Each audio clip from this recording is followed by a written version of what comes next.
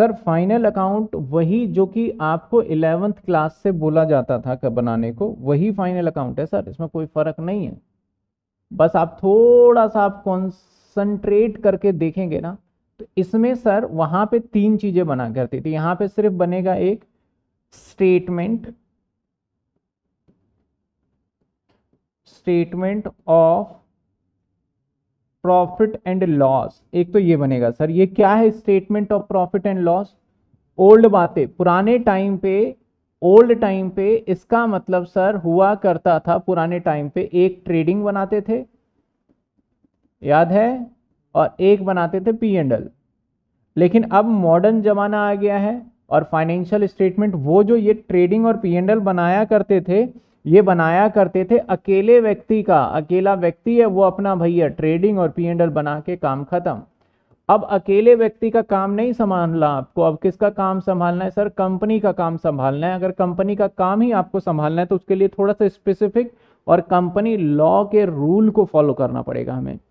Sir company law के rule में बोलता है कि भैया ट्रेडिंग और पी एंडल अब ना बनाया जाए, अब क्या बनाएँगे? स्टेटमेंट यानी इन दोनों को मर्ज करके ये बन गया है। अब और कुछ ऐसी बात नहीं है। खर्चे वही हैं वेजेस सैलरी और इनकम भी वही है सेल्स वगैरह चीज़ें। बस एक स्पेसिफिक और एक बनाएँगे sir balance sheet sir balance sheet जैसे पहले बनाते थे, वैसे ही बनाने के जी हाँ बैलेंस शीट तो वही है, बस स्टाइल चेंज हो गया। अब ये बैलेंस शीट को डिफाइन किया गया है एस शेड्यूल नंबर थ्री में। और शेड्यूल नंबर थ्री के पार्ट वन में बताया गया है ये। पार्ट वन में कि कैसे बैलेंस शीट बनाया जाएगा। एमसीक्यू में, क्योंकि लास्ट टाइम पे मैं बोलूँ ना तो ऑनर्स का पेपर देखना कम से कम 30-35 नंबर का एमसीक्यू पूछ लिया गया था 30 से 35 नंबर का। और इस चैप्टर का फुल फ्लैज क्वेश्चन ना पूछ के ये सब पूछ लिया कि बैलेंस शीट बताओ किस शेड्यूल में बनता है। इसको हम प्रॉफिट है वेजेस कौन से अकाउंट में डालेंगे? तो स्पेसिफिक तो अगर स्टार्टिंग से आप ध्यान से बातों को सुनोगे तो बहुत आसान एमसीक्यू आने वाला है। बैलेंस शीट जो बनाएँगे एज पर रूल बनाएँगे सर ऐसे नहीं बनाएँगे हम, साधारण बैलेंस शीट नहीं बनाएँगे बनाएँगे as per rule sir as per rule के मतलब जो रूल के अंदर गीवन है सर कहाँ गीवन है रूल में? ये गीवन है सर रूल के कंपनीज़ एक्ट में। कंपनी एक्ट के अंदर। और सर कंपनी एक्ट में कहाँ पे? सर कंपनी एक्ट के शेड्यूल नंबर थ्री में बताया गया है कि बैलेंस शीट इस तरीके से बनाना है। तो सर, कोई नया तरीका है कि नहीं? कोई नया तरीका नहीं। हम एक एक करके सीखेंगे। पहले तो हम फॉर्मेट को बड़े डिटेल में समझेंगे। हालाँकि हमें ज़्यादा से ज़्यादा आज का टाइम मान के चलो फॉर्मेट में ही निकल जाएगा। हम डिटेल में पहले फॉर्मेट सीखेंगे, ठीक है? तो चलिए सर, आप देखिए, आपके सामने ना एक बैलेंस शीट बना रहा हूँ मैं। और ये बैलेंस शीट आपका वही पुराने वाला बैलेंस शीट है सर, ये देखिए, वही पुराना बैलेंस शीट है सर। अगर आप ध्यान से देखें ना तो मैं समझाने की कोशिश करता हूँ आपको बैलेंस शीट। इस साइड में देखिए लाइबिलिटी है। इस साइड में क्या है? लाइबिलिटी। और इस साइड में क्या है? एसेट्स। यही तो बनाते थे पहले भी बैलेंस शीट। इस तरीके से हुआ करता था लाइबिलिटी और एसेट्स, और इधर ऐसे कॉलम अलग से दिखा करता था और वही चीज़ अब है। लेकिन कंपनी एक्ट 2013 ने क्या करा? बोला, भैया, एसेट्स लाइबिलिटी वैसे ही है। इसका थोड़ा फॉर्मेट चेंज किया जाए। तो फॉर्मेट जब चेंज करने का टाइम आया ना तो उन्होंने पता है कैसे फॉर्मेट चेंज किया बैलेंस शीट में? सबसे पहले हमें बैलेंस शीट ही सीखना पड़ेगा। ऑल पहले पी एंड एल तो हमें बहुत छोटा सा होता है, बाद में सीखेंगे। पहले हम बैलेंस शीट देखेंगे। तो उन्होंने क्या कहा कि अब जो बैलेंस शीट बनेंगे ना भाई साहब, कैसे बनेंगे? जो ये वाला एसेट्स है ना, इस एसेट्स को अब यहाँ लिया उठा के आप। बस। मतलब इतना सा काम हुआ अब नए में। बिल्कुल हाँ। अब जो बैलेंस शीट बनेगा वो एसेट्स क्या करो, जो इस साइड एसेट्स होता था, उस एसेट्स को नीचे रख दो। बाकी जो टोटलिंग वोटलिंग का प्रोसेस चल रहा था, वो तो सर चलता ही रहेगा। तो अब बैलेंस शीट और पुराने बैलेंस शीट में कोई फ़र्क नहीं है। हाँ स्टाइल का फ़र्क है। कहीं आप बोलो, सर, जब कोई फ़र्क नहीं है तो क्या हम पुराने तरीके से कर सकते हैं? नहीं नहीं नहीं शेड्यूल थ्री ऐसे इजाज़त ही नहीं देता कि हमें करें। तो हमारा जो था, जो एसेट्स इस साइड था, वो एसेट्स किस साइड आ गया? उठ के नीचे आ गया। और थोड़ा हम कंजर्वेटिव और थोड़ा स्पेसिफिक हो चले हैं अब। क्योंकि पहले के टाइम पे अगर मैं बात करूँ, आपके सामने ये बैलेंस शीट है, मैं थोड़ा डिटेल में भी जाऊँगा, मैं पूरा बनाऊँगा ऑल दो अभी सिर्फ़ मैं तो आपको समझा रहा हूँ, एक हिंट दे रहा हूँ, ताकि आपके दिमाग में जाए कि कैसे क्या करेंगे। जैसे मान लो यहाँ पे लिखा हुआ है share capital sir share capital में अगर मैंने पाँच लाख रुपए लिख दिया तो यहाँ पे ये डिफाइन करना बड़ा ही मुश्किल हुआ करता था कि ये इक्विटी शेयर कैपिटल है कि प्रेफरेंस शेयर कैपिटल है कि कि हमारा क्या है ये? मतलब कि क्लियर नहीं होता था ऑथराइज कैपिटल है। और पहले हमें करने की आवश्यकता भी नहीं पड़ती थी, क्योंकि सोल प्रोपराइटर था, उसमें इक्विटी प्रेफरेंस होता ही नहीं था, सिर्फ़ ओनली क्या हुआ करता था? कैपिटल बस। और थोड़ा स्पेसिफिक बारहवीं क्लास में हुए तो वहाँ पे पार्टनर्स का कैपिटल अलग अलग हो जाता था एक्स का अलग वाई का अलग।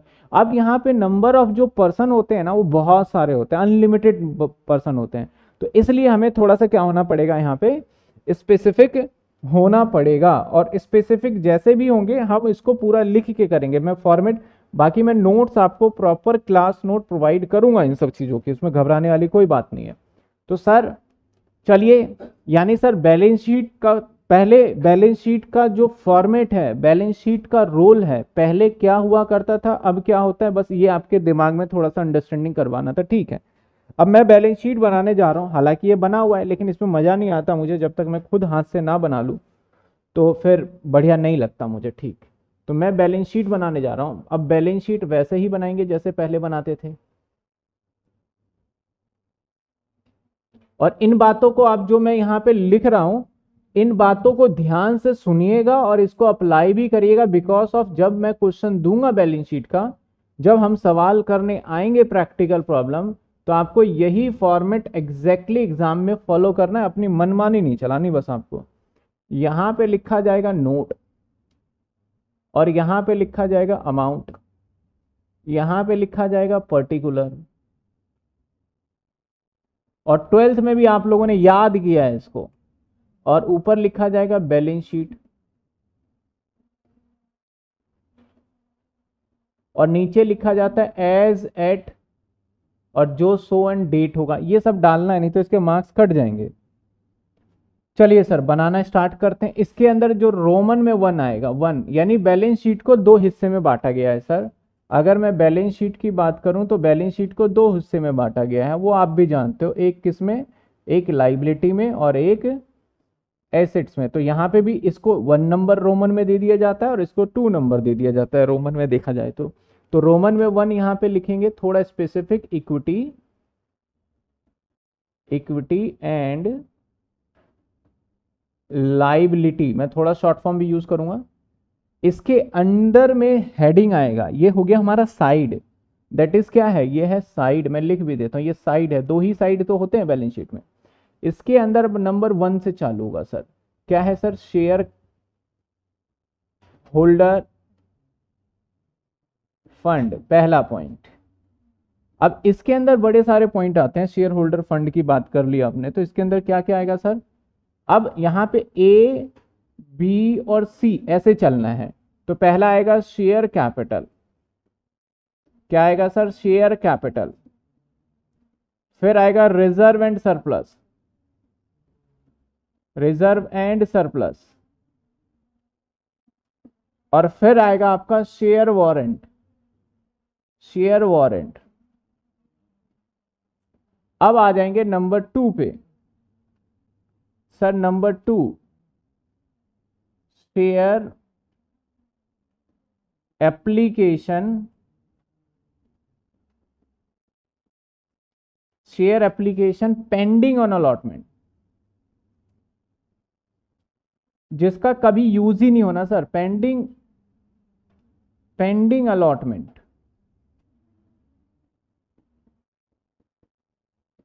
कभी यूज़ नहीं होगा इसका। नंबर थ्री मैं इस वाली बैलेंस शीट में उन्हीं बातों को इनकॉर्पोरेट करूँगा जिसमें हमारे सवाल के अंदर यूज़ होने वाला है। कुछ बातें जैसे कि ये मैंने लिख दिया share application money pending on allotment ये यूज़ ही नहीं होना कभी सवाल में, कभी नहीं होना यूज़ फिर भी मैंने लिख दिया है। नंबर तीन long term liability long term liability नहीं long term borrowing long term sorry मैंने लॉन्ग टर्म गलत शब्द इस्तेमाल कर लिया non current liability non current liability non current liability sir non current liability के अंदर भी सब हेडिंग आएँगी, जैसे A part long term borrowing long term borrowing B part में आएगा हमारा अदर लॉन्ग टर्म हर किसी में क्या क्या आएगा स्पेसिफिक वाइज भी देखेंगे, ऐसा नहीं है कि सिर्फ़ हम लिखे जा रहे हैं। इसके बाद अगले पॉइंट की हम बात करें नंबर फोर तो नंबर फोर पे जो आएगा, वो आएगा current current liability. Current liability के बहुत इंपॉर्टेंट रहता है, इसके अंदर क्या आएगा? पहला पॉइंट पहला आएगा हमारा शॉर्ट टर्म बोरोइंग बच्चों की ना एक कंप्लेन रहती है इसमें चैप्टर में कि सर इतना सारा याद कैसे करेंगे? मैं नहीं कहता याद करने, जो सवाल कहता हूँ आप देख देख के कर लीजिए, उस सवाल को दो से तीन सवाल करेंगे, याद खुद ब खुद हो जाएगा आपको। याद करने की कोई ज़रूरत ही नहीं पड़ना। Long term borrowing B part होता है हमारा ट्रेड पेबल देखो, मैंने भी तो याद नहीं किया, आपको पढ़ाते पढ़ाते याद हो गया मेरे को। सी पार्ट होगा हमारा other current liability D part हो जाएगा हमारा शॉर्ट टर्म प्रोविज़न और हेयर यहाँ पे आ जाएगा फाइनली टोटल यहाँ पे क्या आ जाएगा? Finally total sir balance sheet खत्म? नहीं नहीं. अभी तो बैलेंस शीट का सिर्फ़ एक ही पार्ट किया है हमने. अब यहाँ पे अमाउंट आएगा नोट में क्या आएगा? नोट के अंदर शेयर कैपिटल मैंने लिख दिया, मान लेते हैं 500 करोड़. तो अगर मैंने 500 करोड़ अमाउंट लिखा तो यहाँ पे ना मन के अंदर बहुत सारे डाउट रह गए। सर, मन में कैसे डाउट रह गए? पहली बात, सर 500 करोड़ में इक्विटी कितना है? सर प्रेफरेंस कितना है? सर फोर फीचर भी होगा क्या? कॉल्स इन एरियर भी होगा क्या? कॉल्स इन एडवांस भी होगा क्या? बड़े सारे क्वेश्चन है मन के अंदर। इसका जवाब अगर आपको चाहिए तो मैं इसको डिटेलिंग में करूँगा नोट नंबर वन में। सर, रिज़र्व एंड सरप्लस में भी खूब सारे पॉइंट आते हैं। क्या क्या आते हैं? जनरल रिज़र्व है, कैपिटल रिज़र्व है डीआरआर है सीआरआर है, बड़े सारे रिज़र्व है। तो सर क्या क्या हो सकता है? उसको जानकारी के लिए हम बनाएँगे note number two share warrant क्या होता है? हम एक एक करके समझते जाएँगे और करते भी जाएँगे। शेयर वारंट का कोई नोट नहीं होता, मैं भी पूरा समझाऊँगा इसको एक एक करके, ठीक है? जब मैं इनके नोटिंग को एक्सप्लेनिंग पे आऊँगा, तब समझाऊँगा। इसके लिए भी कोई नोट नहीं है, इसके लिए नोट नंबर तीन होगा। इसके लिए नोट नंबर चार, इसकी डिटेल जाननी है। नोट नंबर पाँच, छ, सात, आठ, यानी लाइबिलिटी के अंदर नोट नंबर आठ है। लेकिन मैं आपको एक बात क्लियर कर दूँ। ऐसा ज़रूरी नहीं है कि आपको नोट आठ के आठ बनाने पड़ेंगे। हो सकते हैं आपको दो ही नोट बनाने पड़े। पॉसिबिलिटी है ऐसा। यानी ये जो हम फॉर्मेट कर रहे हैं ना ये फॉर्मेट मैक्सिमम है, मैक्सिमम। इससे बाहर एग्जामिनर नहीं पूछेगा, इतना मैक्सिमम लेके चलूँगा मैं। तो आप ये ना समझे कि सर इतना सारा कैसे करेंगे? मैक्सिमम करा रहे हैं भाई, ये सारा थोड़ी ना पूछ लेगा एग्जामिनर। इसमें से कुछ एक पॉइंट पूछा जाएगा आपसे। बस। और कोई घबराने की बात है ही नहीं। जब आप प्रैक्टिस करोगे तो आप दूसरे को सिखा दोगे ये तो। चलिए सर, यहाँ फिर से नोट और यहाँ अमाउंट और इधर पर्टिकुलर हालाँकि ये वाला पॉइंट आप नोटिंग करने बैठोगे ना जब घर पे तो मैंने हालाँकि इधर किया, लेकिन ये पॉइंट इसी के नीचे जाएगा, इस बात का ध्यान रखना। ऐसा नहीं कि यहीं करोगे, ये पॉइंट कहाँ जाएगा सर? नीचे जाएगा, इस बात का बहुत ध्यान रखना है। मैं लास्ट में बता भी दूँगा इसका कैसे रहने वाला है। अब दो पार्ट में था, दूसरा पार्ट आ गया सर, दूसरा पार्ट क्या आ गया सर? दूसरा पार्ट आ गया हमारा एसिड। एसिड्स के अंदर अब पॉइंट नंबर वन देखो पहले ये आया ना रोमन में, दूसरा पार्ट है, दूसरा है तो दो आएगा रोमन में। इसके बाद फिर से हमारा स्टार्ट हो जाएगा एक, दो, तीन, चार। नॉर्मल स्टार्ट हो जाएगा एक, दो, तीन, चार। तो नंबर वन क्या आएगा? Non current asset non current asset sir non current assets में क्या क्या आता है सर नॉन करंट में लॉन्ग टर्म प्रोविज़न भी तो आएगा। बच्चे कह रहे हैं, सर लॉन्ग टर्म प्रोविज़न भी लिख दो। चलो, आप कह रहे हो, लिख देते हैं, लेकिन मैंने कहा कि जिस चीज़ का यूज़ होगा, मैं वही चीज़ यहाँ पे लिखूँगा। अगर आप कह रहे हो, सर लॉन्ग टर्म प्रोविज़न को दर्शा दिया जाए तो डेफिनेटली फिर मैं आपकी बात मान लेता हूँ और लो, मैं दिखा देता हूँ लॉन्ग टर्म ये लो। सी पार्ट कर देते हैं। चलिए आपकी बात मान ली। C long term long term provision sir, इसके लिए भी नोट ही बना देते हैं। हटाओ कहानी आपके लिए। आपने बोल दिया जब तो आपके लिए नोट बना ही देते हैं।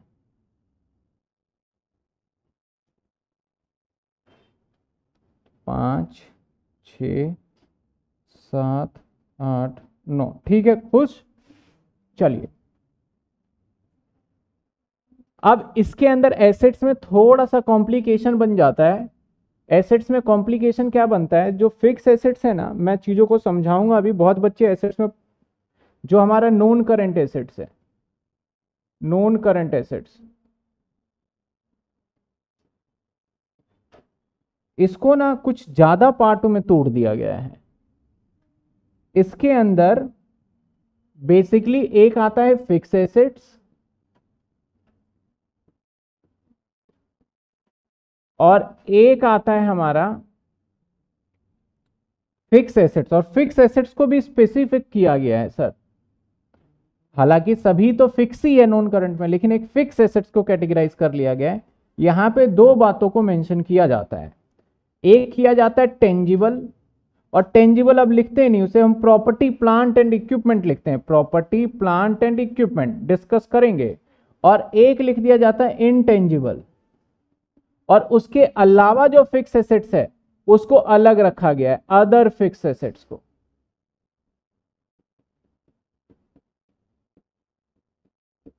यानी सर, यहाँ पे आप ध्यान से देखो तो ये वाला जो हेडिंग चल रहा है ना, मैं अगर आपको बताऊँ तो ये होता है हमारा मेन हेड और उसके बाद क्या होता है? सब हेड लेकिन यहाँ पे कहानी उल्टा है, ये तो मेन हेड है। लेकिन इसके बाद जो होता सब हेड ठीक है सर ये सब हेड है, लेकिन उसके अंदर भी कुछ पॉइंट आ गए तो यहाँ पे सब सब हेड भी बन जाता है। तो इसी चीज़ को मैं समझा रहा था, यानी फिक्स एसेट्स में सबसे पहले हमारा आएगा ए पॉइंट ए पॉइंट आएगा हमारा fix assets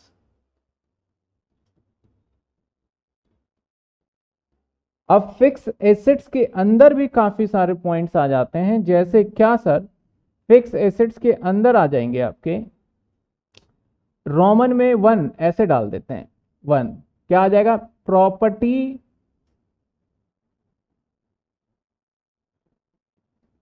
plant and equipment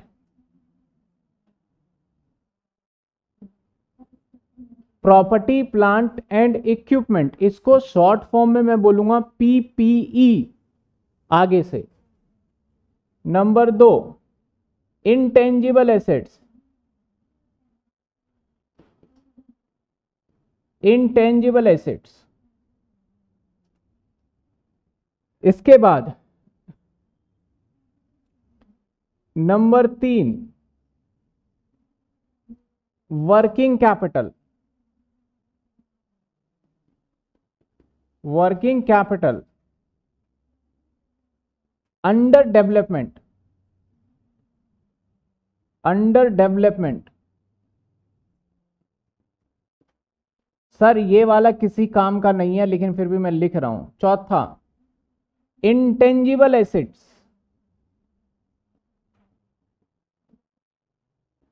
under development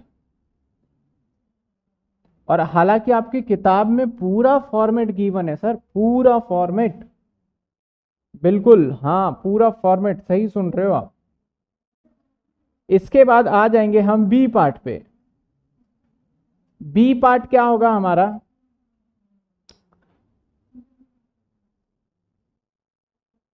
long term investment यानी non current investment non current investment. इसके बाद सी पार्ट क्या होगा? अदर अदर, एक तो हमारा लोन एंड एडवांस भी होगा।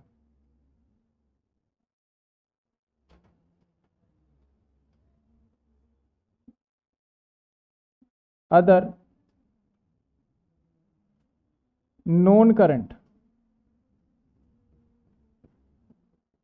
asset. इसमें एसेट साइड में बड़ा स्पेसिफिक रहता है, बहुत कम चीज़ें रहती है एसेट साइड में।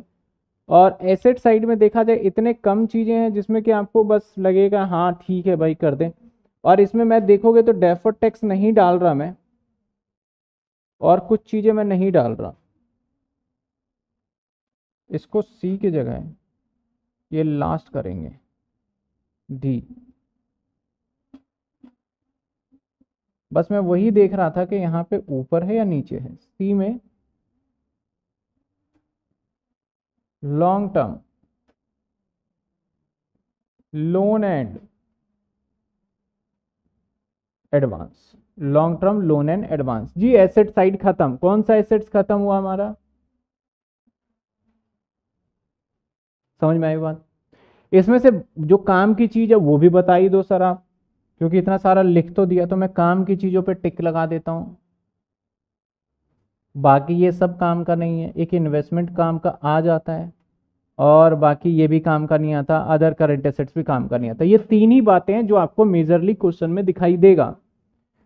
बाकी पता सब कुछ होना चाहिए, मैं सबके बारे में बताऊँगा। तो ये नोट नंबर नौ के बाद ना इधर कंटिन्यू चलने वाला है सर नौ के बाद इसको देंगे हम नंबर दस, इसको ग्यारह, इसके लिए कोई नोट नहीं है, इसके लिए बारह इसके लिए तेरह, इसके लिए दे देते हैं, चलो चौदह। ठीक है। अगला पॉइंट आएगा हमारा करंट एसिड्स ये सिंपल है। करंट एसिड मैं चाहता था आपको दिखा भी सकता था ये। सर, क्या दिखाते? बना बनाया दिखा देता, लेकिन उसमें मज़ा नहीं आता ना। मैं हर बातें, इतनी बातें कहाँ कर पाता? उसमें तो बोलता, देखो, ऐसे ये होता है ऐसे ये होता। है तो पहले से बुक में पता है आपको। टाइम लगेगा, लेकिन ठीक है। ए पार्ट आ जाएगा हमारा short term investment B part आ जाएगा इन्वेंट्रीज सी पार्ट आ जाएगा ट्रेड रिसीवेबल डी पार्ट आ जाएगा कैश एंड कैश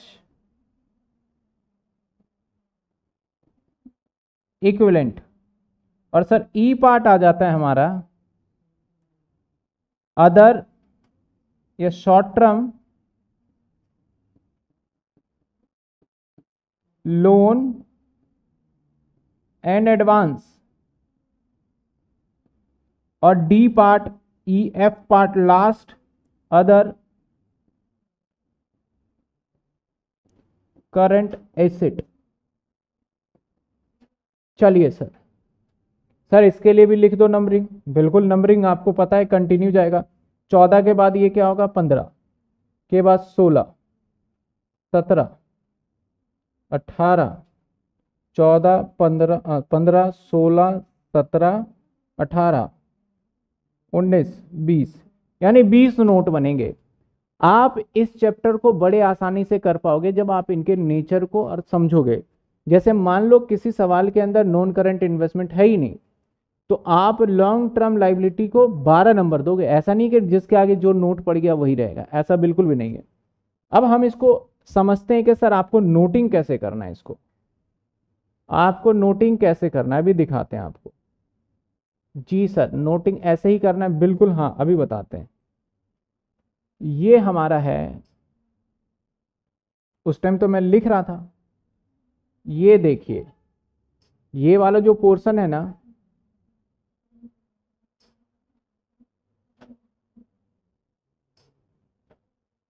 आ जाओ भाई नीचे।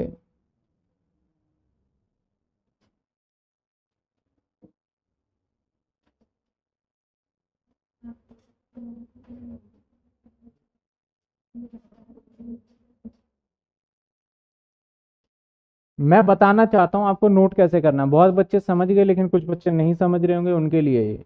भैया, ये ऐसे नोट करना, और यहाँ लाइनिंग नहीं आएगा। टू बी कंटिन्यू, ये नीचे जाता रहेगा एक ही लाइन में, जैसे नौ के बाद दस, ग्यारह, बारह, तेरह।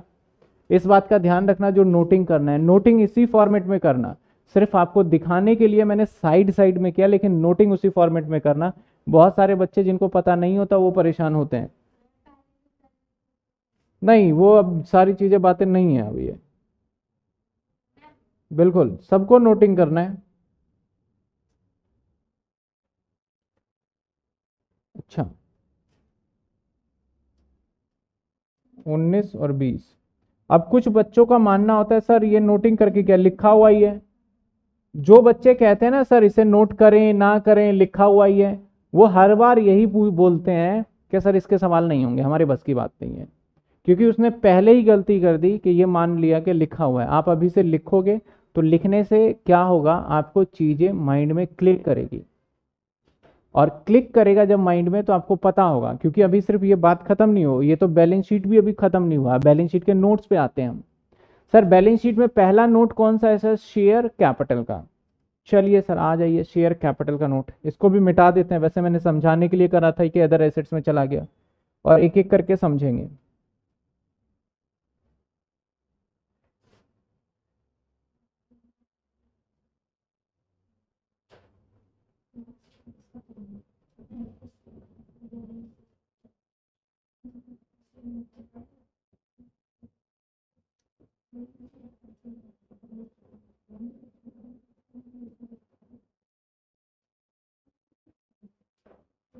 एकदम साफ़ साफ़ नोट करना है नीट एंड क्लीन काफ़ी बच्चे काम करके भेजते हैं ना, इतना गंदा गंदा लिख देते हैं, क्या बोलूँ मैं?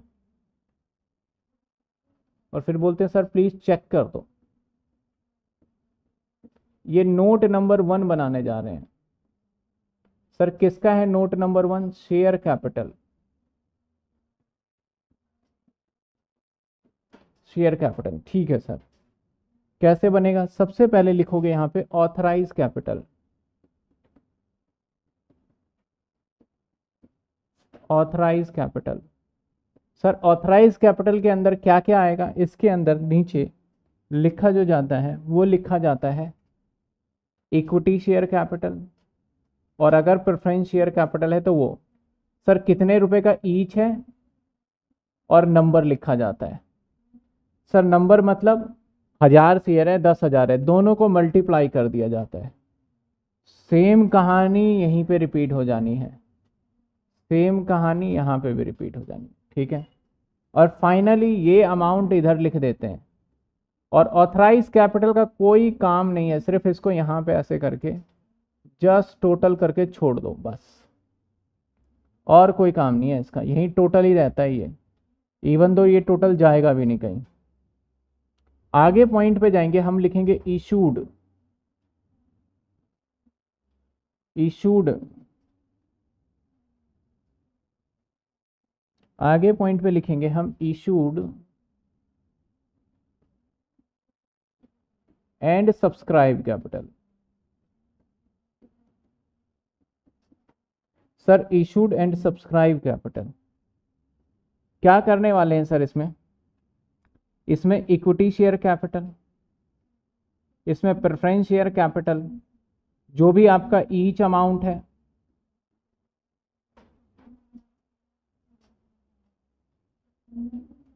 ईच अमाउंट और इनटू में जो भी एक नंबर है हमारा। लेस कर देते हैं सर यहाँ से। अगर कोई कॉल्स इन एरियर है और ऐड कर देते हैं यहाँ पे, होगा नहीं, मैं बता रहा हूँ। Share four feature. सर, इनको अब टोटलिंग करेंगे। इसका टोटल यहाँ, इसका टोटल यहाँ, और ये साहब तो माइनस होगा, और ये हमारा प्लस होगा। जो इसका टोटल निकल के आएगा, मान लेते हैं, हमारा इसका टोटल आया पाँच करोड़। ये पाँच करोड़ रुपए यहाँ दिखाना है हमने। यानी इसका टोटल पीछे जाएगा। सीधी सी बात है। चलिए सर नोट नंबर टू सबसे इंपॉर्टेंट इस चैप्टर की जान। नोट टू बच्चा इसी चैप्टर को जो बोलता है ना सर, थोड़ा कंफ्यूजन है, बस एक ही चैप्टर एक ही नोट उसके मुँह से निकलता है। सर, बस नोट टू समझा दो। इसलिए मैंने नोट टू के ऊपर तीन चार सवाल अलग से बना रखे हैं आपको कराने के लिए। और नए वाले टेन ईयर में डाल भी दिए हैं। और इस पे से मज़े की बात, सिर्फ़ नोट नंबर टू में से सात नंबर का सवाल आ गया था, बस नोट नंबर टू बना दो तुम पिछली बार। देखना मैंने पेपर सॉल्यूशन करके डाला हुआ है, जिनके पास टेन ईयर होगा तो उसमें बोला गया सिर्फ़ नोट टू बना दीजिए और कुछ मत बनाइए और सात नंबर का सवाल पूछ लिया। हम नए वाला अभी इस वीक में आपको मार्केट में मिल जाएगा, वैसे आ चुका है। मार्केट में आने में थोड़ा सा होली वगैरह की छुट्टी है तो इसी हफ़्ते आ जाएगा मार्केट मेरे पास तो आ चुका है। नोट, अरे ये क्या लिख दिया मैंने? क्योंकि मैंने जितनी करेक्शन लगानी थी आपके टेन ईयर के अंदर, लगा दी है। और ये हिंदी में भी बना रहे हैं। इस बार हिंदी का भी आ रहा है आप लोगों का ten year sir, note number जिसका हिंदी में देना हिंदी में देंगे। रिज़र्व एंड सरप्लस ध्यान रखिएगा, नोट क्या है हमारा? रिज़र्व एंड सरप्लस थोड़ा नीचे कर देते हैं, बच्चों को दिखेगा नहीं। थोड़ा नीचे कर देते हैं, दिखेगा नहीं। सर सिलेबस में वैल्यूएशन एंड बैंकिंग कंपनी हटा दिया इस बार। बिल्कुल, इस बार बैंकिंग कंपनी और नहीं है। जो अदर यूनिवर्सिटी के बच्चे हैं, उनको मैं अलग से ये कराऊँगा और आपके फोल्डर में डाल दूँगा एक्स्ट्रा जिसको करना होगा वो कर लेंगे। हाँ बच्चे कह रहे हैं, सर डेफर टैक्स लाइबिलिटी का क्या हुआ? आपने लिखा ही नहीं। बिल्कुल, मैंने जानबूझ के छोड़ दिया यहाँ पे। डेफर्ड टैक्स लाइबिलिटी का क्या हुआ और डेफर्ड टैक्स एसेट्स क्या हुआ? डेफर्ड टैक्स लाइबिलिटी जाता है नॉन करंट लाइबिलिटी में और डेफर्ड टैक्स आता है आपका अदर में चला जाता है। इस पे हम डिस्कस करेंगे, एग्ज़ाम में नहीं आएगा। जो मैं यहाँ पे लिखने वाला हूँ, वही क्वेश्चन से रिलेटेड आएगा। डिस्कस ज़रूर कर लूँगा सभी का, जो बच्चे बता रहे हैं। सर विजुअल नहीं है। अभी करा देते हैं विजुअल और एक बच्चे ने तो क्या करा? Kartik sir issue of share complete करके फाइनल अकाउंट बिल्कुल आ सकते हो कार्तिक कोई दिक्कत नहीं है। विजुअल नहीं है। चलिए थोड़ा नीचे कर देते हैं, आपको थोड़ा विजुअल हो जाएगा। चलिए ओके सबसे इंपॉर्टेंट सबसे इंपॉर्टेंट नोट सबसे पहले क्या लिखेंगे sir? General reserve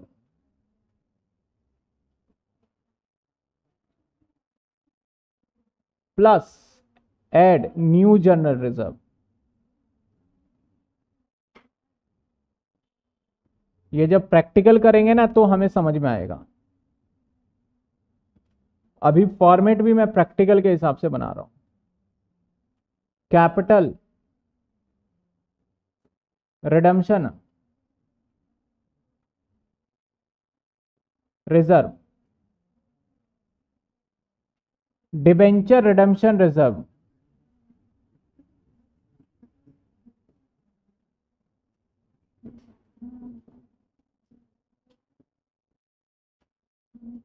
security premium security premium general reserve को मैं फ्री रिज़र्व भी कह सकता हूँ, ध्यान रहे, ठीक है? इसके बाद share option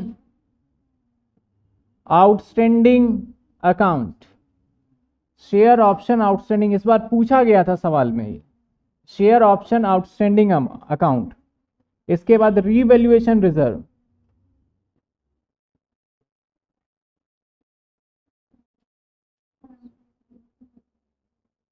इसके बाद रीवैल्यूएशन रिज़र्व के बाद क्या हो सकता है? वर्कमैन कंपनसेशन रिज़र्व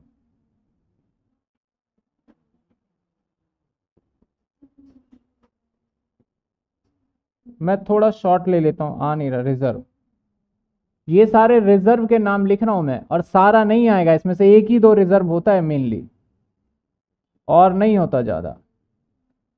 अब यहाँ पे लेंगे, मैं अलग मार्कर से लिख रहा हूँ तो इंपॉर्टेंट होगा समझना. Last year profit last year profit इसमें ऐड करेंगे करंट ईयर प्रॉफिट।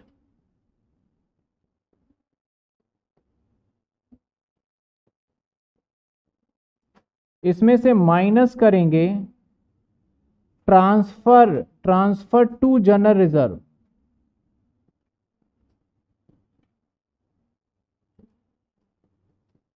इसमें माइनस करेंगे डिविडेंड।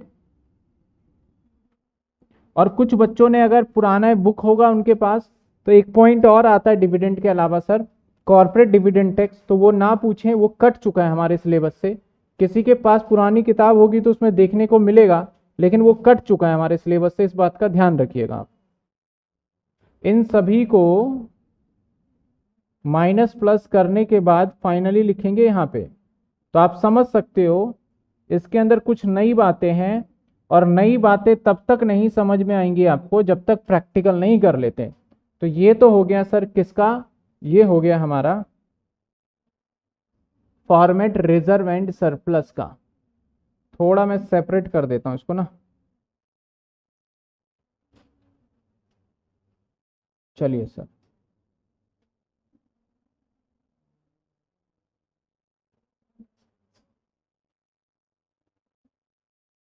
चलिए विजुअल होना चाहिए, बाद में हम इसको स्मॉल कर देंगे। नोट नंबर टू के बाद नोट नंबर थ्री पहले आप मुझे एक बात बता दीजिए, मुझे क्लियर मिल जाए क्लियरिटी तो हम आगे बढ़ जाएँगे।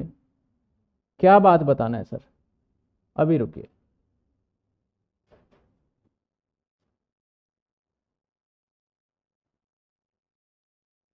एमसीक्यू में पूछा गया था शेयर ऑप्शन आउटस्टैंडिंग कहाँ जाएगा बताओ? बच्चा घूम के रह गया, ये क्या आ गया? तो आप बताइए, सबसे पहले क्लियर है कि नोट नंबर वन की जानकारी देखनी है तो नोट नंबर वन में जाना है, अगर शेयर कैपिटल की जानकारी देखनी है रिज़र्व एंड सरप्लस की जानकारी देखनी है तो कहाँ जाना है? नोट नंबर टू पे जाना है। हर बच्चे को क्लियर है ये पॉइंट जो मैं अभी तक करा रहा हूँ, समझ में आ रहा है तो हम आगे बढ़े, नहीं तो किसी को बाद में दिक्कत हो तो फिर कोई दिक्कत नहीं है। सर, टेन ईयर में आपके वाले में सेवन चैप्टर है जिसमें से दो चैप्टर नहीं आ रहे।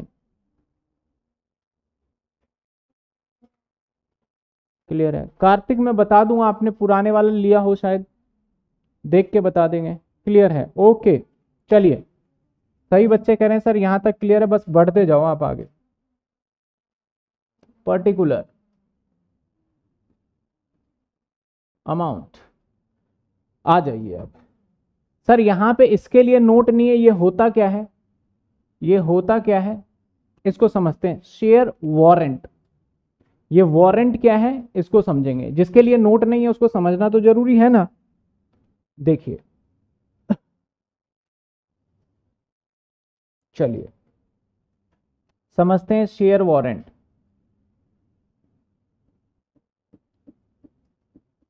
Sir, share warrant क्या होता है? इसके लिए आपको थोड़ी सी बातों को जानना पड़ेगा। हमारे शेयर्स के ऊपर, शेयर मार्केट के ऊपर, यानी शेयर्स के ऊपर दो लोगों का बेसिकली कंट्रोल होता है। यानी जो हमारे पास शेयर्स होता है ना कंपनी पे उस पर दो लोगों का कंट्रोल होता है। किस किस का होता है? एक होता है कंपनी का। कंपनी एक्ट का, यानी एक कंपनी लॉ का कंट्रोल होता है। उसके अकॉर्डिंग हमें रूल फॉलो करना पड़ता है। दूसरा किसका? सुना है नाम? नाम सुना है? बिल्कुल, SEBI security exchange board of India. और इन सभी का ये पता है कि बेसिकली इसके अंडर आता है हमारा एन एस ई सुना है? इसके अंदर आता है बी एस ई सुना है? Bombay stock exchange of India. National stock exchange of India, जिसे शेयर बाज़ार कहते हैं साधारण शब्दों में। तो शेयर बाज़ार में कैसे काम चलेगा, कैसे नहीं चलेगा, उसका फैसला करता है सेबी।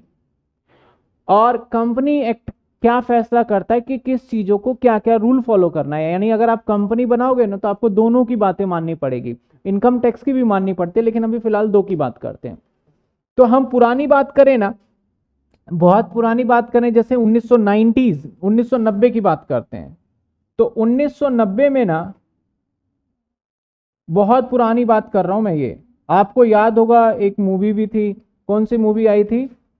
हर्षद मेहता के ऊपर आया था, मैं नाम भूल गया।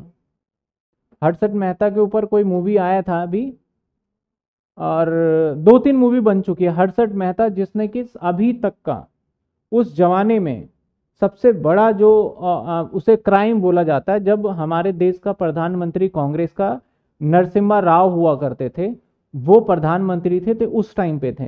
तो उसने बहुत बड़ा घोटाला किया था, और इतना बड़ा घोटाला मतलब स्कैम कह लो, होता क्या था, उस टाइम पे शेयर आपने अगर देखा हो मूवी में स्कैम 1992 बता भी दिया बच्चों ने, उसको आपने देखा है तो मेरा काम आसान हो गया उस फ़िल्म को देख के तो। उसके अंदर क्या था? शेयर पता है कैसे बेचते थे? बोली लगाई जाती थी जिस जिस बच्चों ने देखा है। एक ऐसा पर्चा होता था। एक पर्चा था और उस पर्चे पे नाम लिखवाया करते थे डायरी में। किसको लेना है? रिलायंस का शेयर रिलायंस का शेयर रिलायंस का शेयर रिलायंस का शेयर वो लिख दिया करते थे। अगर आपको शेयर खरीदना है तो आपको पहले वहाँ पे ऑर्डर देना पड़ता था फिजिकली जाके पर्चे में। फिजिकली जाके पर्चे में। उसके बाद, यानी आपको शेयर अगर 1990 में खरीदना था ना, आपको शेयर तो आपके पास कहानी क्या था?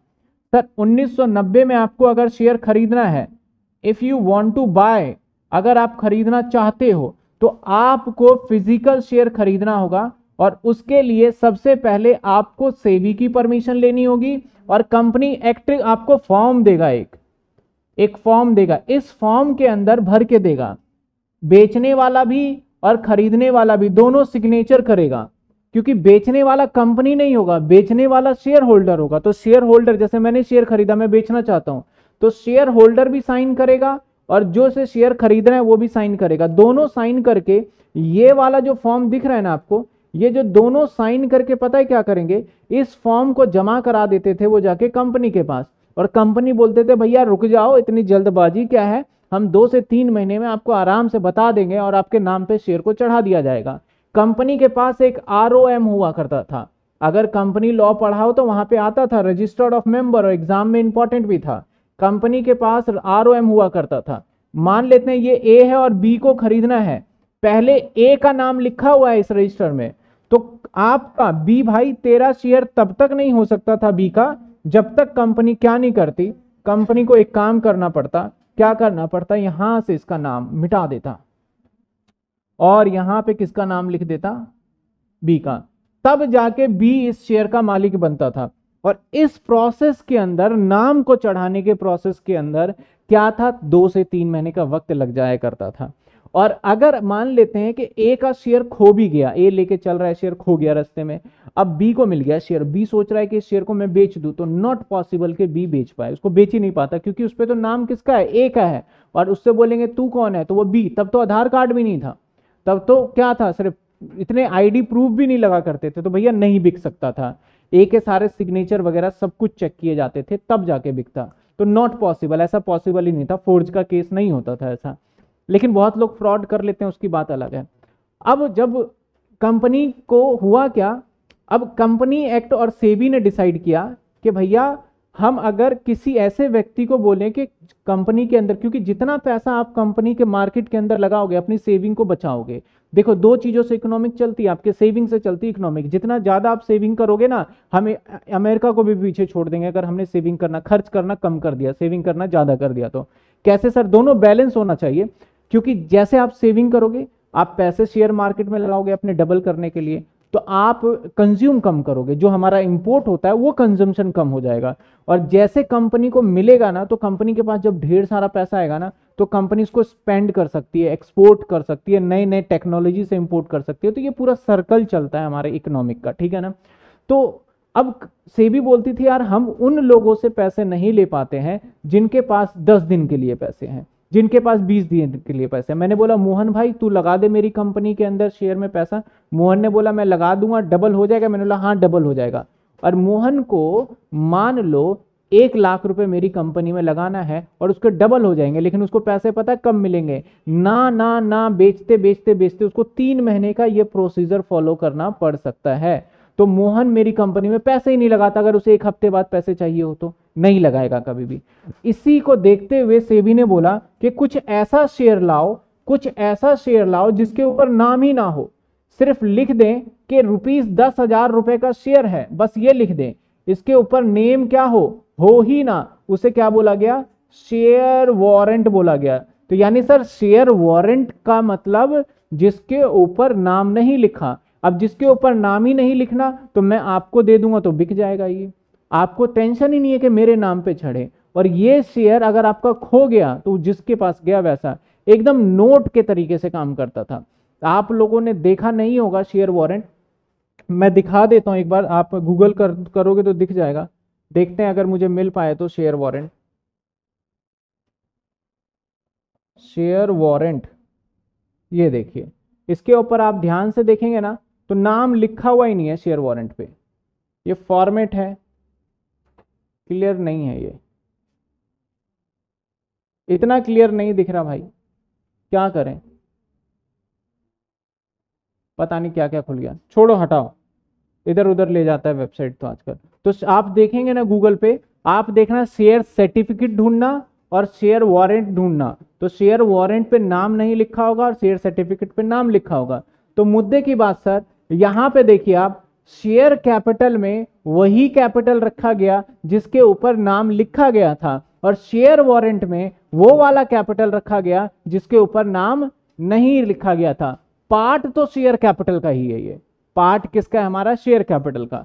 सर इतनी सारी बातें आपने बता दी इस पे तो एग्ज़ाम में बड़ा इंपॉर्टेंट है। मैं बोलूँगा नो इंपॉर्टेंट नहीं आएगा आपके क्वेश्चन में ये। लेकिन आपको पता होना चाहिए कि शेयर वारंट होता क्या है। तो मैंने कहा, मैं सारी बातों को डिस्कस करूँगा, चाहे एग्ज़ाम से रिलेटेड है, नहीं है, मैं बता ज़रूर दूँगा तो इसको आपको याद ही नहीं रखना कि शेयर वारंट क्वेश्चन में कैसे देगा वो। नहीं दिया होता कभी भी क्वेश्चन के अंदर ना ही देगा।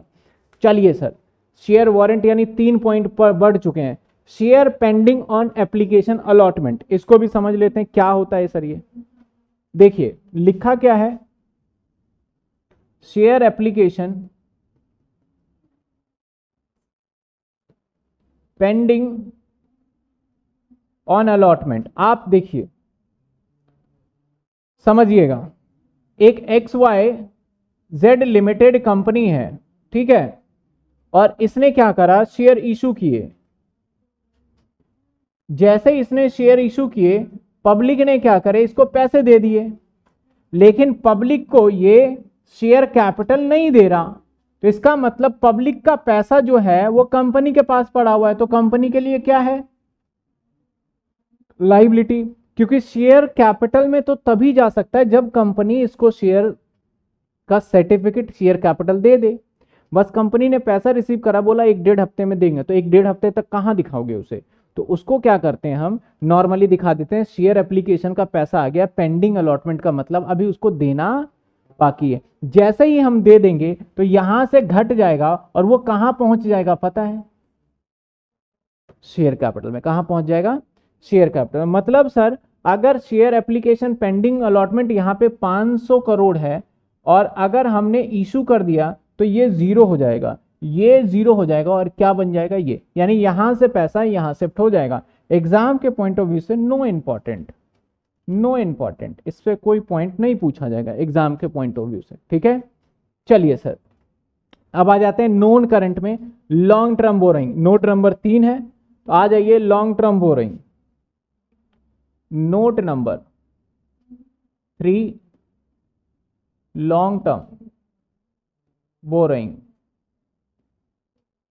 sir long term borrowing में क्या आता है? नंबर वन डिबेंचर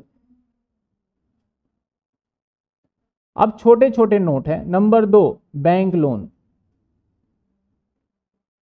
बस, यही चीज़ें सर। नंबर दो, बैंक लोन। बस, इतनी चीज़ें, बिल्कुल जी, बस।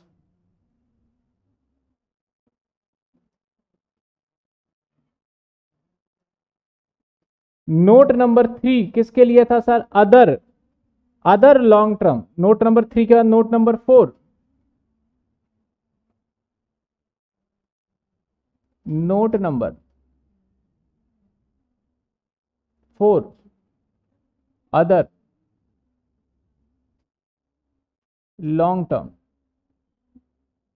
other long term क्या क्या आएगा सर इसमें? इसमें आएगा नंबर वन ट्रेड पेबल एक ना पब्लिक डिपॉजिट होता है, वो भी यहीं आ जाएगा।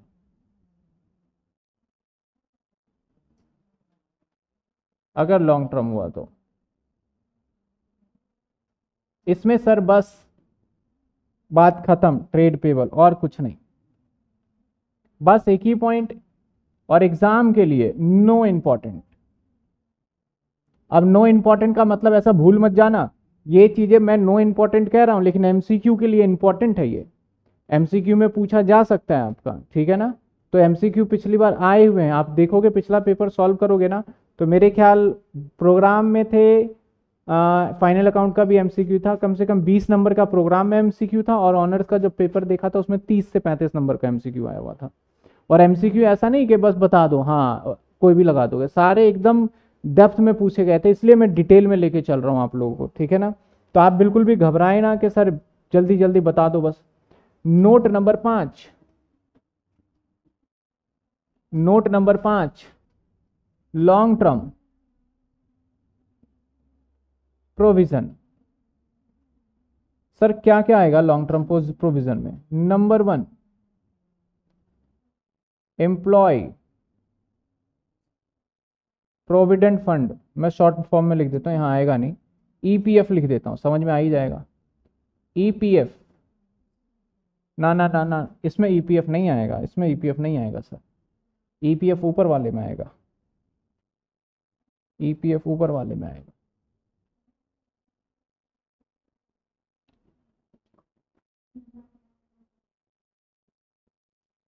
Provision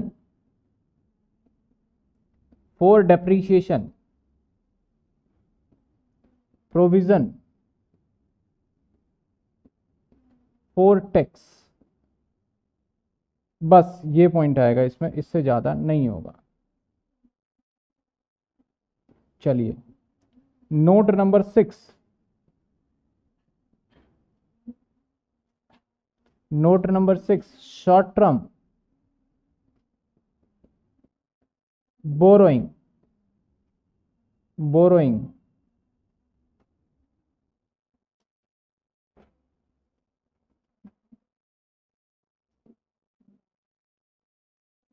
sir क्या क्या आएगा शॉर्ट टर्म बोरोइंग में? शॉर्ट टर्म बोरोइंग में। बैंक ओवरड्राफ्ट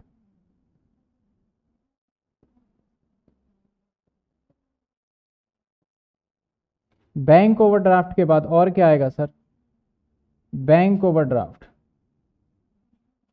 cash credit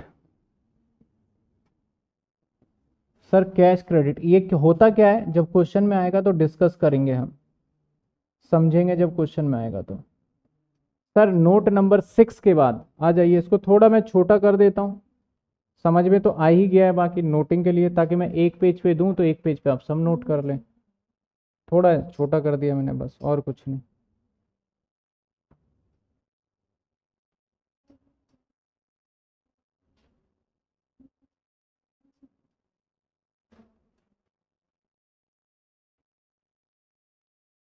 चलिए sir.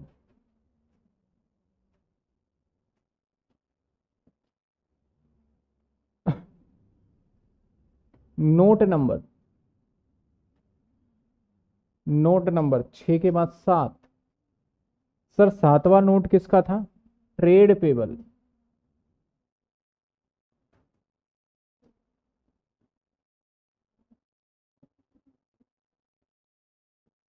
Sir, trade payable में क्या आएगा? ट्रेड पेबल में, creditor. Bills payable. Bills payable बस दो चीज़ें। और क्या है?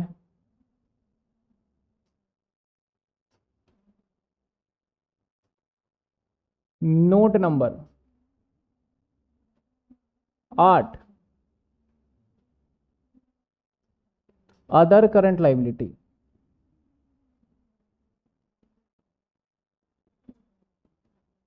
other current liability क्या क्या आएगा? Number one calls in advance important है ये. नंबर दो आउटस्टैंडिंग एक्सपेंस लिखा है मैंने तो एक्सपेंस में सब कुछ आ गया इंटरेस्ट विंटरेस्ट सब आ गया. नंबर तीन एडवांस इनकम। नंबर चार अनक्लेम्स डिविडेंड नंबर पाँच डिबेंचर नंबर छ बैंक लोन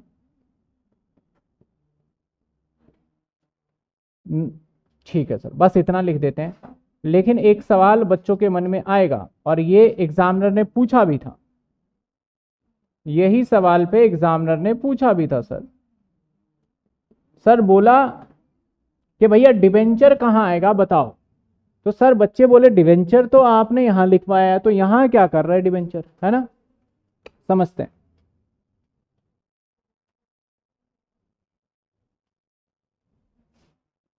मान लीजिए, ये आपके पास एक लाइन है।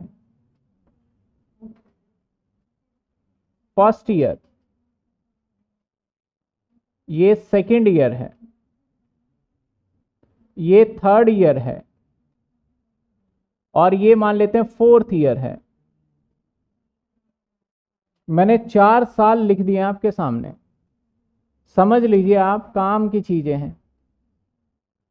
अब देखिए, अगर डिबेंचर को मुझे लौटाना चार साल बाद है, चौथे साल लौटाना है, मैंने रुपीस एक लाख रुपए का डिबेंचर मैंने इशू किया है। या फिर सपोज़ करो मैंने क्या लिया है सर? बैंक लोन और मुझे लौटाना कब है सर? चौथे साल में लेना है। तो मेरा जो डिबेंचर है डिबेंचर है एक लाख का। लौटाना कब है सर? चौथे साल में। आप एक बात बताइए मुझे। क्या आपको पता है कोई भी चीज़ें शॉर्ट टर्म और लॉन्ग टर्म किस पे डिपेंड करता है, क्योंकि इसमें यही फ़र्क है कि ये शॉर्ट टर्म के अंदर आ गया और ये लॉन्ग टर्म के अंदर पहुँचा हुआ है। तो शॉर्ट टर्म और लॉन्ग टर्म कैसे डिफाइन होता है? अगर पेमेंट एक साल के अंदर कर देंगे तो शॉर्ट टर्म हो जाएगा। अगर पेमेंट एक साल के बाद करेंगे तो लॉन्ग टर्म हो जाएगा डिफाइन हो जाएगा। अभी मैंने डिबेंचर लिया। सर, अगर आपने अभी डिबेंचर लिया हुआ है तो बहुत सीधी सी बात है, जो अभी आपने डिबेंचर लिया ये डिबेंचर का पेमेंट कब होगा? बता दीजिए आप, ये डिबेंचर का पेमेंट कब होगा? ये डिबेंचर का पेमेंट चार साल बाद तो दैट इज़ अभी ये है लॉन्ग टर्म अब दूसरे साल में जब पहुँचेंगे तो पेमेंट कब होगा? दो साल मतलब तीसरे साल में तो अभी भी क्या है? लेकिन सर जब हम इसको लेके जाएँगे आगे तीसरे साल में तो अभी भी पेमेंट एक साल के बाद करना है। अभी भी क्या रहेगा? लॉन्ग टर्म लेकिन जैसे ही हम जाएँगे इसको कब लेके? सर, चौथे साल में। तो अब पेमेंट कब करना है? सर, इसी साल करना है। अब इसका नेचर बदल जाएगा, सर। क्या बोल रहे हो, सर? इसका नेचर बदल जाएगा। ये अब हो जाएगा शॉर्ट टर्म ये क्या हो जाएगा हमारा? शॉर्ट टर्म हो जाएगा। समझ पा रहे हो बात आप? इसी शॉर्ट टर्म को हम डिबेंचर को इसलिए बोलते हैं मैच्योर डिबेंचर मैच्योर डिबेंचर अगर बोला जाए मैच्योर डिबेंचर कहाँ जाएगा तो जवाब मैच्योर डिबेंचर का मतलब उसी साल पेमेंट करना है तो ये किसका पार्ट माना जाएगा? शॉर्ट टर्म ये वाला जो डिबेंचर है, ये जाएगा अदर करंट लाइबिलिटी में, और ये वाला डिबेंचर चला जाएगा नॉन करंट लाइबिलिटी के लॉन्ग टर्म बोरोइंग में। समझ में आई बात आपको? कि फ़र्क बस टेन्योर का है तो इसलिए मैंने यहाँ पे लिखा हुआ है। पहले बताइए, यहाँ तक समझ में आया ये डिबेंचर वाला पॉइंट सवाल में पूछा जाएगा ये डिबेंचर क्लियर है यहाँ तक? ट्रेड पेबल बच्चे कह रहे हैं, दो बार लिख दिया। बिल्कुल हाँ। एक यहाँ भी ट्रेड पेबल लिखा सर और एक यहाँ भी ट्रेड पेबल लिखा। ये एक साल अदर लॉन्ग टर्म लाइबिलिटी का कोई डिफाइन नहीं है। मैंने कहा नॉट इंपॉर्टेंट ये इंपॉर्टेंट नहीं है। अगर आपने उधार माल खरीदा और उधार माल खरीदने के बाद बोलो, भैया, मैं पेमेंट ना दो साल के बाद दे दूँगा। तब तो वो चला जाएगा इस क्रेडिटर के अंदर। ट्रेड पेबल का मतलब होता है क्रेडिटर तब तो यहाँ चले जाएगा।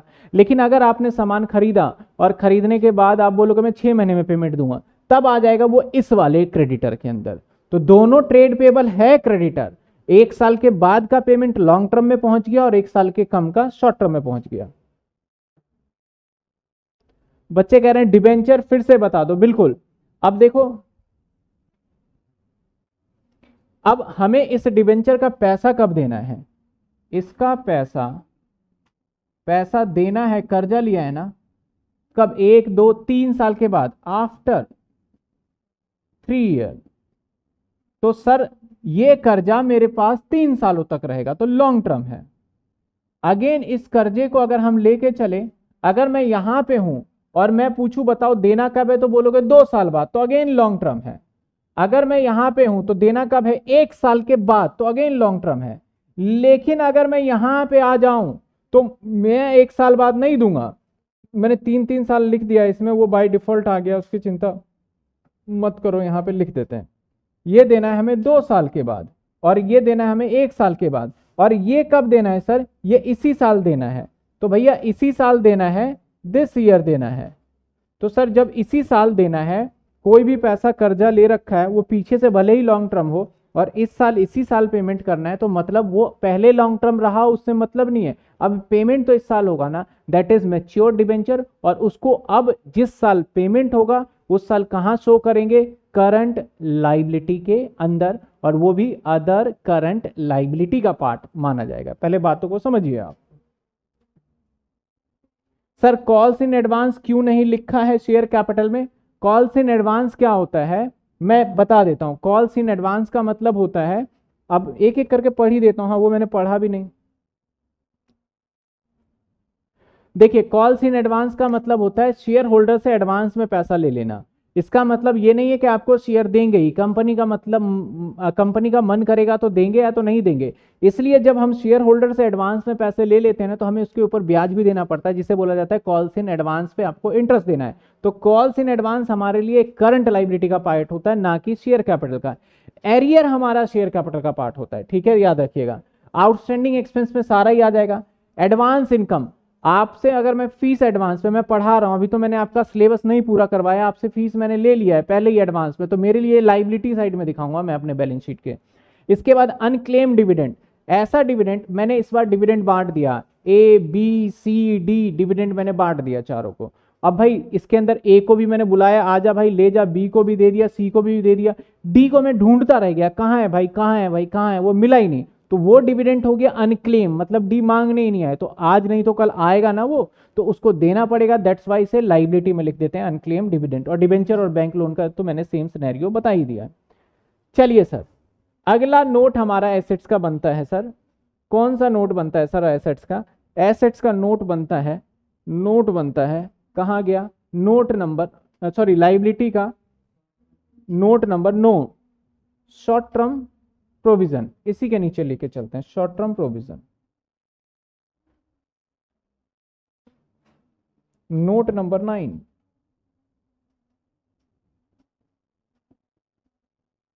short term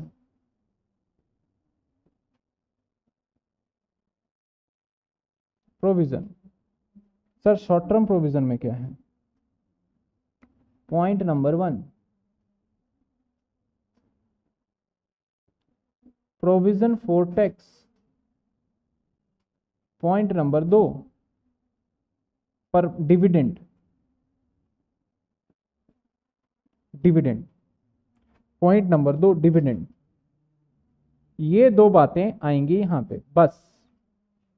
वैसे प्रोविज़न फॉर डेप्रिसिएशन भी आ सकता है, लेकिन वो हम डिस्कस करेंगे जब आएगा। तो हमने लाइबिलिटी साइड के सारे के सारे नोट को हमने कवर कर लिया है। तो आप मुझे बताइए सबसे पहले नोट में कितने बच्चों को डाउट है। पहले तो हमें इसे समझना ही पड़ेगा। और अगली क्लास में नोट के बाद हम क्वेश्चन कर पाएँगे क्योंकि अभी पी एंडल का भी नोट पेंडिंग है। तो मैं आपके अगली क्लास में आज तो मैं लिख के बता रहा हूँ अगली क्लास में शायद मैं लाइबिलिटी वाला एसेट्स वाले नोट को ना मैं आ, मतलब प्रिंट करके जैसे कि मैं बताना चाहता हूँ मैं अगली क्लास में क्या करूँगा। जैसे ये है। क्योंकि आपको बस अंडरस्टैंडिंग डेवलप करना था, जो कि आपका हो गया है। अरे। अगर मैं चाहता तो इतना वक्त नहीं खराब करता, और मैं सीधा बता देता, लो जी, लो बैलेंस शीट हो गया, और ये टोटल और मैं यहाँ से बताता जाता, लेकिन उसमें मज़ा नहीं आता। आप बस देखते और फिर कोई फ़ायदा नहीं था। अब यहाँ पे देखेंगे, सब चीज़ मैं बता चुका हूँ। जैसे कि शेयर होल्डर फंड बता दिया शेयर कैपिटल बता दिया रिज़र्व एंड सरप्लस बता दिया money receive against share warrant बता दिया शेयर एप्लीकेशन पेंडिंग बता दिया नॉन करंट लाइबिलिटी के अंदर क्या बता दिया sir? Short term borrowing deferred tax ये क्वेश्चन मार्क है। बच्चे पूछ रहे थे, मेरे को पता है, लेकिन अभी हम नहीं करा रहे इसको।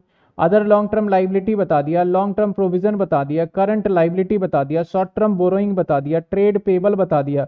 अदर करंट लाइबिलिटी और ये। यानी ये सारा पॉइंट हमारा लगभग हो चुका है।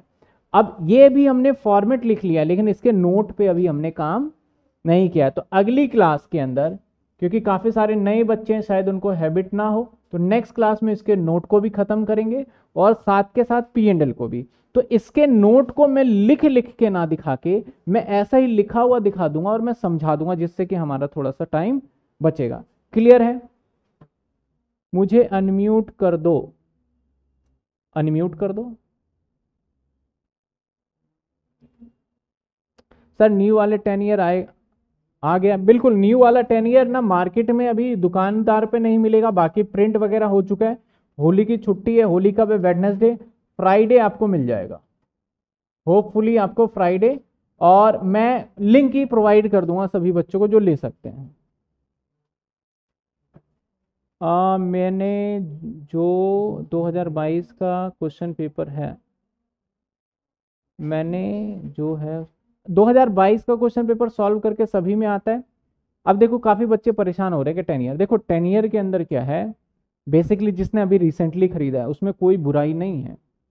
जो नए वाले जो टेन ईयर आ रहे हैं उसके अंदर मैंने कुछ थोड़े से क्वेश्चन ऐड और करके नए प्रिंट करवा दिए हैं। और क्वेश्चन को थोड़ा सिस्टमेटिक करवा दिया है। ताकि आप उसको जब करो तो दिक्कत ना हो। पुराने जिन्होंने खरीद लिए हैं, जिनके पास अभी है स्टिल टेन ईयर उसके अंदर भी वो सारे क्वेश्चंस मिलेंगे, लेकिन वो आगे पीछे मिलेंगे, बस थोड़ा मैनेज करना होगा और कोई दिक्कत वाली बात नहीं है। बस इसके अंदर एक आध क्वेश्चन मैंने ऐड ऑन करा दिया, जैसे कि सॉप का करा दिया है मैंने तो वो चीज़ें मैं आपको अलग से जिन बच्चों के पास नहीं है ना, और नए वाले टेन ईयर में नहीं है, उनका मैं आप सभी को मटेरियल प्रोवाइड करवा दूँगा, इसकी चिंता मत करो। सर नेम क्या है टेन ईयर देखिए नेम तो सभी को पता ही आपने थर्ड सेमेस्टर में पढ़ा होगा। शिवदास का टेन ईयर आता है मार्केट के अंदर बीकॉम के लिए बेसिकली जिसके अंदर पास्ट ईयर के पेपर होते हैं, सभी को पता है लगभग लगभग। चलिए। यहाँ पे आ जाते हैं सर और यहाँ पे एक बार मैं ओवरव्यू दे दूँ। जो बच्चे नए हैं, उनको थोड़ा आइडिया भी लग जाएगा। कि बैलेंस शीट का हम पहले फॉर्मेट बनाना सीख रहे हैं, इसके बाद पी एंड एल चैप्टर का नाम है हमारा फाइनेंशियल स्टेटमेंट यानी फाइनल अकाउंट जो वही ग्यारहवीं वाली बातचीत है। बस इसके अंदर फॉर्मेट थोड़ा ऊपर नीचे हुआ है, जो कि हम पढ़ते पढ़ते देख लेंगे। इसके बाद देखा जाए तो हमने क्या देखा था, सर, ये सारा का सारा हमारा लाइबिलिटी था। इस लाइबिलिटी को एक सिस्टमेटिक तरीके से रखा जाता है, जो कि नोट के फॉर्मेट में रखा जाता है, और एक तरफ़ क्या था, सारा का सारा एसेट्स उसको भी नोट के फॉर्म में रखा जाता है। अल्टीमेटली मैंने दिखाया भी था कि ये इसके, इस साइड नहीं होता, बल्कि ये इसके नीचे होता है। मैं नोटिंग के अंदर वही चीज़ें कवर करूँगा जो एग्ज़ाम से रिलेटेड है। जो एग्ज़ाम से रिलेटेड नहीं है, उस पर सिर्फ़ डिस्कस करेंगे, उसको मैं इसके अंदर डाल के कंफ्यूजन नहीं करना चाहता। जैसे कि deferred revenue deferred tax liability है एसेट्स के बारे में। फिर हमने लाइबिलिटी के अंदर क्या क्या आएगा? सारे नोट्स को बड़े अच्छे से डिटेल में देख लिया था। अब आ जाते हैं हम एसेट्स पे। एसेट्स में नोट नंबर दस का स्टार्टिंग करने वाले हम। नोट नंबर दस नोट नंबर टेन जिसका नाम था प्रॉपर्टी प्लांट एंड इक्विपमेंट जिसे पीपीई बोलने वाले हैं। प्रॉपर्टी प्लांट एंड इक्विपमेंट बात ध्यान रखिएगा, ठीक है? Sir property plant and equipment में क्या करेंगे सर कैसे करेंगे? इसका मतलब होता है आपका सिंपल सी बात करूँ ना तो ये फिक्स एसेट्स है। फिक्स एसेट्स जो कि सर फिक्स एसेट्स वही जो हमने पढ़ रखा है, बिल्कुल एग्जैक्टली exactly वही fix assets land building plant machinery furniture वही चीज़। तो सबसे पहले लिख लेते हैं लैंड एंड बिल्डिंग उसके बाद प्लांट एंड मशीनरी इसके बाद आपका आ जाएगा मोटर कार फर्नीचर और क्या आ सकता है सर फर्नीचर के अलावा? और जितने भी एनी काइंड ऑफ़ एक्सेट्रा कर देते हैं इसको, है ना? क्योंकि इतने तो पता ही है आपको। Very very good evening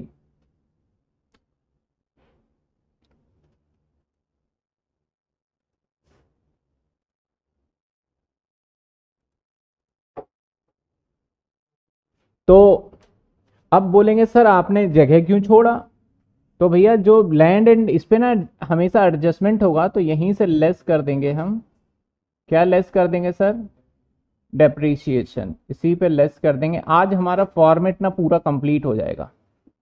depreciation ठीक है? सर, इसमें से भी क्या लेस करोगे? सर, इसमें से भी डेप माइनस कर देंगे अगर गिवन होगा तो। सर, यहाँ पे डेप दो तरीके के होते हैं प्रोविज़न फॉर डेप्रीशिएशन और दूसरा। तो वो हम जब एडजस्टमेंट के टॉपिक पे आएँगे ना तब करेंगे। यहाँ डेप्रीशिएशन नहीं है तो नहीं करेंगे। ज़रूरी थोड़ी हर किसी में डेप्रीशिएशन हो। ये लो जी आ गया टोटल और सर, ये टोटल पता है कहाँ पहुँच जाएगा? कहाँ जाएगा सर? सर, ये टोटल जो है ना, ये पहुँच जाएगा हमारा जाके बैलेंस शीट में। वट एवर टोटल आ जाएगा और इसको नाम क्या दे दिया? नोट नंबर टेन चलिए सर, इसके बाद आ जाते हैं। इसके बाद note number eleven note number eleven intangible asset sir intangible assets में क्या क्या होगा? देखते जाइए। नंबर वन सबसे पहले आपको जो सबसे अच्छा नाम लगता है और पता भी होता है, गुडविल। नंबर दो पेटेंट नंबर तीन कॉपीराइट नंबर चार आपका फॉर्मूला नंबर पाँच ट्रेडमार्क नंबर छ आप कह सकते हो नंबर छ और क्या हो सकता है सॉफ्टवेयर सॉफ्टवेयर ये सारे हमारे इंटेंजिबल एसेट्स हैं। सर इन दोनों में दोनों क्या फिक्स एसेट्स होते हैं? जी हाँ। इसको समझ भी लेते हैं? अगर आपने इलेवेंथ स्टैंडर्ड में पढ़ा हो, याद हो तो बहुत अच्छी बात है तो आपको क्लियर होगा। जिसने नहीं पढ़ा, उसको हम समझ लेते हैं। ठीक है, सर। हाँ। सर, हमारा जो फिक्स एसेट्स है ना,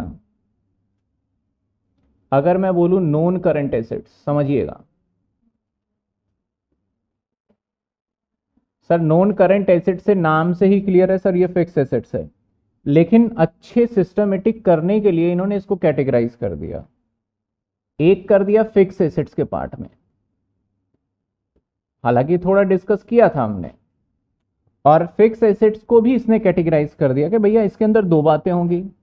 एक होगा टेंजिबल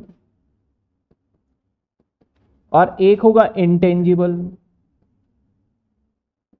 सर टेंजिबल और इनटेंजिबल टेंजिबल का थोड़ा सा नाम बदल दिया, इसको बोल दिया प्रॉपर्टी प्लांट एंड इक्विपमेंट और इनटेंजिबल का नाम इंटेंजिबल ही रखा।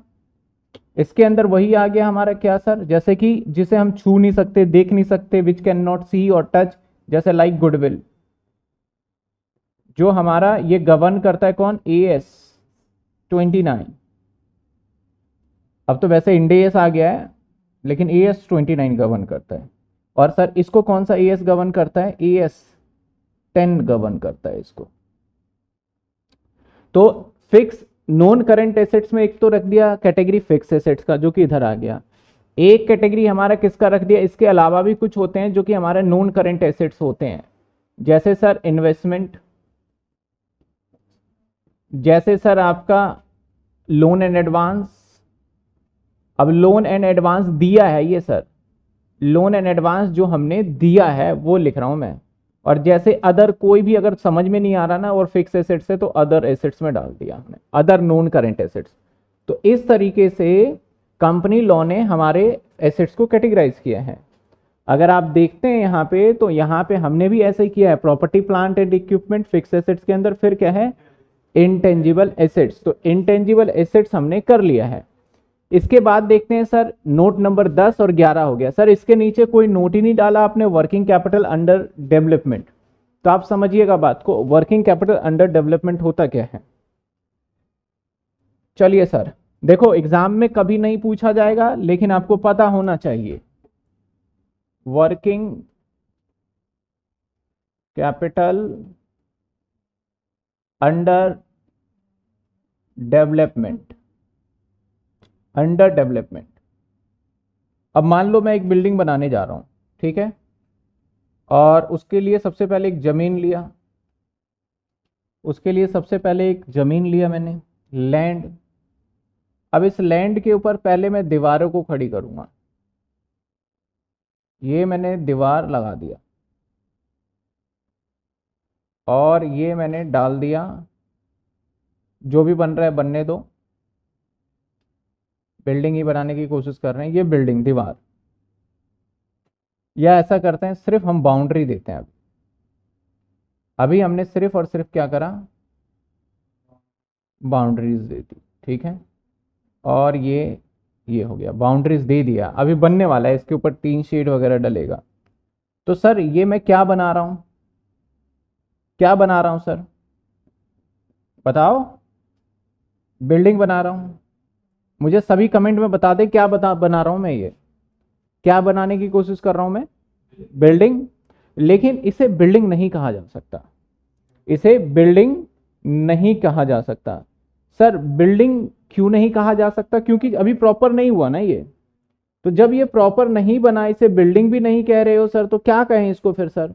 क्योंकि इसे बिल्डिंग नहीं कहा जा सकता। जब तक ये पूरा छत ना बन जाए डोर ना बन जाए, तब तक बिल्डिंग नहीं होगा। तो सर जब कंस्ट्रक्शन में चल रहा है, है तो हमारा ही एसेट्स है तो हमारा ही एसेट्स लेकिन अगर मैंने बिल्डिंग कैटेगरी में डाल दिया यानी सर अगर आपने यहाँ बिल्डिंग के अंदर डाल दिया तो मतलब बन के तैयार हो गया। तो गलत डाल रहे हो। इसका मतलब सर कुछ ऐसे बिल्डिंग्स ऐसे काम होते हैं फिक्स एसेट जिसको बनने में समय लगता है। तो इसमें से वो वाले एसेट्स आ रहे हैं जो कि कंप्लीट बन चुका है। अगर इसमें बनने में समय लग रहा है और ये आपका एसेट्स ही है तो इसको अलग से हम शो कर देते हैं कैटेगरी में। और उसका नाम आ जाता है हमारा क्या? Working capital under development working capital under development मतलब ये पूरा एसेट सी ही है। कुछ समय बाद जैसे ही बिल्डिंग बनेगा तो इस वर्किंग कैपिटल अंडर डेवलपमेंट में से कैटेगरी में से हट जाएगा और कहाँ पहुँच जाएगा जाके ये? बताओ, अगर यहाँ से हट जाएगा, ये बिल्डिंग बन के तैयार हो गया तो यहाँ से तो हट ही जाएगा। अंडर डेवलपमेंट तो रहा नहीं, फिर कहाँ पहुंचेगा ये जाके? ये बिल्डिंग में जाके एड ऑन हो जाएगा। वर्क इन प्रोग्रेस बिल्डिंग में जाके एड ऑन हो जाएगा। बिल्कुल। अंडर डेवलपिंग बिल्डिंग बिल्कुल सही बात। बच्चों ने जवाब दे दिया। तो इसलिए यहाँ पे अगर नोट को आप ध्यान से देखें तो नोट इसके लिए कोई नहीं लिखा। और एग्ज़ाम के लिए मैं बोल दू नॉट इंपॉर्टेंट सर लेकिन आपको पता होना चाहिए, इसलिए नॉट इंपॉर्टेंट एक है intangible assets under development sir ये क्या होता है? अब इसका बड़ा सिंपल सा एग्ज़ाम्पल है। पहले तो बच्चों को एग्ज़ाम्पल समझ में नहीं आता था अब बड़ी जल्दी आ जाएगा। जैसे कोविड का एग्ज़ाम्पल ले लो। मैं थोड़ा कोविड का स्नैरियो अगर आपको बताऊँ तो कोविड जो था, इसका नाम क्या है? कोविड 19 19 सर, इसका 19 नामकरण क्यों पड़ा? क्योंकि 2019 में आया था। और इंडिया के अंदर 20 में आया था। है ना? पूरे वर्ल्ड में ये 19 में आ चुका था थोड़ा थोड़ा सा। इंडिया में प्रॉपर तरीके से अप्रैल 20 में आया था। तो भैया 19 में तो हमने इसको कोई तवज्जो ही नहीं दी, बोलिए कोविड वोविड कुछ नहीं होता, छोड़ो। लेकिन 20 में जब हुआ कोविड तो हमारी हालत खराब हो गई। अब 20 में जब कोविड हुआ तो ये 20 भी चला और ये 21 भी चला। आपको याद होगा lockdown unlockdown one two three ये सब चलता रहा था। लेकिन यहाँ तक अगर मैं बात करूँ ना, जैसे ही कोविड आया था ना तो आप अलर्ट नहीं थे। लेकिन साइंटिस्ट जो थे यानी जो डॉक्टर थे जो डॉक्टर थे वो साइंटिस्ट उन्होंने अपनी तैयारी चालू कर दी। और 2020 में तो बहुत तैयारी होने लग गई। प्रिपरेशन चालू कर दी। इसके लिए मतलब फॉर्मूला बनाने लगे कि जैसे कोविशील्ड और या फिर कोवैक्सीन आया तो वो पहले थोड़ी ना पता था कि कोविशील्ड या कोवैक्सीन आने वाला वो तो बोले बस आपका आ, क्या वो नाम दे रहे थे कि हमारा जो भी इसका है जो भी मेडिसिन है, वो बन नहीं पाया। मेडिसिन अभी तक अवेलेबल ही नहीं है। कहीं अवेलेबल नहीं। सिर्फ़ इंडिया की बात नहीं कर रहे, सारी कंट्री लगी हुई है, लगी हुई लगी हुई। उनको पूरा एक साल लगा इसको करने में।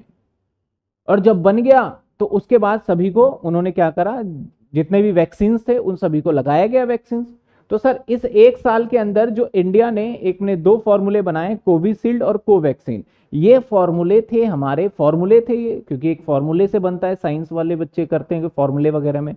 तो जो ये फॉर्मूला था, ये हमारे लिए एक एसिड्स था। लेकिन एसिड्स कौन सा था सर? मैंने लिखा फॉर्मूला कहा जाता है हमारा? इनटेंजिबल एसिड्स में। लेकिन ये फॉर्मूला तब तक नहीं बना जब तक लोगों के ऊपर एक्सपेरिमेंट नहीं हो गया। तो ये जो हमारा वैक्सीन जो था ट्रायल पे चल रहा था तो ट्रायल मतलब क्या था? इंटेंजिबल एसेट्स तो था, लेकिन अंडर डेवलपमेंट था।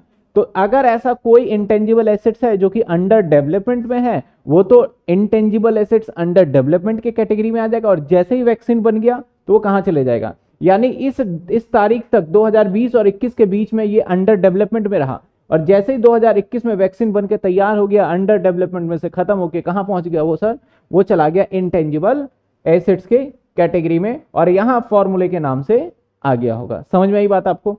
तो यानी सर, जो हमने अभी देखा है, जिसके नोट नहीं बनाए, ये भी एग्ज़ाम के लिए नॉट इंपॉर्टेंट मैं कहूँगा, इससे पूछा नहीं जाता। एन का मतलब नॉट इंपॉर्टेंट ठीक है? तो लेकिन हमें समझना है कि इसमें समझ में आना चाहिए। चलिए sir non current investment note number बारह non current investment note number बारह। Non current investment sir non current investment क्या होता है? वो इन्वेस्टमेंट जो लंबे समय के लिए कर सकते हो। किसमें कर सकते हो सर? आप शेयर्स में कर सकते हो। अपनी कंपनी के शेयर नहीं, किसी और कंपनी के शेयर्स में, ठीक है? और किसमें कर सकते हो सर? डिबेंचर में कर सकते हो। दूसरी कंपनी के। और किसमें कर सकते हो सर? प्रॉपर्टी में कर सकते हो। तो ये सारे आपको समझ में आ रहा होगा कि ये इन्वेस्टमेंट वो है जो लंबे समय के लिए किए जा रहे हैं। अब सर लैंड एंड बिल्डिंग भी हो सकता है इसके अंदर। मैं इसके अंदर लैंड एंड बिल्डिंग भी लिख देता हूँ। लो प्रॉपर्टी में तो आई गया ना। लैंड एंड बिल्डिंग तो बोलोगे सर लैंड एंड बिल्डिंग यहाँ है तो फिर यहाँ क्या कर रहा है लैंड एंड बिल्डिंग भाई, ये लैंड एंड बिल्डिंग जो यहाँ पे लिखा है ना, ये तो बिज़नेस में इस्तेमाल होंगे।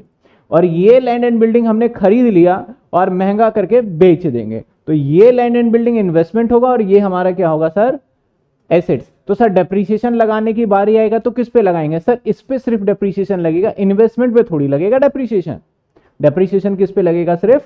इस पे इन्वेस्टमेंट पे डेप्रीशिएशन नहीं लगेगा। यानी आपको अगर दो लैंड एंड बिल्डिंग लिख दिया जाए एग्जामिनर कंफ्यूज बहुत करते हैं। Land and building for investment purpose और दूसरी साइड लिखते हैं ओनली लैंड एंड बिल्डिंग और दे दे ten percent depreciation charge on land and building बच्चा तो फट, फटाफट दोनों पे लगा देगा लैंड एंड बिल्डिंग पे। गलत हो गया लो। इन्वेस्टमेंट वाले पे थोड़ी ना लग सकता है लैंड एंड बिल्डिंग पे, सिर्फ़ किस पे लगेगा? इस पे। वो तो मैं बता रहा हूँ कि एग्जामिनर उलझाना चाहे तो उलझा सकता है। सर, नोट नंबर बारह done.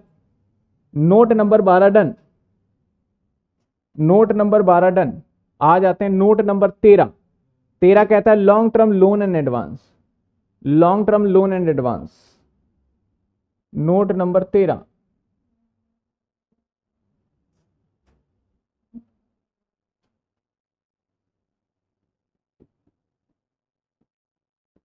Long term loan and loan and advance long term loan and advance sir क्या क्या आएगा? Loan given to employ double ही कर रहा हूँ एम्प्लॉय नंबर दो advance given to supplier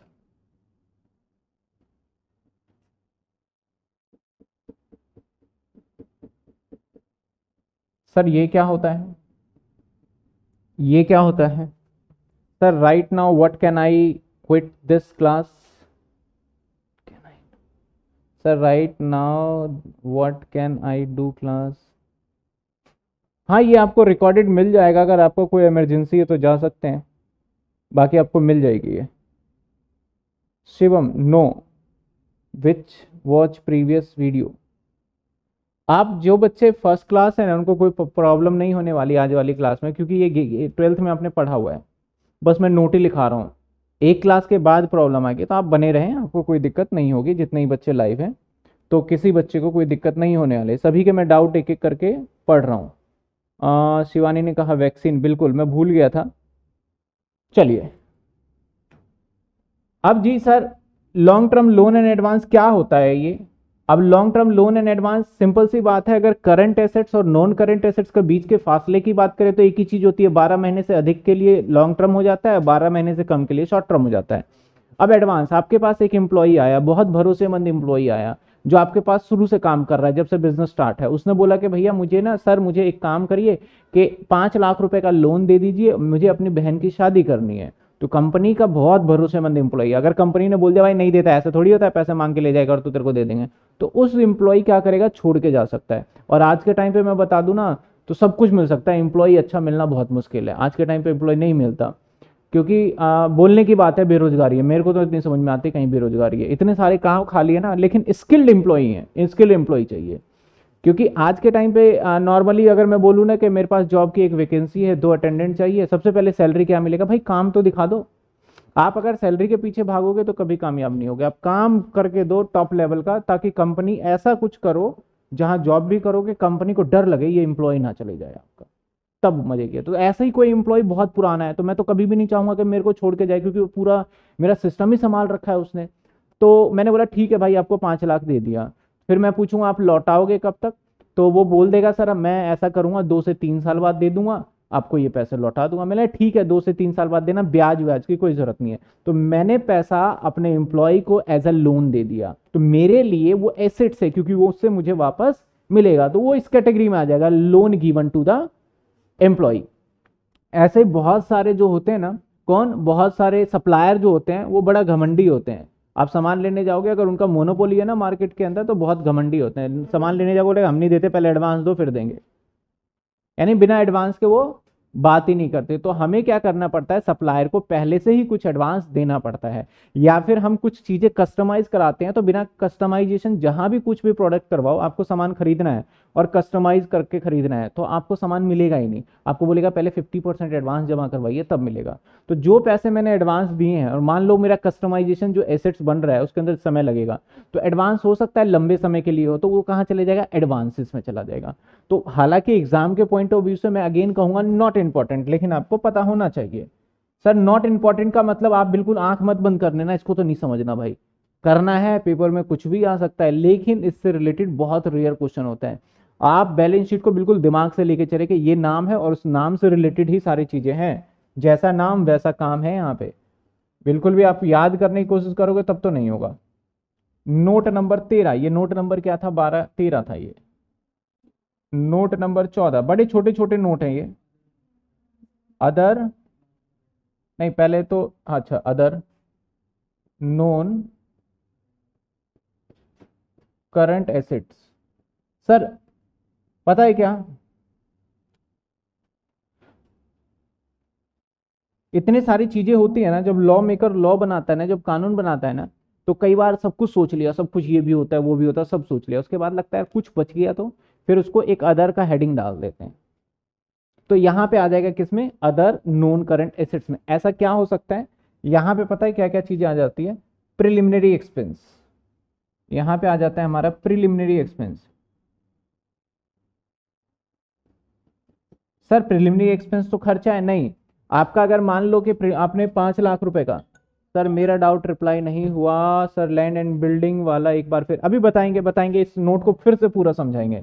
मान लो कि आपका पाँच लाख रुपए के प्रिलिमिनरी एक्सपेंस है मतलब बिज़नेस स्टार्ट करने से पहले या अंडर राइटर कमीशन है पाँच लाख का। लॉ ने कहा कि इसे एक बार में राइट ऑफ़ मत करो, इसे पाँच सालों का बेनिफिट लेके करो। तो इस साल तो हम एक लाख दिखा देंगे, बाकी चार लाख तो हमें अगले साल दिखाना है। तो चार लाख ये एडवांस में खर्चा हो गया ना। समझो ये चार लाख किसमें खर्चा हो जाएगा? क्योंकि पाँच लाख का खर्चा किया और आपने डिसाइड किया कि इसको पाँच सालों में दिखाएँगे तो एक साल एक लाख इस साल में, फिर एक लाख अगले साल में तो चार लाख तो एडवांस में खर्चा हो गया तो वो एक तरीके से एडवांस हो गया और लंबे समय के लिए हो गया तो उसे कहाँ डाल देंगे हम? अदर नॉन करंट एसेट्स में। ये समझ में आया? जल्दी जल्दी बता दो हाँ या ना? ये समझ में आया? कमेंट में बता दो फटाफट से। हाँ? लैंड एंड बिल्डिंग, सर मेरा डाउट अभिषेक कश्यप अभिषेक कश्यप का कौन सा डाउट रह गया भाई, कौन सा रह गया? अभिषेक, एक बार दोबारा से आप डाल दो।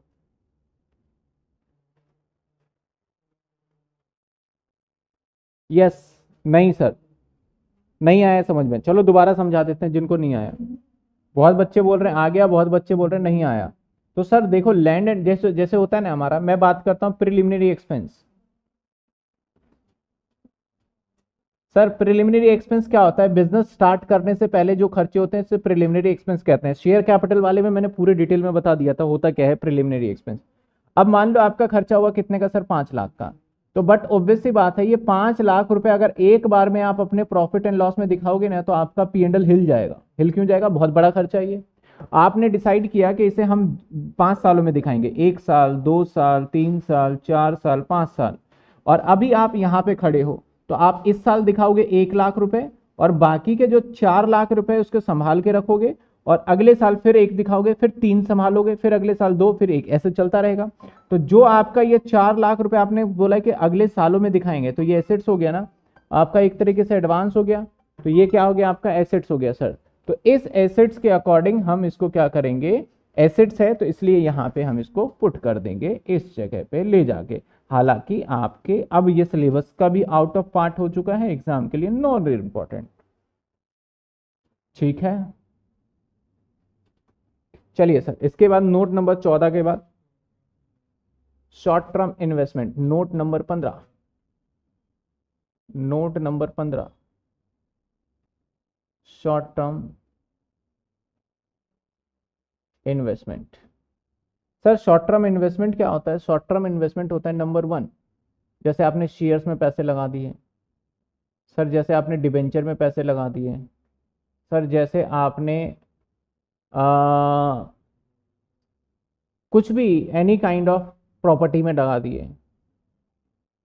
सर ये तो सेम हो गया बिल्कुल। अब मैं ऐसा भी करता हूँ ना आपको ये समझाने के लिए ये लो इधर कॉपी किया और इधर ले आया। चलो मैं यही वाला लिखूँगा अब तो। यानी सर शॉर्ट टर्म में भी वही आ जाएगा। कैसे बिल्कुल, जी हाँ शॉर्ट टर्म में भी यही आ जाएगा बिल्कुल। ओहो कॉपी हो गया शॉर्ट टर्म में भी यही आ जाएगा बिल्कुल। कोई फ़र्क नहीं है सर, बस कलर बदल देते हैं, ठीक है? कोई फ़र्क नहीं है। तो इसका मतलब सर, आपको पता ही है लॉन्ग टर्म और शॉर्ट टर्म में जो फासला डिफाइन करता है, वो करता है टाइम वो कौन डिसाइड करता है, ये लॉन्ग टर्म होगा या शॉर्ट टर्म वो एसेट्स कभी डिसाइड नहीं करता। अब बिल्डिंग कभी नहीं बोलोगे कि लॉन्ग टर्म शॉर्ट टर्म है। उसका टाइम डिसाइड करता है। तो अगर आपने शेयर मार्केट में पैसे लगाए एक साल से कम के लिए तो शॉर्ट टर्म में आ जाएगा, एक साल से ज़्यादा के लिए लगाया तो नॉन करंट यानी लॉन्ग टर्म का आ जाएगा बेसिकली बात है। तो एज पर टाइम अगर क्वेश्चन में कुछ नहीं बोलता तो हाँ शेयर्स हमेशा शॉर्ट टर्म का पार्ट माना जाता है, कुछ ना बोला जाए तो।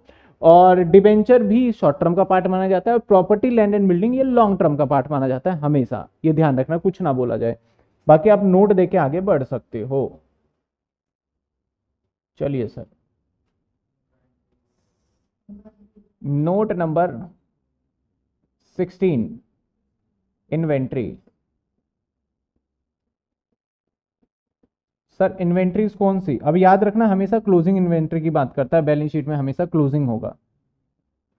कौन सा होगा सर? क्लोजिंग अब सर क्लोजिंग इन्वेंट्री में पार्ट है। सबसे पहले हमारा आता है रॉ मटेरियल इसके बाद नंबर दो पे आता है sir work in progress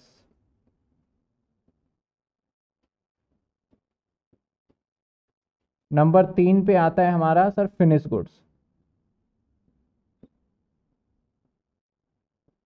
goods number चार पे आएगा हमारा सर स्पेयर पार्ट नंबर छ पे आ जाएगा लूज टूल्स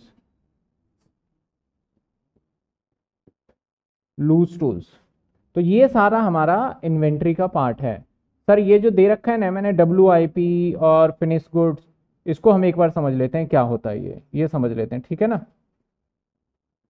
देखो, हमारे स्टॉक जो भी मैन्युफैक्चरर है, तीन बिजनेसमैन ना दो से तीन तरीके के होते हैं। देखो, बिजनेसमैन की मैं बात करूँ, अगर मैं बिजनेसेस की बात करूँ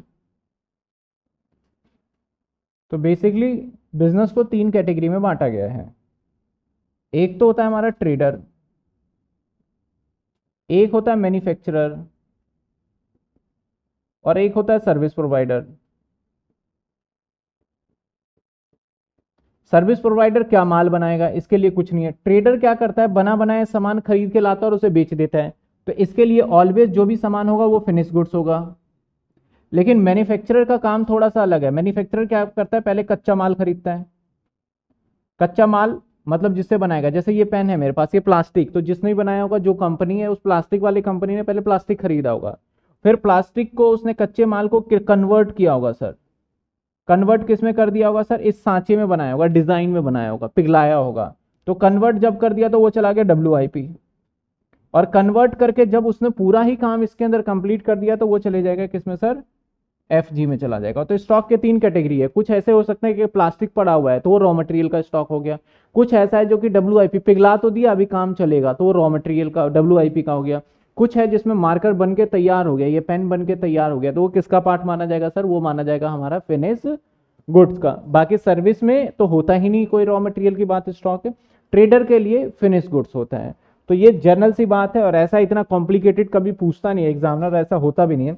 हम इसमें अननेसेसरी का बस मैं समझा डिटेल में रहा हूँ, लेकिन फिर दिक्कत ना हो बस इसलिए और बाकी कोई दिक्कत वाली बात है नहीं। स्पेयर पार्ट्स क्या होते हैं? छोटे छोटे लूज टूल्स आते हैं। स्पेयर पार्ट्स क्या होता है? छोटे छोटे लूज टूल्स होते हैं। लूज टूल्स का मतलब जैसे कि पेचकस, प्लास, ये सारी चीज़ें। आप स्पेयर पार्ट्स और लूज टूल्स लगभग लगभग सेम है, जो कि हमारे कंस्ट्रक्शन लाइन में ज़्यादा से ज़्यादा यूज़ होता है तो ये यहाँ पे आ जाएगा। अगर दे भी दे तो यहाँ। पहले ये लूज टूल्स है ना फिक्स एसेट्स का पार्ट हुआ करता था नाउ ये करंट एसेट्स का पार्ट है, ये मान के चलना है। बताइए, यहाँ तक कोई डाउट बिल्कुल, सारा ही कर फिक्स वो आपको देखना है कि ये करंट एसेट से क्या है वो तो नोट से चेक करोगे। वो नाम ही वो है।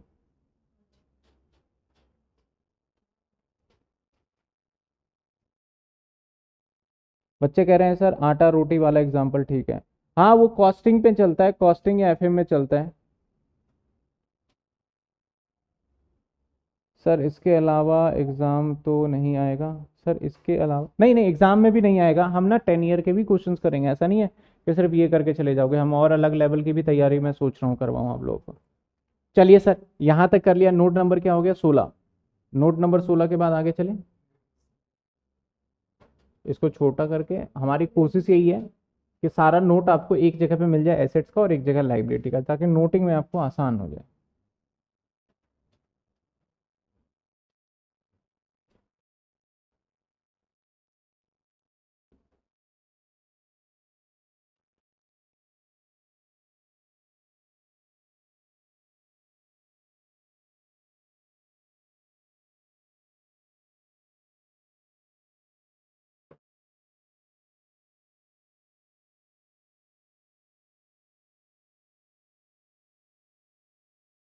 चलिए sir note number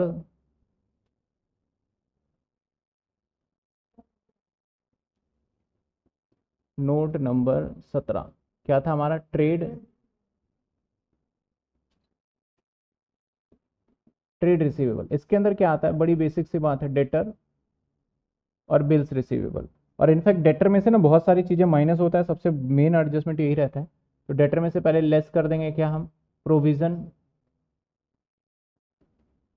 four debtor और क्या लेस हो जाएगा सर बेडिट्स बेडिट्स जैसे पहले माइनस किया करते थे, इसमें से ये सारा माइनस करके अल्टीमेटली यहाँ आ जाएगा डेटर उसके बाद आ जाएगा बी आर बड़ी सीधी सी बात है, ये लिख के हम फटाफट कर देंगे। सर इसके अंदर भी दो एंट्री होगी, बिल्कुल होगी दो एंट्री जैसे कि हम फाइनल अकाउंट में किया करते थे। इसके बाद आ जाते हैं note number cash and note number अठारह।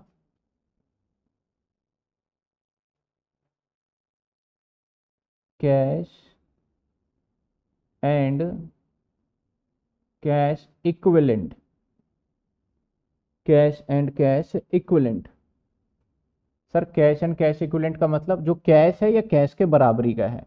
कैश तो कैश ही है, बैंक कैश के बराबर ही होता है और एक होता है मार्केटेबल सिक्योरिटी।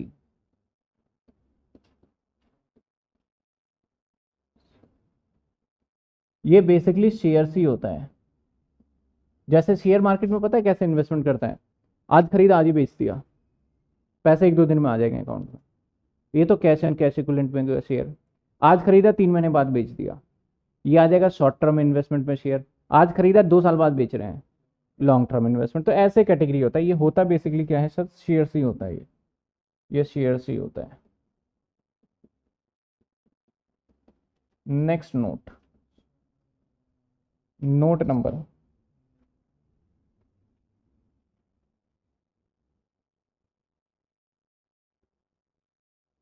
Note number. उन्नीस। सर, नोट नंबर उन्नीस short term loan and advance sir, ये क्या है short term loan and advance तो आपको सबसे पहले जो long term loan and advance था हमारा, ये एग्जैक्टली exactly सेम मैं उठा लेने वाला हूँ। तो आपको अंदाज़ा लग जाएगा, समय का फ़र्क है। किसका फ़र्क है सिर्फ़? टाइमिंग क्या क्या टाइमिंग है, उसके अकॉर्डिंग चलेगा ये। ठीक है? ये एग्जैक्टली exactly सेम आ गया। मतलब अगर लंबे समय के लिए होगा, ऐसा तो ये होगा। और लास्ट हमारा अदर करेंट एसेट्स लास्ट ही यही है तो 20 नंबर यहाँ डाल देते हैं। Note number 20 note number 20 other current asset. Sir क्या क्या आएगा इसमें? सर, इसमें जो आएगा, नंबर वन, प्रीपेड एक्सपेंस, जो सबसे ज़्यादा यूज़ होगा। सर, नंबर दो एक्रूड इंटरेस्ट ये भी यूज़ होगा। इंटरेस्ट नंबर तीन सर नंबर तीन. नंबर तीन. और क्या आ सकता है इसमें? प्रीपेड हो गया एक्रूड हो गया। अदर लिख देते हैं।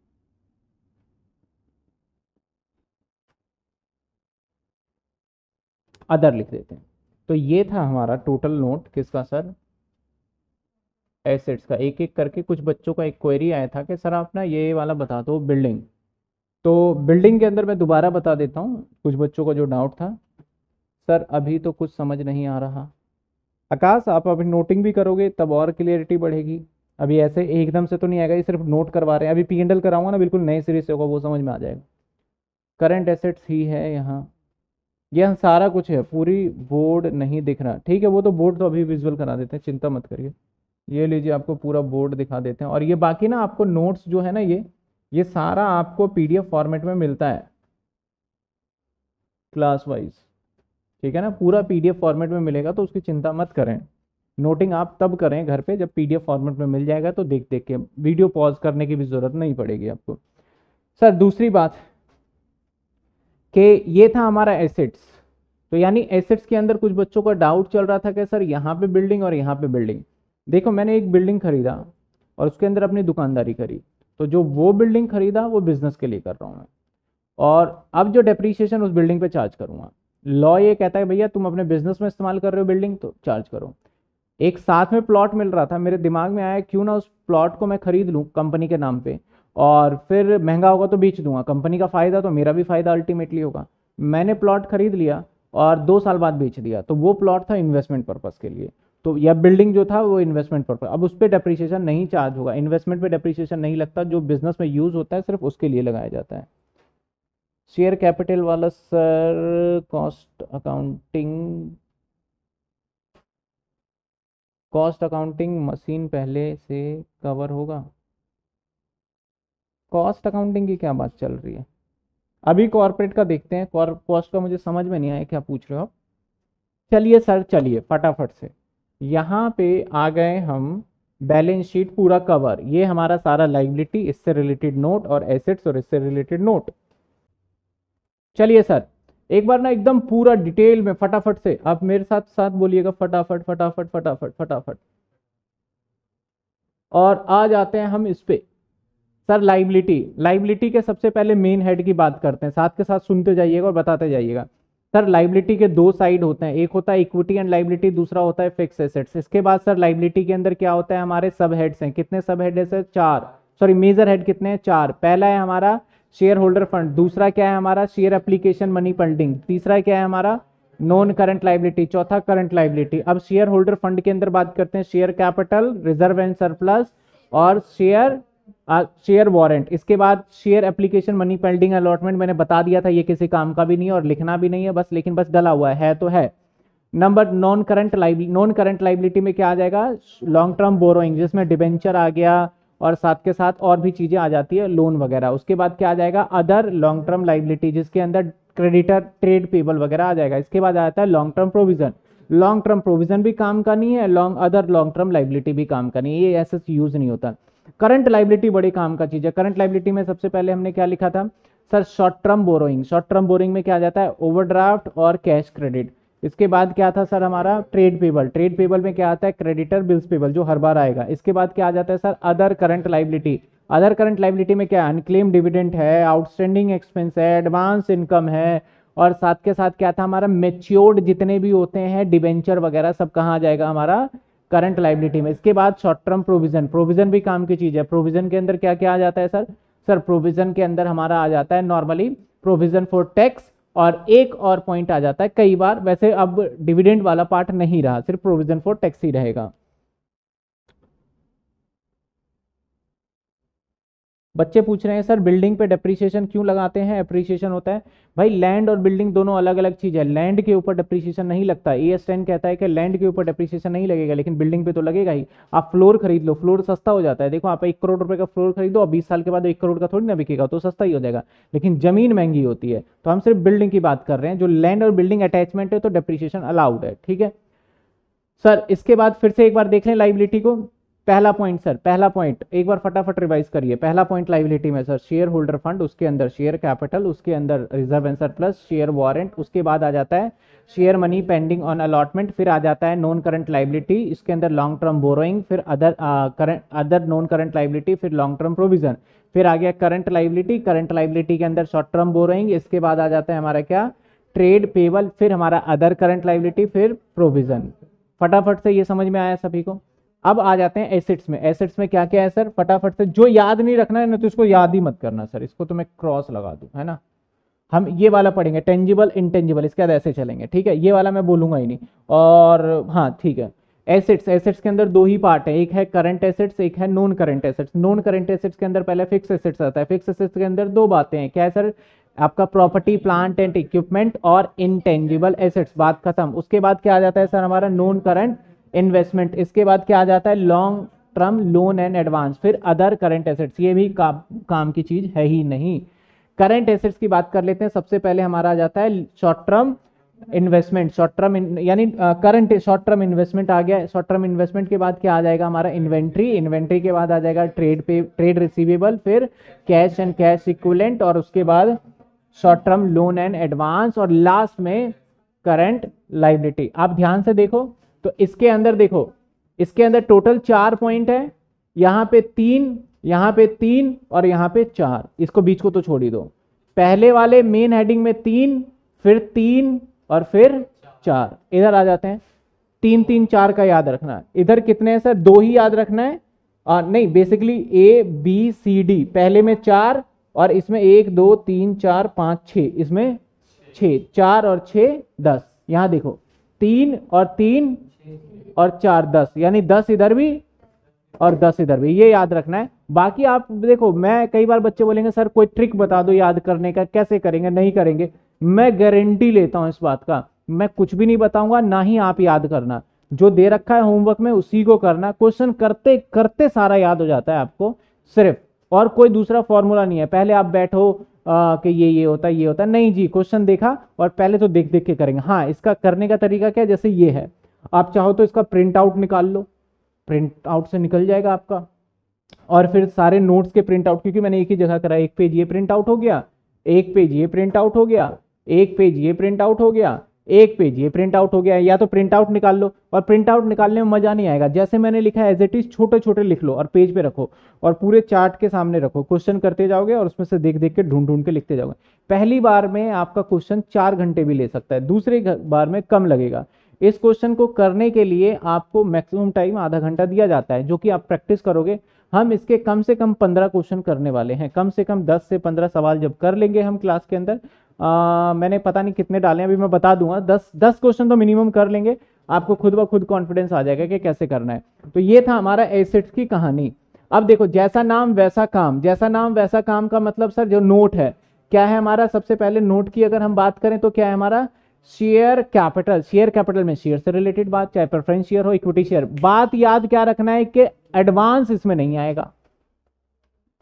क्या नहीं आएगा? एडवांस कॉल्स इन एडवांस ये याद रखना है। बाकी सब कुछ जो भी दिमाग में आता है सब यहाँ आ जाएगा। इसके बाद रिज़र्व एंड सरप्लस जितने भी कंपनी के पास फंड होते हैं सारा रिज़र्व एंड सरप्लस यहाँ पे आ जाता है। ये याद रखना है। सी आर आर हो गया डी आर आर हो गया सी आर हो गया सरप्लस हो गया या फिर आपका प्रोविड क्या कहते हैं हम आ, वर्कमैन कंपनसेशन रिज़र्व हो गया। एक नया पॉइंट है जो एग्जामिनर पिछली बार फेवरेट था और सबको परेशान कर रहा था, ये वाला। कौन सा? शेयर ऑप्शन आउटस्टैंडिंग अकाउंट ये सोचे थे, पता नहीं क्या आउटस्टैंडिंग सुनते ही वो लाइबिलिटी में भाग जाते हैं। अरे आउटस्टैंडिंग लग गया इसके आगे तो ऐसा बात नहीं है। ये क्या है हमारा? रिज़र्व एंड सरप्लस का पार्ट अब देखो, अगला पॉइंट इसके बाद नोट नंबर तीन पे जाते हैं। Long term borrowing long term borrowing मतलब कर्जा। अब लॉन्ग टर्म बोरोइंग नाम भी पता है कर्जा। कर्जा कहीं से भी ले लो, लंबे समय के लिए। डिवेंचर हो गया आपका बैंक लोन हो गया, पड़ोसी हो गया, जिससे भी ले लो, वो यहाँ पे आ जाएगा आपका। इसके बाद other long term liability other long term liability में क्रेडिटर वगैरह आ जाता है, जो कि ट्रेड पेबल और एम्प्लॉय प्रोविडेंट फंड इसके ऊपर हम बात कर लेंगे। लॉन्ग टर्म प्रोविज़न आता ही नहीं है सर। लॉन्ग टर्म प्रोविज़न लंबे समय के लिए जो प्रोविज़न बनाते हैं हाँ प्रोविज़न फॉर डेप्रिसिएशन इसमें दिखाया जा सकता है इनकेस सेपरेटली आप ऑप्शन चूज़ करते हो तो। Short term borrowing short term borrowing में दो ही चीज़ है बैंक ओवरड्राफ्ट और cash credit sir bank overdraft और कैश क्रेडिट क्या होता है? अब ये समझ लेते हैं बैंक ओवरड्राफ्ट और कैश क्रेडिट देखिए बैंक ओवरड्राफ्ट बैंक ओवरड्राफ्ट सबसे पहले कहानी सुन लीजिए। कहानी में ज़्यादा मुझे समझाने में मज़ा आता है और आपको समझने में भी आ जाता है। एक मान लेते हैं राम है। एक है राम। या रामू कह लो। रामू ना एक बिजनेसमैन है। और रामू को बिजनेसमैन है और ये क्या करता है? बैंक से बहुत अच्छी डील करता है। और इसका अकाउंट की कहानी ये है कि इसके अकाउंट में डेली हज़ारों चेक, हज़ारों बार ये करंट अकाउंट की खास बात पता है क्या होती है? करंट अकाउंट होता है। बिज़नेस का ना करंट अकाउंट होता है कि आप दिन में एक लाख बार जाइए, पैसे निकालिए, जमा करिए, कोई कुछ नहीं बोलेगा। सेविंग अकाउंट में आप चले जाओ, हज़ार रुपए जमा करना है सौ सौ रुपए करके दस बार करना, गेट से बाहर निकाल देंगे आपको। बोलेंगे, क्या मज़ाक थोड़ी आप? बोले, पैसे जमा कर रहे हैं। बोले, ऐसा नहीं होता। आप एक से दो बार ही ट्रांजेक्शन करोगे। इनफैक्ट तो बहुत सारे बैंकों ने बोल रखा है, इतनी बार जमा करोगे तो पैसे लेंगे अब आपसे हम। क्योंकि परेशान करने लग गए थे। लेकिन करंट अकाउंट में ऐसा नहीं होता। करंट अकाउंट में जितनी मर्ज़ी बार करो। वो डिपेंड तो रामू के बहुत बार चेक अंदर बाहर अंदर बाहर होते रहते हैं। तो कई बार ऐसा भी होता है, इसका अकाउंट नेगेटिव चला जाता है। नेगेटिव चला जाता है। तो नेगेटिव रामू का अकाउंट नंबर मैं दे देता हूँ। सर, रामू का अकाउंट नंबर क्या है? रामू का अकाउंट नंबर है, मान लेते हैं one one two three four five ये अकाउंट नंबर है स्टेट बैंक का अकाउंट है। तो रामू के अकाउंट में मान लेते हैं, एक व्यक्ति है, इसने एक चेक दिया। इसने चेक लगाया मतलब रामू ने एक चेक इसको दिया और इसने जाके अकाउंट में डाला। उस टाइम पे रामू के अकाउंट में ज़ीरो बैलेंस था। क्योंकि रामू का अकाउंट का बैलेंस दिन भर में पाँच बार तो ज़ीरो हो जाता है और फिर तुरंत पॉजिटिव हो जाता है, क्योंकि चेक आ रहा है, जा रहा है, यही तो चलेगा बिज़नेस के अंदर। तो जैसे ही इसने चेक निकालने किया, उस टाइम अकाउंट में बैलेंस ज़ीरो और जब अकाउंट के अंदर बैलेंस ज़ीरो होता है और हम पैसे निकालने पहुँच जाते हैं तो चेक हो जाता है बाउंस चेक बाउंस होने से इसकी भी बेइज्जती हो जाती है एक तो। क्या बेइज्जती? भाई अकाउंट में पैसे नहीं थे तो चेक क्यों दिया? और पेनल्टी वगैरह भी लगता है। तो रामू क्या करता है? बैंक वालों से बात करता है, हमारे अकाउंट में अगर पैसे कम भी होना तब भी चेक देने की फैसिलिटी प्रोवाइड करो, क्योंकि हम आपके रेगुलर कस्टमर हैं. तो बैंक वाले बोलते हैं, ठीक है, हम ऐसा आपको फैसिलिटी दे रहे हैं। आपके अकाउंट में जब भी चेक डलेगा ना तो उस सिचुएशन में क्या करेंगे हम? उस सिचुएशन में आपको पैसा निकालने देंगे, यानी आपका खाता किसमें शो कर देंगे? माइनस में। इससे आपकी बेजती रुक जाएगी, इससे बेजती नहीं होगी। जब माइनस में करेंगे तो बैंक वालों ने बोला, हमारा क्या फ़ायदा? बैंक वालों ने बोला, हमारा क्या फ़ायदा? तो बैंक वाले ने वो रामू ने बोला, जो ब्याज बनता है वो ले लीजिए तो ब्याज कितने टाइम का? एक दिन का, अगर एक दिन माइनस में रहा तो एक दिन का ब्याज लीजिए, चार दिन रहा तो चार दिन। यानी पर डे के हिसाब से इससे चार्ज कर लिया जाता है तो बैंक वालों का भी फ़ायदा।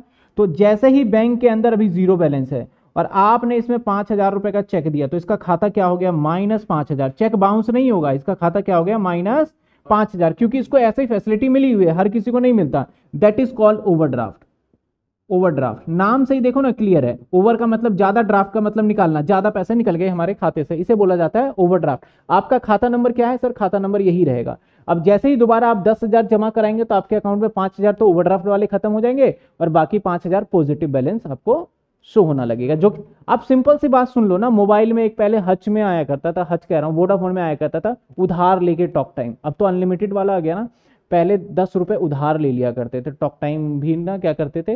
इमरजेंसी बात करने के लिए उधार लेते थे। तो जैसे ही हम पैसे उधार ले लेते थे ना रिचार्ज कर लेते थे, हमारा बैलेंस माइनस में चला जाता था, लेकिन कॉलिंग हो जाता था।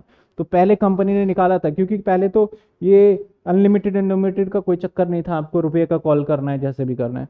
तो सेम वैसे ही है। बैंक के अंदर से क्या करते हो? आपको जितना, इसमें फ़ायदा क्या है बिजनेसमैन का? बिजनेसमैन अगर ऐसे बोले कि, चल ठीक है, मेरे को पाँच लाख रुपए का उधार दे दे। तो वो तो बैंक वाला डेली बेसिस पे कितने का ब्याज लेने लग जाएगा? पाँच लाख पे। लेकिन अभी इसका माइनस कितना हो गया? पाँच हज़ार। और मान लो सेम डे ही इसके अकाउंट में पैसे आ जाइए अगले दिन तो बैंक वाला इससे ब्याज तो लेगा, लेकिन किस पे लेगा? पाँच हज़ार रुपए पे तो ये फ़ायदा मिलता है। इसे बोलते हैं बैंक ओवरड्राफ्ट की फैसिलिटी या ओडी तो ये देखो बैंक का, से हमने लोन लिया लेकिन ये लोन कितने समय के लिए है? क्या डेढ़ दो साल के लिए है? नहीं है तो इसलिए बहुत कम समय के लिए तो इसलिए फट से कहाँ चला जाता है ये? शॉर्ट टर्म बोरोइंग हो गया शॉर्ट टर्म लोन हो गया। ऐसे ही होता है cash credit sir sir cash credit क्या फ़र्क होता है? कैश क्रेडिट इसने बोला रामू रामू तुम्हारा अकाउंट क्या है? One one two three four five Ramu को बोला, हम एक काम करते हैं, एक और न्यू अकाउंट ओपन कर देते हैं। One one two three four five six और इसके अंदर हम एक काम करते हैं, पाँच लाख रुपए जब डाल देते हैं। पाँच लाख रुपए डाल देते हैं। तो रामू ने बोला, भाई, मेरे अकाउंट में, नए अकाउंट में पाँच लाख क्यों? बोला, कोई दिक्कत नहीं, हमने डाल दिया। क्या दिक्कत है तुम्हें? ज़रूरत पड़ेगी तो निकाल लेना, नहीं ज़रूरत पड़ेगी रहने देना। ब्याज थोड़ी ले रहे हैं हम तुम्हारे अकाउंट में पैसे डाल के। हमने डाल रखे क्योंकि बैंकर चला के, उसे पता है इसके अकाउंट में अगर मैं पैसे भी पाँच लाख रुपए डाल दूँगा तो पैसे तो मेरे पास ही है। अगर गलती से उसने पैसे इस्तेमाल किया तो मैं क्या ले लूँगा? ब्याज। तो ये फैसिलिटी इसलिए दे देते हैं कैश क्रेडिट का कि हमारे दिमाग में एक रहता है। जैसे मान लू ना कि आपके कमेटी आपने डाली हुई है या फिर आपके पास कहीं से पैसे भी आने हैं तो आप पहले ही दिमाग कैलकुलेट कर लो, इतना तो पड़ा हुआ है, इतने से तो हम कुछ ना कुछ खरीद सकते हैं, कुछ काम कर सकते हैं। एक दिन क्रेडिट कार्ड क्या है? कैश क्रेडिट का ही एक पार्ट है क्रेडिट कार्ड तो क्रेडिट कार्ड भी शॉर्ट टर्म बोरोइंग में ही आ जाएगा। तो क्रेडिट कार्ड क्या है? अगर आपके पास पैसे भी नहीं है ना, फिर भी लगता है कि फ़ोन लेना है, आप फटाफट ले लेते हो। मैं तो इतना परेशान हो गया हूँ क्रेडिट कार्ड से, मैं उसको बस फेंकने ही वाला हूँ कि मतलब ना चाह के भी आप क्या करोगे, उससे शॉपिंग कर लोगे। ना चाह के भी। और फिर बिल देने टाइम पे बहुत मन दुखता है कि भैया बिल आ गया, बताओ ये कहाँ से आ गया? सच्चा कैश नहीं होते, नहीं। तो सेम बैंक वाले क्या करते हैं? चलाकी करते हैं। बोलते हैं, आपको क्रेडिट कार्ड नहीं दे रहे, सर। हम, आप मेरे प्रीमियम कस्टमर हो और आपको हम क्या कर रहे हैं? एक नया अकाउंट ओपन करके दे देते हैं, इसमें पाँच लाख रुपये डाल देते हैं। ठीक है, सर। अब इसमें से आपको पैसे इस्तेमाल करना हो तो यहाँ से आपको ट्रांसफ़र यहाँ पे कर लेना और जितना अमाउंट यहाँ ट्रांसफ़र करोगे उसी पे हम आपसे क्या लेंगे? ब्याज लेंगे। तो यहाँ वाले केस के अंदर तो आपका अकाउंट ज़ीरो से माइनस में पहुँच जाएगा। यहाँ वाले केस में आपको लगता है ना कि मुझे कहीं कुछ खर्च करने और हमारे पास पैसे है ही नहीं। तो हम क्या करेंगे? इस अकाउंट से यहाँ पे ट्रांसफ़र करेंगे। तो इस फैसिलिटी को बोला जाता है cash credit like credit card credit card में क्या होता है? पहले से ही बैलेंस डाल के दे देते हैं, जिसे बोलते हैं लिमिट तो ये फ़र्क है हमारा कैश क्रेडिट और बैंक ओवरड्राफ्ट बैंक ओवरड्राफ्ट का एक ही अकाउंट होता है, उसी में माइनस प्लस होता है। कैश क्रेडिट के दो इंडिविजुअल अकाउंट होते हैं और बैंक वाले अब चला के ये चल रहे हैं। सर, एक क्वेश्चन आता है, सर बैंक ओवरड्राफ्ट में कितना? एक करोड़ का चेक भी माइनस में चले जाएगा? नहीं बैंक ओवरड्राफ्ट भी लिमिट सेट करके देते हैं बैंकर आपके बिज़नेस के साइज़ के हिसाब से, आपके बिज़नेस के स्टॉक को देख के कितना लिमिट होता है। सर, अगर हमने पैसे निकाल लिए, ना दे तो फिर वो आपके स्टॉक पे लियन लगा सकता है, आपके स्टॉक को रख सकता है अपने पास और अपने पास ले जाएगा। सर, यहाँ नहीं दिया तो वही जो होता है, पहले जैसा जो काम होता है, सब वैसे ही चलेगा। इक्कीस नोट रिपीट, ठीक है सर, अभी चलते हैं। तो ये था हमारा कुछ लाइबिलिटी का। लाइबिलिटी के बाद आ जाते हैं सर, एसेट्स की साइड। एसेट्स की साइड आ जाते हैं। नोट नंबर 20 तक था। नोट नंबर 20 के अंदर देखा जाए तो प्रॉपर्टी, प्लांट, इक्विपमेंट, नाम बदल गया फिक्स एसेट्स है इंटेंजिबल आपको पहले से ही पता था। अब इसके अंदर आगे आपका, ये एसेट्स इसकी बात नहीं कर रहा, ये पूरे के लिए एसेट्स है। मैं लिख देता हूँ, नहीं तो बच्चे बोलेंगे, सर, एसेट्स के नोट्स हैं ये। ठीक है ना? ये पूरे के लिए है। इसके बाद आ जाओ आप long term loan and advance किसी को लंबे समय के लिए कर्जा दिया तो यहाँ आ जाता है। Long term loan and advance दिया है आपने, ठीक है? इसके बाद non current other non current assets preliminary expense डाल के खत्म करो। करंट एसेट्स में आ जाओ तो यही आ गया शॉर्ट टर्म आपका इन्वेस्टमेंट जो कम समय के लिए कर रखा है। इन्वेंट्री इन्वेंट्री के अंदर सिर्फ़ मान लो स्टॉक है और स्पेयर पार्ट्स लूज टूल्स ये तो इतनी सारी बस दिखाने वाली बातें ऐसा आता नहीं है। इसके बाद बात करते हैं ट्रेड रिसीवल पता ही भैया ट्रेड रिसीवल मतलब डेटर बी आर बस बात खत्म, जैसे पहले करते थे वही करना है। इसमें ज़्यादा दिमाग नहीं लगाना कि इसके अंदर ये माइनस ये प्लस वैसे ही है सिंपल और कैश एंड कैश इक्विलेंट लिख दिया ये बातें, बस कैश और बैंक ही रहेगा कैश इन हैंड और कैश एट बैंक और कुछ ज़्यादा नहीं रहेगा, सिर्फ़ डराने के लिए इतनी बातें लिखी हुई है। Short term loan and advance वही बात आ गई सेम रिपीट कर दिया था, और हमारा आ गया नोट नंबर बीस। अब बच्चा एक पूछा, सर नोट नंबर 21 बता दो। नोट नंबर 21 में क्या था, सर? नोट नंबर 21 के अंदर हमारा था सेल्स, यहाँ पे सेल्स लेंगे, माइनस सेल्स रिटर्न, अगर जीएसटी हुआ तो डाल दिया। ये एक्स्ट्रा डाला है मैंने, अभी तक सिलेबस का पार्ट है नहीं, मैंने ये एक्स्ट्रा डाल दिया। शायद यही पूछ रहे होंगे। तो जब हम जैसे मान लो दस रुपए का बर्गर है, मैं बारह रुपए में बेचूँगा तो बारह रुपए की मेरे पास पैसे आएँगे तो बारह की सेल थोड़ी है, मेरी सेल तो दस है ना तो अगर मैंने बारह रुपए सेल दिखा रखा है तो पहले दो रुपए जीएसटी माइनस करो, फिर नेट सेल दिखाओ। इसका कहने का मतलब ये है, बड़ी सिंपल सी बात है। तो ये सारा का सारा नोट था और पी एंडल भी था हमारा। तो सारा नोट तो कवर नहीं किया हमने पी एंडल की बात कर लेते हैं पी एंडल के अंदर पॉइंट्स देखते हैं। सर क्या पॉइंट है पी एंडल के अंदर? पी एंडल के अंदर सबसे पहले रेवेन्यू फ्रॉम ऑपरेशन फिर अदर इनकम फिर टोटल आ जाएगा। फिर एक्सपेंस के अंदर कुछ पार्ट है। क्या है? Purchase inventory employ benefit finance cost depreciation other expense फिर सारे खर्चे, सारे इनकम को माइनस करेंगे, क्या आ जाएगा हमारा? नेट प्रॉफिट बिफोर टैक्स फिर टैक्स को माइनस कर देंगे नेट प्रॉफिट आफ्टर टैक्स और ये नेट प्रॉफिट आफ्टर टैक्स कहाँ पहुँच जाता है? रिज़र्व एंड सरप्लस के अंदर पहुँच जाता है करंट ईयर वाले शेड्यूल के अंदर। सर कैरिज इनवर्ड बता दो। कैरिज इनवर्ड और आउटवर्ड की बात करें तो कैरिज इनवर्ड हो चाहे आउटवर्ड दोनों ही खर्चा होता है। कई बार कैरिज इनवर्ड हमारा परचेज का पार्ट हो जाता है। क्यों सर? क्योंकि दुकानदार बोलते हैं, सर, इसके साथ किराया ऑलरेडी इंक्लूडेड है। जैसे कि मान लेते हैं आप अमेजोन से शॉपिंग करते हो तो वहाँ पे आपको किराया देते हैं तो वो कैरिज इनवर्ड उसी बिल में लग के आ जाता है तो वो आ जाता है हमारा परचेज के अंदर ही आ जाएगा कैरिज इनवर्ड लेकिन कई बार आप शॉपिंग करके आते हो तो किराया भाड़ा अलग से देना पड़ता है रिक्शे वाले को, उसको आप अदर एक्सपेंस में भी डाल सकते हो। तो कैरिज इनवर्ड डालने के दो जगह है, या तो आप अदर एक्सपेंस में डाल दीजिए, या फिर आप परचेज के अंदर भी इंक्लूड कर सकते हैं। डिपेंड ऑन क्या है, आपकी इच्छा है, दोनों के लिए नोट दिया जाएगा। सर कॉल्स इन एडवांस कहाँ आएगा? Calls in advance other current liability का पार्ट है। अदर करंट लाइबिलिटी का पार्ट है कॉल्स इन एडवांस फटाफट पूछते जाइए, मैं बताता जाऊँगा फटाफट से। बच्चे बोल रहे, सर हैंड रेज नहीं हो रहा है हैंड रेज नहीं हो रहा है, अभी करते हैं हैंड रेज और थोड़ा अगली क्लास की भी बात करते हैं, सर पीएनडल का सिक्स पॉइंट बता दो six point P and L का six point sir six point कौन सा है पीएनडल का? एक, दो, तीन, चार, पाँच, छ। छह है प्रॉफिट बिफोर टैक्स कहाँ से आएगा? इस खर्चे में से अब देखो, अब बच्चे ने पूछ लिया तो मैं कर ही देता हूँ। मान लेते हैं कि दस रुपए की ये इनकम है, दो रुपए की ये इनकम है, ये बारह हो गया, ये एक रुपए एक रुपए, दो रुपए, तीन रुपए, एक रुपए, दो रुपए तो इसका टोटल कितना हो गया? दो दो, चार, तीन, सात, एक, आठ और दो, दस रुपए। तो ये कितना है? बारह और ये दस तो नेट प्रॉफिट कितना आएगा? दो रुपए सिंपल सी बात। टैक्स मैंने बोला पचास परसेंट तो एक रुपए लगेगा। नेट प्रॉफिट आफ्टर टैक्स कितना आ जाएगा? एक रुपए आ जाएगा। समझ में आई बात आपको? सर इसमें थर्ड माइनस फोर्थ होगा। थर्ड माइनस फिफ्थ मैंने गलत लिख दिया क्या? फोर्थ हाँ बिल्कुल सही बोल रहे हैं। यहाँ पे गलत लिख दिया थोड़ा सा। यहाँ पे थर्ड होगा। चलिए। हाँ जी, student, very very good evening. चलिए, स्टार्ट करते हैं। अभी तक हमने क्या क्या कर लिया? आज एक हम छोटा सा सवाल देखने वाले हैं। और आप सभी को नोट मिल गया होगा, इसका जितने भी कर रहे हैं, क्लास नोट्स वगैरह। तो हमने सभी के नोट्स देख लिए, सर। हमने पी देख लिए, हमने बैलेंस शीट देख लिया और हमने क्या देख लिया सर? उनके नोट्स भी देख लिए। अब रजिस्टर आपको सामने रखना है और देख देख के करेंगे पहले। ऐसा नहीं है कि हमने कर लिया तो एकदम से बताएँ। देख देख के करेंगे। बस आपको रजिस्टर सामने रखना है। अगली क्लास में आपका टेस्ट भी लेने वाला हूँ मैं। ध्यान रखिएगा अगली क्लास में कि कौन सा आइटम कहाँ जाएगा। उसके ऊपर एक छोटा सा टेस्ट लेने वाला हूँ मैं आपसे।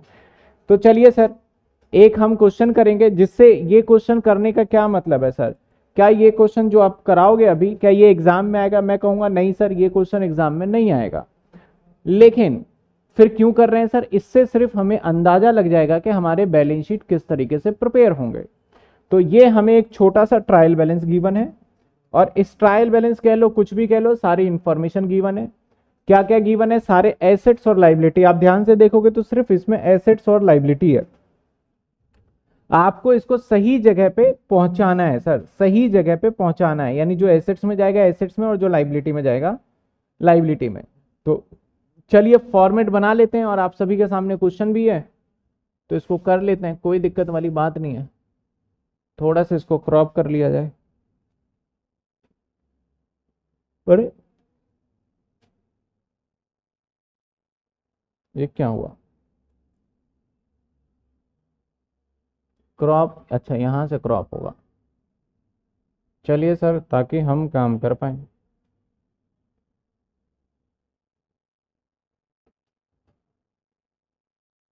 इसके नोट पीछे बना लेंगे, है ना?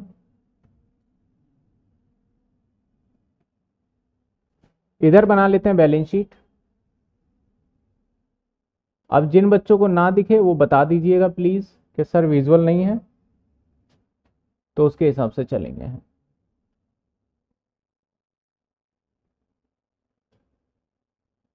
ठीक है सर।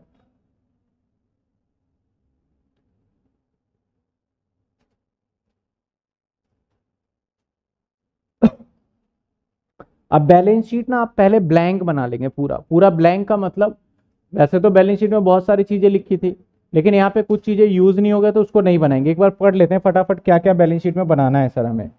सर क्या क्या दे रखा है और क्या क्या बैलेंस शीट में बनाना है, हम पढ़ लेते हैं। सबसे पहले सिक्योर्ड लोन यानी लॉन्ग टर्म बोरोइंग का बनेगा एक। क्रेडिटर शॉर्ट टर्म आपका trade payable debenture long term में provision for tax short term provision security premium general reserve general reserve reserve and surplus loan from debtor debtor से loan लिया हुआ है तो ये लोन में चला जाएगा। प्रोविज़न फॉर डाउटफुल डेट्स ये हमारा डेटर में से माइनस हो जाता है या फिर प्रोविज़न शॉर्ट टर्म प्रोविज़न में डाल देंगे। प्रोविज़न फॉर डेप्रिसिएशन प्रोविज़न में चला जाएगा। इक्विटी शेयर कैपिटल में चला जाएगा। प्रेफरेंस शेयर में चला जाएगा। एडवांस गिवन हमने एडवांस दिया है तो short term loan and advance में। Advance to staff short term loan and advance cash and cash equivalent loose tools inventory investment debtor profit and loss का balance reserve and surplus miscellaneous expenditure ये जाएगा other non current asset ठीक है? Store item spare parts मैंने बताया था store fix assets PPE capital work in progress देखा था फिनिश स्टॉक देखा था। यानी एक टेंटेटिव आइडिया लग गया। सबसे पहले हमारा पॉइंट होने वाला है। Equity and liability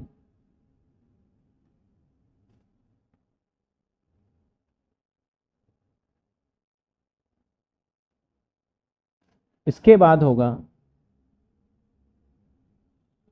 point number one shareholder fund इसके अंदर होने वाला है शेयर कैपिटल और एक रिज़र्व सरप्लस बाकी वो वाला नहीं रहेगा बाद वाला ना। नंबर दो नंबर दो नॉन करंट लाइबिलिटी। अब देखिए, नंबर दो पे पहले आपने कुछ और लिखा था। सर, यहाँ कुछ और लिख रहे हो। तो जब इसके अंदर आइटम नहीं होगा ना तो ज़रूरी नहीं फॉर्मेट बनाना है। उस फॉर्मेट में से उसे हटा देंगे काम आसान करने के लिए। तो अभी तो इसमें बस सीख रहे हैं हम चीज़ों को ना। इसमें बस लॉन्ग टर्म बोरोइंग की डिस्कशन की गई है। तो लॉन्ग टर्म बोरोइंग ठीक है ना? Long term borrowing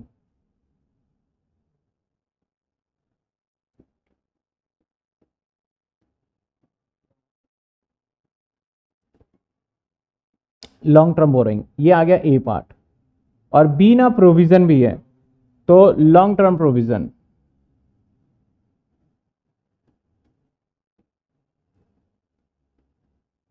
बस, वैसे हालाँकि अदर लॉन्ग टर्म भी था तो नहीं है तो नहीं डालेंगे जी। आ जाते हैं अगले पॉइंट पे. थर्ड पॉइंट थर्ड पॉइंट है करंट लाइबिलिटी है ना? करंट लाइबिलिटी अब इसके अंदर शॉर्ट टर्म बोरोइंग भी नहीं है तो नहीं डालेंगे सर जो जो जानकारी है उसी का बनाएँगे, जैसे ए पॉइंट अगर मैं देखूँ तो सबसे पहले शॉर्ट टर्म बोरोइंग है नहीं, और फिर ट्रेड पेबल है। तो ए पार्ट दे देंगे। Trade payable sir B part दे देंगे अदर करंट लाइबिलिटी और सी पार्ट दे देंगे शॉर्ट टर्म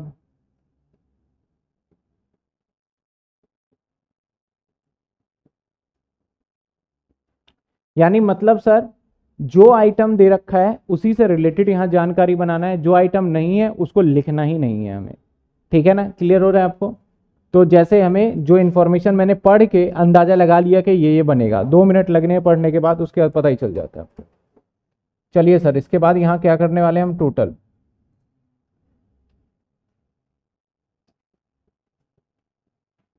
अब किस पे आ जाएँगे सर? हम एसेट्स पे आ जाएँगे।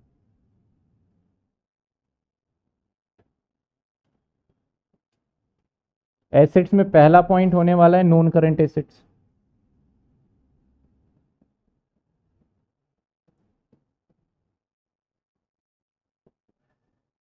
इसके अंदर एक, दो, तीन ए बी सी चलेगा, है ना? तो सबसे पहले ए पार्ट होगा हमारा पीपीई अब यहाँ गुडविल वगैरह भी दिखा नहीं तो बी लिखेंगे नहीं। हाँ यहाँ पे एक ये दिख गया कैपिटल वर्क इन प्रोग्रेस तो बी इसको दे देंगे।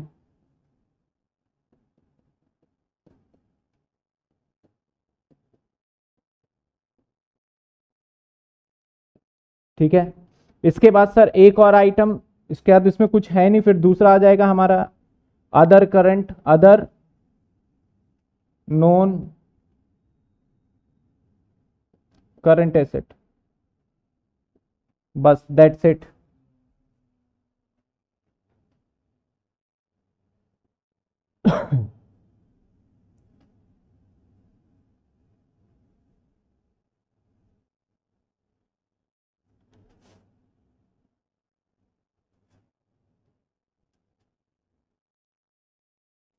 सेकंड पार्ट आ जाएगा।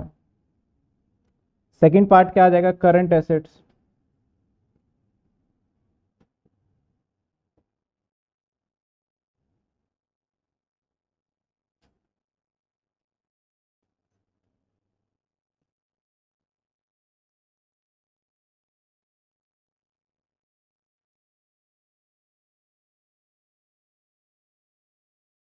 current assets current assets के बाद इसके अंदर, नहीं इन्वेस्टमेंट शॉर्ट टर्म में डालने का मन है मेरा। सेकंड ये ऐसे आएगा, दो नंबर आएगा सेकंड ठीक है ना? इसके अंदर अब ए पार्ट आ जाएगा हमारा शॉर्ट टर्म हमारा इन्वेस्टमेंट तो है नहीं तो हम लिख देंगे सबसे पहले क्या? इन्वेंट्री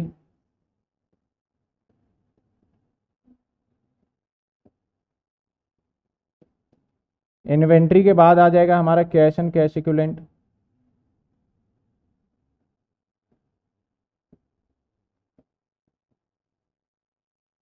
C part आ जाएगा इसमें क्या? कैश एंड कैश इक्विलेंट के बाद। Short term investment.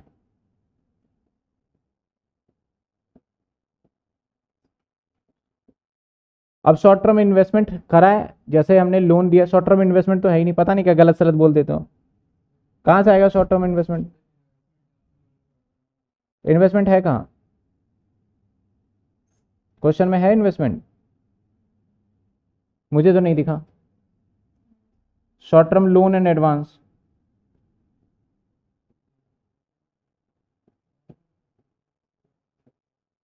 बस यही रहने वाला है। अदर करंट एसेट्स में नहीं। कहा इन्वेस्टमेंट है क्या?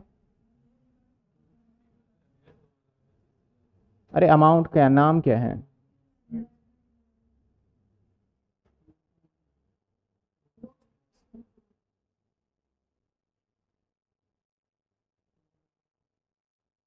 ये इधर आ गया।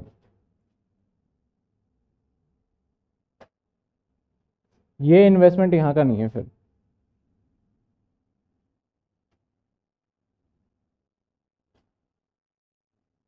ये यहाँ का होगा।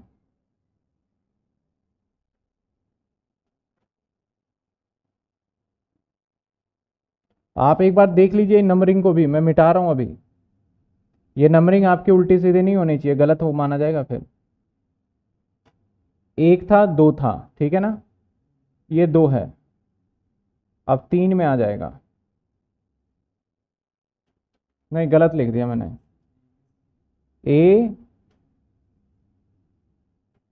यहाँ पे ए है, ये ए का, ये ए पार्ट होगा, ये सेकंड पार्ट होगा, ये बी होगा। अब सी आ जाएगा हमारा। नॉन करंट इन्वेस्टमेंट, है ना?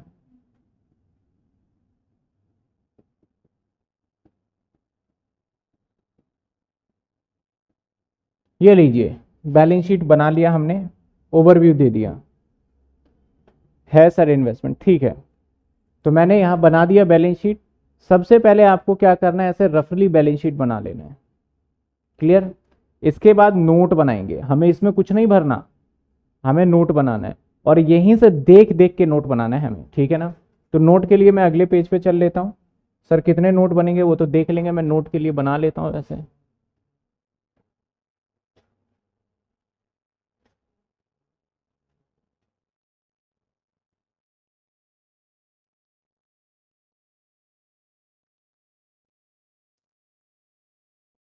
हम्म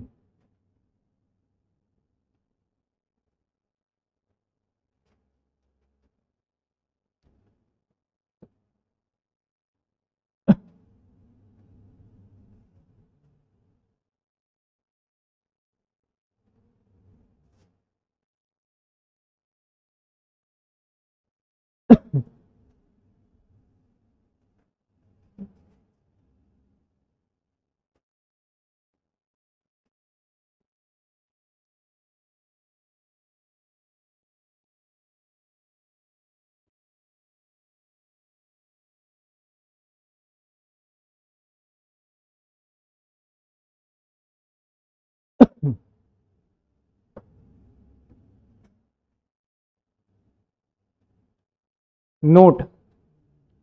अब नोट नंबर वन बनाते हैं हम शेयर कैपिटल का। इसी का ही बनता है। अब देखिएगा नोट नंबर वन में सबसे पहले क्या लिखते थे हम? Authorised capital. सबसे पहले क्या लिखते हैं? Authorised capital.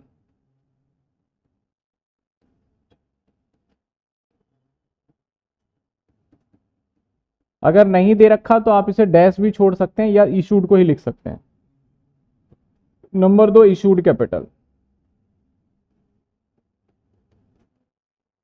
और हालाँकि जो मैं ये तरीका फॉलो कर रहा हूँ, एकदम गलत है। मैं दोबारा बता रहा हूँ, क्यों गलत है सर? क्योंकि हमें पहले ये नोट नहीं बनाना चाहिए, हमें सवाल देखना चाहिए। पहले क्या दे रहा है हमें सिक्योर्ड लोन क्या दे रहा है हमें? सिक्योर्ड लोन दे रहा है। टर्म सिक्योर्ड टर्म लोन दे रहा है पहले, ठीक है? अब टर्म लोन क्या होता है? लॉन्ग टर्म बोरोइंग अब लॉन्ग टर्म बोरिंग हमें पहले, सबसे पहले जो नोट नंबर देना चाहिए, वो देना चाहिए हमें। नंबर नहीं देंगे। अभी नंबर मैंने गलती करी देखे। मैं दोबारा समझाता हूँ। सबसे पहले क्या करना है? आपने पहले पूरा फॉर्मेट बना लिया ब्लैंक फॉर्मेट ब्लैंक बनाने के बाद आपने नोटिंग करने हैं। नोट का नाम ज़रूर देना है, लेकिन नंबर नहीं देना। लॉ में या एग्जामिनर कभी भी ऐसे नहीं बोलता कि नंबर वन पहले होगा नंबर टू पहले फिर होगा। हमेशा क्या रहता है? कि आप नंबरिंग कहीं भी कर सकते हैं। नंबरिंग का मतलब समझिएगा, जैसे मैं इसे हटा ही देता हूँ, सर। इसे हटा ही देता हूँ सिर्फ़ आपके लिए, ताकि कंफ्यूजन ना रहे, है ना? तो सबसे पहले हमारा क्या बन जाएगा? मैंने हेडिंग डाल दिया नोट नंबर नहीं डाला मैंने, सिर्फ़ डाल दिया नोट और लिख दिया लॉन्ग टर्म बोरोइंग इसमें क्या आ गया? सिक्योर्ड लोन क्या क्या था हमारा? सिक्योर्ड लोन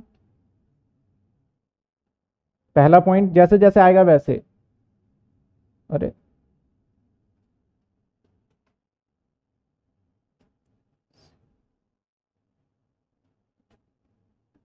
सिक्योर्ड लोन ठीक है?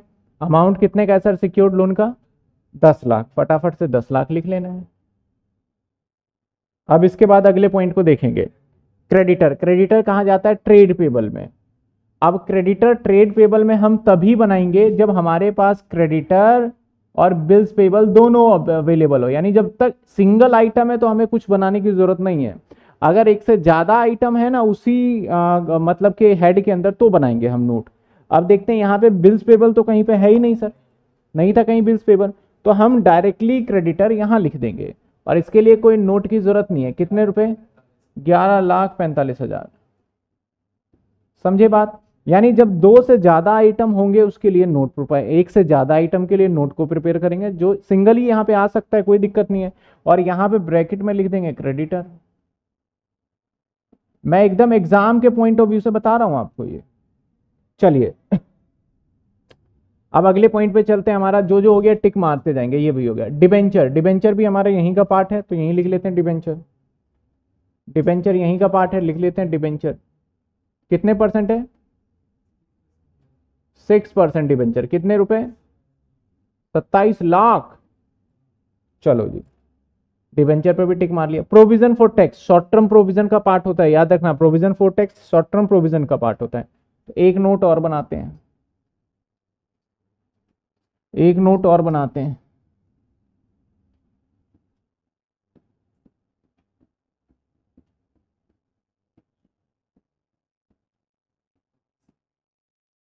शॉर्ट टर्म प्रोविज़न और याद रखिएगा नोट के आगे मैं गैप छोड़ रहा हूँ यहाँ। आपको भी छोड़ना है, ताकि हम बाद में इसके नंबरिंग डालेंगे। हम इसकी नंबरिंग कब डालने वाले हैं पता है? बाद में। बाद में डालेंगे इसकी नंबरिंग पहली बार थोड़ा सा अटपटा लगेगा थोड़ा सा लगेगा क्या चल रहा है, लेकिन मैं आपको बोलूँगा कि इस क्वेश्चन को दोबारा खुद भी ट्राई करेंगे। एक बार मेरा जो सिस्टम देख लिया, फिर अपने हिसाब से इसी टाइप पे ट्राई करें तो आपको समझ में आएगा। सर फुल स्क्रीन शो नहीं हो रहा। ठीक है, मैं छोटा कर देता हूँ थोड़ा तो दिखेगा। ना आपको अच्छे से विजुअल हो जाएगा डोंट वरी अबाउट इट चलिए शॉर्ट टर्म प्रोविज़न में क्या है? Provision for tax provision for tax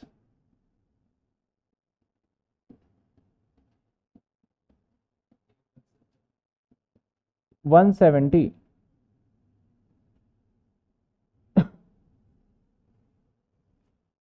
अब इसको शेयर प्रीमियम। शेयर प्रीमियम किसका पार्ट होता है? बताओ बताओ। रिज़र्व एंड सरप्लस, ये सबसे बड़ा नोट बनता है। तो इसके लिए अच्छे खासे जगह रखना। दो ही नोट सबसे बड़ा बनेगा, एक रिज़र्व एंड सरप्लस और एक बनता है हमारा अदर एक्सपेंस का। उसके बाद पीपीई, ये ध्यान रखना। तो मैं इधर लिख रहा हूँ, नोट। और ये है हमारा reserve and surplus. Reserve and surplus, short form ले लिया। पहले क्या था हमारा? सिक्योरिटी प्रीमियम सिक्योरिटी प्रीमियम कितने रुपए? फोर सेवेंटी फाइव चलिए सर, आगे देखते हैं, ये भी हो गया। जनरल रिज़र्व ये भी यहीं पे आएगा, बीस लाख पचास हज़ार। तो जनरल रिज़र्व सर, बीस लाख पचास हज़ार। थोड़ा इधर उधर हो रहा है मैनेजेबल लोन फ्रॉम डेटर। अब डेटर किससे है? जिसको सामान उधार देते हैं, उससे हमने लोन ले लिया। लोन फ्रॉम डेटर, उससे हमने क्या करा? उधार ले लिया, लोन फ्रॉम डेटर से। सर, अब लोन फ्रॉम डेटर लिया तो आपका है तो ये लोन ही। तो अब इस लोन को कहाँ लिखना चाहेंगे? अब आपके पास दो ऑप्शन है, शॉर्ट टर्म में लिख लो, लॉन्ग टर्म में लिख लो, और एक अदर लॉन्ग टर्म लाइबिलिटी होता है, चाहे उसमें लिख लो। ठीक है ना? तो मैंने यहाँ पे शॉर्ट टर्म बोरिंग नहीं बनाया। वैसे शॉर्ट टर्म में, नहीं शॉर्ट टर्म में तो आएगा ही नहीं। मैं लॉन्ग टर्म में ही लिख देता हूँ अब ये अजम्पन बहुत सारी चीज़ें आपको इसमें पता नहीं चलने वाला। Reserve and surplus reserve and surplus में चला गया। जनरल रिज़र्व में। इसमें तो कुछ करना ही नहीं, सिर्फ़ शिफ्टिंग कर रहे हैं। अब लोन लोन हम डालेंगे यहाँ पे सर अब बच्चे बोलेंगे, सर, हमें कैसे पता चलेगा? Exactly exactly. तो आप पहले प्रैक्टिस करेंगे ना, सब पता चल जाएगा। लोन फ्रॉम डेटर अब देखो, ये जो लोन है ना, इसके कितने कैटेगरी हो सकते हैं? शॉर्ट टर्म लोन हो सकता है। तो शॉर्ट टर्म लोन में चला जाएगा। क्योंकि आपने डेटर जिसको उधार माल दिया, उससे ही कर्जा ले रखा है। दूसरा आपका हो सकता है क्या, सर? दूसरा लॉन्ग टर्म लोन हो सकता है। लॉन्ग टर्म में तीसरा आपका अदर लॉन्ग टर्म तो कुछ स्पेसिफिक नहीं है। तो हम यहीं पे डाल के इसे खत्म कर रहे हैं। और कोई ज़्यादा टेंशन ले नहीं रहे इसमें। कितना? दो लाख। नोट जिसके लिए लगे? प्रोविज़न फॉर डाउटफुल डेट्स कितने का है? प्रोविज़न फॉर डाउटफुल आपका प्रोविज़न फॉर डाउटफुल डेट्स हमारा है बीस हज़ार दो सौ। तो सर, ये जो प्रोविज़न फॉर डाउटफुल डेट्स है ना, ये पहले से ही है। ये ओल्ड वाला है। ओल्ड वाला है जी ये। तो ओल्ड वाले को ना हम पता है क्या करते हैं? नॉर्मली हम ओल्ड वाले को प्रॉफिट एंड लॉस के क्रेडिट में दिखाते हैं, या फिर हम लाइबिलिटी में शो करते हैं इसको। कहाँ पे सर? लॉन्ग टर्म प्रोविज़न में शो कर दो, या शॉर्ट टर्म प्रोविज़न में शो कर दो। वो आपकी इच्छा है, कहीं भी शो कर सकते हो। प्रोविज़न लिखा हुआ है तो है तो प्रोविज़न या तो लॉन्ग टर्म प्रोविज़न होगा, या फिर शॉर्ट टर्म प्रोविज़न होगा। तो नॉर्मली डेटर के ऊपर एक साल से ज़्यादा का नहीं होता, एक साल के बाद सेटलमेंट हो जाता है तो हम इसे शॉर्ट टर्म प्रोविज़न में मान के कर देंगे। Short term provision provision for debtor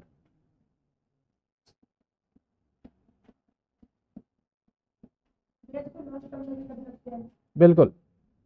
लेकिन होता नहीं है। बीस हज़ार दो सौ।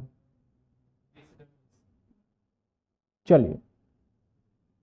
प्रोविज़न फॉर डेप्रीशिएशन इसको आप लॉन्ग टर्म माने शॉर्ट टर्म माने आपकी मर्ज़ी है, लेकिन डेप्रीशिएशन पे प्रोविज़न काफ़ी लंबे समय तक चलता है। तो ये हमारा जनरली लॉन्ग टर्म होगा। तो इसलिए सिर्फ़ अकेला यही है लॉन्ग टर्म में डालने लायक। तो मैं इसी को डाल देता हूँ, अलग से पाँच लाख रुपए। समझे? Provision for depreciation always part of long term इसके दो तरीके हैं दिखाने के, ये भी ध्यान रखिएगा। एक तो मैंने यहाँ पे दिखा दिया। दूसरा मैं क्या कर सकता हूँ, उसे एसेट्स में से माइनस कर सकता हूँ। जैसे प्रोविज़न फॉर डेटर आप बोलते हो, सर, हम यहाँ पे नहीं दिखाएँगे। तो दूसरा ऑप्शन भी है, अभी तो मैं लाइबिलिटी वाला पहले सिखा रहा हूँ। दूसरा ऑप्शन अलग क्वेश्चन करेंगे कि यानी सीधा डेटर में से माइनस करके दिखा सकते हैं हम डायरेक्टली लेकिन अभी हम पहले यहाँ से कर रहे हैं, ठीक है? चलिए, आइए। इसके बाद इक्विटी शेयर कैपिटल अब शेयर कैपिटल का बनाएँगे note.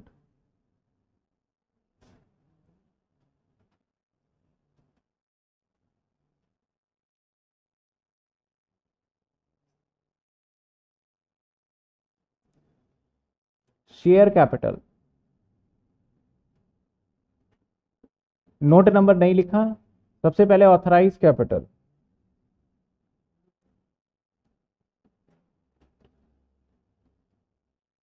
अगर ऑथराइज कैपिटल दे रखा है तो ठीक, नहीं तो डैश डाल के छोड़ दीजिए। इसके बाद इशूड कैपिटल अब इशूड कैपिटल में दो बातें होंगी। या एक होगा इक्विटी शेयर कैपिटल एक होगा प्रेफरेंस शेयर कैपिटल तो अभी जैसे जैसे आता जाएगा, वैसे करेंगे। सबसे पहले दे रखा है हमें इक्विटी शेयर कैपिटल तीस लाख का या तीन लाख का? तीन लाख का। तो हम सिंपल सी बात है। आप लिख दो यहाँ पे।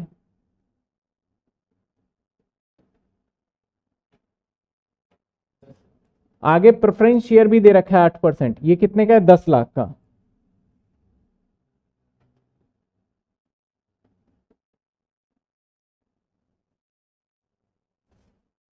बढ़ते जाएँगे। एडवांस गिवन हमने एडवांस दिया है। तो या तो ये शॉर्ट टर्म एडवांस होगा या लॉन्ग टर्म होगा। अब हमें पता नहीं चल रहा, हम देख लेते हैं कहाँ पे बना रहे हैं एडवांस हमने शॉर्ट टर्म में बना रखा है शॉर्ट टर्म में मान के खत्म कर देंगे।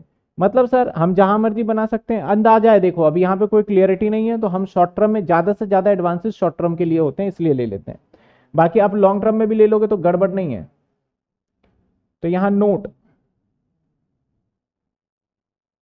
loan and advance short term loan and advance short term loan and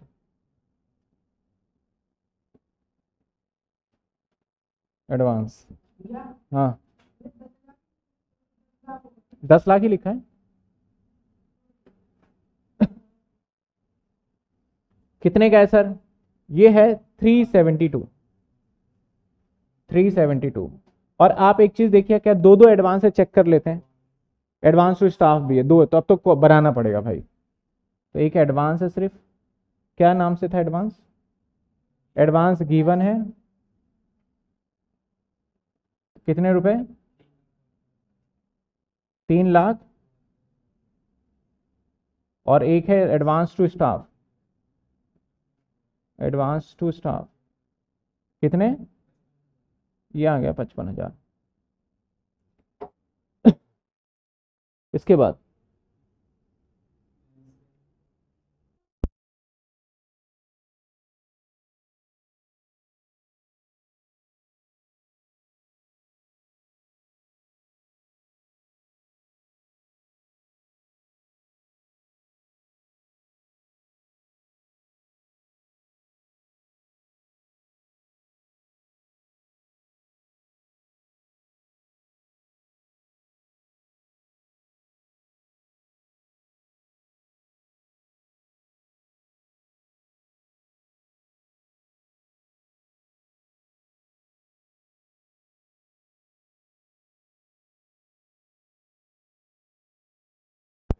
जी।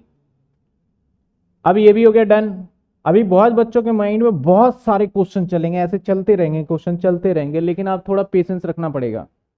हमने चैप्टर स्टार्ट किया है, इसको हम फिर खुद करेंगे, ये बात ध्यान रखना। और फिर आपके मन से जो जहाँ जहाँ पुट करके करके फिर आप चेक करोगे उसको।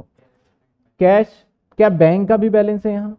नहीं है तो सर अकेला कैश तो इसी में चला जाएगा। कैश एंड कैश इक्विलेंट में कितने रुपए हैं सर दो पिछहत्तर लूज टूल्स इन्वेंट्री का पार्ट होता है लूज टूल्स तो इन्वेंट्री का कॉलम बना लेते हैं। यहाँ बना लेते हैं इन्वेंट्री नोट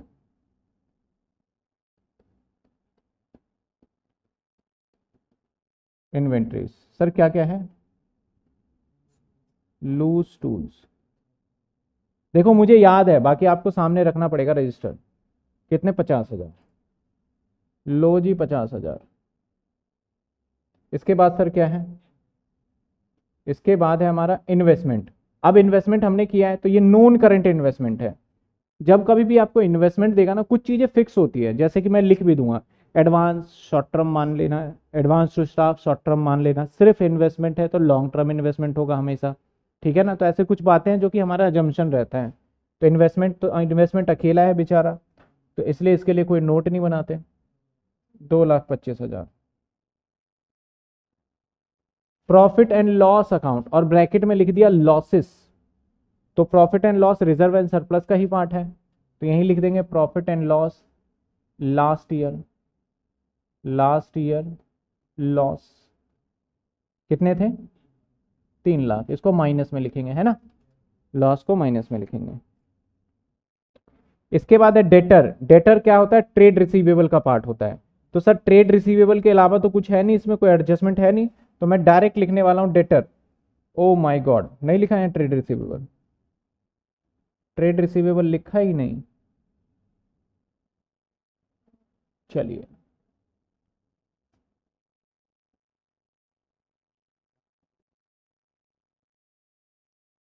ट्रेड रिसीवेबल सी के बाद? ये आता है. इन्वेंट्री के बाद ना।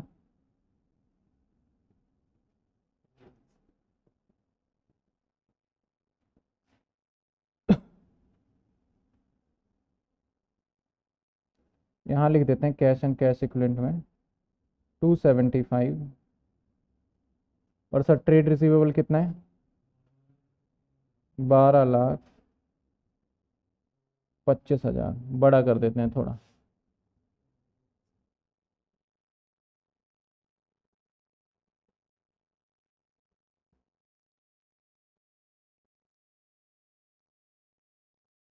चलिए सर।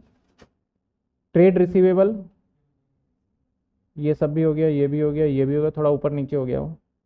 मिसलेनियस एक्सपेंडिचर अब देखिए मिसलेनियस एक्सपेंडिचर दैट इज़ तो इसको दो जगह दिखाया जा सकता है, ध्यान दीजिएगा। या तो आप क्या करिए रिज़र्व एंड सरप्लस से माइनस कर दीजिए। या तो रिज़र्व एंड सरप्लस से माइनस कर दीजिए क्योंकि एक्सपेंडिचर है। अगर आपको लगता है कि इसे फ्यूचर में हमें लेके चलना है फ्यूचर में धीरे धीरे माइनस करेंगे पी में से तो आप डायरेक्टली क्या कर सकते हैं non other non current assets में दिखा सकते हैं।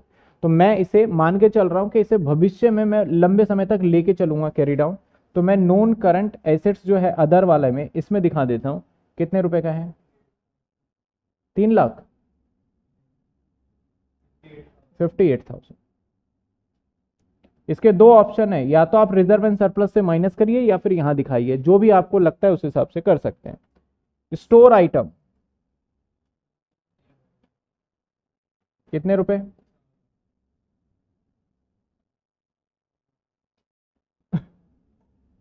फिक्स एसेट्स छप्पन लाख पचास हज़ार। कोई डैप वैप भी नहीं है भाई साहब तो एक साथ ही लिख लेते हैं। छप्पन लाख पचास हज़ार। कैपिटल वर्क इन प्रोग्रेस, ये लो। लिख रखा है भाई, क्या डरने वाली क्या बात है? ये रहा, कितने? दो लाख। फिनिश गुड्स स्टॉक ही है भाई, ये डरने वाली बात नहीं है स्टॉक ही है। फिनिश गुड्स ही लिख देते हैं।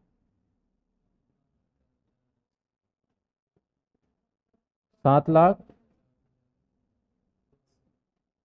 अभी हमें नोट नंबर नहीं देंगे, अभी बिल्कुल भी नहीं देना नोट नंबर, भाई साहब। जल्दबाजी नहीं करना, अभी सबका टोटलिंग, फटाफट टोटलिंग, कितनी जल्दी कर सकते हो टोटलिंग? सबका। बात खत्म। एक लाख सत्ताईस दो उनतीस, एक तीस लाख। सत्रह लाख और बीस हज़ार दो सौ। सत्रह लाख था, एक सत्तर था, एक सत्तर था, भाई। एक नब्बे दो सौ। और ये माइनस का तीन लाख आ जाएगा तो चार पिछहत्तर, बीस लाख पचास हज़ार, माइनस में तीन lakh. Triple two, five triple zero. यानी बाईस लाख पच्चीस हज़ार, मैं इधर लिख देता हूँ बड़ा बड़ा।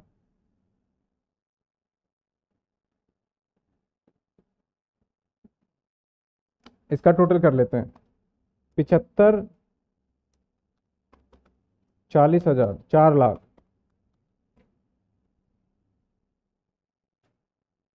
ये पिछहत्तर दो सौ था, सात लाख दो सौ था, ये बताना एफ़ जी ठीक है। ये बारह लाख दो सौ। इधर लिख रहा हूँ।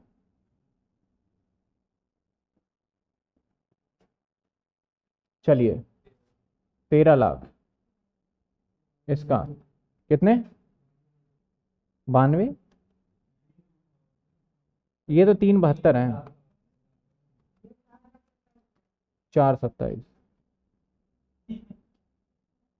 चलिए सर, अब हम क्या करेंगे? हर किसी को अपनी जगह प्लॉट कर देंगे। तीस लाख लॉन्ग टर्म बोरोइंग तीस लाख लॉन्ग टर्म बोरोइंग कैसे काम करना है वो देखिए। इसके बाद दूसरे नोट का क्या है? एक लाख नब्बे हज़ार दो सौ शॉर्ट टर्म प्रोविज़न एक लाख नब्बे हज़ार दो सौ। ये भी कर लिया, ये भी कर लिया। रिज़र्व एंड सरप्लस बाईस लाख पच्चीस हज़ार। रिज़र्व एंड सरप्लस बाईस लाख पच्चीस हज़ार। ये भी कर लिया।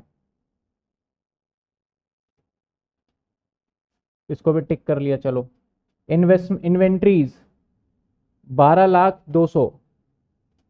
बारह लाख दो सौ। इन्वेंट्री बारह लाख दो सौ। चलिए, ये भी डन हो गया। इसके बाद शेयर कैपिटल तेरह लाख। शेयर कैपिटल तेरह लाख। इसके बाद आ जाते हैं, लास्ट है, शॉर्ट टर्म एडवांस चार लाख सत्ताईस हज़ार। शॉर्ट टर्म लोन एडवांस चार लाख। अब नोटिंग किसके लिए हमने करना है वो देखिए आप। देखिए, इसका नोट बनाया एक नंबर, इसका नोट बनाया दो नंबर, इसका नोट बनाया तीन नंबर, इसका तो नहीं बना, इसका भी नहीं बना, इसका बना है, नहीं बना। इसका बना है चार नंबर और पीपी का नहीं बना, इसका भी नहीं बना, इसका भी नहीं बना, इसका भी नहीं बना, है ना? इन्वेंट्री का बना है पाँच नंबर, कैश एंड कैश का भी नहीं बना, इसका छह नंबर। तो छह नोट बनाए हैं। अब आपको यहाँ ध्यान देना है, शेयर कैपिटल को एक नंबर देना है। तो ये रहा शेयर कैपिटल, इसको दे दो नोट नंबर वन। ऐसे देना है आपको। इसके बाद रिज़र्व एंड सरप्लस को दो नंबर मिला है तो रिज़र्व एंड सरप्लस को नोट नंबर दो। इसके बाद हमारा लॉन्ग टर्म बोरिंग को तीन नंबर तो लॉन्ग टर्म बोरिंग को नोट नंबर तीन। यानी आपका ऐसा नहीं हो कि एक, दो, तीन, ऐसे कभी हो ही नहीं पाएगा आपका सवाल। आपको जैसे जैसे क्वेश्चन मिलेगा, वैसे वैसे करते जाने हैं। इसके बाद देखा जाए शॉर्ट टर्म बोरोइंग को चार नंबर नोटिंग हम सबसे बाद हाँ प्रोविज़न नोटिंग बाद में देंगे तो शॉर्ट टर्म प्रोविज़न ये रहा। चार नंबर इसके बाद देखा जाए तो पाँच नंबर इन्वेंट्री तो पाँच नंबर इन्वेंट्री और छह नंबर ये तो सबको नोटिंग नंबर भी मिल गया एग्जैक्ट और यहाँ से टोटल करके वहाँ भी शिफ्टिंग कर दिया। अब इसका टोटल करना है, दोनों साइड मैच हुआ तो ठीक, नहीं तो फिर देखेंगे।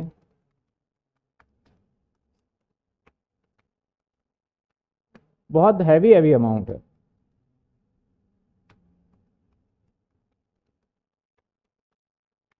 ये आ गया तिरासी लाख साठ हज़ार।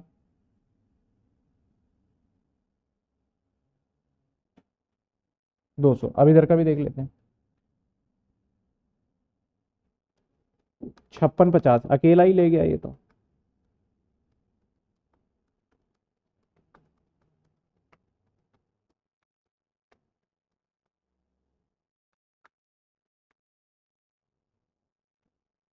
ट्रेड रिसीवेबल कितना है? बारह लाख है क्या है? बताना एक बार। हम्म। डेटर बारह लाख पच्चीस हज़ार। तो बहुत ज़्यादा हो गया। दो लाख अट्ठावन हज़ार। इकसठ, बारह सौ दो सौ तिहत्तर। ओके बारह पच्चीस हज़ार।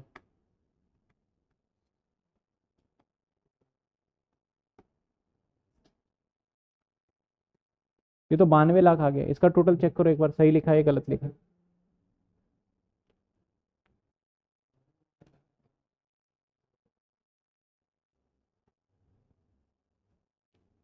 टोटल चेक करिए इसका ऊपर वाले का। फिर कैलकुलेटर नहीं लाए।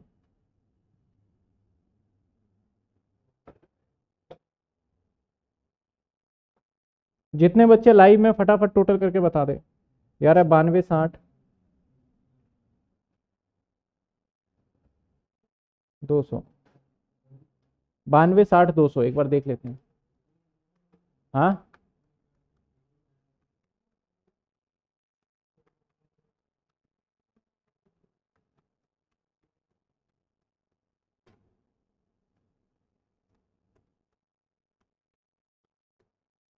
नौ लाख का कोई आइटम छोड़ दिया क्या हमने?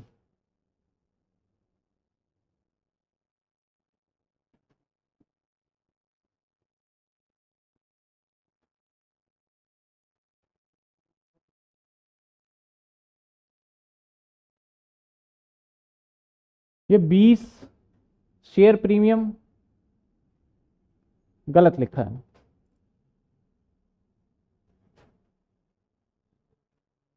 ये गलत लिख दिया, मेरे को लग रहा है ये शेयर प्रीमियम है कितना? ये ठीक था।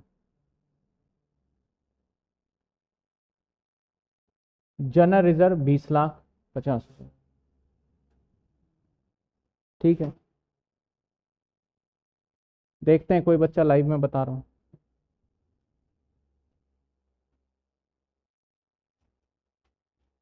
लॉन्ग टर्म बोरिंग बोल रहे हैं थर्टी नाइन लैख का होगा। सत्ताईस, दो उनतीस, और ये दस लाख है क्या सिक्योर्ड लोन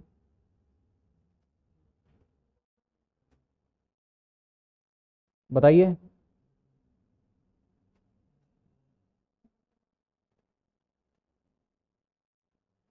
जी, दस लाख है। तो दस और सत्ताईस सैंतीस और दो उनतालीस। हो गया मैच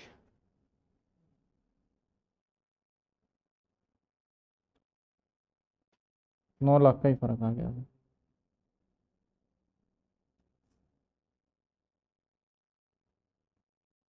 चलिए।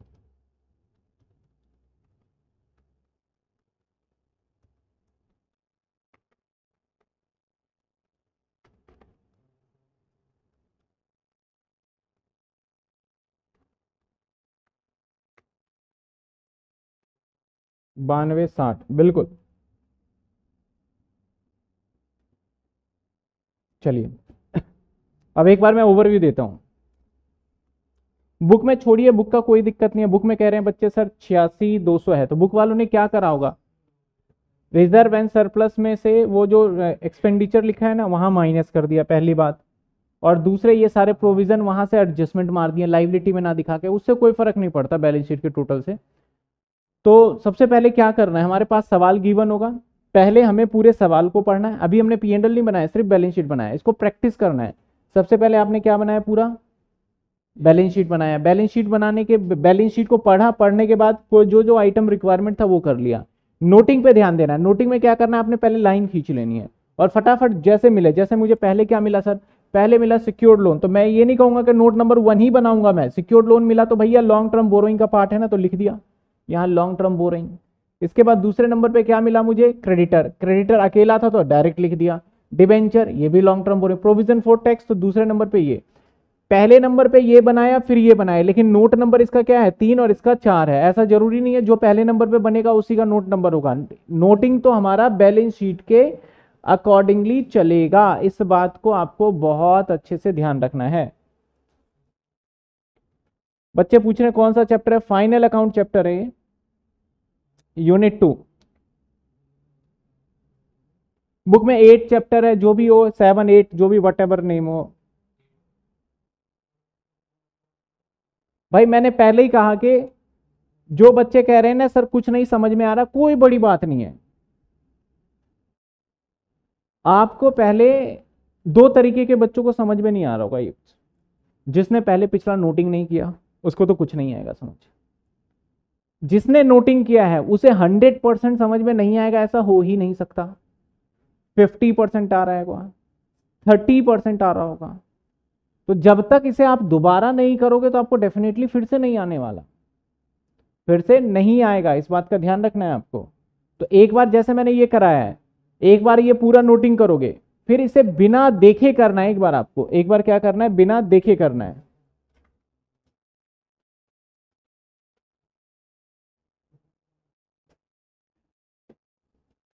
देखिए, बच्चों का कहना है, सर, कौन सा शॉर्ट टर्म में डालते हैं? लॉन्ग टर्म जो नोट लिखा है, उसी के हिसाब से। कुछ एक पॉइंट है जहाँ कंफ्यूजन होता है, जैसे इन्वेस्टमेंट हमेशा लॉन्ग टर्म में डालिएगा डिबेंचर हमेशा लॉन्ग टर्म में डालिएगा, वो प्रैक्टिस करते करते आपको आ जाएगा, ऐसी बात नहीं है।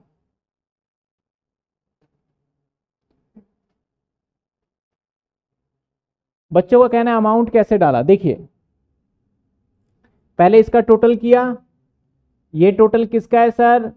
लॉन्ग टर्म बोरोइंग आ गए, लिख दिया लॉन्ग टर्म बोरोइंग इसके बाद ये टोटल किया, ये किसका है? शॉर्ट टर्म प्रोविज़न यही टोटल मैंने कहा लिख दिया?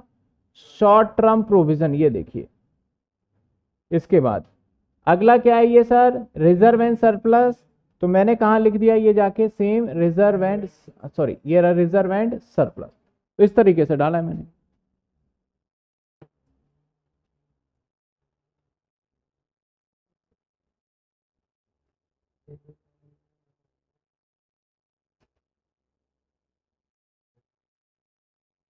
बिल्कुल प्रोविज़न देखो। प्रोविज़न बच्चे कह रहे हैं, सर लॉन्ग टर्म में आएगा शॉर्ट टर्म दोनों में आ सकता है भाई। डिपेंड ऑन के किस पे है। डिपेंड डिपेंड का मतलब सर, अगर मैं, मान लो कि मैं अकाउंटेंट हूँ, आप मेरे मालिक हो, मैं पूछ लूँगा, भाई साहब, ये प्रोविज़न कितने सालों के लिए? आपने बोला, तीन साल का है, पागल, ये तीन साल का है। तो मैं लॉन्ग टर्म में डाल दूँगा। और आपने बोला कि, भाई, अभी दो महीने में तो खत्म कर देंगे इस प्रोविज़न को, मैं शॉर्ट टर्म में डाल दूँगा। तो जब हमसे कोई बताने वाला होगा, तब तो हम अपने नॉलेज के हिसाब से डालेंगे। जब कोई बताने वाला नहीं है तो अजम्पन के हिसाब से डालेंगे। आप शॉर्ट टर्म में डालिए चाहे लॉन्ग टर्म में डालिए। फाइनल अकाउंट को करने से पहले हमें कुछ एडजस्टमेंट समझ लेना चाहिए। अब जितने बच्चे भी नए ज्वाइनिंग हैं, उन सभी बच्चों को मैं बोलना चाहूँगा कि इस चैप्टर को आप स्टार्टिंग से क्लास देखिए और इस चैप्टर में आप कंटिन्यू हो सकते हैं। और जो प्रीवियस चैप्टर है, वो रिकॉर्डेड फॉर्मेट में आपको मिला हुआ है सीक्वेंस से और उसको आप रिकॉर्डेड फॉर्मेट में देख सकते हैं। दोनों चीज़ें मैंने बता दिया है। अगर जो बच्चे आज फ़र्स्ट क्लास ले रहे होंगे तो आज वाली क्लास समझ में आ जाएगा। ऐसा नहीं है कि नहीं समझ में आएगा। सिंपल सी बात है। ठीक है ना? तो वो भी आप जुड़े रह सकते हैं। लेकिन पुरानी क्लासेस भी देखेंगे। सर क्लास का नोटिफिकेशन नहीं आता है। आज नोटिफिकेशन के लिए मैं ये कहूँगा शेड्यूलिंग हम लगा रहे हैं पहले। और अभी मैंने छः बजे की क्लास की हुई है ऑल तो छः बजे की क्लास ले रहा हूँ। आज छः से जो भी टाइम आगे चलता है, पहले कमिटमेंट करते हैं तो पूरा नहीं होता, अब आगे देखते हैं कहाँ तक खींच पाते हैं आज की क्लास ठीक है? तो चलिए सर, देखो, सबसे पहले आप समझना बातों को। फाइनल अकाउंट कह लो। या कह लो आप फाइनेंशियल स्टेटमेंट फाइनल अकाउंट कह लो। या कह लो फाइनेंशियल स्टेटमेंट बात एक ही है।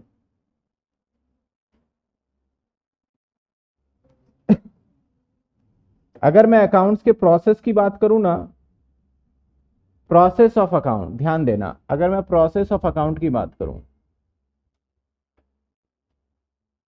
प्रोसेस ऑफ़ अकाउंट तो अकाउंट्स के अगर मैं प्रोसेस की अकाउंटिंग की कैसे जाती है तो उस प्रोसेस से रिलेटेड समझ लेते हैं, कैसे करते हैं सर अकाउंटिंग है ना? अकाउंट्स करने के लिए सबसे पहले तो आपके पास ट्रांजेक्शन होना चाहिए।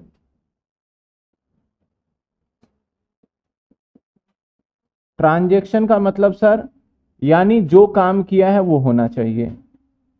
जैसे ही आपके पास ट्रांजेक्शन आया, आप उसे कर देते हो जर्नल जर्नल के फॉर्मेट में ले जाते हो। जैसे ही आपने जर्नल किया सर हम इसे क्या करते हैं? हम इसे लेजर में कन्वर्ट करते हैं। जैसे ही हमने लेजर में कन्वर्ट कर दिया, देन हम ट्रायल बैलेंस बनाते हैं। और ट्रायल बैलेंस एक ऐसी चीज़ है, जिसके अंदर हमेशा डेबिट इजिकल टू क्रेडिट बनता है। डेबिट इजिकल टू क्रेडिट का मतलब हम ये मान लेते हैं लगभग लगभग के हमारा ये सारा प्रोसेस एकदम ठीक चला है। अगर हमारी गलती किसी भी प्रोसेस में रहती है तो उस वजह से हमारा ये वाला सिस्टमेटिक जो हमारा रूल है, debit is equal to credit होगा ही नहीं कभी, पहली बात। समझ रहे हैं बात को आप? यहाँ तक। तो ये क्या है हमारा अकाउंटिंग का एक प्रोसेस अब ट्रायल बैलेंस कैसे बनता है, सर? ट्रायल बैलेंस बनाने का बड़ा सिंपल सा फंडा है। आप सभी ने पहले देखा भी होगा और आपने बनाया भी है। ऐसा नहीं है कि नहीं बनाया, सिर्फ़ देखा ही है। और ये बातें जो ट्रायल बैलेंस वाली मैं बात कर रहा हूँ, ये चीज़ें आपको ग्यारहवीं क्लास के अंदर सिखा दिया जाता है। कुछ ऐसा ट्रायल बैलेंस होता है और इस ट्रायल बैलेंस के अंदर एक होता है हमारा डेबिट और एक होता है हमारा क्रेडिट ऊपर लिखा होता है ट्रायल बैलेंस और मैंने मान लो यहाँ लिख लिया पर्टिकुलर और यहाँ पे आपकी डिटेल लिखी होती है, जैसे one two three suppose capital है तो यहाँ कैपिटल लिखा होगा। कैपिटल पाँच लाख का है तो देन पाँच लाख लिखा होगा। अगर एसेट है एसेट्स लिखा होगा, चार लाख का है तो चार लाख लिखा होगा। कैश का बैलेंस है तो कैश का लिखा होगा, एक लाख है तो एक लाख लिखा होगा। इस तरीके से हमारा इसका टोटल पाँच लाख रुपए और इसका भी टोटल पाँच लाख रुपए, ये टोटल हमेशा मैच हो जाता है। तो हम ये मान लेते हैं, हमारा ट्रायल बैलेंस बनाना कंफर्म हो गया। मतलब कि ट्रायल बैलेंस हमारा ठीक है। और ये सर, ये ट्रायल बैलेंस बनता किसकी मदद से? ये ट्रायल बैलेंस ऑलवेज बनता है लेजर की मदद से, यानी इस लेजर की मदद से बनाया जाता है। सर, लेजर किसकी मदद से बनता है? लेजर ऑलवेज बनता है जर्नल की मदद से। और जर्नल, यानी ये सारी बातें एक दूसरे से कनेक्टेड है। ये सारी बातें एक दूसरे से कनेक्टेड है। इसके बाद बच्चे कह रहे हैं वॉइस नहीं आ रही। एक बार बताइए वॉइस आ रही है, नहीं आ रही? सभी बच्चे बता दें।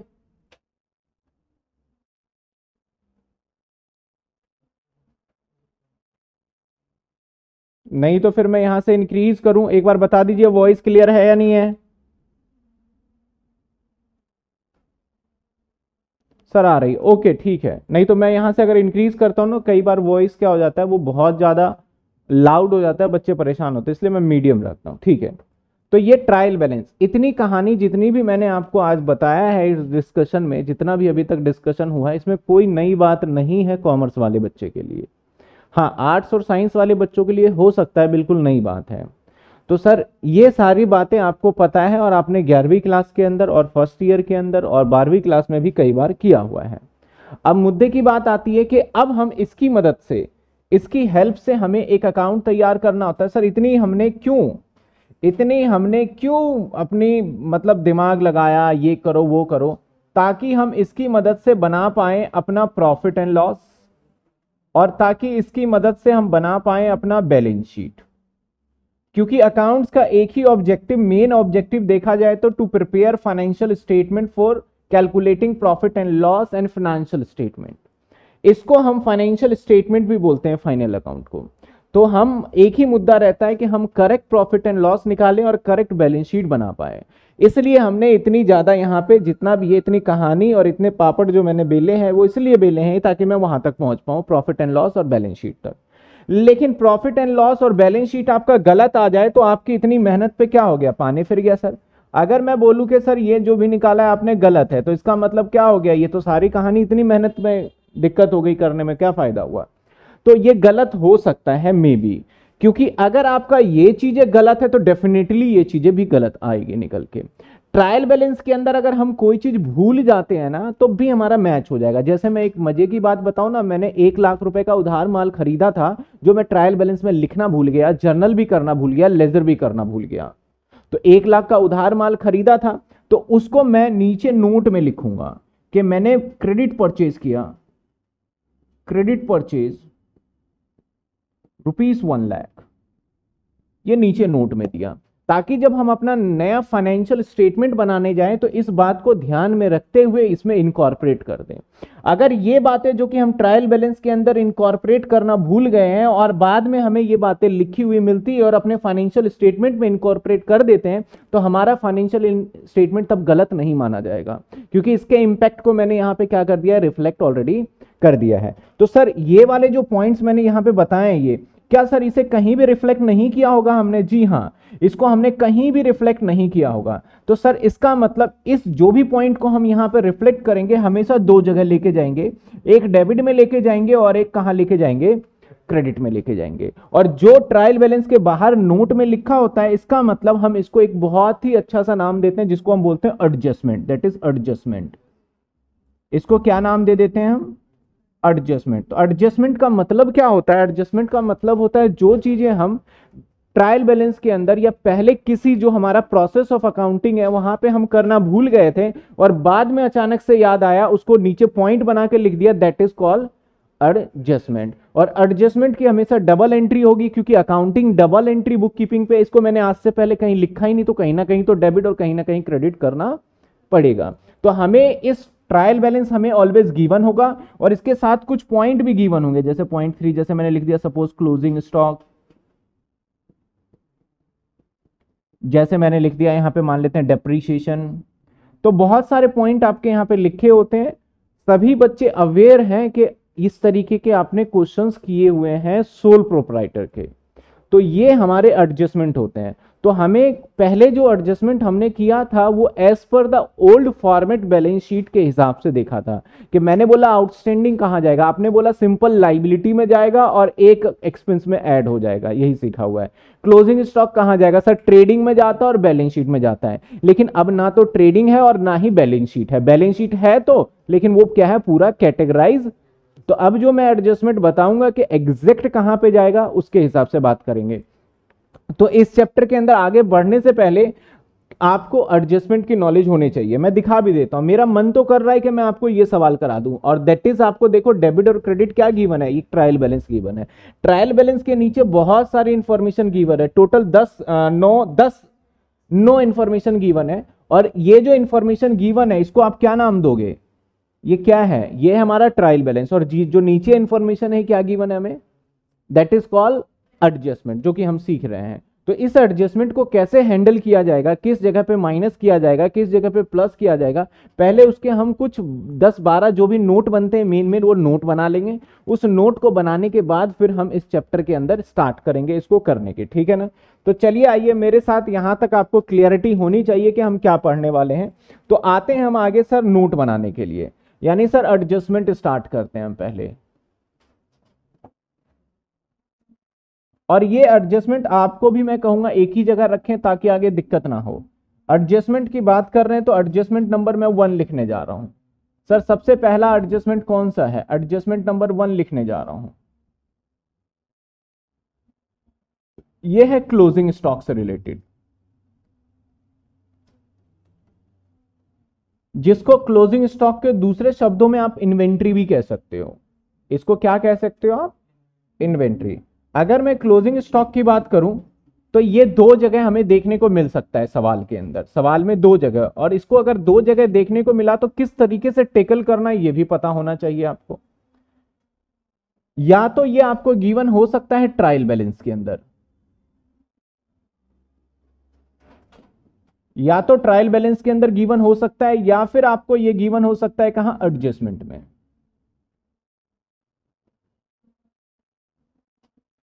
सर मतलब क्या हुआ इसका? मतलब बिल्कुल आप ठीक सोच रहे हो। अगर मैं ट्रायल बैलेंस की बात कर रहा हूँ, अगर मैं ट्रायल बैलेंस की बात कर रहा हूँ तो ट्रायल बैलेंस के अंदर कौन सी बात होती है और एडजस्टमेंट में कौन सी बात होती है, ये दिखा देते हैं। अगर मैं बात करूँ, कभी ऐसा भी हो सकता है पॉसिबिलिटी कि आपको क्लोजिंग स्टॉक इसके अंदर देखने को मिले। और कई बार ऐसा भी हो सकता है कि क्लोजिंग स्टॉक कहाँ देखने को मिले? बाहर। जैसे कि यहाँ पे क्लोजिंग स्टॉक आपको बाहर देखने को मिल रहा है। बाहर देखने को मिल रहा है। तो दैट इज़ एडजस्टमेंट में गिवन है। और अंदर गिवन है तो ये गिवन है। हमेशा लाइफ में याद रखना, जब भी ट्रायल बैलेंस के अंदर एंट्री आएगा तो हम इसका कभी भी कुछ नहीं करते इसको हम सिर्फ़ ओनली ट्रांसफ़र करते हैं। ट्रांसफ़र या तो बैलेंस शीट में करते हैं या पीएनडल में करते हैं। दैट इज़ मतलब इसको यहाँ से उठा के या तो बैलेंस शीट का आइटम है तो बैलेंस शीट में ले जाएँगे और पीएनडल का आइटम है तो पीएनडल में ले जाएँगे। तो इसका मतलब इसका एक ही एंट्री होगा वन एंट्री की बात करें हम single entry only one entry लेकिन एडजस्टमेंट तो पहले आज से पहले किया ही नहीं था तो इसकी कितनी एंट्री करनी पड़ेगी? हमें दो एंट्री करनी पड़ेगी। इधर वो पीएनडल में जा सकता है लाइबिलिटी में जा सकता है एसेट्स कुछ नहीं पता, वो सिचुएशन क्या डिपेंड करता है उसके अकॉर्डिंग चलेंगे।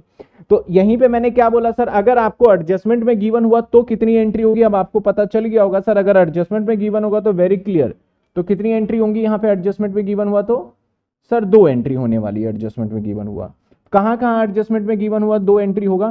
क्योंकि पहले ट्रेडिंग अकाउंट होता था, अब तो ट्रेडिंग अकाउंट नहीं है। अब बैलेंस शीट है तो एक तो चला जाएगा हमारा कहाँ पे, सर? बैलेंस शीट के अंदर। एक तो बैलेंस शीट के अंदर चला जाएगा और एक चला जाएगा स्टेटमेंट प्रॉफिट एंड लॉस के अंदर। ठीक है ना? एक चला जाएगा बैलेंस शीट में और एक चला जाएगा प्रॉफिट स्टेटमेंट और यकीन मानिएगा, ये आपके बहुत हेल्पफुल रहेगा, सारे एडजस्टमेंट को हम यहाँ कर लेंगे। और ज़्यादा एडजस्टमेंट नहीं है, बस थोड़े से हैं, वो सीख लेंगे। सर बैलेंस शीट में कहाँ चला जाएगा ये? ये चला जाएगा हमारा, मैं सारी बातें लिखूँगा यहाँ पे। ये चला जाएगा करंट एसेट्स में। करंट एसेट्स में जाएगा और करंट एसेट्स के अंदर आगे सेक्शन आता है इन्वेंट्री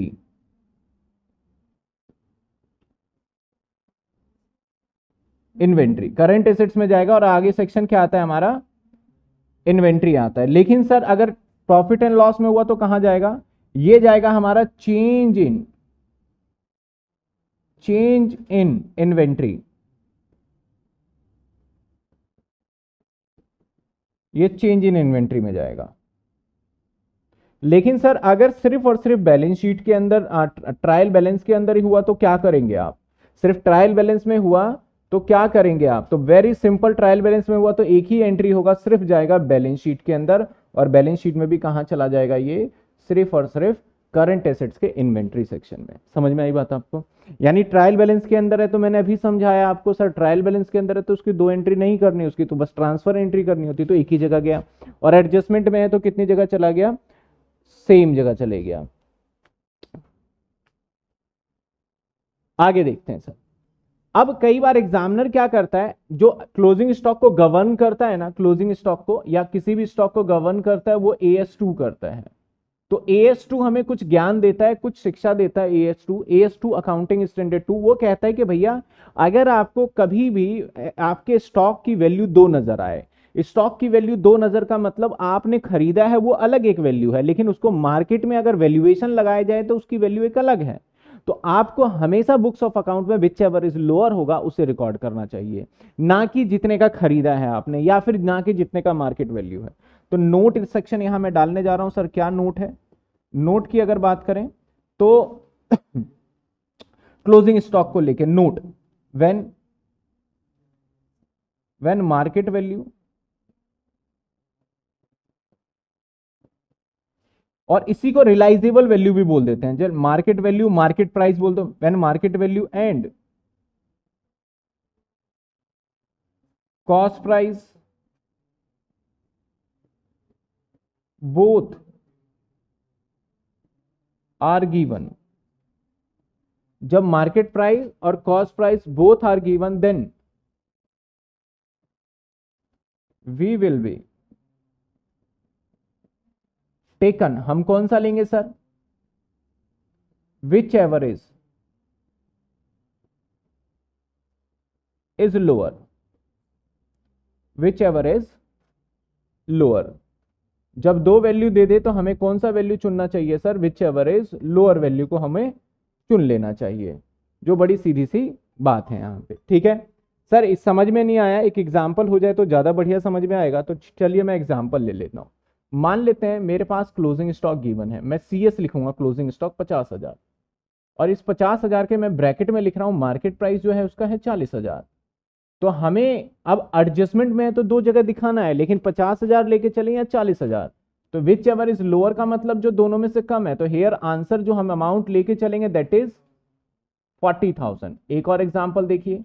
अगर मैंने कहा क्लोजिंग स्टॉक का वैल्यू मेरा पचास हज़ार है बट इसी का सेम का मार्केट प्राइस जो है मेरा वो कितना है सर सिक्सटी थाउज़ेंड तो अब बताइए हम आंसर में क्या लेके चले? कौन सा अमाउंट लेके चले? तो दैट इज़ आपका जवाब होगा सर अब फिफ्टी थाउज़ेंड लेके चलना होगा आपको। अब चलना होगा आपको फिफ्टी थाउज़ेंड रुपीज़ लेके। पहला एडजस्टमेंट हमने डन कर लिया।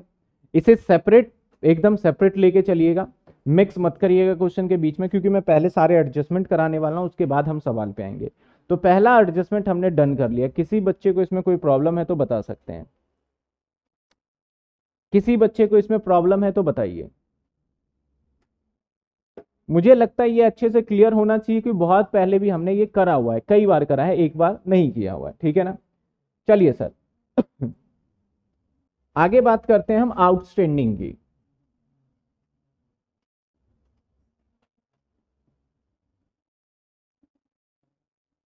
आउटस्टैंडिंग। और मैं बात करूँगा आउटस्टैंडिंग एक्सपेंस की। और इसके कई नाम है। आउटस्टैंडिंग को हम एरियर भी बोलते हैं। या फिर हम इसको अनपेड भी बोलते हैं। या फिर हम इसको ड्यू भी बोलते हैं। या फिर हम पेबल भी बोलते हैं। तो देखिए कितने सारे नाम है इस आउटस्टैंडिंग के, जो डिफरेंट डिफरेंट तरीके से हर जगह जगह बोले जाते हैं, जो कि मैंने लिखा है।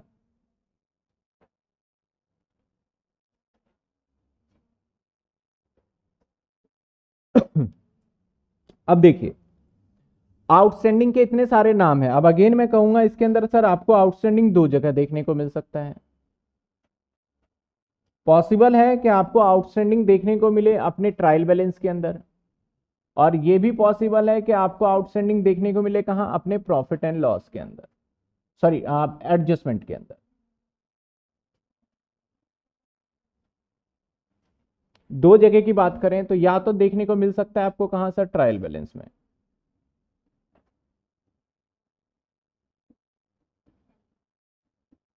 या फिर आपको देखने को मिल सकता है एडजस्टमेंट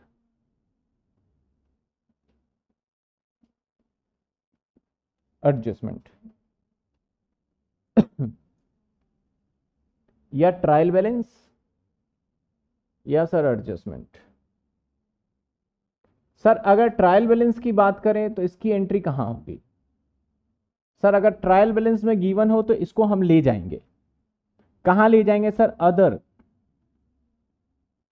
करंट लाइबिलिटी में। सीधा, इसका कोई ऐसा नहीं है। या तो मैं पूरा ही लिख देता हूँ। अदर करंट लाइबिलिटी जो है, वो आपको याद होना चाहिए। कहाँ जाता है? करंट तो अगर आपका आउटस्टैंडिंग गिवन हो तो आप समझ में आया कैसे करेंगे इसको? करंट लाइबिलिटी के अदर करंट लाइबिलिटी के अंदर आपको लिखना है इसको। ठीक है ना? करंट लाइबिलिटी के अदर करंट लाइबिलिटी में। लेकिन एडजस्टमेंट हुआ तो अगेन आपको पता है कितनी एंट्री करनी है एडजस्टमेंट के केस में? सर, दो एंट्री करनी है।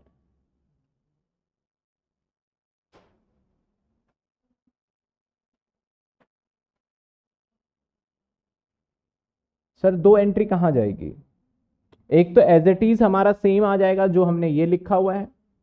सर, एक तो सेम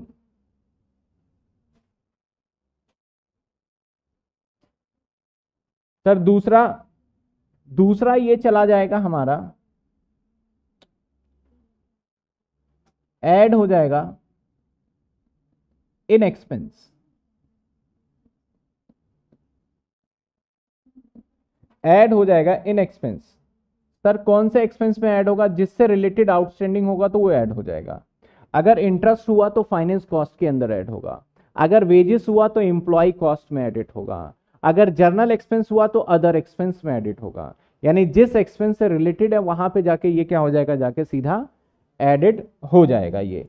तो ये क्या था हमारा आउटस्टैंडिंग लेकिन कई बार सवाल आपको प्रॉब्लम कब क्रिएट करता है? जैसे कि आपको ना कई बार यहाँ पे कुछ लोन के ऊपर कई बार बात करता है लोन की बाद में बात कर लेंगे। पहले यहाँ तक देखिए, हम बेसिक बेसिक से लेके चल रहे हैं। इसमें किसी को डाउट है तो बताइए। ये क्लियर है? किसी को डाउट यानी मैं दोनों सेक्शन लेके चल रहा हूँ, अगर ऐसे ट्रायल में हुआ, ट्रायल का मतलब क्या कह रहा हूँ कि अगर इसके अंदर हुआ तो तो सीधा आप जाना है अदर करंट लाइबिलिटी में अदर करंट लाइबिलिटी में लिख देना, लेकिन एडजस्टमेंट हुआ, तब तो दो एंट्री करनी पड़ेगी, ठीक है? किसी को दिक्कत है इसमें? नहीं। थर्ड एडजस्टमेंट आ जाते हैं।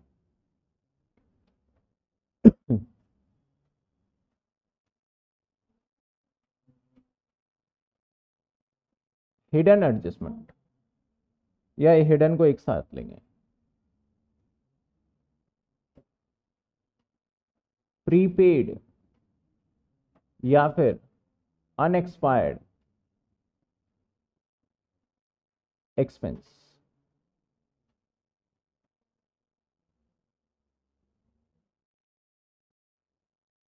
अगर मैं बोलूँ प्रीपेड या अनएक्सपायर्ड तो आपको अच्छे से पता सर ये एसेट होता है। ठीक है? सर अगेन ये दो जगह देखने को मिल सकता है। कहाँ कहाँ देखने को मिल सकता है दो जगह?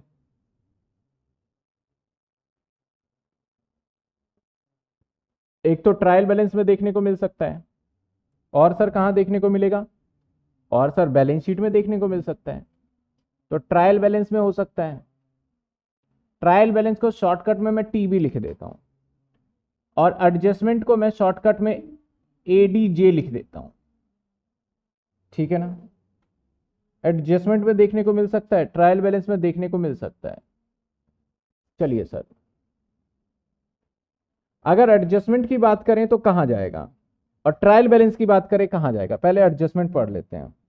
सर अगर एडजस्टमेंट में गया तो दो एंट्री सर दो एंट्री कहाँ कहाँ? नंबर वन प्रीपेड है ये सर तो ये एक तो चला जाएगा हमारा। स्टेटमेंट प्रॉफिट एंड लॉस में। आ, एक मैं छोटा सा बैक करना चाह रहा हूँ। मैंने यहाँ पे लिखा नहीं मैंने बस कह दिया कि ऐड हो जाएगा अदर एक्सपेंस में। लेकिन sir where is other expense other expense in the कहाँ पे? स्टेटमेंट प्रॉफिट एंड लॉस तो मैं ये थोड़ा बताना भूल गया था तो मैं यहाँ पे करेक्ट कर देता हूँ फिर वापस आ जाएँगे। यानी स्टेटमेंट प्रॉफिट एंड लॉस के अदर एक्सपेंस में। ठीक है? आगे चलते हैं। Sir statement profit and loss sir statement profit and loss में कहा जाएगा सर ये खर्चा लेस हो जाएगा।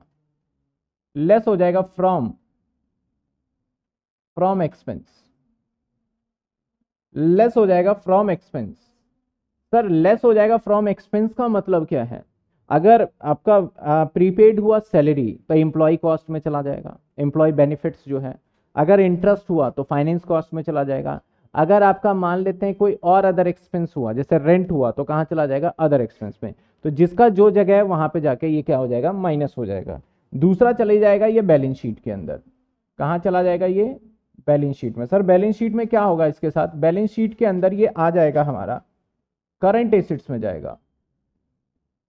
करंट एसिड में जाएगा। सर करंट एसिड्स के कहा जाएगा ये? करंट एसेट्स के अंदर एक सेक्शन होता है other current assets. Other current assets.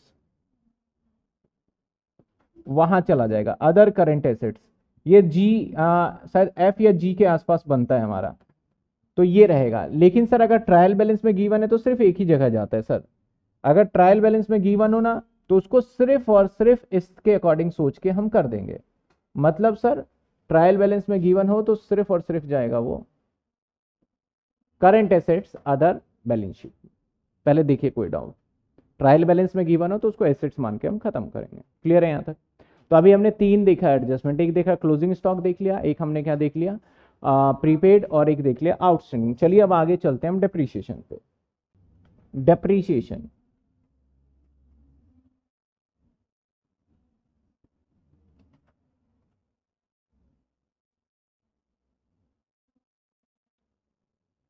अगर हम डेप्रीशिएशन की बात करें ना तो ये बहुत ज़्यादा टिपिकल कॉन्सेप्ट आ जाता है बच्चों के लिए, क्योंकि डेप्रीशिएशन दो तरीके के होते हैं। सर, दो तरीके के कौन से डेप्रीशिएशन होते हैं? डेप्रीशिएशन दो तरीके का होता है। एक होता है हमारा सिर्फ़ डेप्रीशिएशन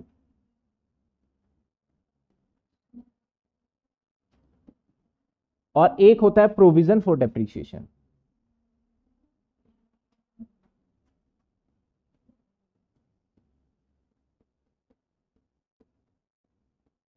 एक होता है प्रोविज़न फॉर डेप्रिसिएशन ध्यान से देखिएगा, इसके अंदर मैं थोड़ा आगे डिटेल तक लेके जाऊँगा कॉन्सेप्ट को, क्योंकि मैं दो दो करके ज़्यादा लंबा नहीं खींचना चाहता इसको। अगर डेप्रिसिएशन की बात करें तो अगेन ये दो जगह गिवन हो सकता है, सर। सर, दो जगह कहाँ गिवन हो सकता है? मे बी पॉसिबल है ये। आपको देखने को मिले ट्रायल बैलेंस में, और मे बी पॉसिबल है आपको ये देखने को मिले एडजस्टमेंट में। ज़्यादा से ज़्यादा आपने एडजस्टमेंट में देखा होगा। तो पॉसिबिलिटी है ये, देखने को मिल सकता है ट्रायल बैलेंस में। और ये भी पॉसिबिलिटी है, ये देखने को मिल सकता है आपको एडजस्टमेंट में।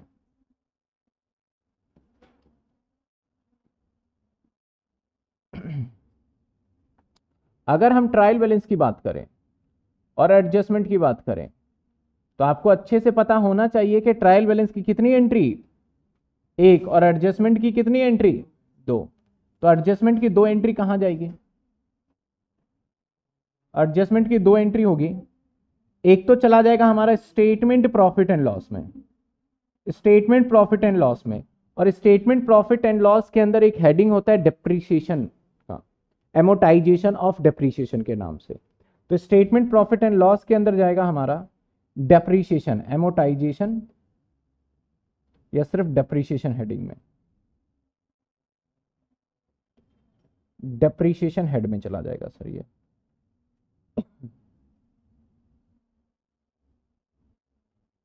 और अगर हम बात करें अगले पॉइंट की, दूसरी एंट्री कहाँ चला जाएगा ये? सर, ये चला जाएगा बैलेंस शीट में। सर ऑलवेज बैलेंस शीट में जाएगा? हाँ जी, बिल्कुल ऑलवेज कहा जाएगा सर ये? बैलेंस शीट में। और बैलेंस शीट में क्या होगा? ये लेस हो जाएगा। लेस कहाँ से हो जाएगा? लेस फ्रॉम एसिड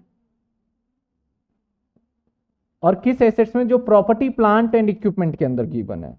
उस एसेट्स का नाम कुछ भी हो सकता है। वहाँ से क्या हो जाएगा सर ये? लेस हो जाना है वहाँ से जाके ये। तो ये हमारा कहाँ जाएगा? ये। लेकिन सर, अगर एडजस्टमेंट में गिवन हुआ तो क्या करोगे आप? इसकी बताओ एडजस्ट सॉरी जब अगर ट्रायल में गिवन हुआ तो एक ही एंट्री और वो एंट्री यहाँ होना है। और वो एंट्री क्या होगा? सिर्फ़ और सिर्फ़ स्टेटमेंट प्रॉफिट एंड लॉस के अंदर दिखा देना है। तो चलिए फिर मैं दोबारा रिपीट कर दूँ, मैं क्या बोलना चाह रहा हूँ। अगर हमारा डेप्रीशिएशन हुआ, सिर्फ़ सिंपल वाला depreciation only depreciation not accumulated depreciation और प्रोविज़न फॉर डेप्रीशिएशन अगर सिंपल डेप्रीशिएशन हुआ तो दो जगह चला जाएगा। या तो हो सकता है एडजस्टमेंट या तो हो सकता है ट्रायल बैलेंस अगर ट्रायल बैलेंस के अंदर है तो simple statement profit and loss में भेजिए डेप्रीशिएशन वाले खर्चे के अंदर और कहीं नहीं जाएगा। लेकिन अगर आपका एडजस्टमेंट में हुआ तो एक तो एसेट से भी माइनस करना पड़ेगा और एक स्टेटमेंट प्रॉफिट एंड लॉस में भी भेजना पड़ेगा। ठीक है।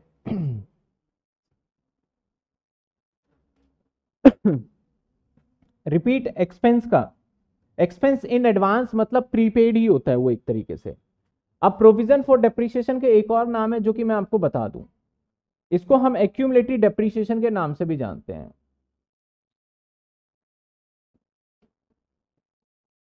एक्यूमुलेटेड डेप्रीशिएशन के नाम से भी। दोनों का मतलब एक ही है। अब सर, एक बात बता दीजिए, फ़र्क क्या है इनमें? एक्यूमुलेटेड डेप्रीशिएशन में प्रोविज़न फॉर डेप्रीशिएशन में ऐसा क्या फ़र्क है? तो आप ध्यान से एग्ज़ाम्पल को देखिएगा, आप समझ जाइएगा इसमें फ़र्क क्या है। थोड़ा डिटेल में जाएँगे, ध्यान से देखिएगा। मान लेते हैं कि आपके सामने मैं एक बैलेंस शीट बनाने जा आपके सामने एक बैलेंस शीट बनाया ये बैलेंस शीट है।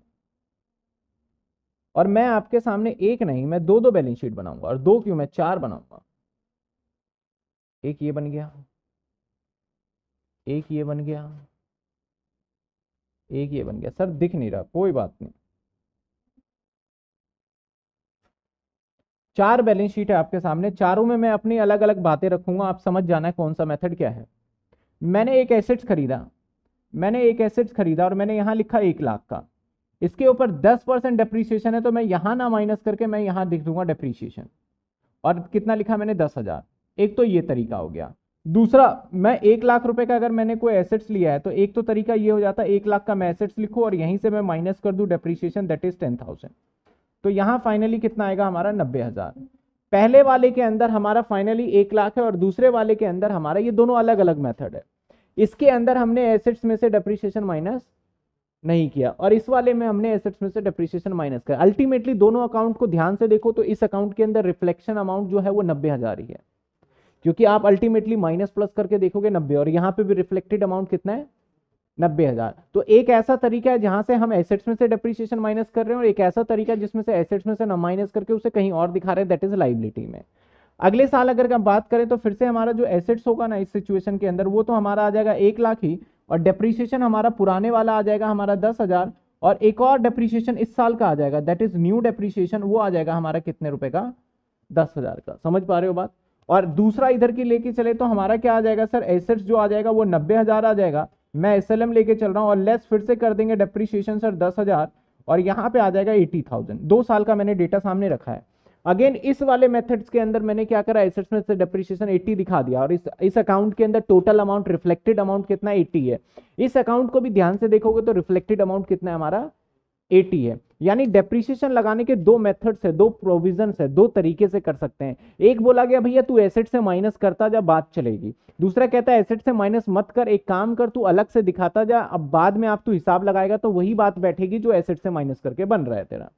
तो इस वाले मेथड को जो अलग से लिखते जाते हैं ना, इसको दैट इज़ हम बोलते हैं प्रोविज़न फॉर डेप्रीशिएशन और इस वाले मेथड को बोलते हैं हम सिंपल डेप्रीशिएशन सिंपल डेप्रीशिएशन ये जो मैंने बताया, वो सिंपल डेप्रीशिएशन का था। मैंने बोला था, भैया किससे माइनस कर दो? आप एसेट से माइनस कर दो। लेकिन अगर मैं प्रोविज़न वाला लेके चलूँगा तो मैं कभी भी नहीं बोलूँगा, एसेट से माइनस करो। क्योंकि प्रोविज़न वाले में एसेट से माइनस करने को कहा ही नहीं जाता। इसके अंदर कहाँ बोला जाता है, कर दो आप? उसमें से माइनस ना करके आप कहाँ दिखा दो उसको? लाइबिलिटी साइड में अलग से दिखा दो, ठीक है ना? तो आपको होपफुली समझ में आया होगा कि प्रोविज़न फॉर डेप्रिसिएशन और सिंपल दोनों है एक ही चीज़, बस उसको दिखाने का स्टाइल अलग अलग है, इसलिए इसका नाम अलग पड़ गया। समझ में आई बात आपको? इस वाले में क्या था? इधर की साइड दिखाओ। अगले साल भी जाओगे तो यहाँ पे सत्तर बचेगा और यहाँ पे कितना हो जाएगा? बीस पुराने वाला और दस नए वाला। जो ये नए वाला होता है ना, ये नए वाला जो डेप्रिसिएशन होता है ना, ये पी एंडल में भी जाता है। पी एंडल के अंदर भी जाता है।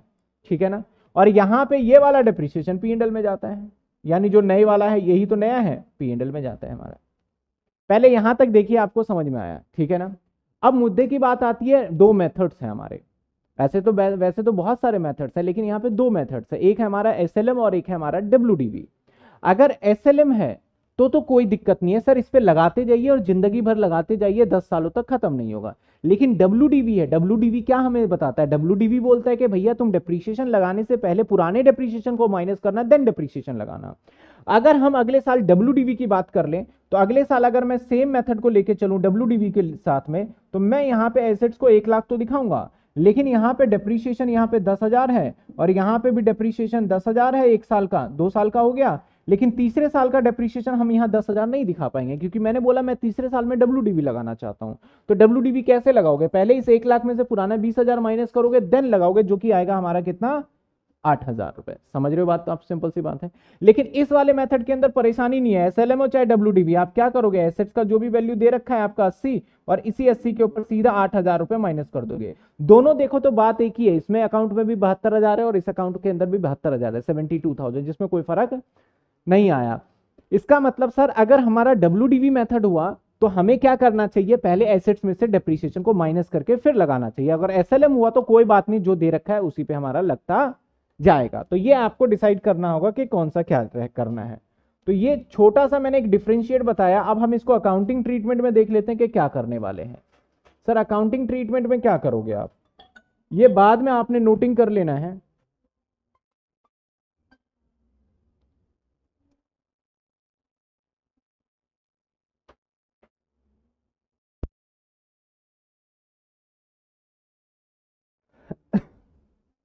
जी हाँ वॉइस नहीं आ रही थी। कोई बात नहीं, अब आ गई है वॉइस कुछ बच्चे बोल रहे हैं, सर क्लास कितने बजे तक चलेगा? आप इन सब चीज़ें बातों पे ध्यान मत दीजिए सब ये देखिए कि आपको समझ में आ रहा है, नहीं आ रहा। मुद्दा ये है, अगर आप ये सोचेंगे क्लास कितने बजे तक चलेगा, ये कितने बजे तक चलेगा? तो आपका फिर मतलब ध्यान नहीं है।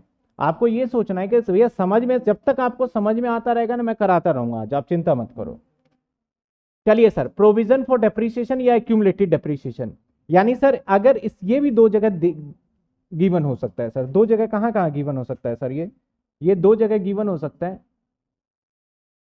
हाँ जी, इधर देख लें, बोर्ड पे बातें बाद में हो जाएगी।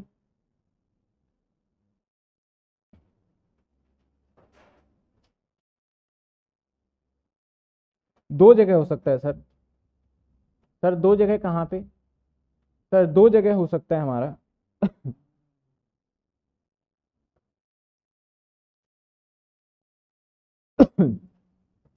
एक हो सकता है ये हमारा ट्रायल बैलेंस के अंदर गिवन हो, और दूसरा हो सकता है हमारा एडजस्टमेंट में गिवन हो। अगर मेरी पुरानी बातें समझ में आई होगी तो इसको समझने में कोई दिक्कत नहीं। अगर पुरानी बातों का आपने ध्यान नहीं दिया होगा तो फिर बोलोगे, सर, ये टॉपिक समझ ही नहीं आया हमें। मैं सीधी बात बोलूँगा। अगर ट्रायल बैलेंस में गिवन है तो अब ट्रायल बैलेंस में गिवन है तो इसके दो तरीके हैं। दो जगह नहीं जाएगा, दो तरीके हैं, या तो ये कर लो या तो ये कर लो। देखो, एक होता है कि एडजस्टमेंट में गिवन है तो दो जगह जाएगा मतलब यहाँ भी जाएगा और यहाँ भी जाएगा। और दो तरीके का मतलब होता है ये कर लो या ये कर लो, आपकी इच्छा है। तो अगर ट्रायल बैलेंस में गिवन है तो उसके दो तरीके हो सकते हैं, सर। सर, दो तरीके क्या हो सकते हैं? दो तरीके आपके ये हो सकते हैं। नंबर वन और number two sir number one तरीका ये हो सकता है कि इसे आप बैलेंस शीट में दिखा दो। और सर, बैलेंस शीट में तो जाएगा ही ऑब्वियस सी बात है, ये बैलेंस शीट में जाएगा। हाँ। और बैलेंस शीट में कहा दिखाएँगे सर? बैलेंस शीट में आप इसे दिखा दो लाइबिलिटी साइड में। Liability side sir liability side में कहा दिखाएँगे? लाइबिलिटी साइड में दिखा दो नॉन करंट लाइबिलिटी में। नॉन करंट लाइबिलिटी में। सर नॉन करंट लाइबिलिटी में तो बहुत सारी बातें वहाँ कहाँ दिखाएँगे? आप इसको दिखा दो लॉन्ग टर्म प्रोविज़न में। लॉन्ग टर्म प्रोविज़न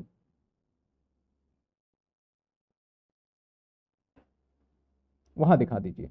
दूसरा तरीका है बैलेंस शीट में दिखाइए। सर, फिर से बैलेंस शीट में, बिल्कुल। लेकिन दूसरा तरीका ज़्यादा आसान है।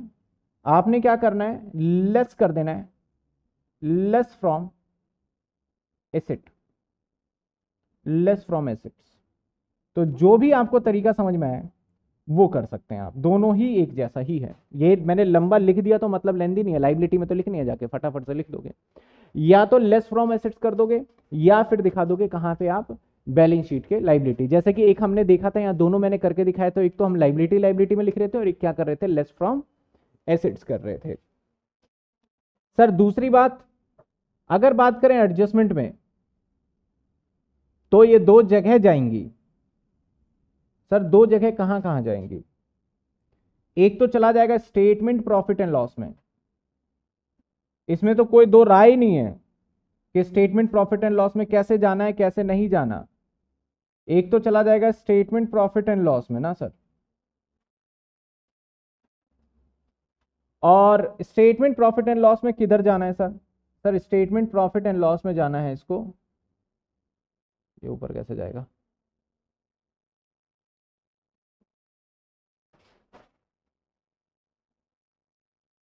स्टेटमेंट प्रॉफिट एंड लॉस में जाना है इसको।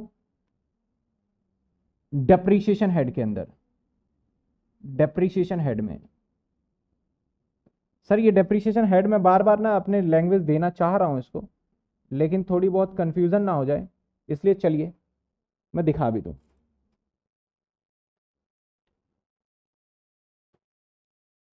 आ जाइए। ये आपका स्टेटमेंट प्रॉफिट एंड लॉस है, याद होगा आपको। ये आप सभी ने नोट किया होगा, ईमानदारी से तो बिल्कुल याद होगा sir. Statement profit and loss है। इसमें देखिए, एक तो ई पार्ट था डेप्रीशिएशन और इसी डेप्रीशिएशन की बात कर रहा हूँ, यहाँ चला जाएगा एक तो। समझ में आई बात आपको? एक तो यहाँ चला जाएगा, जो कि मैंने दिखाया अभी। ओके सर इसके बाद दूसरी एंट्री भी बता दें। दूसरी एंट्री की अगर मैं बात करूँ तो दूसरी एंट्री कहाँ जाएँगी सर? ये एडजस्टमेंट नंबर कौन सा चल रहा है? चार। दूसरी एंट्री चला जाएगा। अब दूसरी एंट्री के अंदर बैलेंस शीट में जाएगा सर। बैलेंस शीट में। सर बैलेंस शीट में, अब यहाँ पे भी मैं बोलूँ तो बैलेंस शीट के अंदर दो स्टाइल है। सर बैलेंस शीट के अंदर दो स्टाइल का मतलब सेम सेम का मतलब सर, वही। बैलेंस शीट में दो स्टाइल है। दो स्टाइल कौन सा? या तो आप कहाँ दिखा दीजिए? लाइबिलिटी में। और जब क्वेश्चन आएगा तो और बेहतर समझ में आ जाएगा हमें।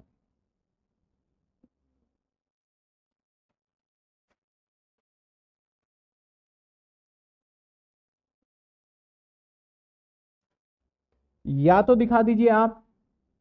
बैलेंस शीट के मैं शॉर्ट लिख रहा हूँ थोड़ा सा। Liability side liability side, balance sheet में liability side. Sir, balance sheet के लाइबिलिटी साइड कहाँ पे? Long term provision. कहाँ पे sir? Long term provision. Long term provision. और लॉन्ग टर्म प्रोविज़न में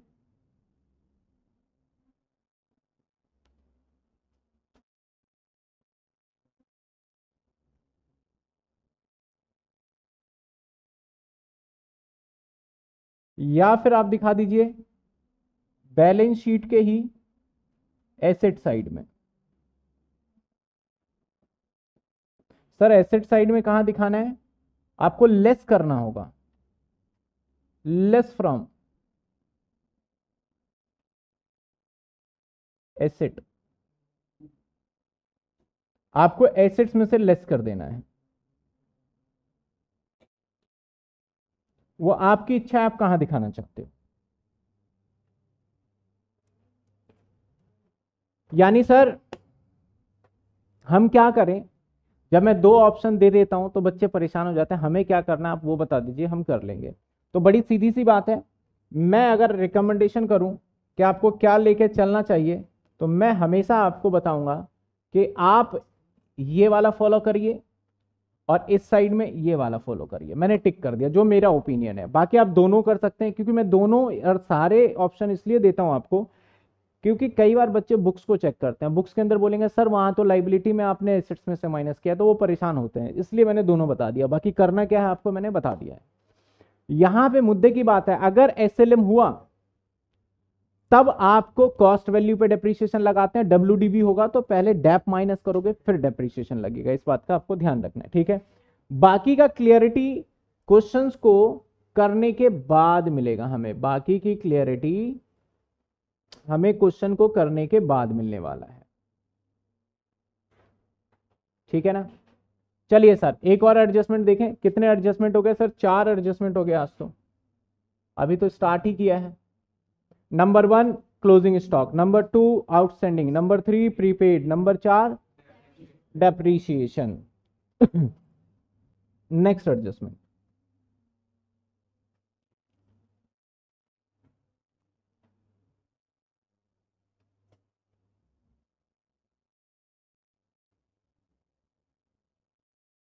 dividend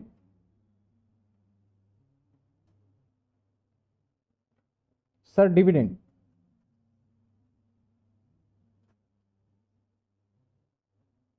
पहले आप समझिएगा डिविडेंड होता क्या है। अगर हम डिविडेंड की बात करें तो पहले समझ लेते हैं कि व्हाट इज़ द डिविडेंड मान लेते हैं एक कंपनी है एक्स वाई जेड लिमिटेड एक कंपनी है एक्स वाई जेड लिमिटेड इसने अपना मुनाफा कमाया पचास हज़ार। ये पचास हज़ार इसका प्रॉफिट है। और इस कंपनी के शेयर होल्डर 500 है। 500 शेयर होल्डर है। तो ये पचास हज़ार प्रॉफिट कितने में बढ़ जाएगा? 500 में। और हर हिस्से के में कितना आ गया? सौ रुपए। दैट इज़ कॉल्ड डिविडेंट इसको क्या बोलते हैं? डिविडेंट इसको बोला जाता है डिविडेंट यानी जब कंपनी अपने प्रॉफिट को अपने शेयर होल्डर के बीच में डिस्ट्रीब्यूट कर देती है दैट इज़ कॉल्ड डिविडेंट लेकिन डिविडेंट के भी टाइप्स होते हैं सर अगर डिविडेंड की बात करें तो डिविडेंड के भी टाइप्स हैं सर कौन कौन से डिविडेंड के टाइप्स हैं? और क्या है डिविडेंड का टाइप्स वैसे? डिविडेंड एक होता है फाइनल डिविडेंड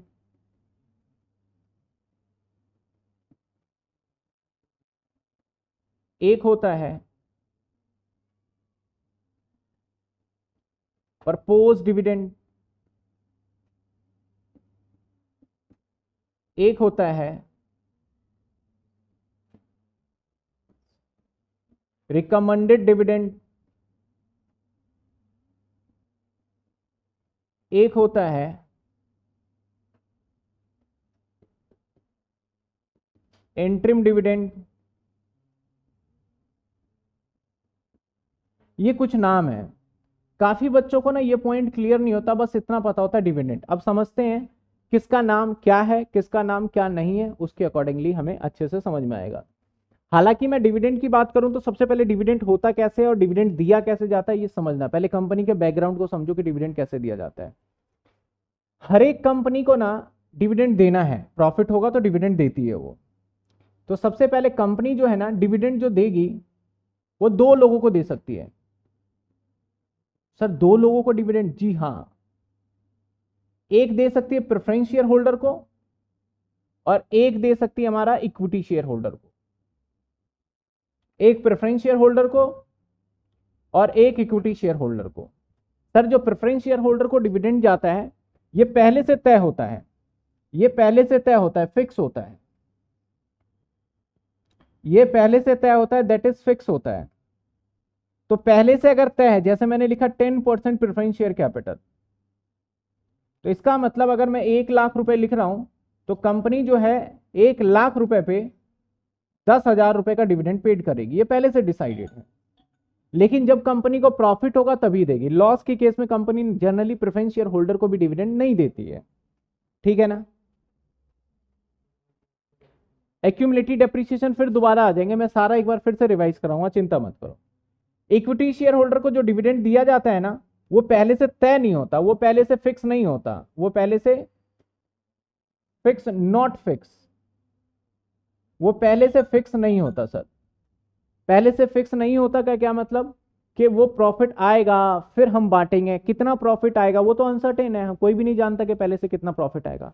तो कंपनी सबसे पहले ये दो तरीके के लोगों को डिस्ट्रीब्यूट करती है। अब इन दो लोगों को डिस्ट्रीब्यूशन कैसे किया जाता है डिविडेंड का? डिविडेंड का डिस्ट्रीब्यूशन करने के लिए कंपनी क्या करती है? एक मीटिंग बुलाती है। हर एक कंपनी को ना अपने हर साल में 30 सितंबर 30 सितंबर 30 सितंबर तक मीटिंग करना होता है। हर साल के 30 सितंबर तक। अब कमिंग अभी 30 सितंबर है, उसमें एक मीटिंग करना होता है। मीटिंग कई तरीके की होती है, जिसमें से दो मीटिंग बहुत प्रमुख होती है। जो कि कंपनी लॉ के अंदर इतना इंपॉर्टेंट रहता है कि एग्ज़ाम में पूछा ही जाता है। एक होता है हमारा जर्नल मीटिंग एक होता है annual general meeting general meeting का मतलब क्या होता है कि ऐसे ही बुला लो, जब मन करे बुला लो। एनुअल जर्नल मीटिंग का मतलब क्या होता है कि हमारे बैलेंस शीट को तैयार होने के बाद बुलाओ। तो दो मीटिंग हो गई। एक तो जब मन करे, मिलने का मन कर रहा है शेयर होल्डर से बुला लेते हैं, किसी बात पे चर्चा कर लेंगे दैट इज़ कौन सा जर्नल मीटिंग है, ये तो हो गया जर्नल मीटिंग और अगर एक बैलेंस शीट बन चुकी है, अब शेयर होल्डर को बुला के बता देना चाहिए तो ये कौन से वाला जनरल मीटिंग हो गया? Annual general meeting general meeting के अंदर सारी बातें रखी जाती है। अगर मैं थोड़ा सा आपको इमेज दिखाऊँ जनरल मीटिंग की तो आपको भी थोड़ा सा आइडिया हो जाएगा जनरल मीटिंग में क्या क्या होता है। जर्नल मीटिंग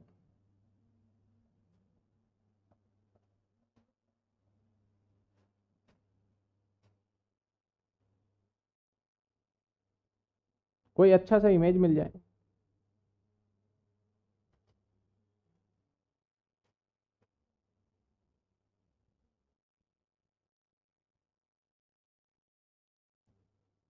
चलिए, इसी को ले लेते हैं। ये तो देख ही नहीं रहा कोई भी।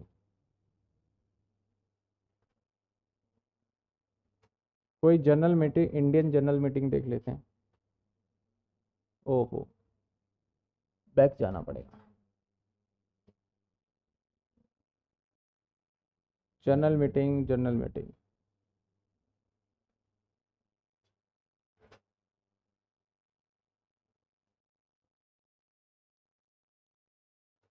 चलो।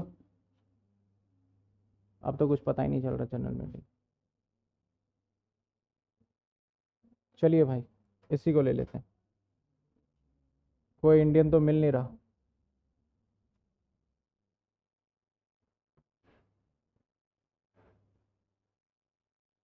देखिए, अगर मैं थोड़ा सा जनरल मीटिंग को बताऊँ आपको कि जनरल मीटिंग होता क्या है सर आपके सामने एक ये इमेज दिख रहा है, ठीक है? ठीक इसी तरीके से दिल्ली के अंदर ना जो जनरल मीटिंग होती है या एनुअल जनरल मीटिंग होती है, ज़्यादा से ज़्यादा हॉल के अंदर होता है। हॉल का मतलब इनका एक हॉल बनाते हैं या फिर जैसे कि आप देखोगे श्री फोर्ट हॉल है, जहाँ पे सारे मीटिंग्स को ऑर्गेनाइज किया जाता है दिल्ली के अंदर। जैसे बैंकेट हॉल में शादी किया जाता है तो ऐसे बैंकेट हॉल को भी कई बार बुक कर लिया जाता है कि जहाँ पे हम मीटिंग कर पाए। वहाँ पे क्या होता है अगर आपने एक रिलायंस का खरीदा ना शेयर तो आपको एक लेटर आएगा। और आपको लेटर आएगा और आपको बुलाया जाएगा। और आप बुलाया जाएगा तो आप यहाँ बैठेंगे। देख रहे हैं, यहाँ सब बैठे हुए हैं जो। आप यहाँ पे बैठ जाएँगे। और आप यहाँ पे क्यों बैठे हैं? यहाँ पे दो कारण। एक तो आप खाना खाने आए हैं यहाँ पे। यहाँ पे खाना पीना सब फ्री रहता है, कोई पैसा नहीं देना होता। और दूसरा देख रहे हो ये, इसको देख रहे हो, ये कौन है? इस मीटिंग का मुखिया, जिसको हम बोलते हैं चेयरमैन चेयरमैन ऑफ़ मीटिंग। और जनरली जो ये मीटिंग का मुखिया है ना, ये डायरेक्टर ही होता है। ये कौन होता है सर? डायरेक्टर ही होता है। ये डायरेक्टर है। ये आपको अपनी कंपनी के बारे में, यानी आप सब कौन हो? कंपनी के मालिक हो। और यहाँ पे और भी होते हैं। ये खाली है अभी, लेकिन और भी यहाँ पे होते हैं लोग। एक नहीं संभालता कभी भी। और पूरा हॉल भरा हुआ होता है। इसके अंदर आपसे कुछ परमिशन ली जाती है। परमिशन जैसे कि हम कंपनी का नाम बदलना चाह रहे हैं या कुछ भी डिसीज़न लेना है तो आपसे पूछेंगे। तो आप फैसला सुनाओगे तो फैसला आप कैसे सुनाते हो? शो ऑफ़ हैंड करके सुनाते हो या वोटिंग करके सुनाते हो? वो डिपेंड करता है। अब यहाँ पे ये जो है बैलेंस शीट बन चुका है। अब आप सभी को इसने क्या करा? एक बैलेंस शीट पकड़ा दिया। आप सभी को इसने क्या करा? एक बैलेंस शीट पकड़ा दिया। आप इसे पढ़िए। आप सभी को बैलेंस शीट मिल जाएगा। एक हार्ड कॉपी फॉर्मेट में मिलेगा।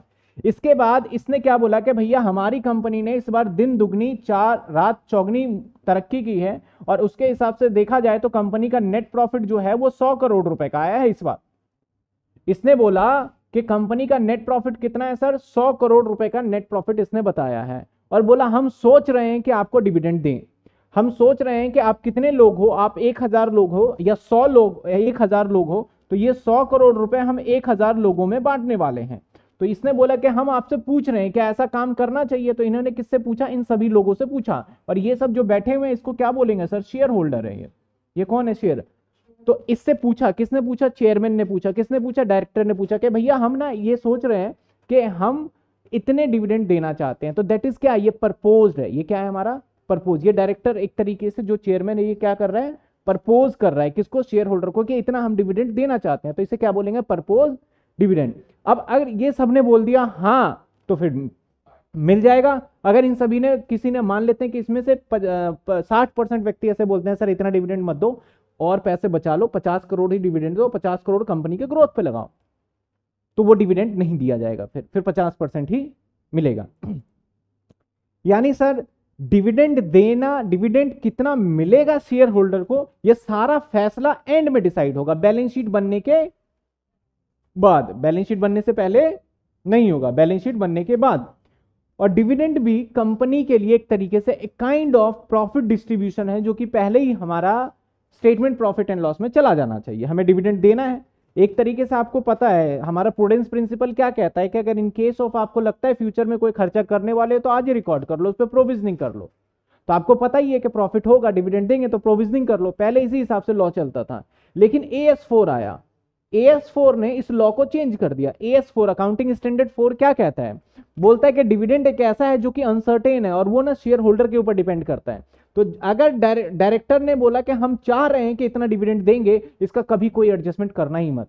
क्योंकि ये पॉसिबल ही नहीं है कि ये होगा भी या फिर नहीं होगा। हो भी सकता है और नहीं। तो बोला गया, इसको कहीं भी दिखाने की ज़रूरत नहीं है। अगर आपको सवाल में बोलता है कि प्रपोज डिविडेंड पाँच लाख रुपए से कहाँ दिखाएँगे? नहीं दिखाएँगे सर क्योंकि ये तो प्रपोज है। ये दिया थोड़ी ना गया, ये क्या है? परपोज है। तो परपोज डिविडेंड की बात करें तो इसकी कोई औकात नहीं है, इसे कहीं भी नहीं दिखाते हैं। अब डायरेक्टर ने बोला, भैया, कि हम परपोज डिविडेंड एक करोड़ है और फाइनली एक्सेप्टेड भी हो गया है, यानी फाइनल भी हो चुका है वो। इन सभी ने बोल दिया, चिल्ला के, जी हाँ डिविडेंड दे दिया जाए। तो वो कौन सा डिविडेंड हो गया हमारा? फाइनल डिविडेंड हो गया। तो फाइनल डिविडेंड होगा, वो हमारे लिए एक्चुअल जो देना बनता है, वो बनेगा। तो प्रपोज डिविडेंड और फाइनल डिविडेंड में डिफ्रेंशिएट क्या है? प्रपोज डिविडेंड डायरेक्टर प्रपोज करता है और फाइनल डिविडेंड क्या होता है? शेयर होल्डर एक्सेप्ट कर लेता है, उसको इतना पैसा मिलना तय है। एक रिकमेंडेशन डायरेक्ट जो प्रपोज करता है ना, इसी को बोला जाता है रिकमेंडेशन डिविडेंड ये तो बैलेंस शीट बनने के बाद बुलाया गया। कई बार डायरेक्टर साल के बीच में भी बुला लेता है। बैलेंस शीट बनानी है और डायरेक्टर ने बोला कि हमें लग रहा है कि इस बार हम पाँच करोड़ रुपए प्रॉफिट कमाएँगे और आपको डिविडेंड देना चाह रहे हैं, क्या बताओ, दे दें। तो कंपनी जो जितने भी शेयर होल्डर हैं, इन सभी शेयर होल्डर ने बोला, भैया, अभी तो बैलेंस शीट बनी नहीं है। तो आप कैसे देना चाहोगे डिविडेंड बोला कि हमें एक बहुत बड़ा टेंडर मिला है, जिसकी वजह से हम आपको प्रॉफिट होगा और हम अभी बांट देते हैं। तो ऐसा प्रॉफिट ऐसा प्रॉफिट जब शेयर होल्डर में बांटा जाए बैलेंस शीट बनने से पहले ही बांट दिया जाए, उसको बोला जाता है एंट्रिम डिविडेंड उसको क्या बोला जाता है? एंट्रिम डिविडेंड तो डिफरेंस समझ में आया? प्रपोज डिविडेंड और एंट्रिम डिविडेंड डायरेक्टर क्या करता है? आप ध्यान से देखना डायरेक्टर क्या करेगा? आप पहले ध्यान से देखना। ये डायरेक्टर है, इस डायरेक्टर ने बोला कि हम आपको दस रुपए का डिविडेंड बोल रहे हैं। और सभी ने एक्सेप्ट भी कर लिया। इन सभी लोगों ने बोला, ठीक है सर, दस रुपए का डिविडेंड दे दीजिए। तो दैट इज़ फाइनल डिविडेंड और इसी डायरेक्टर ने एक मीटिंग पहले भी बुलाई थी। और इस मीटिंग में बोला था कि हम चार रुपए डिविडेंड दे रहे हैं, हमें लग रहा है कि कंपनी का बहुत मुनाफा होगा। दैट इज़ आपका बैलेंस शीट बनने से पहले मीटिंग बुलाई गई थी। तो अगर ये चार रुपए बैलेंस शीट बनने से पहले मीटिंग बुलाई थी तो ये कौन सा डिविडेंड होगा बताओ? कौन सा डिविडेंड होगा ये? इंट्रीम डिविडेंड कौन सा होगा? बैलेंस शीट बनने से पहले था तो वो कौन सा होगा हमारा? इंट्रीम डिविडेंड होगा। जैसे कि क्या? रिकमेंडेशन और पर्पोज सेम होता है। रिकमेंड अभी मैं हम इस पर बात कर लेते हैं, ठीक है? तो पहला क्या था हमारा? इस डायरेक्टर ने इस मीटिंग में खड़ा होकर बैलेंस शीट सबके पास पहुँच गया है। बैलेंस शीट तैयार है। फिर बोला, हम देने की सोच रहे हैं कितने? दस रुपए। तो ये कौन सा डिविडेंड है? आप रिकमेंडेशन कह लो प्रपोज कह लो और शेयर होल्डर मान गए तो एक्सेप्टेड या फिर फाइनल डिविडेंड कह लो, या डिविडेंड पेड भी कह सकते हो। लेकिन इस मीटिंग में बैलेंस शीट बनने से पहले भी इसी डायरेक्टर ने एक बार मीटिंग बुलाया था और वहाँ पे चार रुपए का रिकमेंडेशन दिया था। तो इसको कौन सा डिविडेंड बोलेंगे हम? Interim dividend. अब देखो, यहाँ पे डायरेक्टर ने दस रुपए बोला है तो इसका मतलब यहाँ कंफ्यूजन है कि भाई दस रुपए तू कैसे बता रहा है, ये बता। क्या दस रुपए पिछले वाले चार को जोड़ के बता रहा है या पिछले वाले चार को जोड़ा नहीं है तूने? अगर ये बोलता भैया, दस रुपए टोटल क्योंकि प्रॉफिट निकलने के बाद तुम्हारे हिस्से के दस बन रहे हैं। तो डायरेक्टर क्या बोलेगा, भैया, तुम्हारे हिस्से के दस बन रहे हैं और चार हम पहले दे चुके हैं तो और कितना देंगे आपको? छह होगा। तो ऐसा भी हो सकता है कि जब इंट्रीम और आपका फाइनल डिविडेंड हो तो उस केस में फाइनल डिविडेंड हो सकता है कि इंट्रीम डिविडेंड को इंक्लूड करके बताया जा रहा हो। यानी अगर मैं यहाँ पे आपसे पूछूँ बड़ी सिंपल सी बात कि बड़ी सिंपल सी बात बताइए, इंट्रीम डिविडेंड कितना है? तो मैंने बोला, सर, इंट्रीम डिविडेंड कितना है हमारा? चार रुपए। और फाइनल डिविडेंड कितना पेड होगा, सर? तो आपका जवाब होना चाहिए, सर, छह रुपए पेड होगा। लेकिन फाइनल डिविडेंड तो दस बोला हुआ है। तो वो इंक्लूड है। मैंने वर्ड सेंटेंस सुनना, मैं क्या बोलता हूँ? Final dividend declare by the board of director rupees ten, including interim dividend मैंने कहा फाइनल डिविडेंड जो बोर्ड ऑफ़ डायरेक्टर ने रिकमेंडेशन किया दस रुपए करा इंक्लूडिंग इंट्रीम डिविडेंड इसका मतलब दस रुपए जो बताया जा रहा है, वो इंट्रीम डिविडेंड को इंक्लूड करके बताया जा रहा है। तो मतलब चार तो पहले ही मिल चुका है और अब कितना मिलेगा हमारा? छ अगर मैं यही लाइन सेंटेंस चेंज कर देता हूँ कि जो मैं दस रुपए डिविडेंड डिक्लेयर कर रहा हूँ एक्सक्लूडिंग इंट्रीम डिविडेंड इसका मतलब सर, चार ये तो मिल ही गए थे। दस हम और देना चाहते हैं, दस हम और देना चाहते हैं आपको। तो पहले फ़र्क समझ में आया? आपको डिविडेंड की एंट्री करनी है, लेकिन वहाँ पे सावधानी बरतनी है। अगर दोनों डिविडेंड आ जाए, इंट्रीम डिविडेंड और फाइनल डिविडेंड तो ऐसे सिचुएशन में हो सकता है फाइनल डिविडेंड आपका एज इट इज़ सारा आ जाए रिज़र्व एंड सरप्लस में से माइनस हो जाए। हो सकता है कि फाइनल डिविडेंड से पहले इंटरिम डिविडेंड माइनस हो और फिर वहाँ पे जाए। समझ में आई बात आपको? तो हमारे तीन चार तरीके के थे। तो फाइनल डिविडेंड मतलब भैया इनने बोल दिया यस प्रपोज डिविडेंड डायरेक्टर ने बोला, भैया प्रपोज कर रहे हैं, आप बता दो, देना है या फिर नहीं देना। और इसी को रिकमेंडेशन भी बोलते हैं। इंट्रीम मतलब हमने आप सबको बुलाया तो है, लेकिन बैलेंस शीट तैयार नहीं, हम अंदाजे से आपको डिविडेंड दे रहे हैं साल के बीच में। That is called interim dividend तो मेरे हिसाब से आपको ये दो जो छोटे छोटे से पॉइंट से ये समझ में आया होगा कि क्या इंट्रीम डिविडेंड है और क्या परपोज डिविडेंड है और इसको किस तरीके से टेकल किया जाएगा। अब इसकी हम अकाउंटिंग ट्रीटमेंट देख लेते हैं कि सर इसका अकाउंटिंग ट्रीटमेंट क्या करने वाले हैं पहले इसमें देखिए, इसमें कोई किसी को डाउट और हालाँकि आप लोगों ने अगर उसमें पढ़ा हो, लॉ के अंदर बड़े ध्यान से, कंपनी एंड कंपनसेशन लॉ के अंदर तो ये चैप्टर तो था ही और उसके अकॉर्डिंग चल रहा था। बताइए मुझे। Sir final propose and recommendation same होता है। नो फाइनल डिविडेंड मतलब का होता है कि आपको मिलेगा ही मिलेगा, पक्का हो चुका है एक्सेप्टेंस मिल गया परपोज का मतलब ये फाइनल नहीं है कि आपको मिलेगा या नहीं मिलेगा रिकमेंडेशन का मतलब भी फाइनल या नहीं मिलेगा। बोर्ड ऑफ़ डायरेक्टर ने बोला कि भैया हम सोच रहे हैं कि इतना डिविडेंड देंगे, आपको देना चाहते हैं, ये परपोज है या रिकमेंडेशन है? शेयर होल्डर ने बोला, जी, दे दो। अब डायरेक्टर ने बोला, चलो ठीक है साइन वाइन हो गया। अब फाइनल डिविडेंड बन चुका है ये। समझ में आई बात आपको? टेन ईयर की जानकारी आज मिल जाएगी, आपको मैं सारा बुक प्रीव्यू वगैरह सब दिखा दूँगा आज मैं। पहले अभी तक के सिर्फ़ इस डिविडेंड में किसी को दिक्कत है? किसी को डिविडेंड में प्रॉब्लम है अभी तक? हाँ परसेंटेज में बोला तो सारी चीज़ें देखेंगे क्वेश्चन में परसेंटेज में बोला तो हमेशा शेयर कैपिटल अभी मैं तो बता रहा हूँ अकाउंटिंग एस्पेक्ट तो मैंने बात ही नहीं किया है। अभी तो सिर्फ़ और सिर्फ़ थियोरिटिकल एस्पेक्ट में हमने बात किया है। चलिए। सर, अब आ जाते हैं हम अकाउंटिंग एस्पेक्ट की तरफ़। डिविडेंड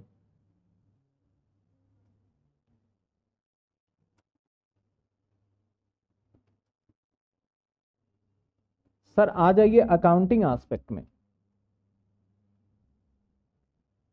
सर डिविडेंड दो तरीके से बोला जा सकता है।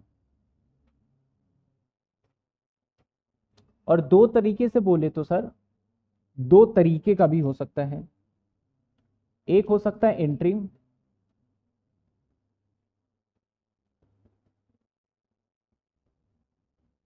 एक हो सकता है हमारा फाइनल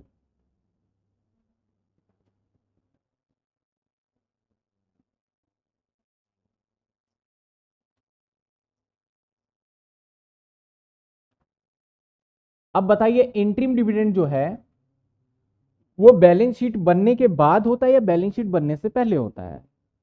बताइए। इंट्रीम डिविडेंड बैलेंस शीट बनने के बाद होता है या बैलेंस शीट बनने से पहले होता है? बैलेंस शीट बनने से तो बैलेंस शीट बनने से पहले अगर चीज़ें हो चुकी है तो डेफिनेटली वो ट्रायल बैलेंस में भी आ गया होगा। तो इंट्रीम डिविडेंट ऑलवेज आपको ऑलवेज ऑलवेज आपको एक ही जगह देखने को मिलेगा और वो मिलेगा आपको ट्रायल बैलेंस में मिलेगा। और ट्रायल बैलेंस में अगर आपको गिवन है इंटरिम डिविडेंड तो इसको क्या करना है सर? इसको लेस कर देंगे। Less from reserve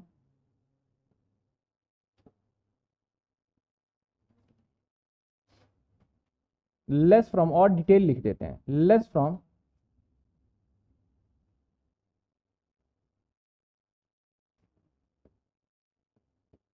current year profit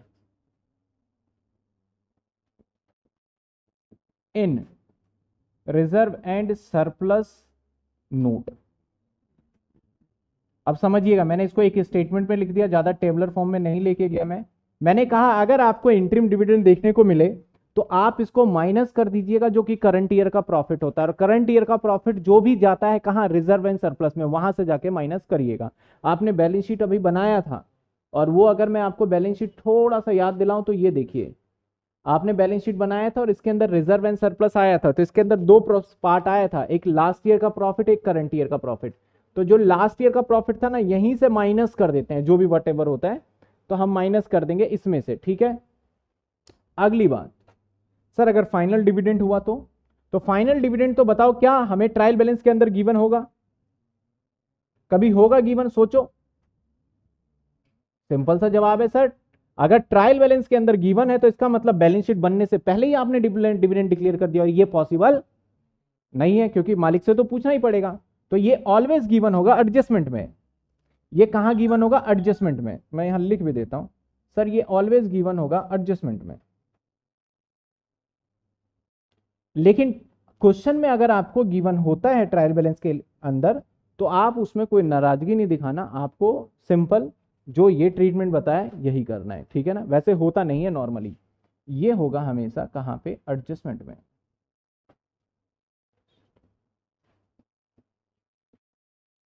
ये होगा ऑलवेज एडजस्टमेंट में। सर, अगर एडजस्टमेंट में हुआ तो दो एंट्री होंगी फिर तो। फिर तो सर, आप दो जगह दिखाओगे इसको।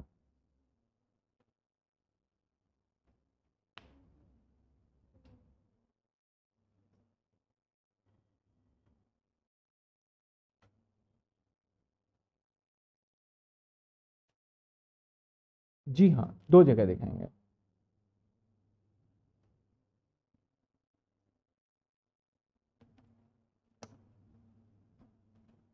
एक तो हम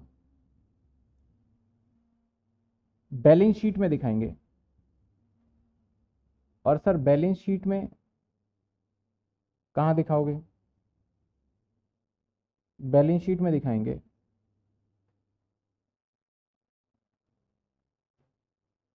लेस कर देंगे।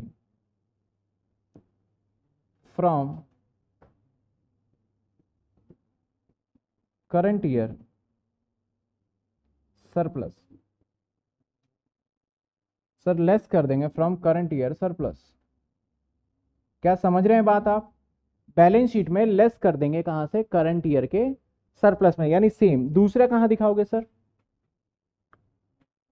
दूसरा भी बैलेंस शीट में ही जाएगा। क्योंकि ये डिविडेंड पेड करोगे आप। क्योंकि ये डिविडेंड पेड करोगे।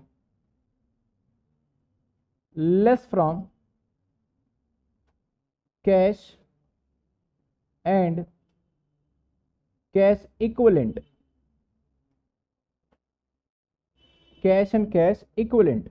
एक चीज़ आप हमेशा ध्यान रखिएगा, मैं इस पर स्टार बना रहा हूँ। इसका एक और ट्रीटमेंट है, वो ट्रीटमेंट मैं आपको तब तक नहीं बता पाऊँगा जब तक कि एक प्रैक्टिकल आस्पेक्ट ना हो जाए। मैं प्रैक्टिकल आस्पेक्ट की बात कर रहा हूँ तो इस सवाल में भी देखिए, आपको डिविडेंड देखने को मिलेगा। देखिए, एक डिविडेंड देखने को मिला है। कहाँ मिला है आपको? बैलेंस शीट के अंदर, छह लाख रुपए का। और एक बाहर भी डिविडेंड देखने को मिलेगा कहीं ना कहीं। कहाँ मिला है डिविडेंड बाहर? देखते हैं, कहीं बोल रहा है ये क्वेश्चन में? कहाँ कह रहा है? ये रहा। No final dividend declare by the company, यानी इसने बोल दिया कि कंपनी फाइनल डिविडेंड देना ही नहीं चाह रही तो इसका कोई मतलब ही नहीं रह जाता। सिर्फ़ और सिर्फ़ यहाँ पे दे रखा है तो इसकी एक एंट्री कर देंगे। ऐसे ही एक दो क्वेश्चन और देख लेते हैं, चलिए, क्योंकि बिना डिविडेंड की कंपनी कैसे चलेगी? यहाँ पे भी देखिए, क्या एंट्रीम डिविडेंड देखने को मिला है? तो सर, यहाँ नहीं है तो यहाँ पे देखने को मिल जाएगा। क्या कहता है sir? The board of recommended payment of dividend 15 percent पर एनम कहता है कि 15 परसेंट पर एनम इसने क्या करा? रिकमेंडेशन किया है 15 परसेंट डिविडेंड हालाँकि मैंने नए वाले टेन ईयर में रिकमेंडेशन की जगह पे फाइनल करवा दिया है इसको। काट के फाइनल करवा दिया है। तो दो the board of director board ने फाइनल पेमेंट ऑफ़ डिविडेंड कितना करा है? पंद्रह परसेंट कर दिया है। अब फाइनल मान लीजिए। तो सर, इसके दो एंट्री फाइनल पेमेंट करा है। तो एक तो क्या होगा? रिज़र्व एंड सरप्लस में चला जाएगा। और एक चला जाएगा कैश एंड कैश इक्विवेलेंट से माइनस इसके और भी एस्पेक्ट है जो कि साथ के साथ करेंगे। लेकिन सर, ये परसेंटेज समझ में नहीं आया। सर, ये पंद्रह परसेंट जो निकाला जाएगा ना, वो हमेशा शेयर कैपिटल पे निकाला जाएगा। सर शेयर कैपिटल का मतलब जो क्वेश्चन में कैपिटल गिवन होगा उस पर दैट इज़ ये रहा। ठीक है ना? ये रहा हमारा। जिन बच्चों को नहीं दिख रहा, मैं इधर कर देता हूँ। अगली क्लास में इसको सही से टाइप करा लेंगे। ठीक है? यानी आपको डिविडेंड का जो होगा ना अमाउंट भी दिया जा सकता है और परसेंटेज भी दिया जा सकता है। तो अगर हम अमाउंट की बात करें ना नोट लिख देता हूँ। In case note in case dividend given in percentage term then calculate on paid up capital paid up capital चलिए इसके एग्ज़ाम्पल भी हो जाए तो ज़्यादा बढ़िया रहेगा सर। ज़्यादा हमारे लिए क्लियरिटी आ जाएगी एग्ज़ाम्पल दे देते हैं। ध्यान दीजिए। एग्ज़ाम्पल सुनिए। मैंने कहा हमारा शेयर कैपिटल एक लाख का है और डिविडेंड ट्वेंटी परसेंट डिसाइडेड है। शेयर कैपिटल एक लाख का है और डिविडेंड कितने परसेंट डिसाइडेड है? ट्वेंटी परसेंट डिसाइडेड है। तो बताइए डिविडेंड अमाउंट क्या होगा? क्योंकि अल्टीमेटली आप रिज़र्व एंड सरप्लस में तो अमाउंट माइनस करेंगे ना परसेंटेज थोड़ी ना माइनस करेंगे। तो यहाँ पे डिविडेंड आएगा। यहाँ पे डिविडेंड आएगा। आपको वेरी सिंपल एक लाख के ऊपर twenty percent that is twenty thousand rupees एक और एग्ज़ाम्पल लेते हैं। यहाँ बच्चे गलती कर देते हैं। मान लो share capital ten rupees each but paid up थोड़ा आपको घुमाया जाए। शेयर कैपिटल या इक्विटी शेयर कैपिटल दस हज़ार। At the ten rupees each paid up at rupees या रुपीज़ एट मान लो, आठ रुपए का पेमेंट हुआ है। और जो डिविडेंड गया है दैट इज़ टेन परसेंट आप मुझे बताइए क्या डिविडेंड होगा? अगर आप पूछते हैं, सर शेयर कैपिटल कितने का? तो एक लाख का है। दस हज़ार अगर है तो शेयर कैपिटल कितने का है, सर? एक लाख है। अगर आप पूछते हैं, सर शेयर कैपिटल होल्डर ने पैसे कितने दिए? तो दैट इज़ अस्सी हज़ार ही दिए हैं। तो आपका डिविडेंड किस पे निकलना चाहिए? आप प्रॉफिट किस पे कमाएँगे? जितना बिज़नेस में पैसे लगाएँगे उस पर कमाएँगे या फिर जितना सोच रहे हो उस पर कमाएँगे? लगाओगे तो लगाया कितना? अल्टीमेटली देखा जाए तो यहाँ पे फाइनल जो पैसा लगाया गया वो अस्सी हज़ार ही लगाया गया है। तो इस अस्सी हज़ार पे ही दस परसेंट निकलेंगे दैट इज़ आपका आठ हज़ार रुपए। समझ में आई बात आपको? यानी आपको अगर शेयर अनकॉल्ड कैपिटल मिलता है या फिर कॉल्स इन एरियर भी होता है इनफैक्ट तो वो माइनस करके जो पूरा पैसा आपके पास आया है सिर्फ़ उसके ऊपर ये परसेंटेज कैलकुलेट करना है, ना कि जो दे रखा है टोटल 10 से मल्टीप्लाई करके कैलकुलेट करना है, ठीक है? तो सही जवाब आ गया, काफ़ी बच्चों का, लगभग सभी का ये आ गया कि 8000 इसका आंसर होगा। क्लियर किसी को कोई दिक्कत? नहीं। तो चलिए सर, ये डिविडेंड का पॉइंट खत्म हुआ। एडजस्टमेंट नंबर क्या था? मैं एक बार लिख देता हूँ, नहीं तो आप भी भूल जाओगे जब नोटिंग करोगे तो।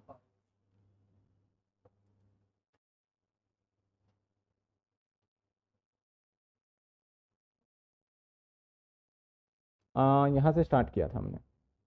Adjustment number one adjustment number two adjustment number three adjustment number चार। एडजस्टमेंट नंबर पाँच। अब आते हैं एडजस्टमेंट नंबर छ हिडन एडजस्टमेंट सर, ये हिडन एडजस्टमेंट क्या है? इसकी क्या कहानी है? मैंने आपको अभी थोड़ी देर पहले क्या समझाया कि सर एडजस्टमेंट का मतलब होता है जो कि ट्रायल बैलेंस के बाहर गिवन होता है, उसे बोलते हैं हम एडजस्टमेंट लेकिन कई बार ऐसा भी होता है कि ट्रायल बैलेंस के अंदर ही गिवन होता है हमारा एडजस्टमेंट उस एडजस्टमेंट को ट्रायल बैलेंस के जो बाहर है, वो तो दिख रहा है साफ़ साफ़ तो दैट इज़ सिंपल एडजस्टमेंट और जो ट्रायल बैलेंस के अंदर है, जिसके बारे में बताया भी नहीं जाएगा, उसको मैंने नाम दे रखा है हिडन एडजस्टमेंट सर, वो किस तरीके का हो सकता है? एक बार मैं उसके बारे में बता देता हूँ। कैसे हो सकता है? देखने में कैसा लगता होगा ये? तो देखने में सर ऐसा लगता होगा जैसे कि जैसे कि मैंने लिखा टेन परसेंट बैंक लोन। मैंने यहाँ बैंक लोन लिख दिया। आप डेबिट क्रेडिट बिल्कुल टिपिकल मत जाइएगा, बस मैंने लिख दिया। ये क्या है हमारा सारा? Trial balance. ट्रायल बैलेंस के अंदर अगर उसके आगे परसेंटेज लग गया दैट इज़ ये भी एडजस्टमेंट का पार्ट है। एक तो बाहर भी लिखा हो सकता है, लेकिन अंदर होगा तो वो भी परचेसमेंट देखो, जैसे कि यहाँ पे डिबेंचर है, इसके आगे क्या लगा हुआ है? ये एडजस्टमेंट है। समझ रहे हो? तो बाहर तो नहीं बताया, लेकिन ऑल दो बाहर बता दिया हाफ़ ईयर का डिबेंचर इंटरेस्ट ड्यू है, वो बाहर बता दिया, अलग बात है, लेकिन ये क्या है हमारे लिए? एक एडजस्टमेंट है। समझ रहे हो बात को आप? तो हिडन एडजस्टमेंट के केस में आपका क्या हो सकता है सर हिडन एडजस्टमेंट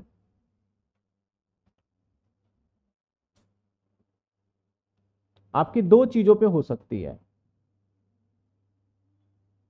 मेजरली, वैसे तीन चीज़ों पे होगी।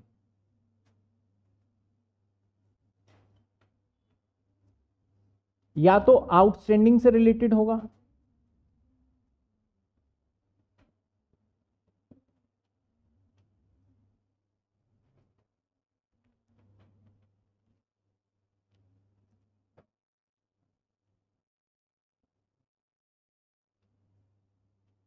या तो आउटस्टैंडिंग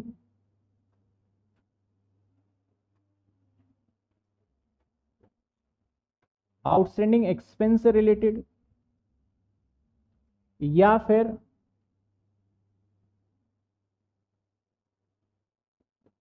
आउटस्टैंडिंग इनकम से रिलेटेड। काफ़ी बच्चों ने आउटस्टैंडिंग इनकम पहली बार सुना हो, ऐसा हो सकता है। देखिए आउटस्टैंडिंग का मतलब अगर मेरे से पूछेंगे हिंदी शब्द का, इसका क्या मतलब है? तो आउटस्टैंडिंग का मतलब बड़ा सीधी सी बात है, बकाया। आउटस्टैंडिंग का मतलब क्या होता है? सिंपल सी बात है, बकाया। अब आउटस्टैंडिंग बकाया, अगर मेरा इनकम बकाया है, अगर आउटस्टैंडिंग मेरा इनकम बकाया है दैट इज़ हमारे लिए ये क्या है? एसेट्स लेकिन अगर आउटस्टैंडिंग एक्सपेंस बकाया है तो ये हमें देना है तो क्या है हमारे लिए? लाइबिलिटी इसी आउटस्टैंडिंग बकाए को हम एक और शब्द के जानते हैं। क्या है दूसरा नाम? इसको हम जानते हैं एक्रूड एक्रूड इनकम या फिर इंटरेस्ट कह लो। ठीक है? एक्रूड इनकम या फिर इंटरेस्ट कह लो। मैं स्लैश करके इंटरेस्ट भी लगा ही दूँ, क्योंकि ज़्यादा पॉपुलर ये इंटरेस्ट से है। ज़्यादा पॉपुलर इंटरेस्ट से है। Outstanding expense. ये हमेशा गिवन होगा आउटस्टैंडिंग एक्सपेंस किस पे? सर, लोन पे। या फिर सर, डिबेंचर पे।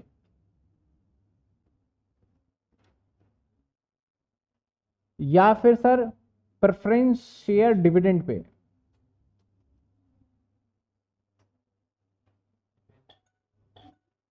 या तो प्रेफरेंस शेयर डिविडेंड पे हो सकता है या लोन पे हो सकता है। एडवांस इनकम पे अभी आएँगे हम डेटर बेडेट्स पे भी आएँगे, अभी चिंता मत करो।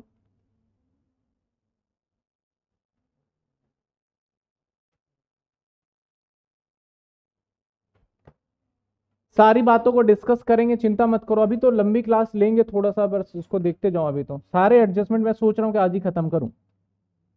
तो आउटस्टैंडिंग एक्सपेंस भी होगा आउटस्टैंडिंग इनकम भी होगा। आउटस्टैंडिंग एक्सपेंस की बात करें, या तो डिवेंचर पे हो सकता है, या फिर आपका बैंक लोन पे हो सकता है, या फिर प्रोफेंशियल डिविडेंड पे हो सकता है।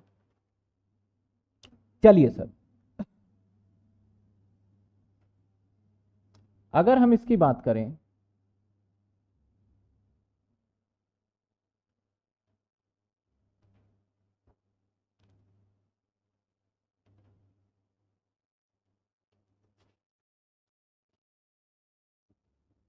आपके सामने इसको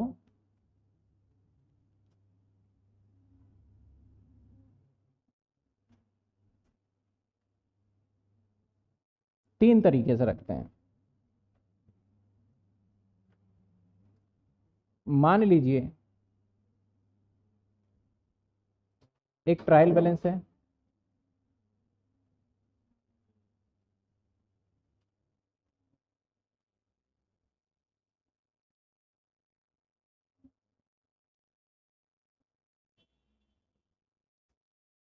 आपके सामने तीन तरीके से समझेंगे हम।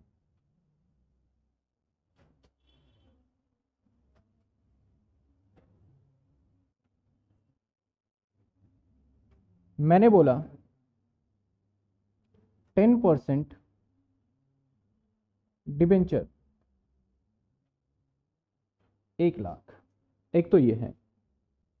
दूसरा टेन परसेंट डिबेंचर एक लाख। इंटरेस्ट ऑन डिबेंचर पाँच हज़ार या छ हज़ार।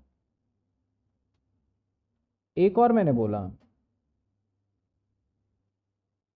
ट्वेल्व परसेंट डिबेंचर एक साथ 2022 और ये एक लाख है। इंटरेस्ट इंटरेस्ट तीन हज़ार। ये तीन जानकारी आपको दी गई है और इस ट्रायल बैलेंस के बाहर कोई भी आपको जानकारी नहीं दिख रही होगी। लेकिन मैं फिर भी कहूँगा, ये it is also part of adjustment ये एडजस्टमेंट का पार्ट है। अगर ऐसी जानकारी हो और ट्रायल बैलेंस के बाहर कोई इंफॉर्मेशन नहीं है, कोई सूचना नहीं गिवन तो हम एक अजम्पन लेते हैं बहुत छोटी सी। सर, क्या अजम्पन लेते हैं? कि इसके ऊपर अगर इंटरेस्ट दिया होता, अगर इस 10 परसेंट का मतलब है हमें ब्याज देना है, ठीक है? इस 10 परसेंट का मतलब है हमें ब्याज देना है।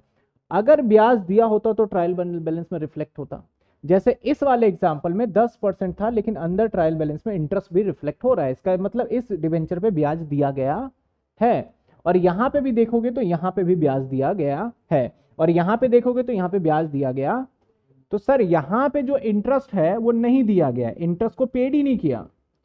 इंटरेस्ट नॉट पेड तो सर, अगर आपने इंटरेस्ट नहीं पेड किया तो एज पर एक्रूवल कॉन्सेप्ट हमें इंटरेस्ट को पेड करना चाहिए। तो सर इंटरेस्ट पेड करेंगे तो दो जगह चला जाएगा हमारा, सर। सर, अगर हम इंटरेस्ट पेड करेंगे तो दो जगह कहाँ कहाँ जाएगा? सिंपल सी बात है, जो आउटस्टैंडिंग का ट्रीटमेंट था। यानी एक चला जाएगा, sir statement profit and loss में। और एक चला जाएगा बैलेंस शीट में। स्टेटमेंट प्रॉफिट एंड लॉस में किधर जाना है? कौन बताएगा स्टेटमेंट प्रॉफिट एंड लॉस में? बताओ कहाँ जाता है? स्टेटमेंट प्रॉफिट एंड लॉस में कहाँ जाता है? Finance cost. एक्सपेंस तो सबको पता है। नई कहानी क्या बताई आपने? जो बच्चे बोल रहे हैं, एक्सपेंस में जाएगा, ये तो फिर आंसर नहीं हुआ आपका। कहाँ जाएगा ये? फाइनेंस कॉस्ट में, ठीक है ना? जो बच्चा एक्सपेंस सोच रहा हो, मन में समझ लो, तुक्के वाला बच्चा है, उसे नहीं आ रहा। बैलेंस शीट में कहा जाएगा? बैलेंस शीट के लाइबिलिटी साइड और लाइबिलिटी में कहा? बताओ। लाइबिलिटी में कहा? लाइबिलिटी में कहा? कौन बताएगा? Other current liability other current liability ठीक है? यानी अगर ट्रायल बैलेंस में गिवन है दस परसेंट तो एक तो इसका मतलब है कि हमने इंटरेस्ट पेड ही नहीं किया।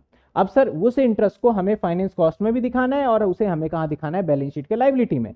लेकिन sir how much interest amount तो इंटरेस्ट हम कैलकुलेट करेंगे तो इंटरेस्ट इजिकल टू एक लाख रुपए के ऊपर दस परसेंट दैट इज़ आपका दस हज़ार रुपए। समझे बात आप? कोई दिक्कत? दूसरे एडजस्टमेंट ऐसा दिया हो सकता है। इसका मतलब है, सर, आपने एक लाख रुपए का तो था आपका लोन डिबेंचर लेकिन उस पर आपने डिबेंचर पे इंटरेस्ट भले ही पेड किया है। आपने पेड कर रखा है। लेकिन यहाँ पे भी पेड का अगर हम कैलकुलेशन करेंगे सबसे पहले, हम अंदाज़ा लगाएँगे। सबसे पहले ऐसे सिचुएशन में कैलकुलेशन किया जाएगा। तो सर इंटरेस्ट का अगर मैं कैलकुलेशन करूँ तो इंटरेस्ट दैट इज़ एक लाख रुपए पे टेन परसेंट बन रहा है, और जो कि निकल के आ रहा है हमारा दस हज़ार। लेकिन हमने ध्यान से अगर इस क्वेश्चन को पढ़ा और देखा अगर सिचुएशन को तो हमने क्या पाया कि भैया इंटरेस्ट तो दस हज़ार बन रहा है, लेकिन इसने पेमेंट कितना किया है? मात्र छह हज़ार रुपए। इसका मतलब यहाँ पे भी इंटरेस्ट नहीं दिया है इसने। यहाँ पे भी इंटरेस्ट नहीं दिया है और यहाँ पे भी इंटरेस्ट नहीं दिया है, लेकिन दोनों में फ़र्क है। यहाँ पे पूरा ही इंटरेस्ट नहीं दिया और यहाँ पे इंटरेस्ट का कुछ पार्ट नहीं दिया। दैट इज़ आपका चार हज़ार रुपए नहीं दिया, क्योंकि टोटल दस बन रहा था और इसके अंदर अगर दे रखा है छह हज़ार, इसका मतलब उसने लिखा हुआ है। तो कितना हो गया हमारा टोटल चार हज़ार। तो अब एडजस्टमेंट जाएगी। वो एडजस्टमेंट क्या होनी है सर इसकी? सेम एडजस्टमेंट होनी है सर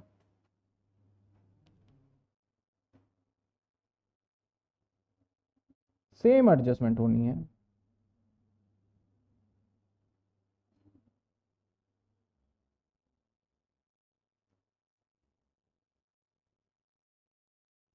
सर सेम एडजस्टमेंट हाँ। बट अमाउंट क्या जाएगा? चार हज़ार और यहाँ भी चार हज़ार।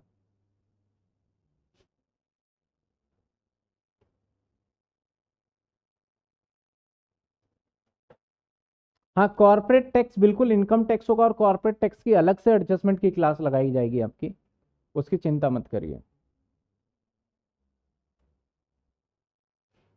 बताइए, इसमें कोई दिक्कत? अब तीसरे वाले पार्ट में देखिए। तीसरा वाला पार्ट आपको ऐसे भी गिवन हो सकता है और साथ के साथ तीसरे वाले पार्ट में एक और छोटी सी बातें जानकारी जोड़ी जा सकती है कि डिबेंचर, इशू, ऑन, एक साथ 2022 यानी आपको जो डेट है, अब ध्यान से देखिएगा, तीसरे वाले पार्ट की बात कर रहा हूँ, ये थोड़ा सा मिक्स मत करिएगा, बस आप तीसरे वाले पार्ट में देखिएगा कहता है डिबेंचर एक लाख का है और इस तारीख का मतलब है कि इस डिबेंचर को हमने, यानी ये कर्जा जो एक लाख है, ये हमने लिया एक साथ को और 31 मार्च को खत्म हो जाएगा। मतलब सर, ये कर्जा हमने पूरे साल तक नहीं चलाया। यहाँ पे आपने धड़ल्ले से सीधा दस परसेंट निकाला, यहाँ पे धड़ल्ले से दस परसेंट निकाला, क्योंकि यहाँ पे एक और एजम्पन छुपा हुआ था कि ये जो डिबेंचर हमने लिया हुआ है, ये डिबेंचर हमने साल के शुरू से ही चल रहा है ये तो पूरे साल का ब्याज है। लेकिन यहाँ पे क्लियरली क्वेश्चन ने इसमें भी कह दिया, या हो सकता है आपको बाहर कह दे। क्लियरली पता चल रहा है एक साथ को लिया गया। तो एक साथ का मतलब आपका, देखा जाए तो सात का मतलब जुलाई, अगस्त, सितंबर, अक्टूबर, नवंबर, दिसंबर, जनवरी, फरवरी, मार्च। पूरे नौ महीने तक आपने इसका ब्याज इस्तेमाल किया है। अब नौ महीने तक इस्तेमाल किया है तो सबसे पहले क्या कर लो? कैलकुलेट। सर, क्या कैलकुलेट करोगे? इंटरेस्ट। सर, इंटरेस्ट कैसे कैलकुलेट करेंगे? एक लाख रुपए पे। बारह परसेंट लिखा है मैंने इसलिए यहाँ पे। Into nine by hundred that is नौ हज़ार क्या आया निकल के हमारा? नौ हज़ार अब हमने क्या पाया कि भैया हमारा टोटल ब्याज बनता था नौ हज़ार जिसमें से सवाल के अंदर ही तीन हज़ार रुपए का पेमेंट किया हुआ है। तो अब यहाँ पे भी हमारा, यहाँ एडजस्टमेंट बन जाता है। कितने रुपए का एडजस्टमेंट बनता है हमारा? छह हज़ार रुपए का। तो सर ट्रीटमेंट क्या करोगे? ट्रीटमेंट एग्जैक्टली सेम होना है। बस अमाउंट चेंज हो जाना है।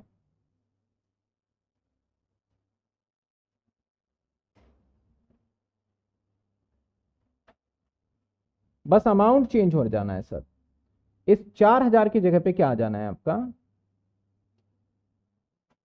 छ हज़ार. कोई दिक्कत, कोई परेशानी? बताइए।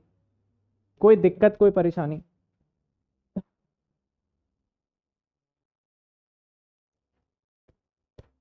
नाइन बाय ट्वेल्व मैंने नाइन बाय ट्वेल्व अच्छा नाइन बाय हंड्रेड कर दिया। Nine by twelve. चलिए सर, ये भी कर दिया। देखिए, एक बार मैं पूरा बता दूँ। एक बार विजुअलाइज एक ही जगह कर देते हैं, कोशिश करते हैं। जी हाँ सर।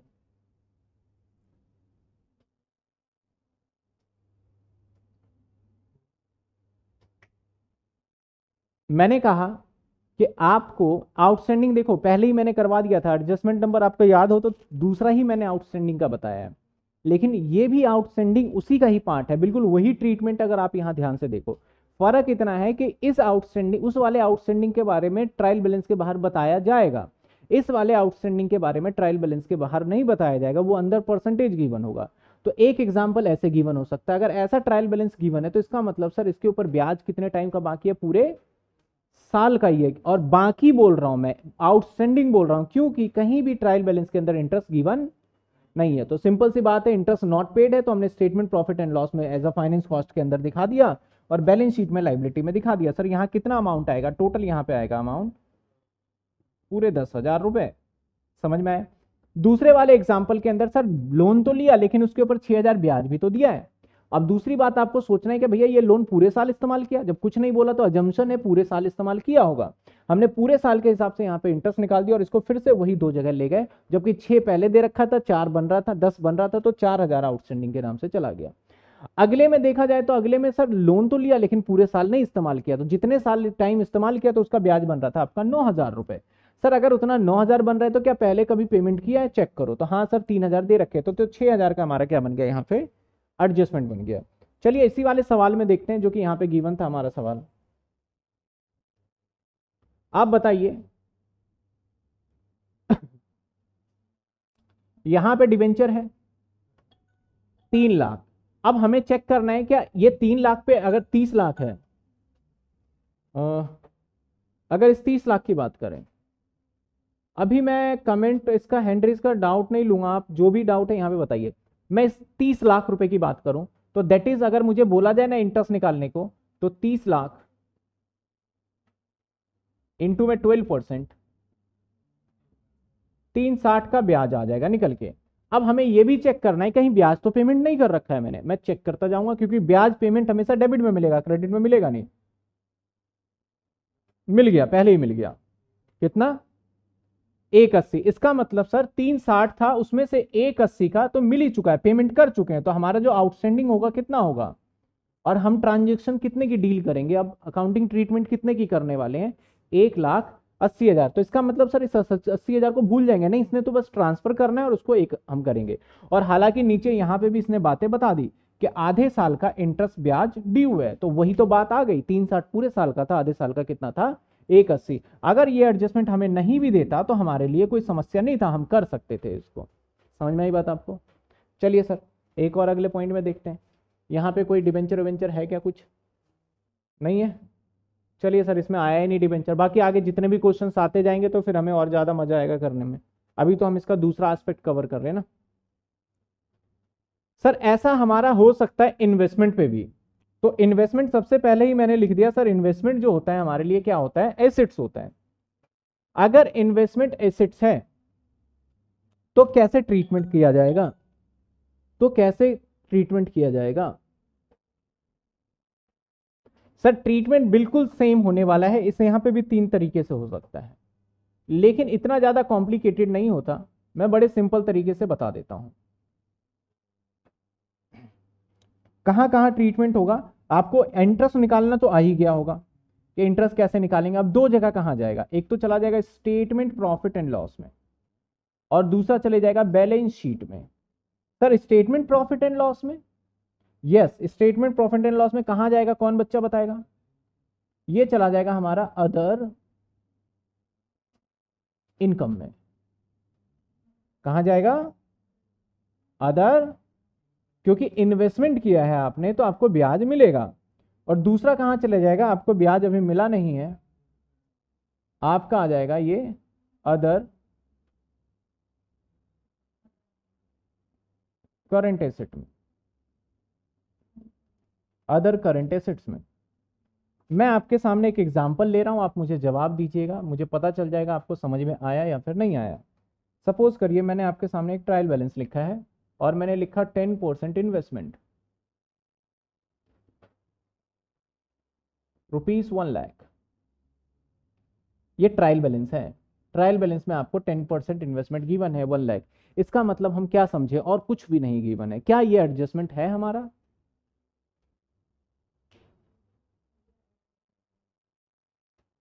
इसका मतलब क्या है? आपने कहीं ना कहीं एक लाख रुपए इन्वेस्टमेंट किया है। और उस पर आपको दस परसेंट का ब्याज मिलना है। तो क्या आपको कहीं भी दस परसेंट का ब्याज मिलता हुआ दिख रहा है इसमें? इसका मतलब ये टोटली आपको दस परसेंट ब्याज नहीं मिला है। जब आपको नहीं मिला है तो ये बन गया किसका पार्ट एडजस्टमेंट का। और जैसे ही एडजस्टमेंट का पार्ट बना, दो जगह ले जाओगे। एक तो स्टेटमेंट प्रॉफिट एंड लॉस के अदर इनकम में और दूसरा बैलेंस शीट के अदर करंट लाइबिलिटी में। कितने अमाउंट से लेके जाओगे? एक लाख रुपए के ऊपर दस percent that is ten thousand rupees चलिए थोड़ा सा इसमें वेरिएशन कर दें। अगर मैं यहाँ पे लिख दूँ एक दस दो हज़ार बाईस, अब आपका जवाब क्या सेम होगा या बदल जाएगा? कौन बच्चा बताता है इसका जवाब क्या होगा? कितना इंटरेस्ट कहाँ जाएगा? आपका आंसर सेम होगा या बदल जाएगा?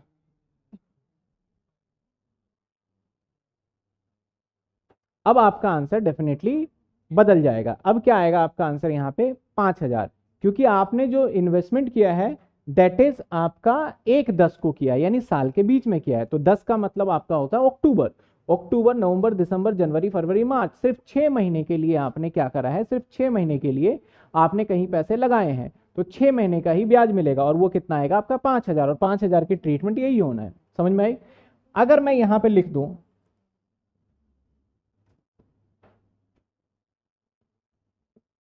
दो हज़ार। अब क्या करेंगे बताइए? हमारा टोटल ब्याज कितना मिलना चाहिए? सर, छह महीने का ब्याज हमें पाँच हज़ार रुपये मिलना चाहिए। जिसमें से हमें कितना मिल चुका है? दो हज़ार। तो अब कितने की एंट्री करोगे? तीन हज़ार रुपए की अब एंट्री करेंगे, जिसको हम हर जगह क्या करने वाले हैं? रिफ्लेक्ट कर देंगे। बिल्कुल ठीक। निशा का जवाब आ गया। और भी भावेश का जवाब आ गया। सार्थक सभी ने जब लगभग लगभग राजलक्ष्मी, नंदिनी, गौतम इराम सभी ने जवाब दे दिया, बिल्कुल सही। तो क्या मैं मान लूँ कि आपको ये वाला कॉन्सेप्ट पूरा समझ में आ गया, इस तरीके का अगर होगा तो आप इसको टेकल कर सकते हो हमारे सवाल के अंदर, ठीक है ना? चाहे आपका इंटरेस्ट लेने वाला पॉइंट बने, चाहे देने वाला बने, वो हम कर सकते हैं, ठीक है? अगले एडजस्टमेंट पे चलते हैं अब हम। ये एडजस्टमेंट नंबर था। कौन सा था ये एडजस्टमेंट नंबर सिक्स ये सिक्स है।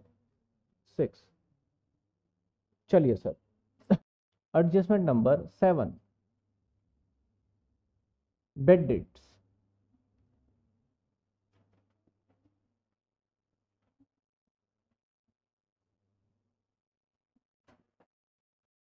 sir bad debts भी दो चीज़ों पे हो सकता है।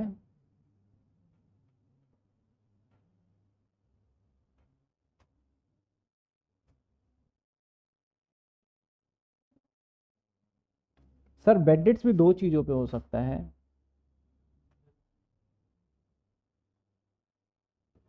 एक गिवन हो सकता है हमें कहा? ट्रायल बैलेंस में। और एक भी गिवन हो सकता है।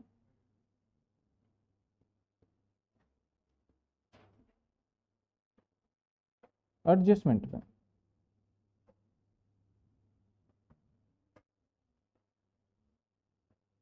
ठीक है, सर। अगर हम ट्रायल बैलेंस की बात करें तो आपको पता है ट्रायल बैलेंस में तो सिंगल एंट्री जाना होता है। ट्रायल में बैलेंस में गिवन होगा तो चला जाएगा स्टेटमेंट प्रॉफिट एंड लॉस में। सर कहाँ जाएगा स्टेटमेंट प्रॉफिट एंड लॉस में? चला जाएगा अदर एक्सपेंस में। कहाँ चला जाएगा हमारा? अदर एक्सपेंस में।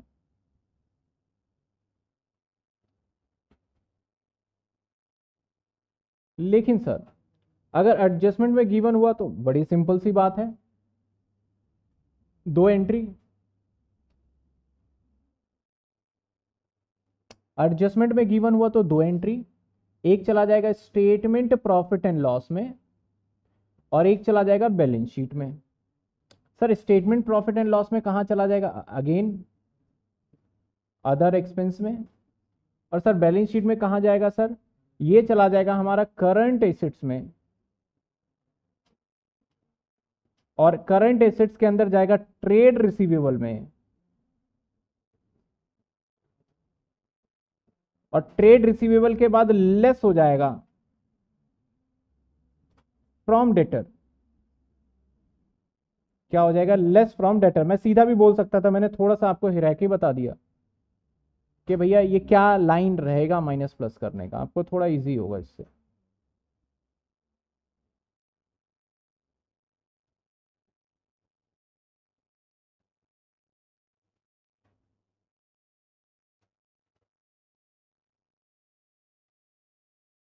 समझ में आई बात आपको? ये क्या था हमारा? बेड डेट्स चलिए, एक और एडजस्टमेंट देखते हैं। जब हमारा प्रोविज़न फॉर बेड डेट्स और हमारा एक और बेड डेट्स मर्ज हो जाता है। कौन सा? प्रोविज़न फॉर बेड डेट्स और ये सिंपल वाला बेड डेट्स दोनों मर्ज हो जाए तो क्या करेंगे? ठीक है ना? चलिए, आ जाते हैं। ये बहुत सिंपल था, जो आपको आता भी था। एडजस्टमेंट नंबर कौन सा है? एट्थ बेड डेट्स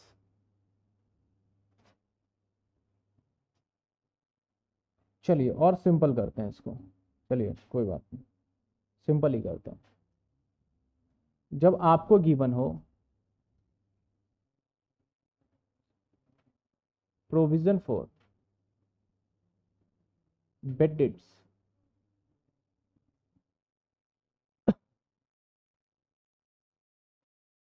जब गिवन हो आपको प्रोविज़न फॉर बेड डेट्स तो सर इसका क्या? इसका क्या करना है? अगेन कहानी घूम फिर के वहीं आ जाती है। किसकी? दो एंट्री हो सकती है। सर दो एंट्री क्या हो सकता है? या तो हो सकता है ट्रायल बैलेंस में गिवन हो, या हो सकता है आपका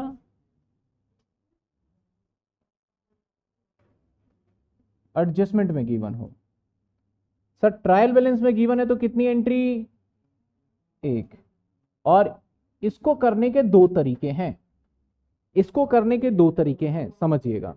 मैं एक सिंपल सा तरीका और सिंपल सा मेथड लेके चलूँगा, आपको वही फॉलो करना है। बुक वालों ने क्या कर रखा, नहीं कर रखा डजेंट मैटर ठीक है? तो हम क्या करेंगे इसे? अदर इनकम में दिखाएँगे। कहाँ दिखाएँगे सर हम इसे? सर, ये इनकम कैसे है? इस सवाल का जवाब थोड़ी देर बाद मिल जाएगा आपको। और एडजस्टमेंट में हुआ तो?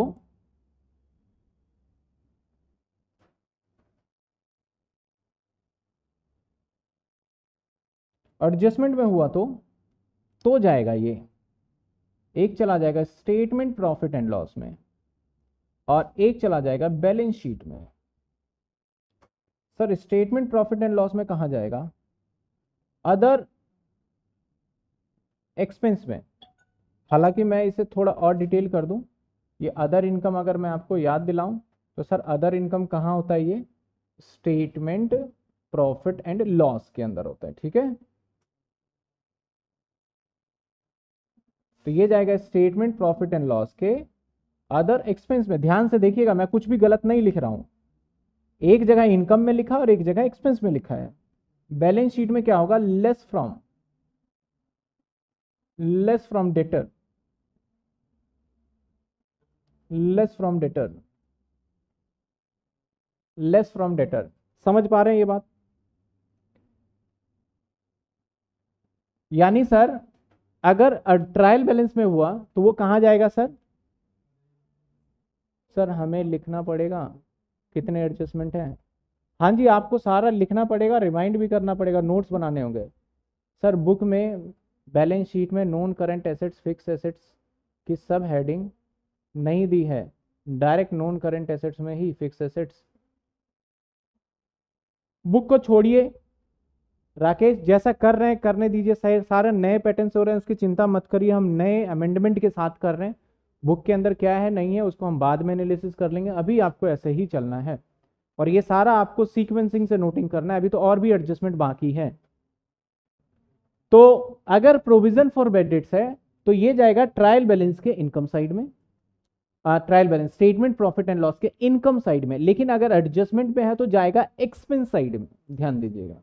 एक जगह अदर इनकम है और एक जगह अदर एक्सपेंस है। ये मैंने गलती से नहीं लिखा, ये ठीक लिखा हुआ है। और दूसरा कहा जाएगा? लेस फ्रॉम डेटर दूसरी साइड पुराने वाले की बात करें तो अगर होगा तो पी एंडल के अदर एक्सपेंस में और एडजस्टमेंट में हुआ तब भी अदर एक्सपेंस में जाएगा। दोनों को दिमाग में रखिएगा, सर, अगर प्रोविज़न फॉर डाउटफुल डेट्स हुआ तो ट्रायल बैलेंस वाला तो इनकम में चला जाता है, लेकिन एडजस्टमेंट वाला एक्सपेंस में होता है। लेकिन अगर बेडिट्स हुआ तो ट्रायल बैलेंस वाला एक्सपेंस में होता है और एडजस्टमेंट वाला भी कहाँ होता है, सर एक्सपेंस में ही होता है। इस बात का ध्यान रखिएगा। चलिए, सर, अब थोड़ा और इंटरेस्टिंग बनाया जाए इसे। Adjustment number now.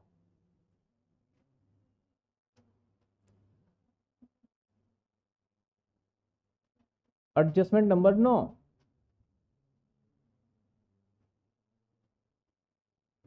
Bad debts and provision for bed dates. जब आपको दोनों जानकारी एक साथ हो। बहुत बच्चे सवाल पूछते हैं इस पे। उसका सिर्फ़ एक ही कारण है। स्टार्टिंग में वो ध्यान से नहीं देखते, इसलिए उनको बाद में बाकी बहुत डाउट आता है। और तो कोई दूसरा रीज़न नहीं लगता मुझे।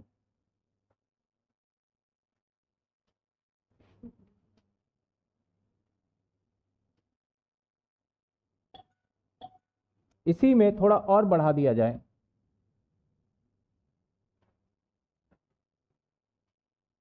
एंड डिस्काउंट एंड डिस्काउंट भाई, जब तक माइक चार्ज है, तब तक क्लास चलता रहेगा, चिंता मत करो।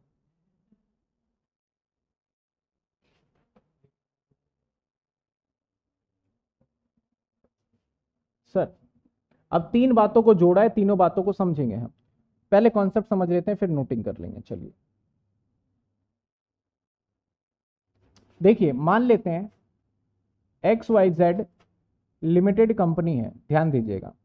एक कंपनी है, जो कि कौन है sir? X Y Z limited एक कंपनी है। ठीक है?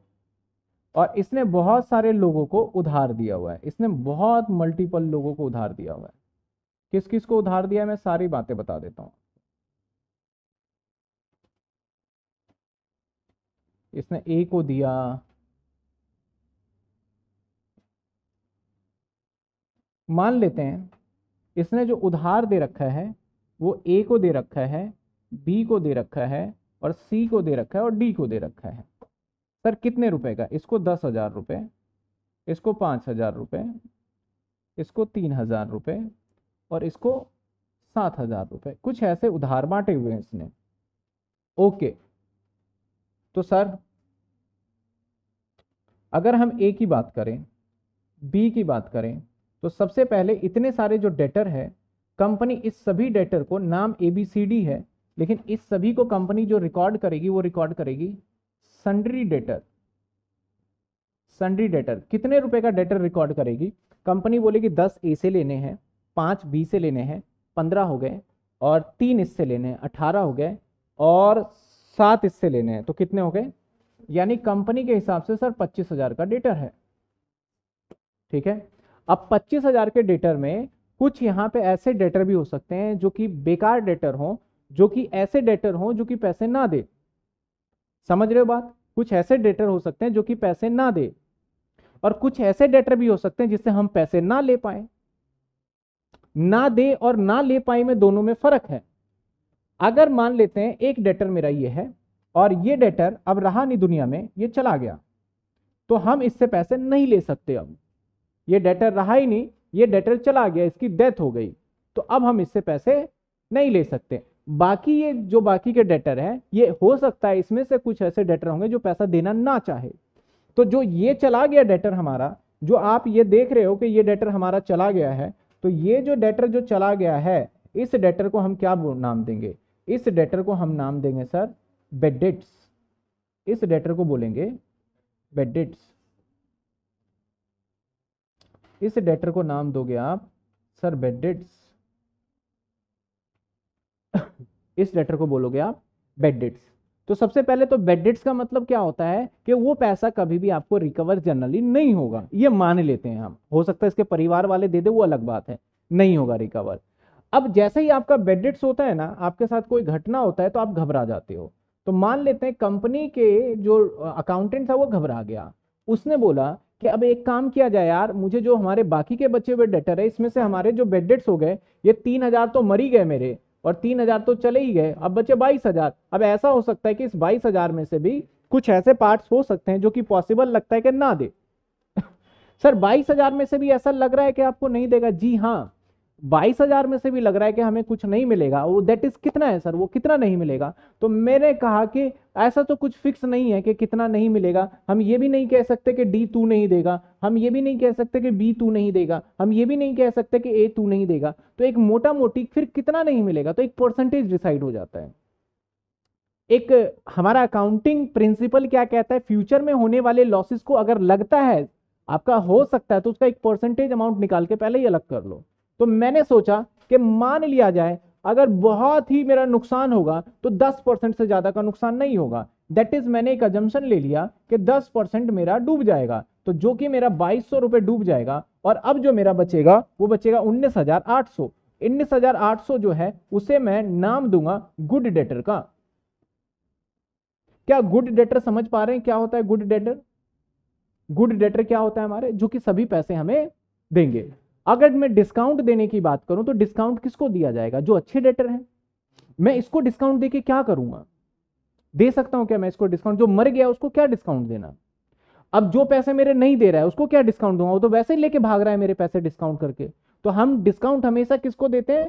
जो कि एकदम गुड डेटर होता है, जो कि अच्छा डेटर होता है, हम उसको क्या देते हैं? डिस्काउंट देते हैं। अब मेरा एक सवाल है, अगर मैं इसी कैलकुलेशन को थोड़ा मैं अपने तरीके से करूँ, मैंने मान लिया जाए, मैंने बोला कि मैं आपको डिस्काउंट भी दूँगा और वो मैं दूँगा दस परसेंट, जो कि आएगा हमारा वन नाइनटी एट उन्नीस सौ अस्सी रुपए। तो इसी को डिस्काउंट मिलेगा। इसी कैलकुलेशन को मैं दूसरे अपने तरीके से करूँ, मान लेते हैं कि मेरा डेटर क्या था? पच्चीस हज़ार। पहले मैं मान लेता हूँ, बना लू प्रोविज़न पहले प्रोविज़न बनाया। प्रोविज़न का मतलब क्या होता है कि अंदाज़ा है डूब जाएगा, दस परसेंट दैट इज़ कितना बना हमारा? 2500 बातों को समझिएगा। 2500 बनाने का मतलब अब मुझे लगता है कि मेरे पच्चीस हज़ार रुपए के डेटर हैं, उसमें से 10 परसेंट मेरे पैसे नहीं मिलेंगे। यानी इस पच्चीस हज़ार पे मुझे डाउट हो रहा है तो आपका डाउट ही गलत है। सर, ये तो पहले ही मर गया, इसको हटाओ आप। आप डाउट उसी पे कर सकते हो जो कि ज़िंदा है, जिससे कि पैसे आपको मिलने की उम्मीद है, जिससे पैसे मिलेंगे, उसी पे डाउट करोगे। पच्चीस हज़ार पे डाउट करने का मतलब आप इसके ऊपर डाउट कर रहे हो।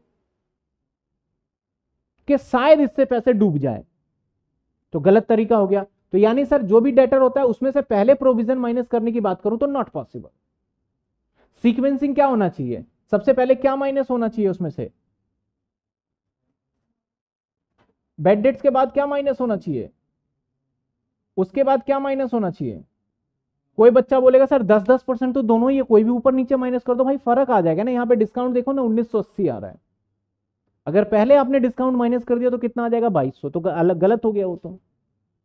तो आपको ध्यान रखना है सीक्वेंसिंग क्या होता है हमारा? सबसे पहले डेटर में से माइनस करते हैं बेड डेट्स बेड डेट्स को माइनस करने के बाद जो वैल्यू बचता है उस पर लगाते हैं प्रोविज़न प्रोविज़न को माइनस करने के बाद जो वैल्यू बचता है उस पर लगाते हैं डिस्काउंट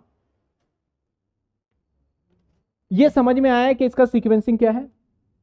अब सर, ये जो प्रोविज़न है, क्या ये प्रोविज़न आपका डूब ही जाएगा? अब आप इस साल की अकाउंटिंग करने जा रहे हो। आप इस साल की अकाउंटिंग कर रहे हो। ठीक है ना?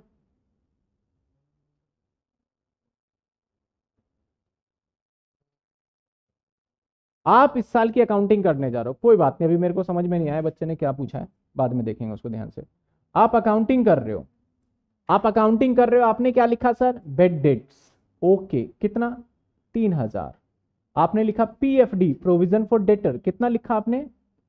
बाईस और आपने डिस्काउंट लिखा। डिस्काउंट कितना लिखा? 1980 और सब कुछ कर कुरा के आपका नेट प्रॉफिट मान लेते हैं। सपोज़ करो दस हज़ार आ गया। मान लेते हैं इस साइड में कोई amount X Y Z given है। हो गया। इसका मतलब सर, इसका मतलब सर, आप प्रूफ के साथ कह रहे हो कि हमारा प्रॉफिट दस हज़ार है। और दस हज़ार के अंदर हमारे बाईस सौ रुपए डूब जाएँगे।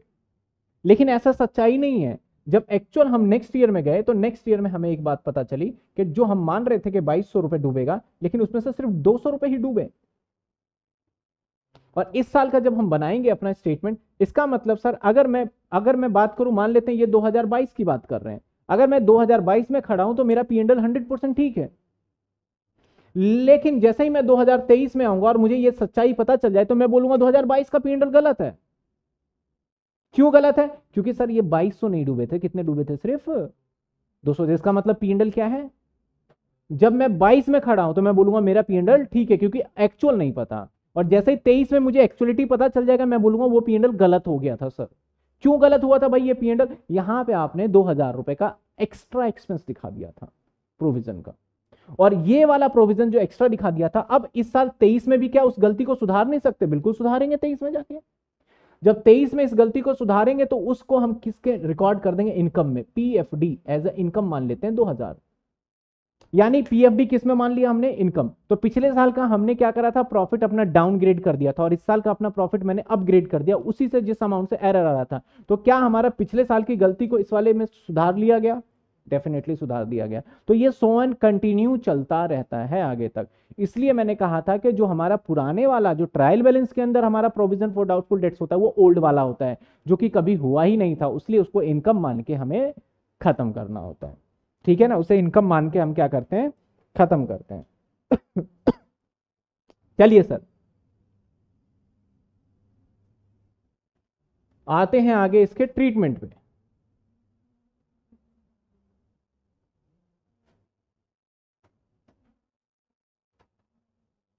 Accounting treatment. हो सकता है ये ट्रायल बैलेंस में गिवन हो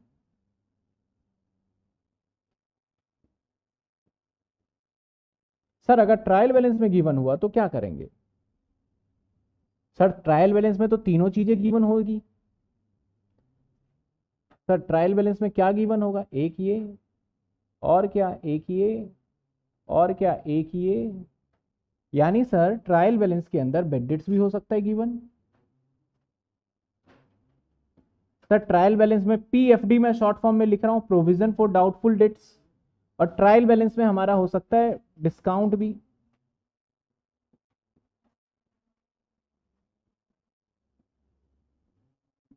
सर, अगर ये ट्रायल बैलेंस में गिवन हुआ तो क्या करेंगे इन सभी का?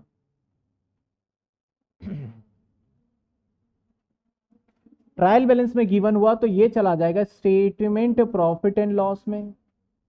सर, ये भी जाएगा स्टेटमेंट प्रॉफिट एंड लॉस में और ये भी जाएगा sir statement profit and loss में। यानी सभी स्टेटमेंट प्रॉफिट एंड लॉस में जाएगा? जी हाँ।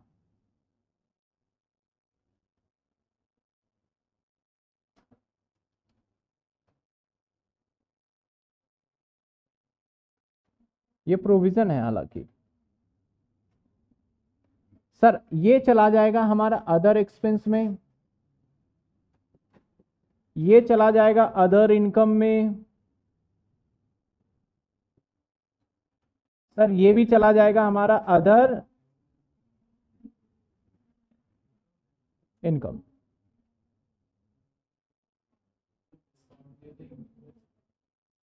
प्रोविज़न है वो, दिया नहीं है।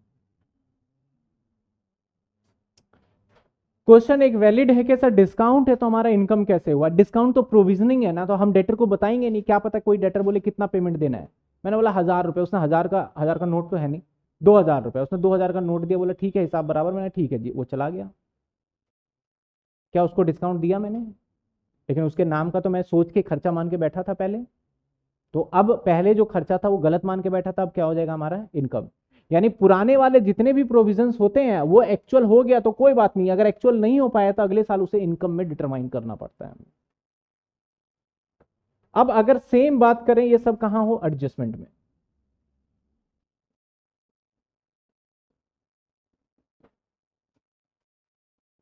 सर, ये सब बातें कहाँ लिखी हो? एडजस्टमेंट में। तो एडजस्टमेंट में जब लिखा होगा तो सबसे पहले मैंने लिखा डेटर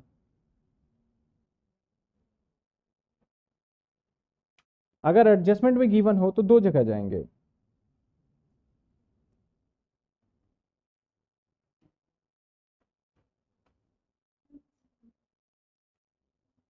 सर, एक जाएगा स्टेटमेंट प्रॉफिट एंड लॉस में, एक जाएगा बैलेंस शीट में।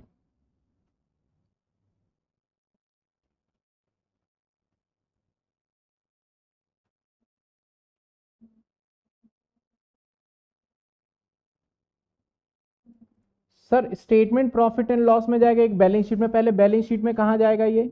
ये चला जाएगा हमारा ट्रेड रिसीवेबल में।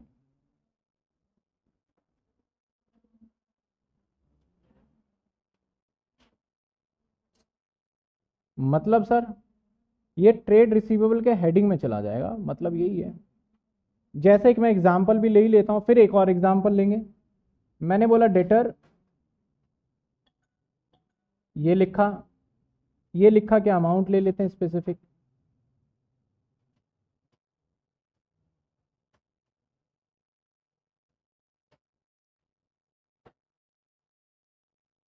जैसे डेटर दस हज़ार माइनस सबसे पहले क्या किया जाए? लेस कर देंगे हम।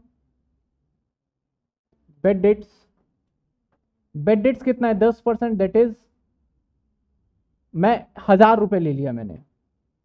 दस परसेंट मत समझना इसको मैं।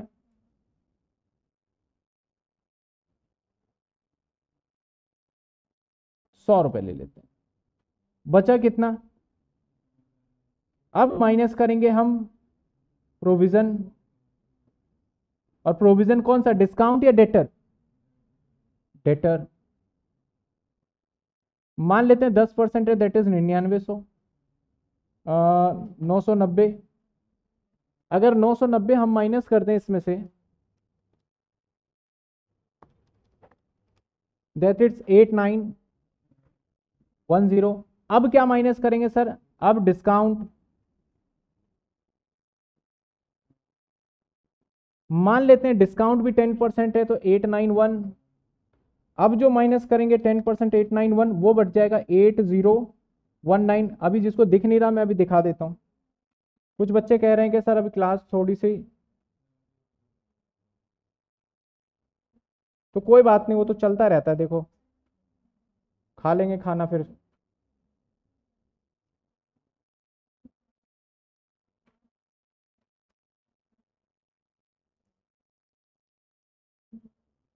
जी हाँ अब इसकी डबल एंट्री की बात कर रहे हैं।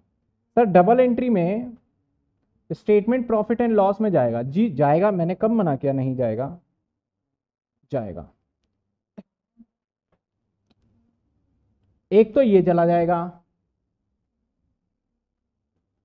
एक ये भी जाएगा। एक ये भी जाएगा। बिल्कुल जाएगा।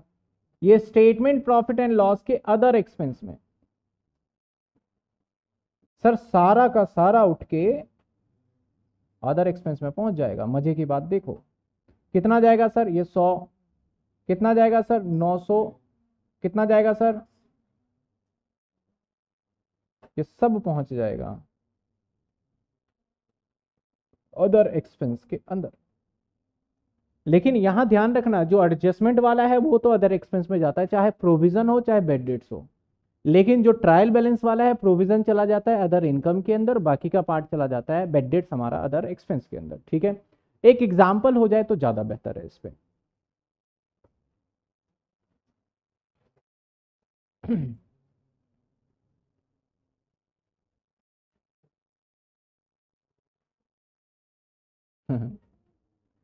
रिकॉर्डेड क्लास पता नहीं कब आएगी, पहले लाइव तो ले लो।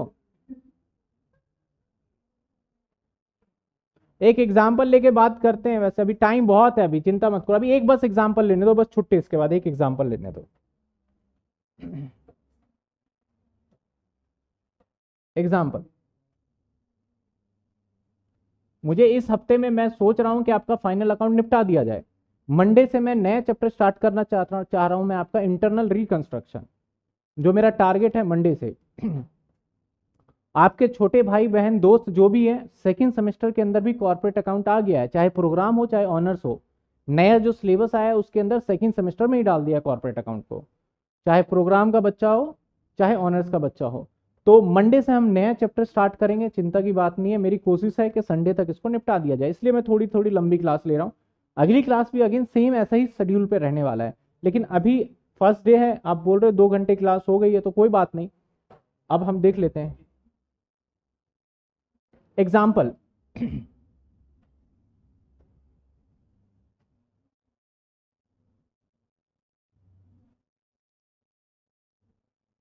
ये आपके सामने एक ट्रायल बैलेंस है।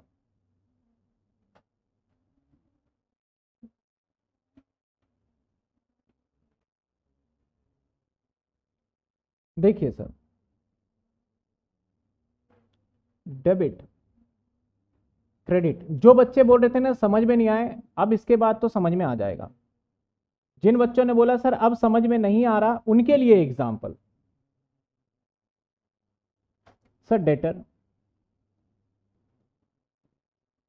एक लाख। बेड डेट्स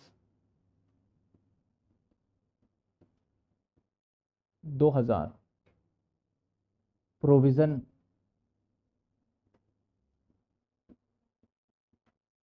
four बेडिट्स छ सौ। प्रोविज़न फॉर डिस्काउंट चार सौ। एडजस्टमेंट क्या कहता है? Number one make provision on data on data 10% bed dates 2000 provision. For discount. Provision for discount. 10% अब देखिए, बच्चों को पता है सबसे बड़ा कंफ्यूजन और सबसे बड़ी प्रॉब्लम वाली बात क्या रहता है इसमें? बच्चों का सबसे ज़्यादा प्रॉब्लम सर ट्रायल बैलेंस में भी प्रोविज़न बाहर भी प्रोविज़न ट्रायल बैलेंस में भी डिस्काउंट बाहर भी डिस्काउंट यहाँ भी बेड डेट्स यहाँ भी बेड डेट्स सर अमाउंट तो अलग अलग है। भाई, बातें भी अलग अलग है ये। अमाउंट अलग नहीं है, बातें भी अलग है। ये हो चुका है और ये भूल चुके हैं। दोनों में फ़र्क है। तो इसका क्या ट्रीटमेंट होगा वो भी देख लेते हैं। सर, क्या ट्रीटमेंट करेंगे इसका?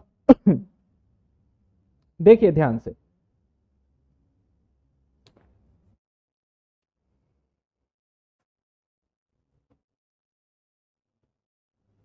एक तो जाएगा बैलेंस शीट में। एक चला जाएगा स्टेटमेंट प्रॉफिट एंड लॉस में। अरे एक जाएगा बैलेंस शीट में, एक जाएगा स्टेटमेंट प्रॉफिट एंड लॉस में, ठीक है?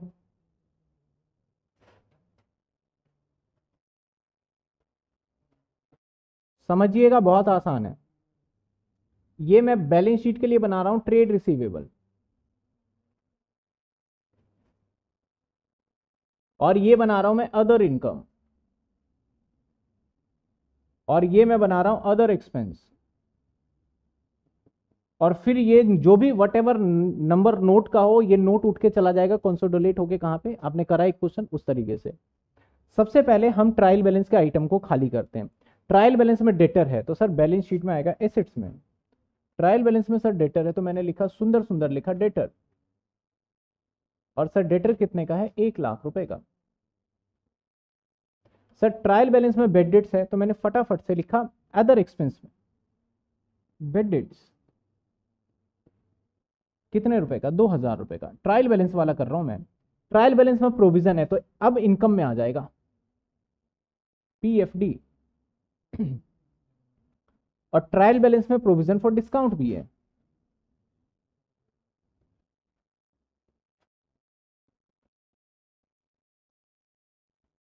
फोर हंड्रेड चलिए जी, मैंने अभी एडजस्टमेंट को बिल्कुल भी हाथ नहीं लगाया एडजस्टमेंट को मैंने बिल्कुल भी नहीं छेड़ा।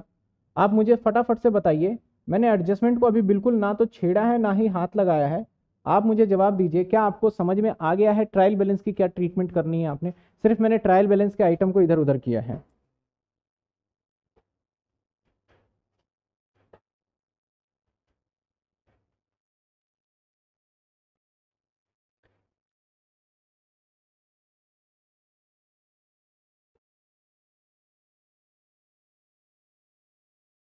ये समझ में आ गया, सभी बच्चे बोल रहे बिना सोचे समझे सब आ रहा है समझ में।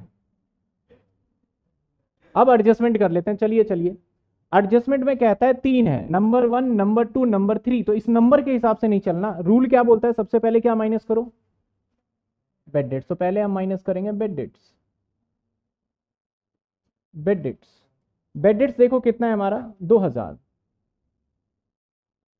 अब बचाइए नाइनटी एट अब जो बैलेंस हमारा बचाइए अब क्या माइनस करना है हमें? पीएफडी सर पीएफडी कितने परसेंट दस percent that is ninety eight hundred अब फिर से बचेगा बैलेंस? सर, बैलेंस कितना बचेगा?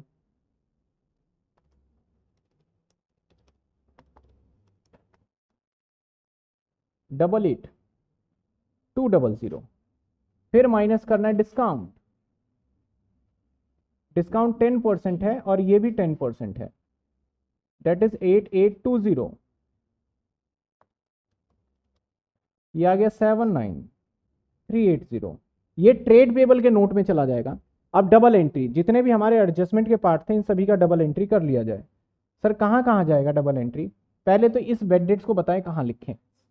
एक्सपेंस में। तो पहले से एक बेड डेट्स है सर एक बार और आएगा हाँ इसे लिखेंगे further bad debts further bad debts ये कौन सा है? न्यू वाला है ये।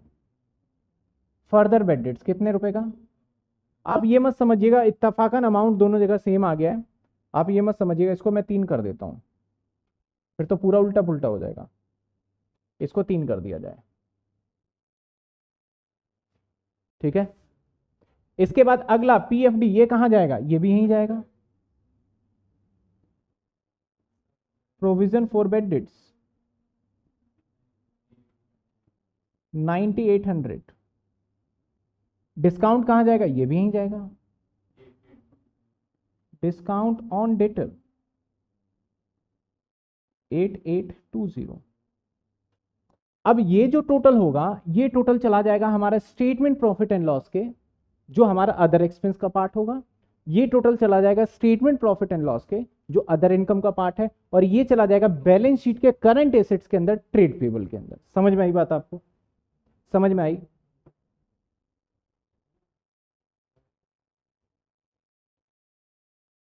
समझ में आया?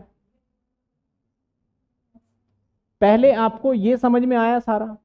क्विक एक बार रिवीजन कर लेते हैं, चिंता मत करिए। ये समझ में आया? आ गया ये, कि इसके अंदर के आइटम को कैसे ट्रांसफ़र किया जाएगा? अब हमारा एडजस्टमेंट लगेगा हमेशा डेटर पे ही। पहले माइनस करेंगे बेड डेट्स फिर माइनस करेंगे प्रोविज़न फिर माइनस करेंगे डिस्काउंट अभी सीखा। बेड डेट्स को भी अदर एक्सपेंस में ले जाओ प्रोविज़न को भी अदर एक्सपेंस में ले जाओ डिस्काउंट को भी अदर एक्सपेंस में। लेकिन जो इसके अंदर हमारा बेड डेट्स है, वो तो अदर एक्सपेंस में जाएगा, लेकिन प्रोविज़न ट्रायल बैलेंस वाला अदर इनकम में चला जाएगा, और दूसरा जो डिस्काउंट है, वो भी कहाँ चला जाएगा? अदर इनकम में चला जाएगा। ठीक है? जाते हैं अब। सर, किस पे आ जाते हैं? चलिए, हम आ जाते हैं अब नाउ। अगले एडजस्टमेंट पे। सर, अगला कौन सा एडजस्टमेंट करेंगे? प्रीपेड आउटस्टैंडिंग हो गया। हालाँकि मैं क्वेश्चंस के बीच बीच में एडजस्टमेंट कराता रहूँ। ये, चलिए, एक एडजस्टमेंट और देख लेते एडजस्टमेंट कितने हो गए थे हमारे? नाइन हो गए थे तो लास्ट क्लास के बाद नाइन कर चुके हैं, अब टेन पे आ जाते हैं। टेन किसका लिखें किसका लिखें? Adjustment number ten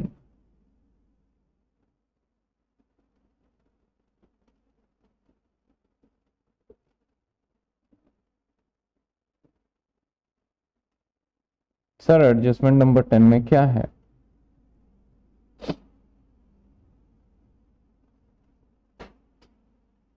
चलिए।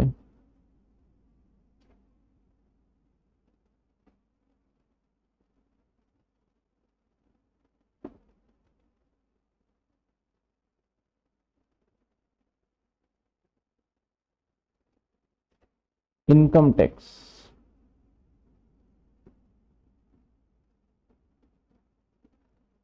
और या फिर कॉरपोरेट टैक्स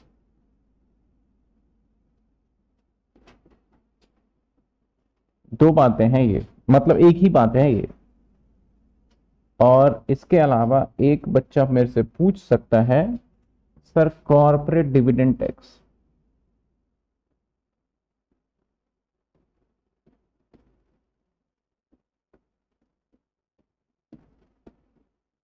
मैं आप सबको बताना चाहूँगा कि कॉरपोरेट डिविडेंड टैक्स पहले लगा करता था हमारे फाइनेंस मिनिस्टर ने, जो हमारा एफएम है, और निर्मला सीतारमन। इन्होंने कर दिया, जिसको शॉर्ट फॉर्म में सी डी टी बोलते हैं हम, इसे बोल दिया गया, अब नहीं लगा करेगा। तो जब उन्होंने मना ही कर दिया कि अब कॉरपोरेट डिविडेंड टैक्स होगा ही नहीं तो ये वाला हमारा सिलेबस का पार्ट अब नहीं है। तो कोई बच्चा जैसे बोलता है कि, सर, इसका क्या करना है? तो मैं बोलूँगा सिलेबस का पार्ट क्या? अब ये एग्जिस्ट ही नहीं करता ये प्रोफेशन तो इसको देखने की भी ज़रूरत नहीं है। पहले डिविडेंड पे लगाया जाता था। हाँ जिनके पास पुराने टेन ईयर्स वगैरह होंगे, उसमें सवाल में देखने को मिलेगा तो मैं आप सभी बच्चों को कहूँगा, इग्नोर कर दीजिएगा उसको। ठीक है, जिसने पुराने दे रखा है। पहले बता देता हूँ ताकि आपको थोड़ी क्लियरिटी बनी रहे। चलिए सर अब आते हैं हम इनकम टैक्स या कॉर्पोरेट टैक्स ये दोनों फ़र्क है। इन, इनकम टैक्स और कॉर्पोरेट टैक्स और corporate dividend tax corporate tax को इनकम टैक्स कहते हैं। सर ऐसा क्यों? पता है क्या? जो कंपनी वगैरह होती है ना बड़ी बड़ी कंपनी जैसे कोई बाहर से कंपनी आती है काम करने के लिए बाहर से का क्या मतलब? मतलब फॉरेन वाली कंपनी इंडिया में काम करते हैं तो उसको एक हम क्या नाम दे देते हैं? एम एन सी दे देते हैं। मल्टी कंपनी का नाम दे देते हैं। है ना? ऐसा नया मॉडर्न नेम ऐसे ही जो हम लोग टैक्स भरते हैं इनकम टैक्स और जो कंपनी होती है ना, सारी कंपनी को हम कॉरपोरेट बोलते हैं एक तरीके से। कंपनी को क्या बोलते हैं हम? कॉरपोरेट तो अब कंपनी जो टैक्स भर रही है तो उसका नाम एक कॉर्पोरेट टैक्स रख दिया गया एक स्टैंडर्ड फॉर्मेट में। वैसे इनकम टैक्स ही है वो। बस लोगों की नज़रिया चेंज है इसमें। तो सर, अगर आपको इनकम टैक्स या कॉर्पोरेट टैक्स दे रखा होगा, सर, कहाँ दे रखा होगा? इट इज़ गिवन दो जगह आपको गिवन हो सकता है और साथ के साथ इतना ही नहीं, यहाँ प्रोविज़न फॉर टैक्स भी बोला जा सकता है। यहाँ पे प्रोविज़न फॉर टैक्स भी बोला जा सकता है। प्रोविज़न फॉर टैक्स भी बोला जा सकता है सर तो सर दो जगह गिवन होगी ये फिर से।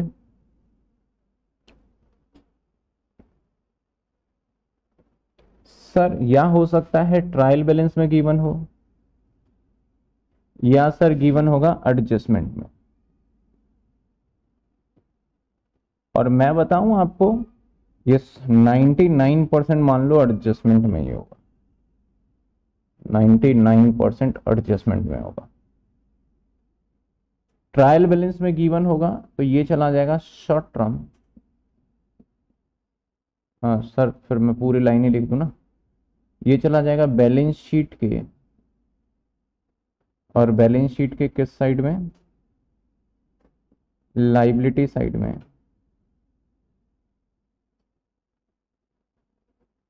और लाइबिलिटी साइड में कहा? Short term provision.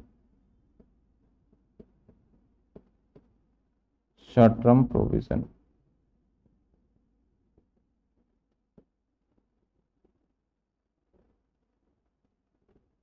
मगर मगर मगर, अगर एडजस्टमेंट में हुआ तो सर दो जगह जाएँगी। सर दो जगह कहा जाएगी? एक तो चला जाएगा बैलेंस शीट में। यानी सर कहने का मतलब है, सबसे पहले एक तो हो जाएगा हमारा स्टेटमेंट प्रॉफिट एंड लॉस में। और ये लेस हो जाएगा फ्रॉम प्रॉफिट बिफोर टैक्स जो प्रॉफिट बिफोर टैक्स वाला हिस्सा है, वहाँ से ये क्या हो जाएगा सर वहाँ पे लेस हो जाएगा। दूसरी एंट्री सर दूसरी एंट्री चला जाएगा सेम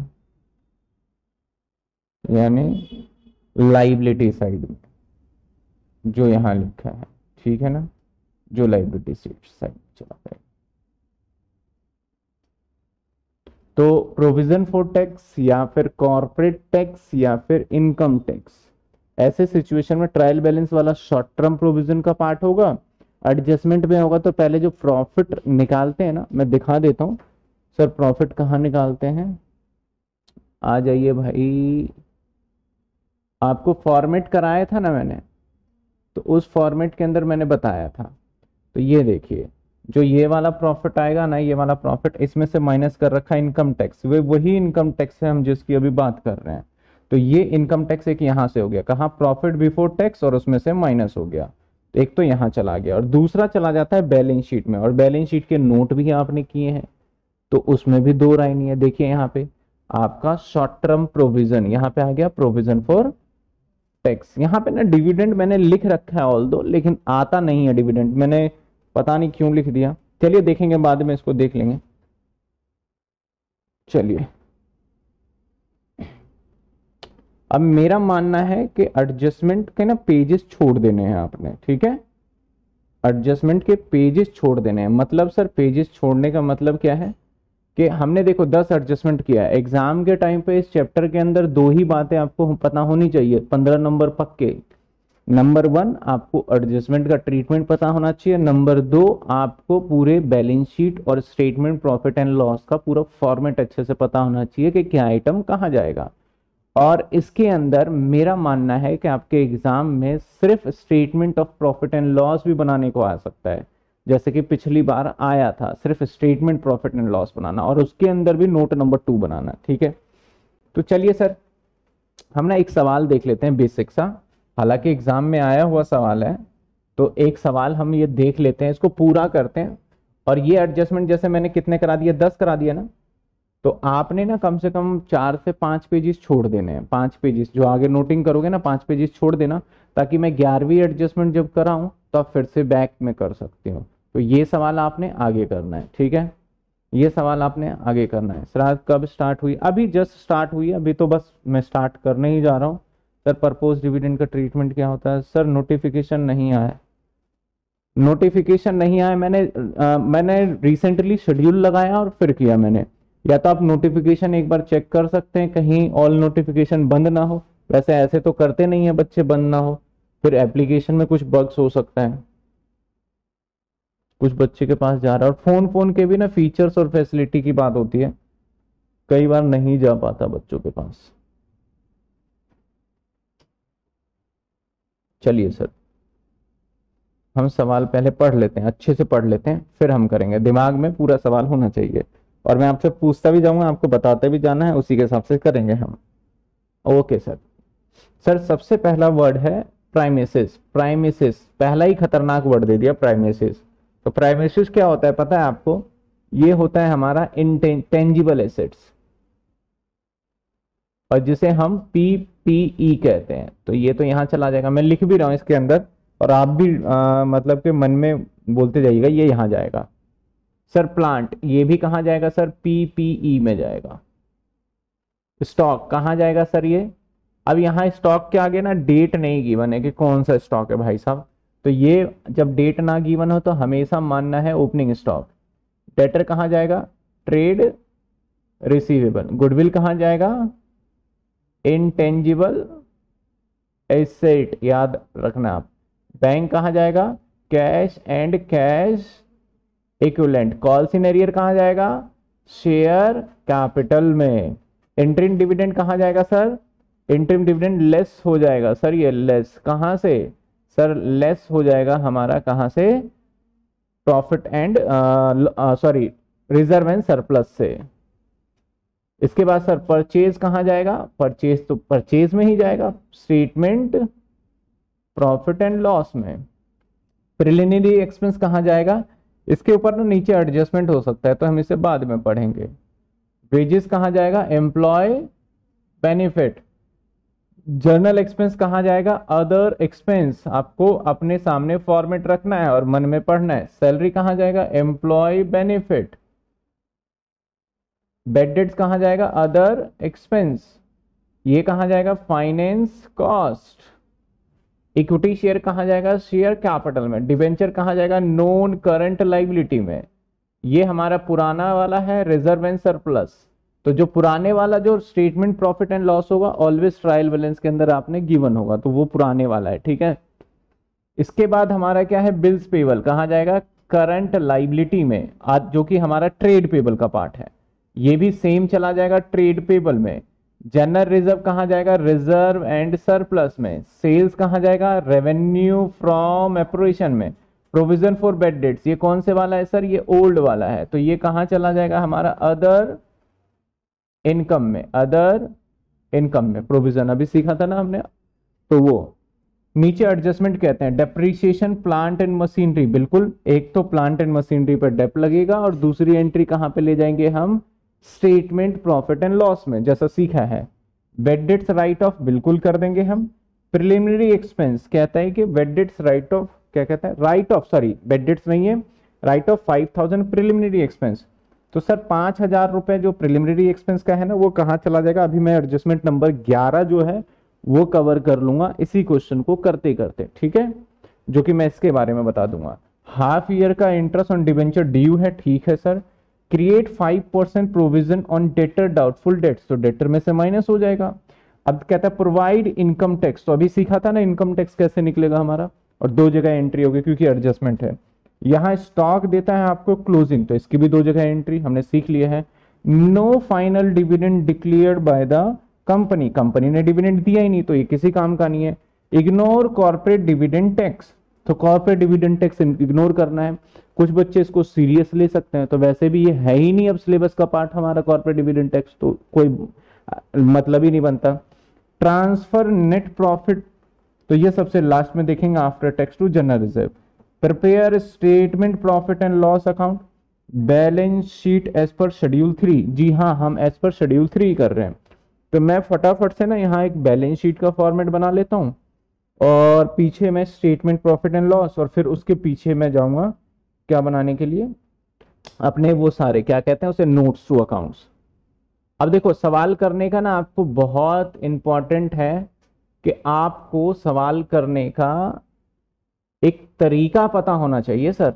नहीं तो आप जब क्वेश्चन करोगे ना तो पहली बार तो अपने आप को बोलोगे, सर, क्या गलती कर दी थी हमने बीकॉम लेके?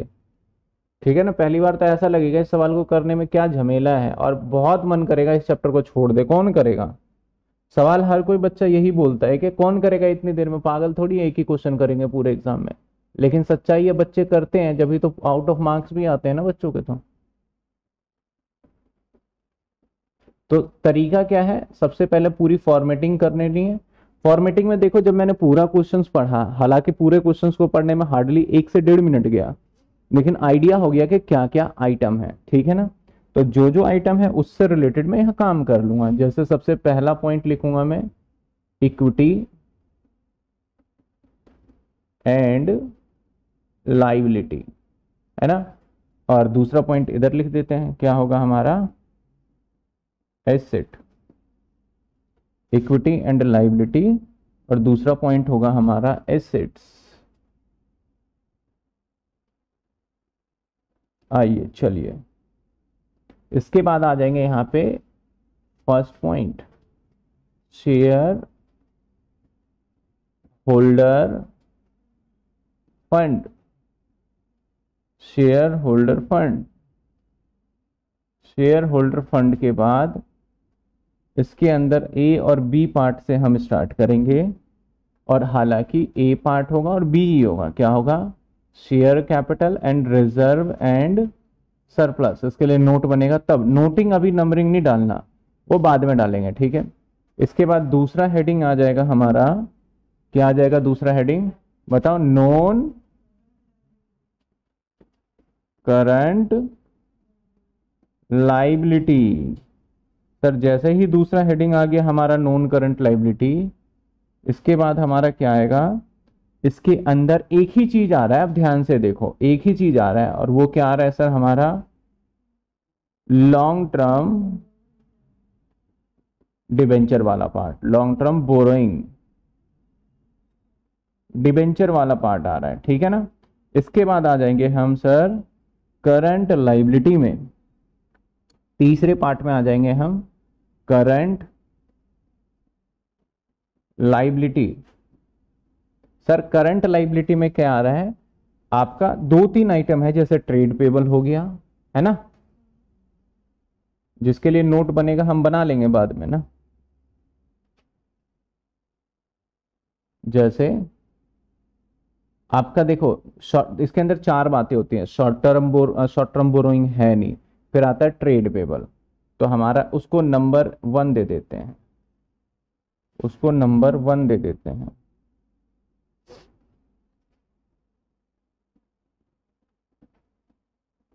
Trade payable. उसके बाद दूसरा, उसके बाद क्या आता है हमारा? अदर करंट लाइबिलिटी उसके बाद आता है शॉर्ट टर्म प्रोविज़न तो दोनों लिखना है। दूसरा देंगे अदर करंट लाइबिलिटी और फिर तीसरा शॉर्ट टर्म प्रोविज़न ये हमेशा होगा।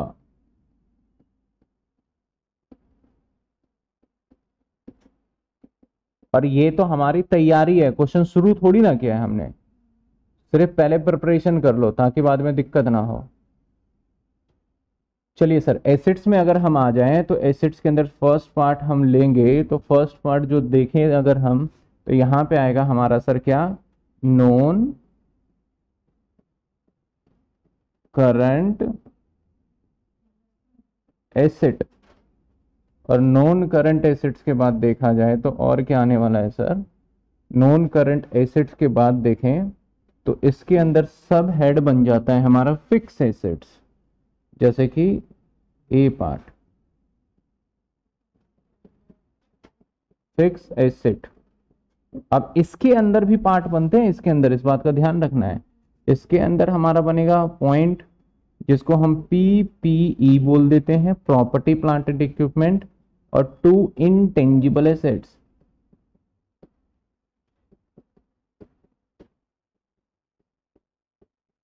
चलिए सर, अब बी पार्ट की अगर हम, अब कुछ है नहीं इसके अंदर वैसे भी इन्वेस्टमेंट इन्वेस्टमेंट था नहीं तो अब हम सीधा कहाँ पहुँच जाना चाहिए हमें? सीधा पहुँच जाना चाहिए नंबर दो पे दैट इज़ करंट एक पार्ट इसके अंदर आएगा, जिसको मैं लिख लेता हूँ।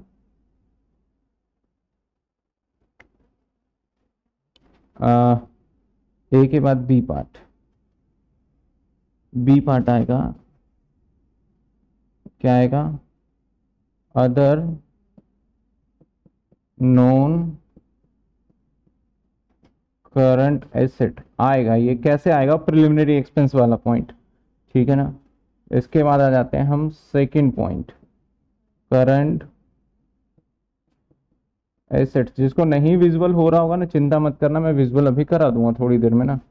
अब इसके अंदर क्या क्या है? शॉर्ट टर्म देखो आ, वो इन्वेस्टमेंट वगैरह तो है नहीं। तो इसके अंदर आप ध्यान से देखो तो एक तो इन्वेंट्री आता ही आता है। तो नंबर वन ए पार्ट नहीं वन आएगा ये। और यहाँ पे ये वन था वन फिक्स एसेट्स मैंने गलती तो नहीं लिख दिया। ठीक है। इसके अंदर आएगा ए पार्ट क्या आएगा हमारा इन्वेंट्री सर बी पार्ट आएगा हमारा trade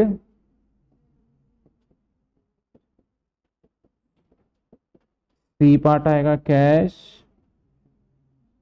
and cash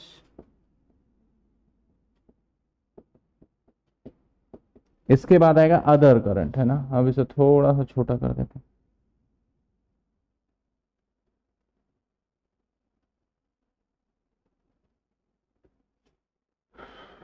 file heavy हो गई। डी पार्ट अदर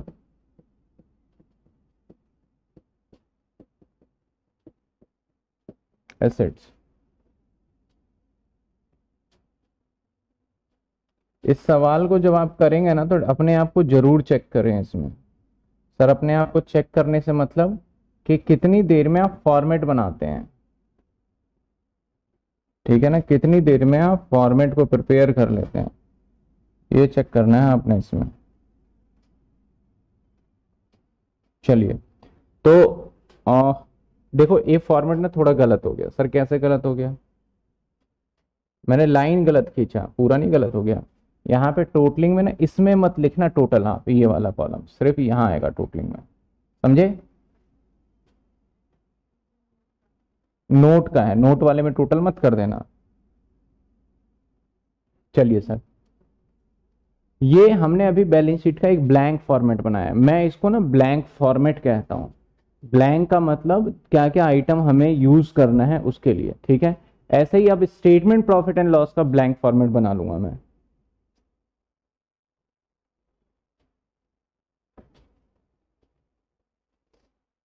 बच्चे कह रहे हैं प्रिलिमिनरी अदर करंट का भी हम डिस्कस करेंगे, मैंने इस पर स्टार लगा दिया एडजस्टमेंट नंबर इलेवन तो मैं सारी बातें डिस्कस कर लूँगा, चिंता मत करो। चलो सर, अब एक बना लेते हैं हम क्या? अपना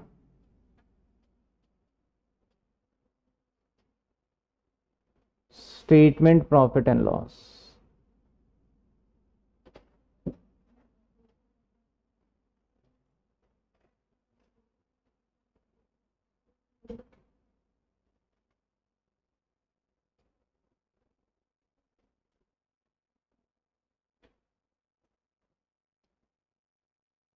note. Amount. Particular.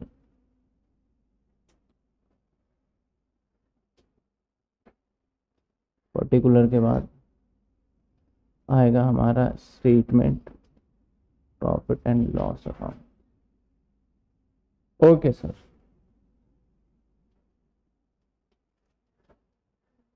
अब इसके अंदर हमारा कुछ पॉइंट्स था और ये ना हमारा कैसे चल रहा था? जैसे कि वन अदर सॉरी अदर कर दिया मैंने। रेवेन्यू फ्रॉम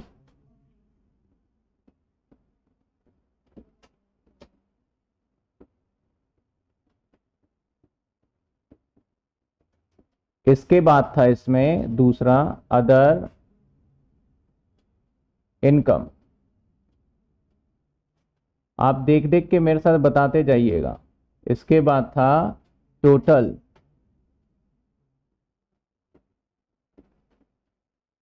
इसके बाद नंबर चार पे था हमारा एक्सपेंस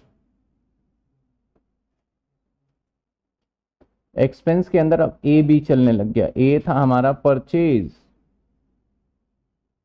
ए बी चलने लग गया था ना? ए था हमारा परचेज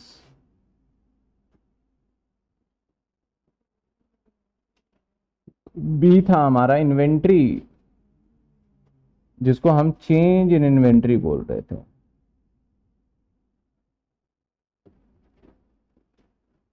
Change in inventory.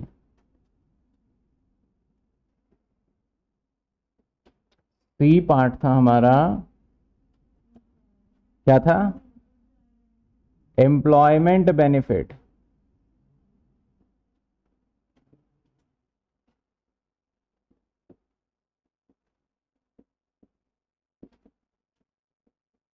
सी के बाद डी पार्ट था हमारा फाइनेंस कॉस्ट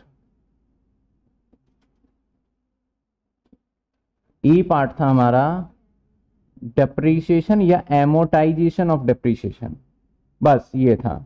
इसके बाद हमारा आ गया था total point number five total expense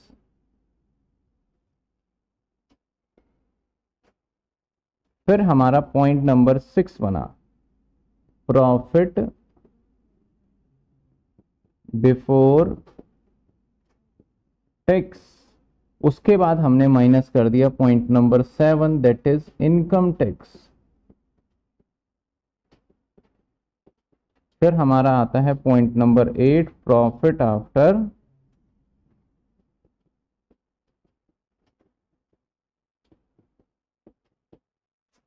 ठीक है सर। अब इसके टोटल के लिए हम पहले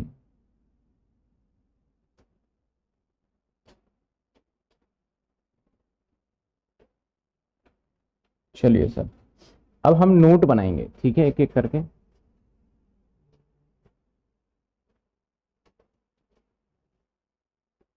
नोट में मैं थोड़ा शॉर्ट फॉर्म यूज़ करूँगा। और जो अकेला होगा ना, उसके लिए तो नोट बनाना ही नहीं है। सीधी सी बात। अकेले से क्या मतलब है? जिसके अंदर ज़्यादा पॉइंट नहीं होंगे, उसके लिए क्या नोट बनाना? चलिए सर कोशिश रहेगी कि यहाँ पे बन जाए हमारे सारे नोट लेकिन पॉसिबल नहीं लगता मुझे। तो सबसे पहले हमें नोट कैसे बनाना है? पहले आपने यहाँ तक काम कर लेना। मेरे पॉइंट्स को अगर आप फॉलो करेंगे तो आपका जल्दी हो जाएगा।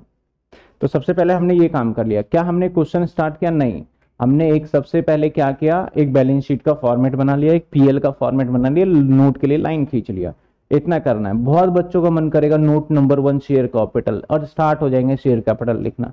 वहाँ पे रिदम खराब होता है, ठीक है? हम शेयर कैपिटल का नहीं बना रहे पहले नोट हम जैसे क्वेश्चन में दे रखा है, उसके अकॉर्डिंग बनाएँगे। सर, ये बुक का क्वेश्चन नहीं है। नहीं, ये बुक का नहीं है, ये टेन ईयर का क्वेश्चन है आपके एग्ज़ाम में आया हुआ। तो मैंने सीधा सोचा एक एग्ज़ाम वाला क्वेश्चन भी बता दे, जिससे आपको थोड़ा सा लगे कि हाँ भाई आ, हमें समझ में आ रहा है कॉन्सेप्ट अभी तक ठीक है? तो चलिए सर हम क्या करेंगे? इसमें से अब मैं इसको मिटा देता हूँ और इसको थोड़ा बड़ा भी कर देता हूँ। अरे यह रहने देते हैं। मैंने इसके आगे लिखा हुआ है।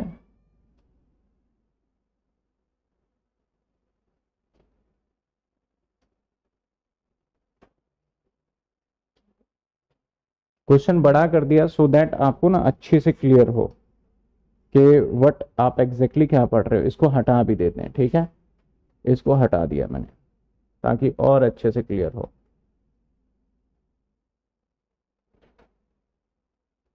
चलिए सर हम पढ़ते जाएँगे और करते जाएँगे। सबसे पहले है प्रीमिसिस तो हमें नोटिंग में जाना है। अब हमें ये चेक करना है कि प्रीमिसिस के नोट बनाना चाहिए नहीं बनाना चाहिए। अगर इसके ऊपर डेप्रिसिएशन वगैरह है या फिर दो एसिड्स है तो बनेगा। तो डेफिनेटली हमारे पास दो एसिड्स है। एक प्लांट है, एक प्रेमिसिस है। तो इसके लिए नोट बनाएँगे हम पीपीई का। तो हमें ऐसे नोट बनाना है। ऐसा नहीं कि हम क्या करेंगे कि बस भाई नोट बनाना चालू। ऐसा बिल्कुल भी नहीं करना। आपने इस बात का ध्यान रखना है। हम बनाएँगे किसका? सर पीपीई का। तो कभी भी ऐसी गलती मत करना कि पहले आपने ये नोट बनाना है, हमारे नंबर कट जाएँगे। सर सीक्वेंस से चलना चाहिए, सर, ऐसा होना चाहिए, वो सिर्फ़ आपके मन के विचार है कि ऐसा होना चाहिए तो वैसा होना चाहिए। भाई एग्जामिनर को मतलब है कि नोट आपके होने चाहिए। सीक्वेंस में अगर करने लग गए हम तो शायद ये क्वेश्चन ही बस एक पेपर में अटेम्प्ट कर पाए। तो पहला नोट नंबर वन नोट अभी नोट नंबर नहीं डालना। देखो, कैसे करोगे आप? मेरी तरीके से करोगे। पहला क्वेश्चन टाइम लूँगा। नोट लिख के और जगह छोड़ दूँगा ताकि बाद में नंबरिंग हो जाएगा मैं पहले बना लेता हूँ पी पीई आपने एग्ज़ाम में पूरा लिखना है प्रॉपर्टी प्लांट एंड इक्विपमेंट ठीक है प्रॉपर्टी प्लांट एंड इक्विपमेंट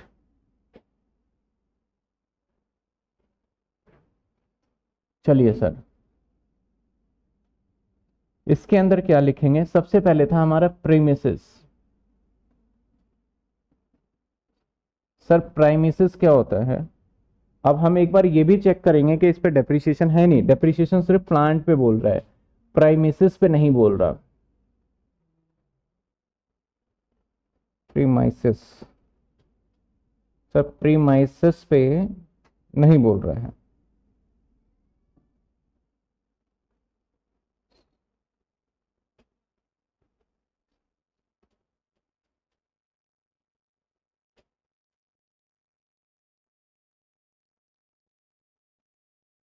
नहीं बोल रहा है इसके ऊपर, ठीक है?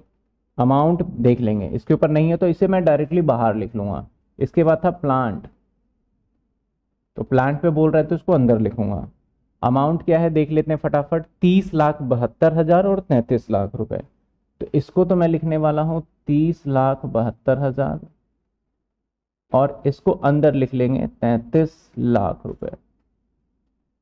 और यहाँ से लेस कर देंगे सर हम डेप्रीशिएशन अब देखो एडजस्टमेंट हम साथ के साथ लेके भी चल सकते हैं और या फिर सबसे एंड में भी कर सकते हैं। क्योंकि पूरा क्वेश्चन अगर आपने पढ़ लिया है तो डेफिनेटली आपको पता चल जाता है कि किस पे करते हैं हम। तो इसके ऊपर है। तो सबसे पहले हम क्या करने वाले हैं, सर?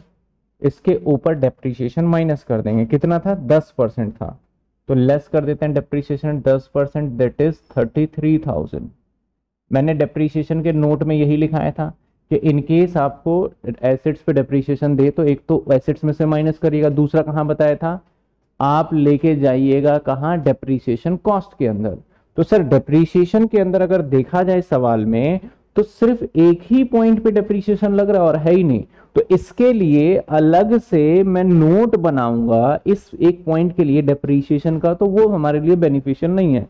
तो इस तैतीस हज़ार को सीधा सीधा उठा के मैं डेप्रीसिएशन के आगे लिख दूँगा। तीन लाख तीस हज़ार। तैंतीस हज़ार नहीं होगा बत्तीस, तैंतीस लाख था तो तीन लाख तीस हज़ार। समझे बात आप? अदरवाइज़ अगर हमारा प्रेमिसिस पे भी होता और प्लांट एंड मशीनरी पे भी होता तो मैं एक और नोट ड्रॉ करता। किस नाम से? डेप्रीशिएशन के नाम से, क्योंकि वहाँ पे कितनी बातें आ गई थी? दो। यहाँ पे कोई बात ही नहीं है तो इसलिए लिख दिया। और इसके ब्रैकेट में अगर आप लिख दो तो और बेटर है। किस पे है? ये प्लांट पे। एग्जामिनर समझ जाएगा प्लांट वाला डेप्रीशिएशन है ये। समझे बात आप? चलिए सर, इसके बाद हम आते हैं अगले पॉइंट पे। टोटलिंग का प्रोसेस सबसे लास्ट में करेंगे हम, ठीक है ना? एक ही बार में फटाफट से। तो पहला पॉइंट हमारा हो जाता है यहाँ पे खत्म। एक नोट तैयार।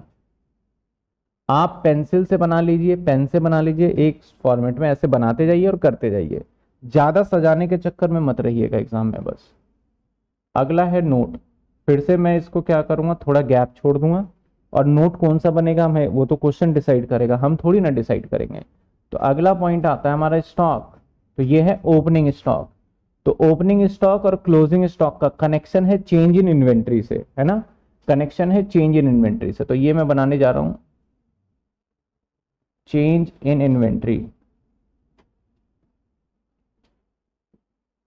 sir change in inventory पता है क्या होता है? Opening stock minus closing stock opening stock यहाँ से माइनस कर देंगे।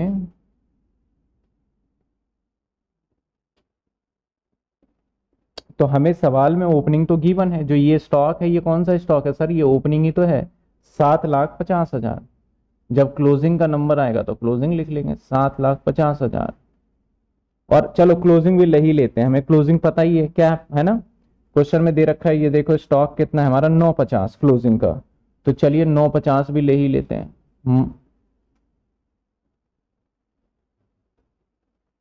टोटलिंग हम्म। बाद में, ठीक है ना? अब ये एडजस्टमेंट वाला क्लोजिंग स्टॉक है तो डबल एंट्री साथ के साथ, ऐसा नहीं बाद में करना है अपने। तो कहाँ जाता है ये? इन्वेंट्री का पार्ट होता है। कहाँ पे? करंट एसेट्स का पार्ट होता है। तो सर, एक ही है। ऐसा तो नहीं है डब्ल्यू आई पी है स्पेयर पार्ट से बहुत सारा तो नहीं है। तो सीधा जाके हम इन्वेंट्री के अंदर लिख देंगे कहाँ? बैलेंस शीट में। तो सीधा जाएँगे बैलेंस शीट और आ जाएँगे इन्वेंट्री में और ये आ गया नौ लाख पचास हज़ार। इसके लिए भी नोट नहीं बनाना पड़ा। तो दिमाग आपको लगाना है। हमने इतने सारे नोट बनाए तो हैं लेकिन ज़रूरी नहीं है कि नोट सवाल के अंदर बनेंगे। अगर एक से ज़्यादा आइटम हो तो बनाना अदरवाइज़ इग्नोर इट ठीक है? चलिए सर, अगले पॉइंट पे चलें। तो नेक्स्ट पॉइंट क्या कहता है सर? नेक्स्ट पॉइंट कहता है डेटर हाँ इसके लिए नोट बनाना पड़ेगा क्योंकि बेड डेट्स वगैरह आ रहा था इसके अंदर सवाल में। तो डेटर है तो अगले नोट को बनाते हैं हम। ये यहाँ खत्म हो जाएगा। अगला नोट है डेटर नोट और थोड़ा गैप छोड़ेंगे और यहाँ ट्रेड रिसीवेबल।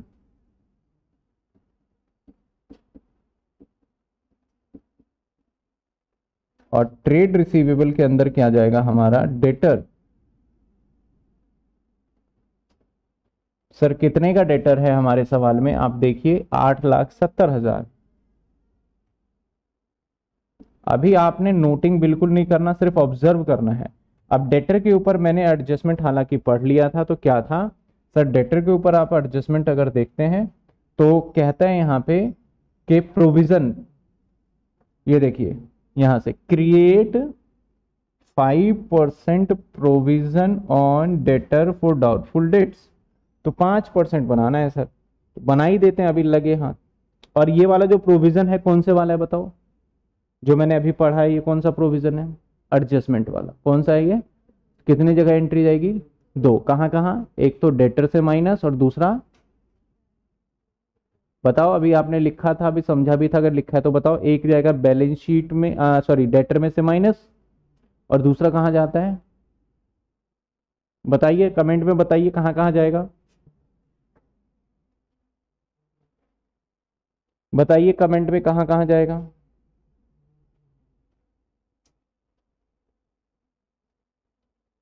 दो जगह जानी है एंट्री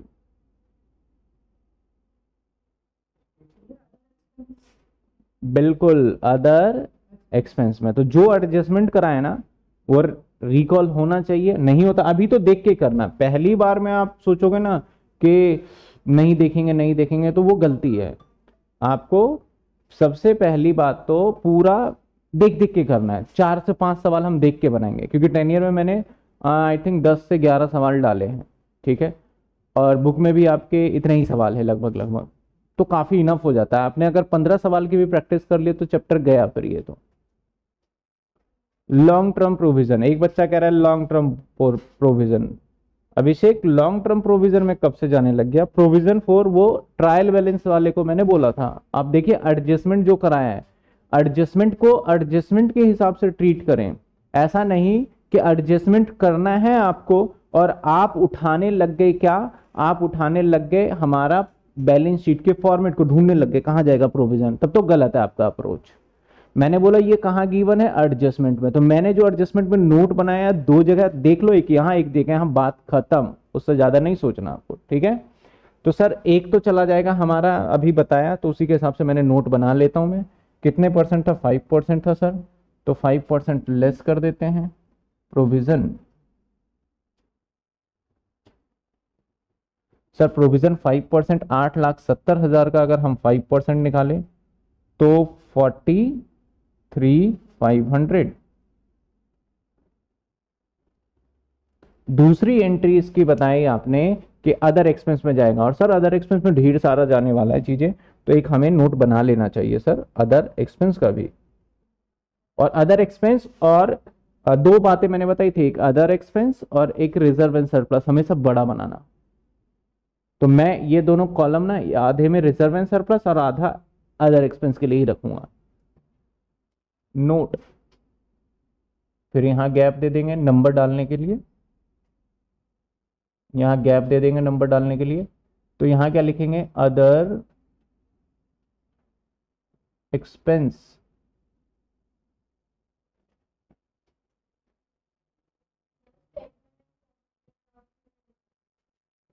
इसे statement on profit and loss में लिखना था, लेकिन स्टेटमेंट प्रॉफिट एंड लॉस के जाएगा अदर एक्सपेंस वाले पार्ट में। अच्छा इसमें लिखा ही नहीं। अच्छा ई e के बाद एफ़ बना देते हैं। एक्सपेंस और ये थोड़ा ऊपर उठा के ले जाते हैं। ठीक है? चलो। तो सर अदर एक्सपेंस के अंदर जाएगा प्रोविज़न फॉर डाउटफुल डेट्स यहाँ जाएगा प्रोविज़न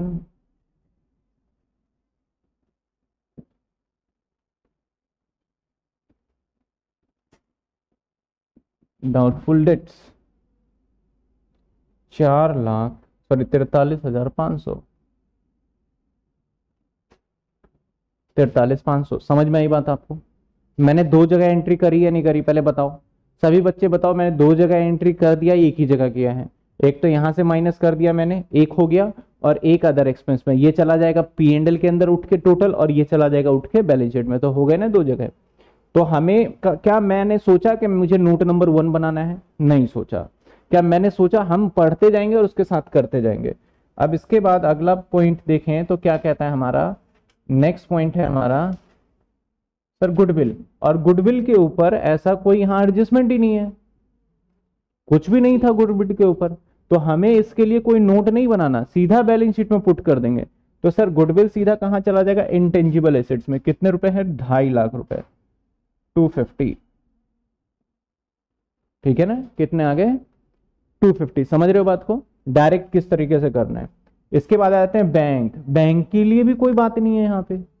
कुछ भी नहीं है ऐसा कि बैंक में पैसा पेड किया, आया, गया, कुछ नहीं है। तो डायरेक्ट लिख देंगे कैश एंड कैश इक्विलेंट में। कितने? Four zero seven triple zero. समझ रहे हो बात को? इसके बाद देखो calls in arrear calls in arrear share capital के अंदर जाता है। नेटियर कहा जाता है?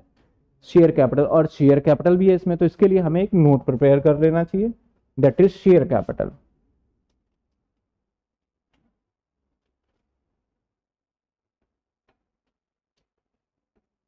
note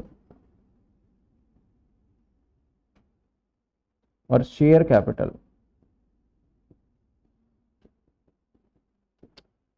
और शेयर कैपिटल के अंदर शेयर कैपिटल के अंदर सबसे पहले क्या लिखते हैं इसमें नोट में? लिखते हैं हम ऑथराइज कैपिटल लिखते हैं पहले हम, ठीक है ना?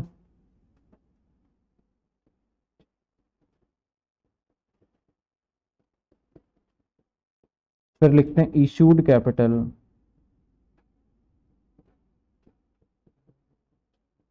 फिर लिखते हैं less calls in arrear minus कर देते हैं कॉल्स इन एरियर। ये कुछ ऐसा फॉर्मेट बनाया था, ये थोड़ा और शॉर्ट कर दिया हमने।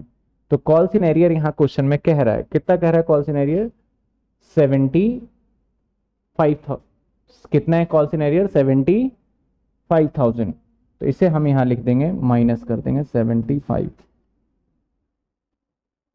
बस, यहाँ लिख दिया माइनस करके। और जैसे जैसे पॉइंट्स आएगा, हम लिख देंगे उसको, ठीक है?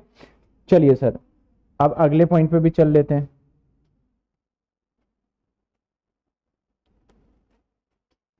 अगला पॉइंट है इंट्रीम डिविडेंड तो इंट्रीम डिविडेंड क्या होता है? रिज़र्व एंड सरप्लस में से माइनस हो जाता है। इंट्रीम डिविडेंड क्या होता है? रिज़र्व एंड सरप्लस में से माइनस मैंने लिखवाया, देखो, अगर ट्रायल में हो तो क्या करेंगे? एडजस्टमेंट में हो तो क्या करेंगे? तो उस एडजस्टमेंट के हिसाब से चलना है। तो ये रिज़र्व एंड सरप्लस में से माइनस हो जाता है तो हमें एक नोट प्रिपेयर करना है। तो मैंने कहा, सबसे बड़ा यही रहेगा। तो अदर एक्सपेंस इतने में हो जाएगा। इधर लिखने वाला हूँ नोट सर किसका? रिज़र्व एंड अब बिल्कुल एकदम ना पूरा दिमाग यहाँ पे रखना है। मैं क्या करने वाला हूँ यहाँ पे? ठीक है ना? पूरा माइंड यहीं कंसंट्रेट होना चाहिए। इसका थोड़ा अलग ही स्टाइल है इसका तो।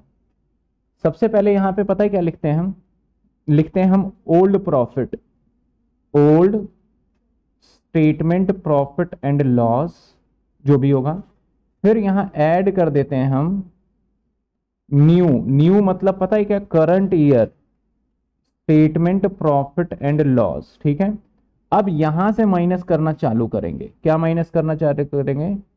एंट्रीम डिविडेंड एंट्रीम डिविडेंड करेंगे। और दूसरा और क्या होगा? थोड़ा गैप देके, थोड़ा गैप देके हम, अब क्योंकि एक पॉइंट हो गया, क्योंकि स्टेटमेंट रिज़र्व एंड सरप्लस का मतलब सिर्फ़ प्रॉफिट नहीं होता। रिज़र्व एंड सरप्लस का मतलब प्रॉफिट होता है। रिज़र्व एंड सरप्लस का मतलब कैपिटल रिज़र्व होता है। रिज़र्व एंड सरप्लस का मतलब जनरल रिज़र्व होता है। रिज़र्व एंड सब सारे होता है रिज़र्व तो एक तो हो गया प्रॉफिट का पार्ट प्रॉफिट के पार्ट के बाद कम से कम नीचे चार लाइनें छोड़नी है आपको। देखो, एक, दो, तीन और चार। सात लाइनें सिर्फ़ प्रॉफिट के लिए छोड़ना है। ठीक है, मैं लिख भी देता हूँ। इसके लिए हमें सात लाइनें छोड़नी है। सेवन लाइन ठीक है? किसके लिए? सिर्फ़ प्रॉफिट को। सात लाइन मेरा, एक, दो, तीन। अब यहाँ से मैं लिखूँगा जनरल रिज़र्व या होगा कैपिटल रिज़र्व तो सोन ऐसे आगे जाएगा। समझ रहे हो बात को? क्लियर है? यहाँ तक मैं क्या कहना चाह रहा हूँ? तो इसको इस तरीके से फॉर्मेट में बनाना है। तो पहले सबसे लिखोगे, पहले पुराना प्रॉफिट फिर ऐड करोगे नया प्रॉफिट जो निकलेगा तो बाद में करेंगे ना।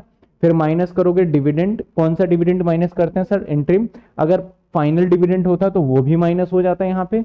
और कुछ बोलता है रिज़र्व में ट्रांसफ़र करना तो वो भी माइनस होता है यहाँ पे। तो दो तीन बातें माइनस होता है, इसलिए मैंने बोला यहाँ सात लाइनें लेके चलो, उसके बाद ये। समझे? अभी आपको समझ में आ जाएगा और भी। तो सर इंट्रीम डिविडेंड बोल रहा था तो इंट्रीम डिविडेंड कितना था? छह लाख रुपए। तो दैट इज़ हम यहाँ पे सीधा छह लाख रुपए इस कॉलम में अंदर की साइड लिख देते हैं माइनस करके, क्योंकि ये माइनस होगा। ठीक है?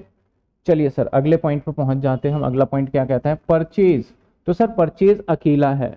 परचेज क्या है? ना तो कोई इसमें कैरिज इनवर्ड है, बस अकेला है।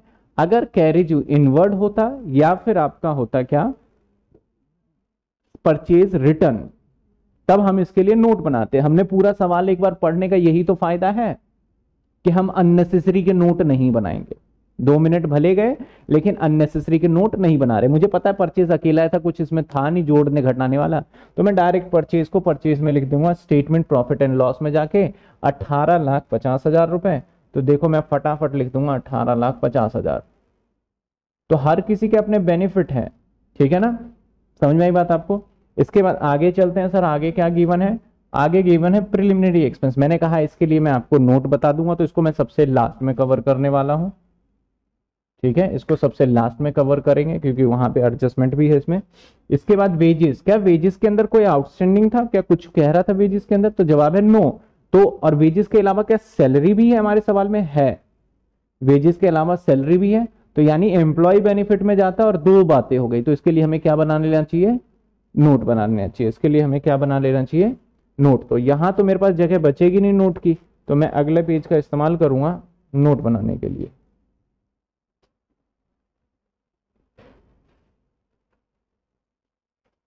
और कौन सा नोट बनाएँगे? कौन बच्चा बताएगा? कौन बताएगा? बताओ, कौन सा नोट बनाएँगे? सैलरी लिखना है मुझे यहाँ, और वेजेस लिखना है तो कौन सा नोट बनना चाहिए? एम्प्लॉयमेंट बेनिफिट तो चलिए बना लेते हैं। बस लिखेंगे नोट, और यहाँ थोड़ा नंबर डालने के लिए गैप एम्प्लॉयमेंट एम्प्लॉयमेंट को डबल ई से लिख देता हूँ बेनिफिट ठीक है? एम्प्लॉय बेनिफिट के बाद इसके अंदर क्या था हमारा? देख लेते हैं। इसके अंदर था सर वेजेस वेजेस था सात लाख इकहत्तर हज़ार। तो हम वेजेस लिख लेते हैं सात लाख इकहत्तर हज़ार का। सात लाख वेजेस सात लाख इकहत्तर हज़ार। बाहर ही लिख लेंगे। चलिए सर। नहीं, हमें, अब देखो सैलरी पता चल गया, हमें भागना नहीं है सैलरी मिल जाएगा। उससे पहले तो जनरल एक्सपेंस है ना एक एक करके टिक करना है। आप क्या करते हो? एग्ज़ाम के अंदर पहले वेजेस अरे सैलरी है, चलो, अभी लिख लेते हैं, एक ही साथ लिख लेते हैं। तो उस केस के अंदर अगर ये रह गया तो फिर पूरे क्वेश्चन में परेशान रहते हो मैच नहीं हो रहा मैच नहीं हो रहा मैच नहीं हो रहा। उसके बाद फिर लास्ट में पता चलता है, अरे, ये तो लिखा ही नहीं। आपने जितनी बढ़ते हुए, जितनी बार भी फाइनल अकाउंट किया होगा, आपका बैलेंस शीट जब भी मैच नहीं हुआ होगा तो उसमें गलती आपकी ही रही होगी। ऐसा कभी नहीं देखा होगा कि क्वेश्चन ही गलत था। एक आध परसेंट की मैं बात नहीं कर रहा, गलती आपकी रही होगी। और उस गलती को ऑब्ज़र्व करोगे टोटल गलत कर दिया, जल्दबाजी में ये भूल गए लिखने के लिए, या उसकी डबल एंट्री करना भूल गए। तो डिसिप्लिन बहुत माँगता है ये क्वेश्चन कि भैया सीक्वेंस में चलेंगे हम, ठीक है ना? तो इसके बाद हमारा क्या है? जनरल एक्सपेंस जनरल एक्सपेंस किसका पार्ट है? हमारा अदर एक्सपेंस का. और अदर एक्सपेंस के लिए ऑलरेडी नोट बना रखा है तो इसलिए मैं यहाँ लिख रहा हूँ general expense general expense sir general expense के अंदर क्या है? कितने अमाउंट है sir sixty nine thousand sixty nine thousand चलिए सर इसके बाद आ जाते हैं। सैलरी, अब सैलरी आया है तो अब सैलरी ले जाएँगे दो लाख तीन हज़ार रुपए, two lakh three thousand rupees तो एम्प्लॉय बेनिफिट का पार्ट है सैलरी। दो लाख तीन हज़ार। चलिए। इसके बाद सैलरी के बाद है बेड डेट्स बेड डेट्स कहाँ का पार्ट है? देखो ट्रायल में गिवन है. याद करो बेड डेट्स का नोट बनाया था. अगर ट्रायल में गिवन हो तो क्या करेंगे? एडजस्टमेंट में गिवन हो तो क्या करेंगे? अभी गिवन कहाँ है ट्रायल में? तो ट्रायल के हिसाब से बताओ कहाँ जाएगा ये. सभी बच्चे बताओ. बताओ जल्दी से. ट्रायल में है तो कहाँ जाएगा? जल्दी जल्दी बताइए. स्टेटमेंट प्रॉफिट एंड लॉस यानी पी एंड एल और उसके अंदर अदर एक्सपेंस में बिल्कुल ठीक। उसमें अदर एक्सपेंस में बिल्कुल ठीक। तो चलिए सर आ जाते हैं अदर एक्सपेंस में। क्या था हमारा ये? बेड डेट्स बेड डेट्स अब आ, सर इसके अंदर बेड डेट्स है। सर बेड डेट्स में कितने रुपए हैं हमारे? सर बेड डेट्स के अंदर इक्कीस हज़ार है। बेड डेट्स के अंदर इक्कीस हज़ार है। ठीक है? बेड डेट्स के अंदर कितने हमारे? ट्वेंटी वन थाउज़ेंड रुपीज़ चलिए। आ जाते हैं। बेड डेट्स के बाद इंटरेस्ट है। और सर इंटरेस्ट पता है किसका पार्ट है? फाइनेंस कॉस्ट का पार्ट है। ये तो आपको पता होना चाहिए कि इंटरेस्ट किसका पार्ट है? फाइनेंस कॉस्ट का। और इससे रिलेटेड इस पर एडजस्टमेंट भी, भी है। Half year interest due what तो हमें एक फाइनेंस कॉस्ट यहाँ भी है और एक एडजस्टमेंट के थ्रू भी आएगा इंटरेस्ट हमारा। तो यानी दो दो हो जाएँगे तो इसके लिए क्या बना लेना चाहिए हमें? नोट बना लेना चाहिए। तो चलिए हम एक बनाते हैं फाइनेंस कॉस्ट का नोट नोट सर फाइनेंस देखो, इस सवाल के अंदर मैं बीच में बातें भी कर रहा हूँ और आपको गाइडेंस भी देता जा रहा हूँ। कि इस सवाल की पहली है कि जल्दबाजी नहीं, पहला काम। दूसरा डिसिप्लिन अगर ये दोनों चीज़ें आ गई तो सवाल आपका एक बार में मैच होगा फिर। ठीक है?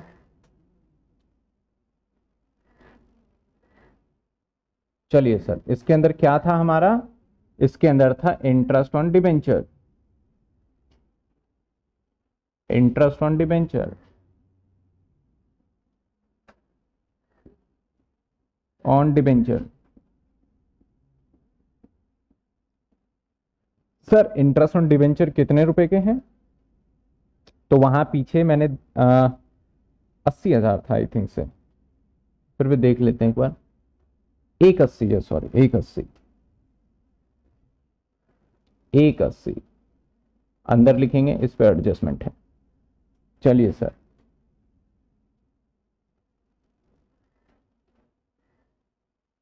इसके बाद ना इंटरेस्ट ऑन डिबेंचर भी हो गया। चलिए आगे बढ़ते हैं। इक्विटी शेयर कैपिटल तो इक्विटी शेयर कैपिटल का भी नोट बनना चाहिए और हम ऑलरेडी बना चुके तो वहाँ पर बस हमें प्लेस करना है। लेकिन सर इक्विटी शेयर कैपिटल के अंदर आपने ऑथराइज भी लिखा है तो ऑथराइज तो है नहीं। तो ऐसे सिचुएशन में हम क्या करते हैं कि जो इक्विटी शेयर कैपिटल है ना, उसी को ऑथराइज में पुट भी कर सकते हैं या यहाँ पे डैश डाल दीजिए कि हमें नहीं पता है। ठीक है ना? अगर दे रखा हो सवाल तो लिखना है, नहीं दे रखा तो डैश डाल सकते हो, हमें नहीं पता है। और अगर आप लिखना चाहते हो तो इशूड कैपिटल को ही लिख सकते हो। तो हमारे सवाल के अंदर दे रखा है चार लाख रुपए। तो मेरे पास ऑप्शन है। या तो मैं ऑथराइज कैपिटल चार लाख लिख दूँ या डैश डाल दूँ। तो चार लाख वैसे इशूड कैपिटल का पार्ट है ये। यहाँ डाल दिया हमने चार लाख रुपए। ठीक है? चालीस लाख है। ओके चालीस लाख एक ज़ीरो और बढ़ा दिया। और इसी चालीस लाख को ऑथराइज के अंदर भी पुट कर सकते हो। समझे बात आप? चलिए सर, अगले एडजस्टमेंट पे जाते हैं। ट्वेल्व परसेंट डिबेंचर अब डिबेंचर है हमारा किसका पार्ट सबसे पहले ये देखो। तो सर डिबेंचर है लॉन्ग टर्म बोरोइंग का पार्ट डिबेंचर है किसका part long term borrowing long term borrowing में कुछ और ऐसा आइटम है ही नहीं कि लिखा जाए। तो मैं क्या करूँ इसको? क्या इसके लिए अलग से नोट बना लिया जाए? नहीं बनाना चाहिए इसके लिए। बिल्कुल सही बात, इसके लिए अलग से नोट बनाने की कोई आवश्यकता ही नहीं है सर इसके लिए तो। तो सिंपल सी बात है लॉन्ग टर्म बोरोइंग में आप कितना लिख देंगे सर? तीस लाख रुपए। तीस लाख है ना? तीस लाख रुपए। और इसके ब्रैकेट में लिखना चाहते हैं नीचे? तो नीचे लिख दीजिए, बहुत बेहतर होगा। ट्वेल्व परसेंट डिवेंचर एग्जामिनर एकदम खुश कि इसने बच्चे ने सारी डिटेल बना के दे दिया। समझ में आई बात आपको? तो ये भी हो गया डन हमारा ये लो। इसके बाद स्टेटमेंट प्रॉफिट एंड लॉस बताओ ये क्या है स्टेटमेंट प्रॉफिट एंड लॉस कौन सा स्टेटमेंट प्रॉफिट एंड लॉस है? पुराने वाला स्टेटमेंट प्रॉफिट एंड लॉस है ये। अगर ये पुराने वाला स्टेटमेंट प्रॉफिट एंड लॉस है तो कहा जाएगा? रिज़र्व एंड सरप्लस में। देखो मैंने बोला था ओल्ड वाला भी और नए वाला भी। तो ओल्ड वाला आ गया ना तो यहाँ पे लिख देंगे 263 ये पुराने वाला हो गया। ठीक है? यानी जो ट्रायल बैलेंस में गिवन होगा वो कौन से वाला होगा सर वो पुराने वाला होगा। इस बात का आपको ध्यान रखना है। चलिए सर, अरे आगे कहाँ आ गए? इसके बाद आ जाते हैं हम किसके ऊपर? Bills payable. बिल्स पेबल भी और क्रेडिटर भी दिख गया मुझे यहीं पे। तो बिल्स पेबल है हमारा ट्रेड पेबल का पार्ट और यहाँ दो आइटम है। तो हम इकट्ठा नहीं लिख सकते। इसके लिए क्या बनाना पड़ेगा हमें? नोट बनाना पड़ेगा। इसके लिए बनाना पड़ेगा नोट। तो नोट बना लेते हैं ट्रेड पेबल का। नोट बना लेते हैं। नोट और ट्रेड पेबल ट्रेड पेबल। ठीक है, नोट बना लिया, ट्रेड पेबल।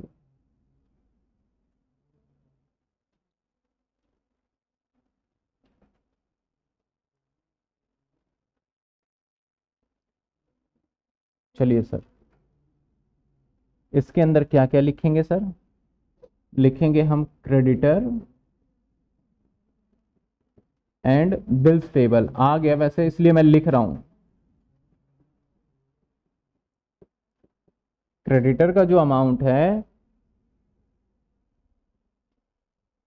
है तीन सत्तर सॉरी बिल्स पेबल का तीन सत्तर और क्रेडिटर का चार लाख। तो तीन सत्तर और चार लाख।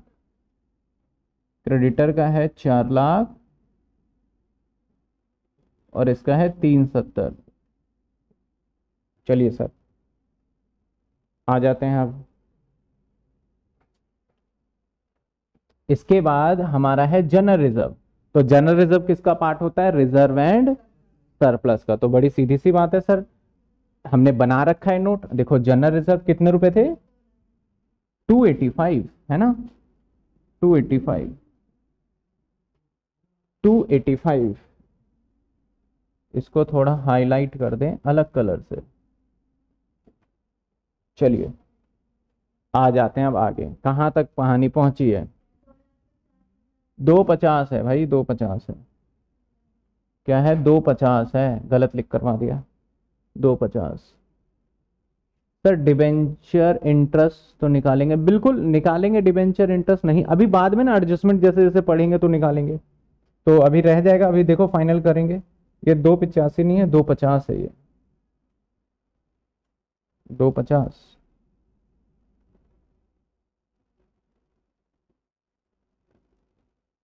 ठीक है। दो पचास है। इसके बाद आ जाते हैं हम, किस पे सर? सेल्स। अब सेल्स में ना तो सेल्स रिटर्न है। अगर सेल्स रिटर्न होता तो हम नोट बनाते, क्योंकि दो बातें हो जाती ना, एक सेल्स और सेल्स रिटर्न। यहाँ पे सेल्स रिटर्न है ही नहीं। तो अब हम क्या करेंगे? Simply direct statement profit and loss में लिख सकते हैं। इकतालीस लाख पचास हज़ार रेवेन्यू फ्रॉम ऑपरेशन में से। इकतालीस लाख पचास हज़ार। करेक्ट चलिए सर इसके बाद आ जाते हैं अगला बेड डेट्स प्रोविज़न बताओ, ये बेड डेट्स कहाँ पे है? प्रोविज़न फॉर बेड डेट्स कहाँ है? बताओ, देख के बताओ, ये कहाँ है? पहले तो ये बताओ, ये ट्रायल में है या एडजस्टमेंट में है? ट्रायल में। अब ट्रायल में गिवन हो तो मैंने नोट लिखवाया हुआ है। बताओ कहाँ जाता है ट्रायल में गिवन हो? ट्रायल में गिवन हो तो कहाँ जाता है?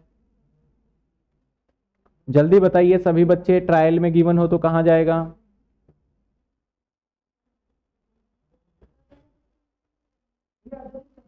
बिल्कुल अदर इनकम में जाएगा। मैंने लिखवाया है स्पेशली अभी बच्चे देखो, कुछ बच्चे कह रहे हैं अदर एक्सपेंस अदर एक्सपेंस नहीं अदर इनकम ट्रायल बैलेंस में हो तो। ठीक है ना?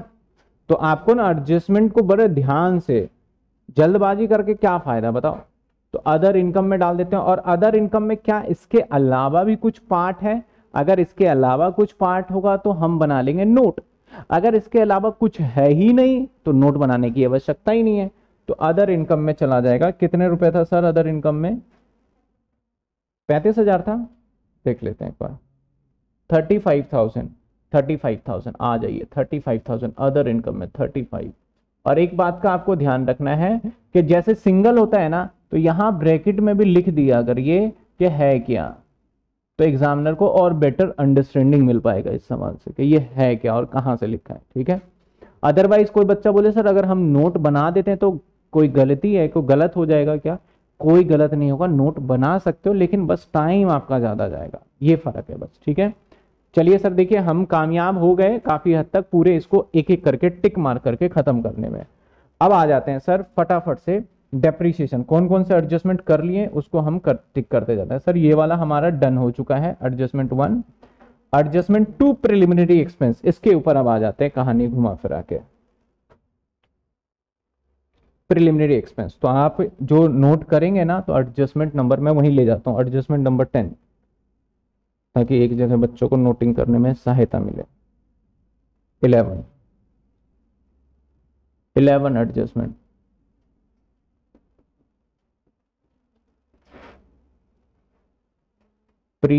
preliminary expense कह लो, या फिर अंडर राइटर कमीशन भी हो सकता है।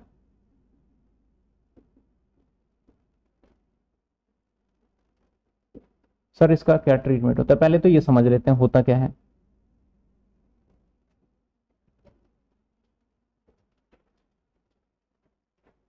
समझ लो देखो, होता क्या है नॉर्मली कोई भी जो है ना कंपनी जो जैसे मान लो एक्स वाई जेड लिमिटेड एक कंपनी बनाना है तो ये लिमिटेड शब्द ना अपने आप में एक बहुत इंपॉर्टेंट है, बहुत महत्व है इस लिमिटेड का।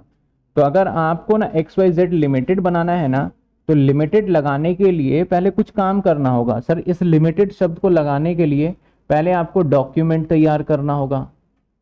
सर डॉक्यूमेंट का मतलब जो इसे हम एम ओ ए कहते हैं और ए ओ ए कहते हैं।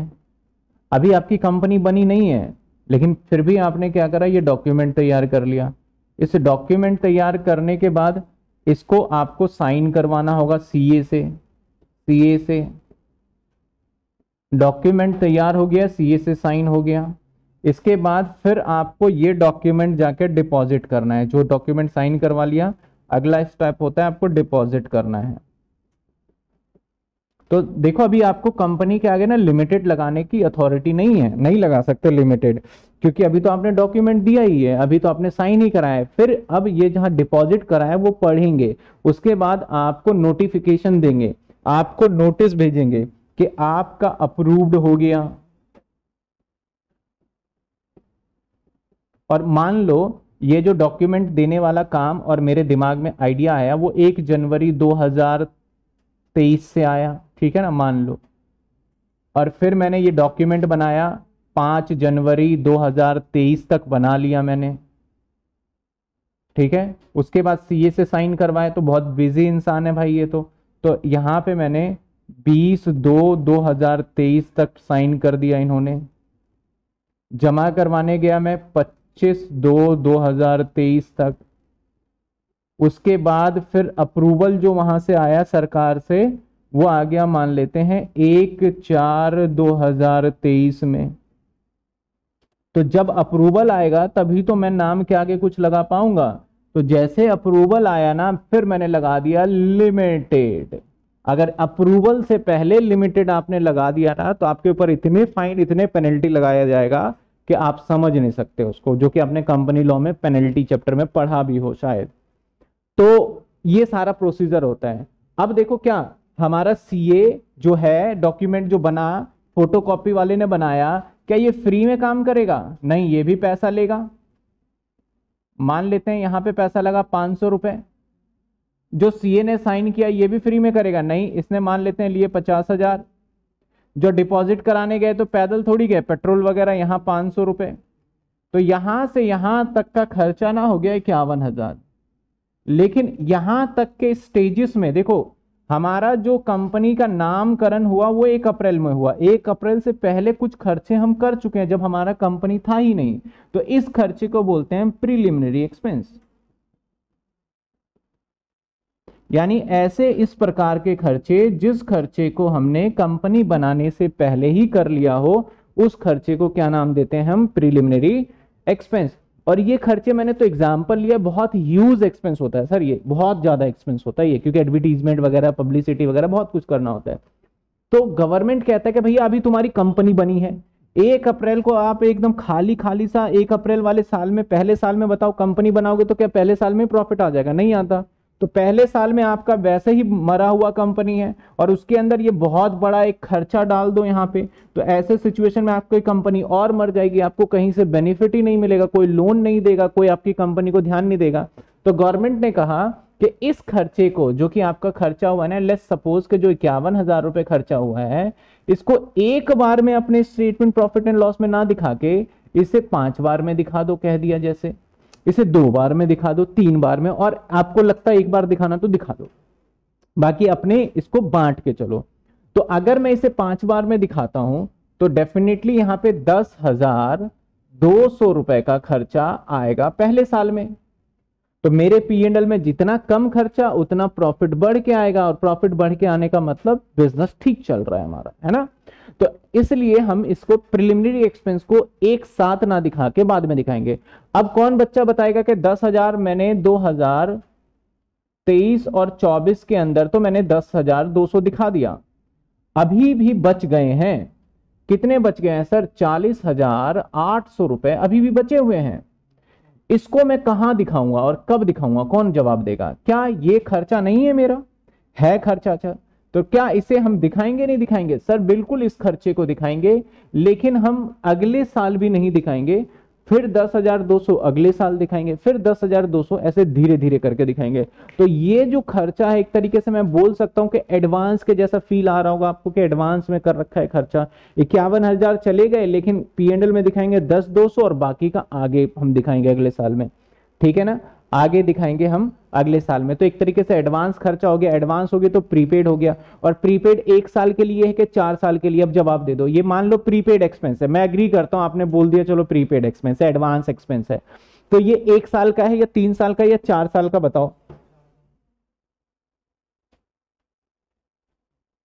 ये चार साल का प्रीपेड एक्सपेंस है। मैंने एडवांस नहीं दिया एमडी मैंने एडवांस नहीं दिया।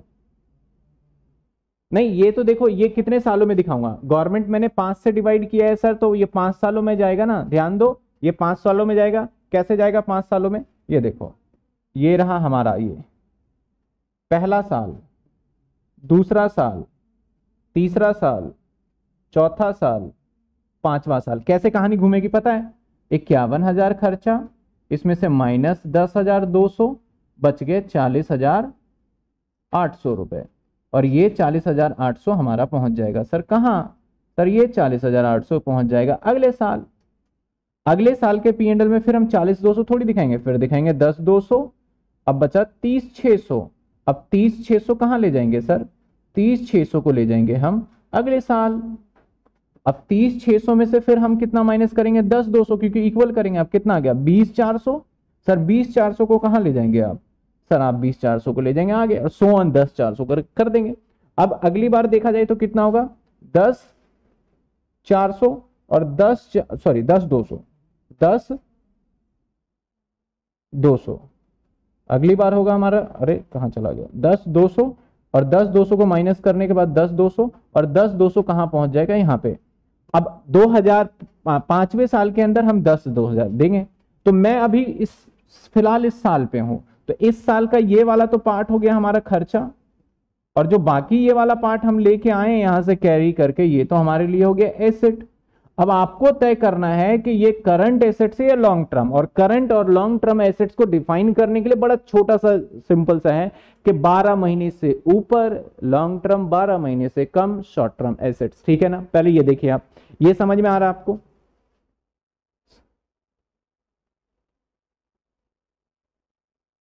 पहले ये समझ में आ रहा है, बताइए।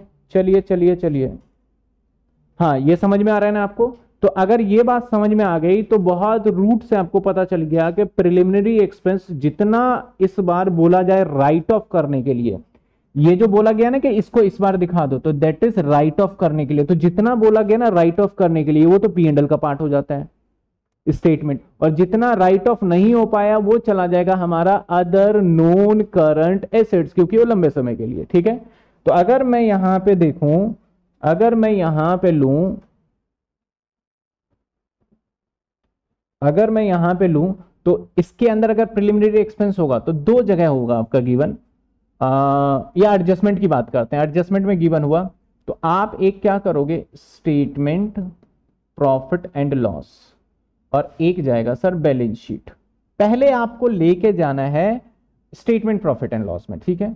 स्टेटमेंट प्रॉफिट एंड लॉस में कहाँ लेके जाओगे? अदर एक्सपेंस में। ध्यान रखना, कहाँ लेके जाओगे सर? अदर एक्सपेंस में। अदर एक्सपेंस अदर एक्सपेंस जैसे मैं ले लेता हूँ एग्जांपल अदर एक्सपेंस में कितना है प्रिलिमिनरी एक्सपेंस इक्यावन। लिख दिया? अब इसमें से लेस कर दोगे। इसी एग्जांपल को बेस मान लेना आप। इसी में से लेस कर देंगे सर करंट ईयर का। दैट इज़ आ गया दस हज़ार दो सौ। अब बच्चा कितना हमारा? अब बच्चा कितना? चालीस हज़ार आठ सौ। अब ये जो चालीस हज़ार आठ सौ इसे ले जाना है अपने बैलेंस शीट में।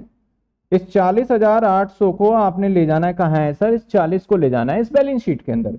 और बैलेंस शीट में भी कहा ले जाएँगे सर बैलेंस शीट में भी ले जाएँगे हम other non current asset, other non current assets में ले जाएँगे। समझ रहे हो बात हम? ये लीजिए। अब आपको यहाँ पे मेरे हिसाब से अगर ये बातें समझ में आ गई तो मैंने प्रिलिमिनरी एक्सपेंस पे स्टार बनाया था। अब यहाँ दे रखा है पचास हज़ार। ठीक है? समझना आप। मैं यहीं पे लेके आता हूँ। यहाँ पे दे रखा था कितना? हमारा पचास हज़ार।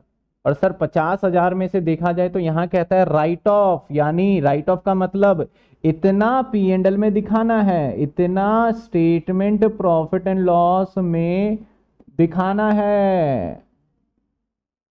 समझ रहे हो बात आप? राइट ऑफ़ का मतलब पाँच हज़ार ही दिखाना है। तो पाँच हज़ार पी एंडल में से अगर हम दिखा देंगे तो बाकी जो पैंतालीस हज़ार बच गया, कहाँ चला जाएगा sir? Other non current assets इसका एक और ऑल्टरनेटिव ऑप्शन है। आप रिज़र्व एंड सरप्लस में नेगेटिव में भी दिखा सकते हैं ऑल्टरनेटिव तो हम जब आएगा ना तो वो दूसरा ऑल्टरनेटिव तब देख लेंगे, ठीक है? अभी ये तो पाँच हज़ार में से तो ये इस तरीके से होने वाला है। तो सर, आइए, क्योंकि ये अदर एक्सपेंस के अंदर लेके जाना है तो आते हैं अदर एक्सपेंस में लेके। हमने बड़ा बनाया था, क्या लिखेंगे? Preliminary expense preliminary expense sir, ये कितने का है? दैट इज़ पचास हज़ार। और क्वेश्चन के एडजस्टमेंट में था इसको करना है पाँच हज़ार राइट ऑफ़। तो माइनस राइट ऑफ़ पाँच हज़ार। पाँच हज़ार राइट ऑफ़ करना था। आप एक चीज़ ध्यान रखिएगा, यहाँ पे थोड़ा सा गड़बड़ भी कर सकते हो आप, कि पाँच हज़ार राइट ऑफ़ करके कहीं ऐसा मत करना कि यहाँ पैंतालीस दिखा देना। हो सकती है ऐसी गलती, और जो कि अक्सर मैं भी कर देता, पैंतालीस। क्योंकि वो तो पैंतालीस दिखा दिया यहाँ पे तो इसका मतलब क्या होगा? आपने स्टेटमेंट में पैंतालीस दिखाया, जबकि यहाँ कितना दिखाना है आपको? पाँच। तो आप यहाँ पे राइट ऑफ़ वाले अमाउंट को माइनस कर दो, या राइट ऑफ़ वाले को डायरेक्ट दिखा दो, या फिर मैं इसके अंदर क्या करूँगा यहाँ पे? ऐसे कर देता हूँ। राइट ऑफ़ ना लिख के मैं लिख देता हूँ। या एक काम करते हैं, हम बैलेंस शीट में चलें क्या? पहले बैलेंस शीट में कर लें? या नहीं बैलेंस शीट के नोट नहीं बनाने से बचेंगे। हम कर देंगे carry forward to next year कुछ बच्चे कंफ्यूज ना हो जाए। बताओ कितना आगे जाएगा? पैंतालीस नेक्स्ट ईयर चला जाएगा ये तो यहाँ पे आ जाएगा हमारा पाँच हज़ार। मैंने ऐसे कर दिया है। समझ में आ जाना चाहिए। बाकी इसका करने का तरीका ये भी था कि मैं एक नोट बनाने से बस बच रहा हूँ, क्योंकि मैं यहाँ पे जो है ना, जो मैंने लिखा है यहाँ पे अदर नॉन करंट एसेट्स यहाँ पे मैं सीधा पैंतालीस हज़ार पुट करना चाहता हूँ। नहीं तो मुझे इसके लिए नोट बनाना पड़ता और ऐसे दिखाते। इसके ब्रैकेट में लिख देता हूँ मैं, पचास हज़ार में से माइनस पाँच हज़ार किए मैंने। आप ऐसे भी दिखा सकते हैं इसको, ठीक है ना? तो बहुत सिंपल सी बात है, जितना पार्ट राइट ऑफ़ होगा वो पीएनडल में चले जाएगा और बाकी का पार्ट कहाँ चला जाएगा? अदर करंट एसेट्स में।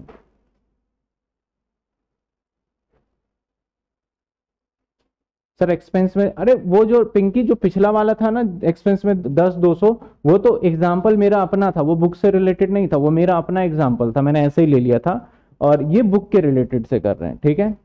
तो सिंपल सी बात है, अगर मैं एडजस्टमेंट के ऊपर जाऊँ तो क्या करना है, sir?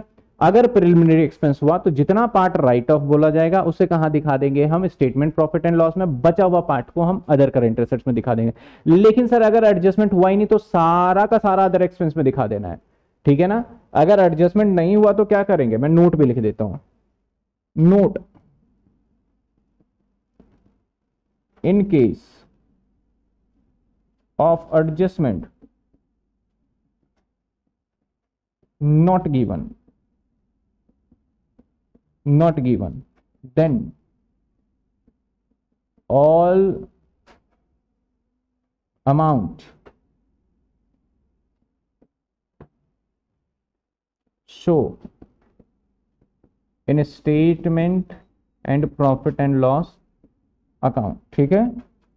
Show in statement and profit and loss account जो बच्चे इसको नोट करेंगे, बाद में नोट कर लेंगे।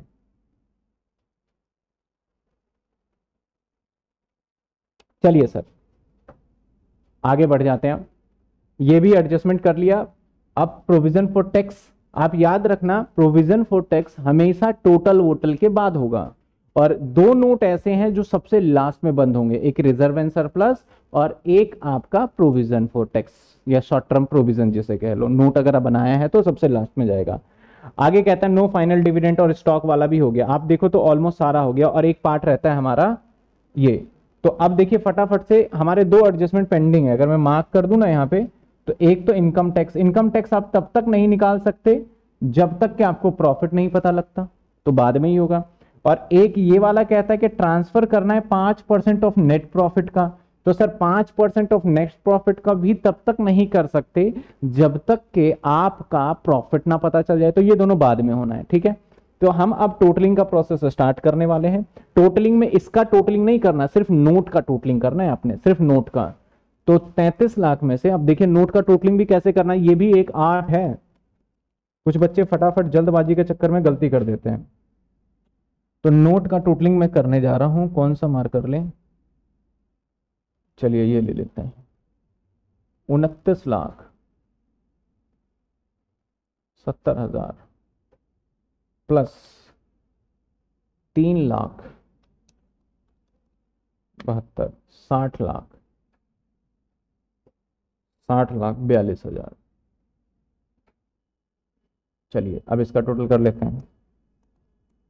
सात पचास माइनस नौ पचास, दो लाख, और वो भी माइनस का। पेशेंस रख के करना है, पहले रूल फॉलो करेंगे हम। आठ सत्तर माइनस आठ लाख छब्बीस हज़ार पाँच सौ। चार लाख माइनस पचहत्तर हज़ार। चालीस लाख में से पिछहत्तर, उनतालीस लाख, पच्चीस हज़ार। अब यहाँ पे भी टोटल कर लेते हैं।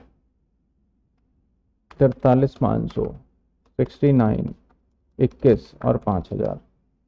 एक अड़तीस पाँच सौ। और रिज़र्व एंड सरप्लस का नोट बंद नहीं होगा अभी फ़िलहाल के लिए, ठीक है ना? चलिए आगे आ जाते हैं।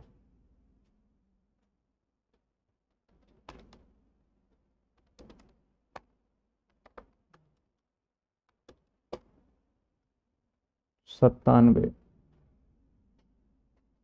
चार हज़ार। आप भी टोटलिंग कर लीजिए कई बार मैं ज़ीरो बहुत बार छोड़ देता हूँ। एक एडजस्टमेंट रह गया अभी डिबेंचर वाला ना? चलिए, बताते हैं अभी। और इसको भी कर देते हैं टोटल चार लाख थ्री सात सत्तर।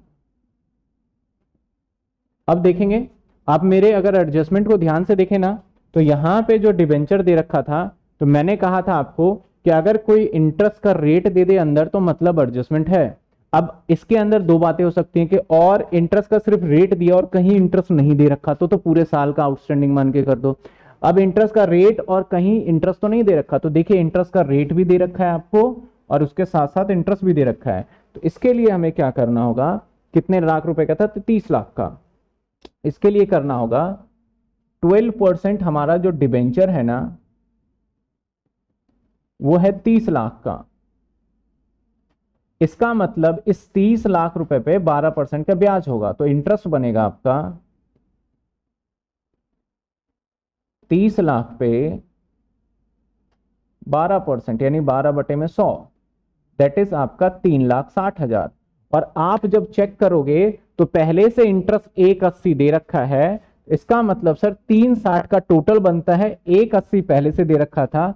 ऐड हो जाएगा आउटस्टैंडिंग एक्सपेंस दैट इज़ आपका हो जाएगा हमारा एक अस्सी और बच जाएगा, तब जाके बनेगा टोटल तीन लाख साठ हज़ार। और इसकी डबल एंट्री कहाँ कर देंगे?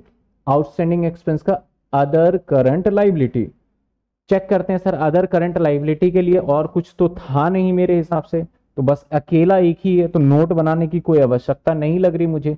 तो अदर करंट लाइबिलिटी में मैं एक लाख अस्सी हज़ार पुट कर दूँगा और ब्रैकेट में लिख दूँगा इंटरेस्ट ठीक है? क्लियर चलिए अब इसका भी टोटल कर लिया। अब सभी का टोटल कर लिया। अब देखो, आपके लिए ना नोट बनाना इतना आसान हो जाएगा ना। जिसके आगे अमाउंट नहीं है, उसको नंबरिंग देते जाओगे। देखना, जिसके आगे अमाउंट नहीं, जैसे इसके आगे अमाउंट नहीं है, लेकिन लिखा तो है ना। एक नंबर दो नंबर इसके आगे अमाउंट है तो होगा ही नहीं। इसके आगे नहीं है तो तीन नंबर। इसके आगे तो होगा ही नहीं। इसके आगे अमाउंट लास्ट में आता है। ये तो सबसे एक्सेप्शन ही मान के चलो। इसके आगे अमाउंट नहीं है तो इसको क्या दे देंगे? चार नंबर। इसके आगे अमाउंट नहीं है तो किसके आगे? हाँ इसमें है तो नहीं देंगे। इसमें भी नहीं देंगे, इसमें भी नहीं देंगे इन्वेंट्री में भी नहीं देने वाले ट्रेड रिसीवेबल में नहीं देने वाले। इक्विपमेंट ट्रेड रिसीवेबल में नहीं है। तो कितने? पाँच नंबर। और इसके आगे है other current assets other current assets में कुछ आया ही नहीं, है ना? कुछ तो नहीं आया इन अदर करंट एसेट्स में? नहीं आया। तो इसका देना ही नहीं तो पाँच नंबर तक नोट हो गया, आगे चलो। सर अब इसके आगे नहीं अमाउंट है तो नहीं देंगे, इसके आगे भी ये नहीं देंगे, इसके आगे भी ये नहीं देंगे, इसके आगे छः नंबर सात नंबर आठ नंबर इसके आगे ऑलरेडी है अदर एक्सपेंस के लिए नौ नंबर अब आ जाते हैं हम क्या इसके आगे डायरेक्टली अमाउंट लिख सकते हैं तो सो so दैट मुझे नंबर लिखने की ज़रूरत नहीं है बाकी के बाद। यहाँ तक समझ में आया? अब जहाँ जहाँ नंबर लिखा है, वहाँ वहाँ अमाउंट को प्लॉट करते जाओ और नंबरिंग करते जाओ। तो पीपीई को क्या नंबर दिया है आपने? पीपीई को क्या नंबर दिया है? पीपीई को चार नंबर दिया है। तो सबसे पहले पीपीई थे पीपीई था नंबर चार। अब बाद में नंबरिंग लिखेंगे। समझे आप? इसके बाद अगला क्या है हमारा? चेंज इन इन्वेंट्री तो चेंज इन इन्वेंट्री को क्या दिया है? ये रहा चेंज इन इन्वेंट्री छ। नंबर छ समझ रहे हो बात? इसके बाद क्या है? ट्रेड रिसीवेबल चेक करो ट्रेड रिसीवेबल को क्या नंबर दिया आपने? ट्रेड रिसीवेबल पाँच नंबर दिया है आपने। तो अब लिखेंगे पाँच। अब शेयर कैपिटल को क्या नंबर दिया? एक ही होता ही है ऑलवेज अब अदर एक्सपेंस को क्या नंबर दिया? देखो नो नंबर दिया है। तो यहाँ पे क्या लिखेंगे? नो इसके बाद क्या है? रेवेन्यू तो ये हमेशा दो होता है। तो दो नंबर इसके बाद आगे आ जाते हैं। हमारा क्या है? एम्प्लॉय बेनिफिट कितने नंबर दिया है? स्टेटमेंट प्रॉफिट एंड लॉस में चेक करते हैं। एम्प्लॉय बेनिफिट को हमने नंबरिंग करा है सात। तो देख रहे हो कितना आसान हो गया हमारे लिए ये काम। सात नंबर। इसके बाद आ जाते हैं आगे हम। फाइनेंस कॉस्ट को क्या नंबर दिया है? आठ। ये आ गया आठ। अब आ गया ट्रेड पेबल ट्रेड पेबल को क्या नंबर दिया? ये तो बैलेंस शीट में पता चलेगा। नंबर दिया भी या नहीं दिया मैंने? ट्रेड पेबल तीन नंबर। तीन नंबर। कहा गया सर? तीन नंबर। अब नोटिंग भी चलेगी। अब अमाउंट को भी उठा उठा के फटाफट से लिख देना है। तो एम्प्लॉय बेनिफिट में नौ लाख चौहत्तर हज़ार, आप बताते जाइएगा। यहीं पे नौ लाख चौहत्तर हज़ार। एम्प्लॉय बेनिफिट नौ लाख चौहत्तर हज़ार। इसके बाद है हमारा फाइनेंस कॉस्ट तीन साठ। फाइनेंस कॉस्ट तीन साठ। इसके बाद ट्रेड पेबल है। ट्रेड पेबल है हमारा सात लाख सत्तर हज़ार, ये तो बैलेंस शीट में जाएगा। ट्रेड पेबल नोट नंबर तीन, सात लाख सत्तर हज़ार। अब आ जाते हैं हम आगे कहाँ पे, सर? पीपीई साठ लाख बयालीस हज़ार बैलेंस शीट में। साठ लाख बयालीस हज़ार। इसके बाद आते हैं हम चेंज इन इन्वेंट्री माइनस का दो लाख है। तो आप यहाँ पे भी आपका माइनस में ही लिखना है आपने, ध्यान रखिएगा ये। ऐसा नहीं कि माइनस में नहीं है प्लस में आएगा। यहाँ पे भी किसमें आएगा? माइनस में भी आएगा। ये भी हो गया। जिसपे हो गया ना, मैं टिक मारता जाता हूँ ताकि मुझे याद रहे। ये भी हो गया। ये भी हो गया। ट्रेड रिसीवेबल आठ लाख छब्बीस हज़ार पाँच सौ। बैलेंस शीट में जाएगा। आठ लाख छब्बीस हज़ार पाँच सौ। ये भी हो गया। इसके बाद आ जाते हैं इसके ऊपर। शेयर कैपिटल उनतालीस लाख पच्चीस हज़ार। नोट नंबर वन उनता, अरे, उनतालीस लाख पच्चीस हज़ार। Thirty nine lakh twenty five thousand. इसके बाद आ जाते हैं, ये भी हो गया हमारा डन सर इसके बाद आ जाओ हमारा क्या? Other expense one thirty eight five hundred one thirty eight five hundred इसके बाद रिज़र्व एंड सरप्लस तो भैया बाद में ही जाना है। सारे हम जगह लिख चुके हैं। अब हमारा पी एंडल का बैलेंस शीट से कोई ताल्लुक नहीं होता। पहले पी एंडल बनता है, फिर बैलेंस शीट बनता है। तो पहले इसका टोटल कर लेते हैं। तो इकतालीस और पैंतीस। कितने हो गए? इकतालीस लाख पचास हज़ार। इकतालीस लाख पिचासी हज़ार। अब इसका टोटल कर लेंगे फटाफट से। देख लेते हैं क्या आता है। अठारह लाख पचास हज़ार माइनस दो lakh plus nine seventy four, plus तीन साठ, प्लस तीन लाख तीस हज़ार, प्लस एक लाख अड़तीस पाँच सौ। ये आ गया सर चौंतीस लाख चौंतीस लाख बावन हज़ार पाँच सौ। अब हम ना माइनस कर देंगे इकतालीस लाख, क्योंकि ये बनता है हमारा क्या सर? ये बनता है थ्री में से माइनस करना है हमें फाइव को। टोटल तो इनकम और खर्चा माइनस करेंगे। इसमें से माइनस करेंगे तो क्या आएगा? इकतालीस लाख पिचासी हज़ार। दैट इज़ आपका आ गया तिहत्तर पच्चीस। यानी सात लाख सॉरी हाँ, पच्चीस एक ही ज़ीरो है। ये आ गया सात लाख बत्तीस हज़ार पाँच सौ। पहले यहाँ तक बताओ समझ में आया कि नहीं आया? सर क्या आज मॉर्निंग कल क्लास होगी? सर क्या आज मॉर्निंग हाँ अभी मैं सेंड करूँगा इसको पीडीएफ तो। डॉली, मुझे समझ में नहीं आया सर, क्या आज मॉर्निंग की क्लास होगी? मॉर्निंग की क्लास ले रहा हूँ मैं तो नौ बजे से ही क्लास ले रहा हूँ उसमें। समझ में नहीं आया मुझे क्या पूछ रहे थे ठीक है? अब अब देखो इनकम टैक्स हाँ। इनकम टैक्स ये देखो। इनकम टैक्स दे रखा था पैंतीस परसेंट। तो जो ये आंसर आया ना, इसके ऊपर पैंतीस परसेंट निकालेंगे। तो पैंतीस परसेंट किसका? इसका। तिहत्तर पच्चीस सौ का। इस बात का ध्यान रखना है। तो इसके ऊपर पैंतीस परसेंट। दैट इज़ आ गया आपका, ये एडजस्टमेंट था। ये आ गया पच्चीस, तिरसठ, पाँच। इसकी डबल एंट्री पता है कहाँ चला जाता है? मैंने बताया था, एक तो जाएगा यहाँ पे और दूसरा चला जाएगा। अभी बताया था कि शॉर्ट टर्म प्रोविज़न में। तो शॉर्ट टर्म प्रोविज़न में अकेला ये जाएगा। आपकी इच्छा है तो नोट बना लीजिए अदरवाइज़ डायरेक्ट लिख सकते हैं। क्या लिख देंगे? शॉर्ट टर्म प्रोविज़न में। पच्चीस, तिरसठ।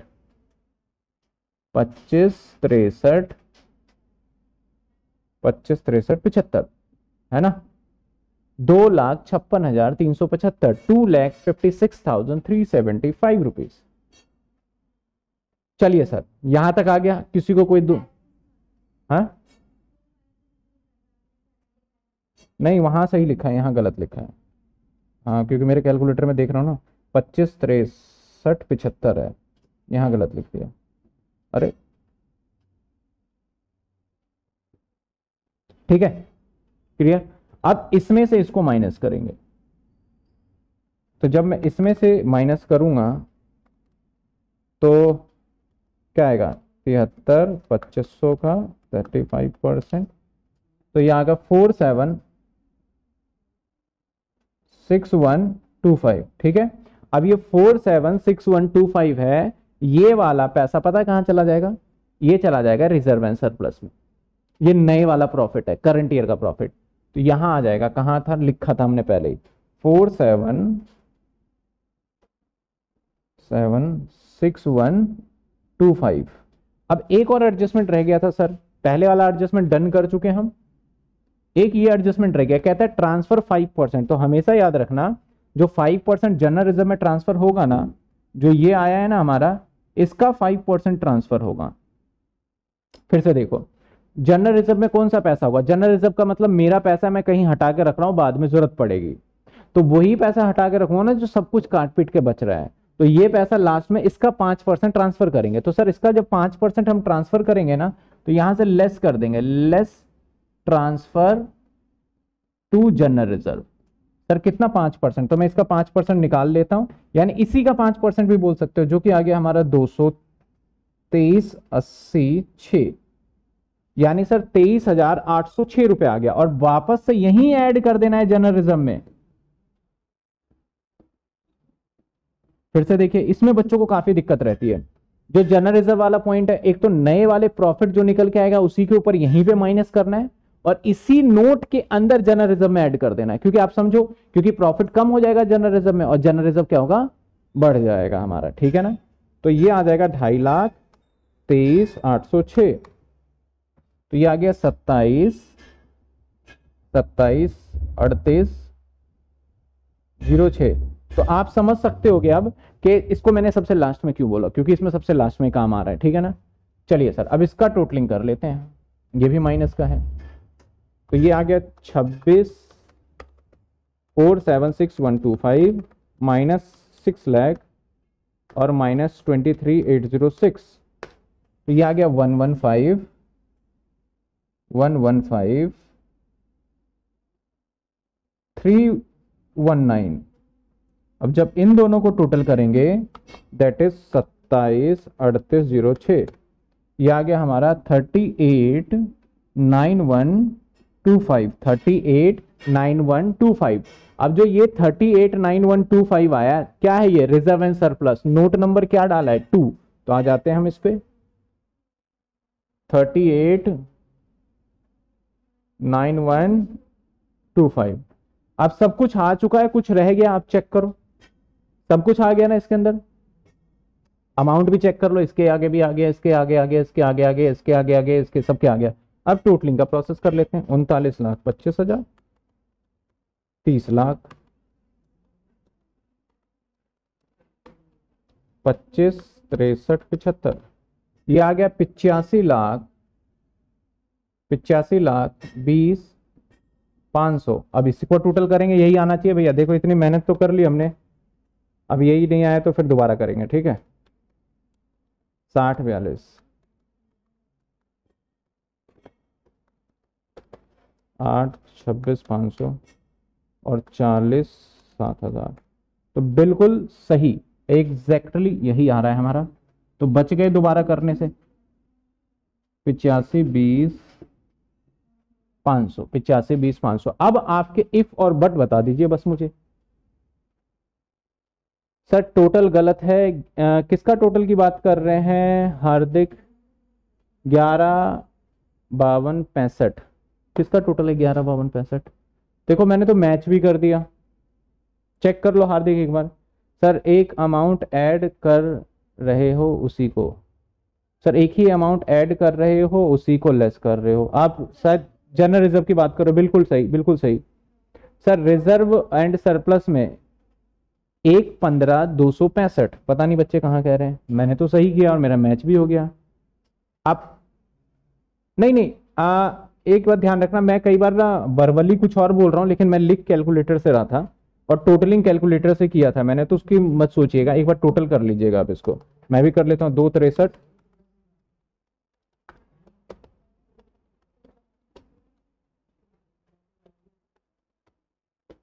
नहीं, बिल्कुल सही लिखा है, आप दोबारा टोटल कर लीजिएगा, कोई बात नहीं है। कई बार क्या होता है मैं तो कैलकुलेटर पे टोटलिंग सारा एक बार में लेके चलता हूँ तो मैं इस पे से देख देख के लिखता हूँ। तो हो सकता है मैंने गलती से एक दो डिजिट आगे पीछे मुँह से बोल दिया लेकिन लिखा यहाँ पे, सही है मैंने, कोई दिक्कत वाली बात नहीं है। ठीक है? प्रिलिमिनरी एक्सपेंस रिपीट कर दो। ओके देखो प्रिलिमिनरी एक्सपेंस में क्या होगा? देखिए। सर प्रिलिमिनरी एक्सपेंस में क्या होगा? प्रिलिमिनरी एक्सपेंस में स्टेटमेंट प्रॉफिट एंड लॉस में क्या होगा? जितना होगा माइनस हो जाएगा, और जितना माइनस होगा ना वो पहुँच जाएगा बैलेंस शीट में। यानी सिंपल सी बात है कि मैंने यहाँ पे थोड़ा सा आ, ऐसे समझो कि प्रिलिमिनरी एक्सपेंस कुछ बच्चे बाद में नोट करेंगे तो दिक्कत होगी तो मैं यहाँ पे थोड़ा चेंज ही कर देता हूँ। Preliminary expense statement profit and loss में अदर एक्सपेंस में। राइट ऑफ़ अमाउंट अब सही है? कि अदर एक्सपेंस में आपको ना राइट ऑफ़ अमाउंट दिखा देना है। और इसके अंदर कौन सा अमाउंट दिखाना है? बैलेंस अमाउंट ठीक है? Balance amount correct balance amount तो हमारे अब इसको ध्यान अगर आपको पता चलता है इसको तो मिटा दे फिर। एरो को कोई काम का ही नहीं रहा। एरो तो। तो देखिए प्रिलिमिनरी एक्सपेंस कितना था हमारा? राइट ऑफ़ पाँच हज़ार। तो पाँच हज़ार रुपए स्टेटमेंट प्रॉफिट एंड लॉस में चला गया और बैलेंस एसेट्स में आ गया। तो बैलेंस एसेट्स में आ गया कहाँ पे हमारा? अदर नॉन करंट एसेट्स में आ गया और पाँच हज़ार रुपए चला गया हमारा कहाँ पे? चेक करिए हमारा पाँच हज़ार ये आ गया यहाँ पे। ठीक है? Balance sheet P and L करने का एक ही तरीका है। पाँच छह सवाल कर लो आप, देख देख के कर लो, बेशक देख देख के कर लो। मैं ये नहीं कह रहा कि आपको बिना देखे करना है। आप देख देख के करिए पहले पाँच सवाल और एक एक चीज़ देख के करिए, आपको ऑटोमेटिकली लर्न हो जाएगा।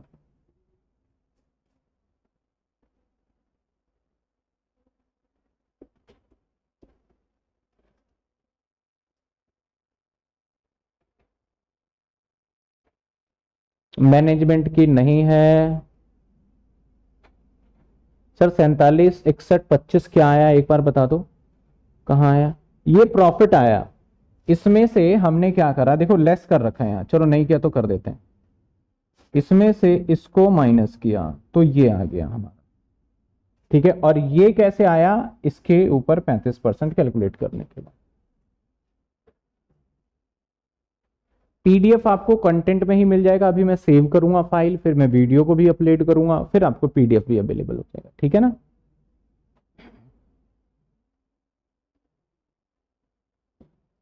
बुक में कुछ जर्नल फॉर्मेट में हाँ जर्नल में पहले दो हैं। आप सबके पास टेन ईयर आ जाएगा। बुक के क्वेश्चन भी मैंने उसमें कुछ है। उसके अंदर प्रोविज़न फॉर टैक्स की जर्नल एंट्री है और एक है हमारा मैनेजर रेमोनरेशन के ऊपर है। और एक दो छोटे छोटे से और पॉइंट है डिविडेंड के ऊपर, जिसमें जर्नल एंट्री करे हुए हैं स्टार्टिंग के एक दो तो मैं स्टार्टिंग के एक दो लास्ट में कवर कर लूँगा। ठीक है? तो एक क्वेश्चन हमने किया। डेफिनेटली इसके अंदर हमने टाइम ज़्यादा लिया, लेकिन जिस बच्चे ने शुरू से लास्ट तक देखेगा ना इस वीडियो को, वो ये नहीं कह सकता कि, सर, ये समझ में नहीं आ रहा। लेकिन ये कह सकता है कि सर लेंदी लग रहा है हमें, क्योंकि मैंने धीरे धीरे एक एक स्टेप वाइज कराया है। जिस बच्चे को एक समझ में आ गया ना एडजस्टमेंट आ गया, उसके लिए चैप्टर एंड हो जाता है। उसको तो अगले क्वेश्चन पे देखो। अगले क्वेश्चन को अगर आप देखते हो तो मैंने एडजस्टमेंट में इसलिए उस दिन टाइम लगाया यहाँ की सारी बातें आपको पहले से आती है। इस आइटम को ट्रांसफ़र करना भी आ रहा है, इस आइटम को ट्रांसफ़र करना भी आ रहा है। इसके बाद क्या कहता है? इन्वेंट्री पता है प्रोवाइड इनकम टैक्स कर लिया कॉर्पोरेट डिविडेंड टैक्स पहले, अरे कॉर्पोरेट डिविडेंड टैक्स ये पुराने वाला है ना ये रह गया तो इसे तो काट देते हैं। एक कट जा भाई तो किसी काम का नहीं अब। तो ये होमवर्क में आएगा ना आपके पास शीट में तो काट देना, वैसे नए वाले टेन ईयर में हटा दिया है मैंने ये। और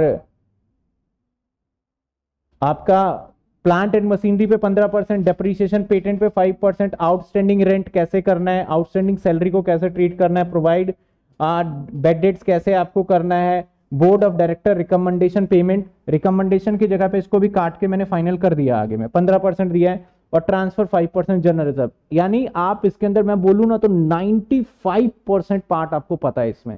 सिर्फ़ डिविडेंड वाले में एक बार को हिचकोगे। तो मैं अगली क्लास के अंदर ये सवाल करा दूँगा आपको, ठीक है? बाकी आप आधा अधूरा करके जितना भी हो सकता है ना करना।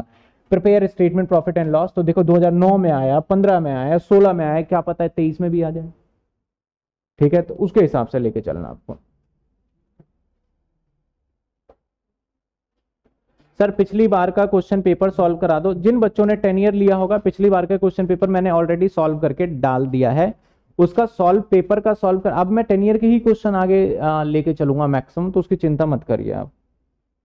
उसके अंदर मैं कवर कर लूँगा। पिछले साल का क्वेश्चन पेपर मैंने सॉल्यूशन तो लिख के तो दे दिया, एक बार मैं फिर समझा भी दूँगा उसको। चलिए, देखते हैं क्वेश्चन और भी करते हैं, इसमें डिविडेंड के साथ है। हम ये क्वेश्चन ट्राई करेंगे। कितने बच्चों ने ये वाला क्वेश्चन ट्राई किया था? क्वेश्चन करने के लिए दिया था।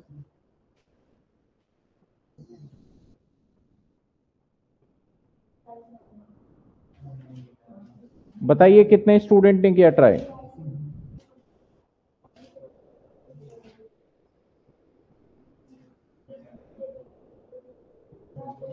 गुड इवनिंग हाँ जी, आपने किया क्वेश्चन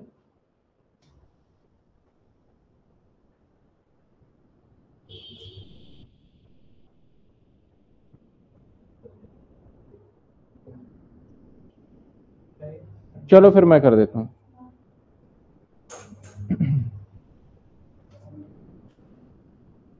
आज जितने बच्चे ऑफलाइन वाले, सारे रजिस्टर चेक करा के जाएँगे आज।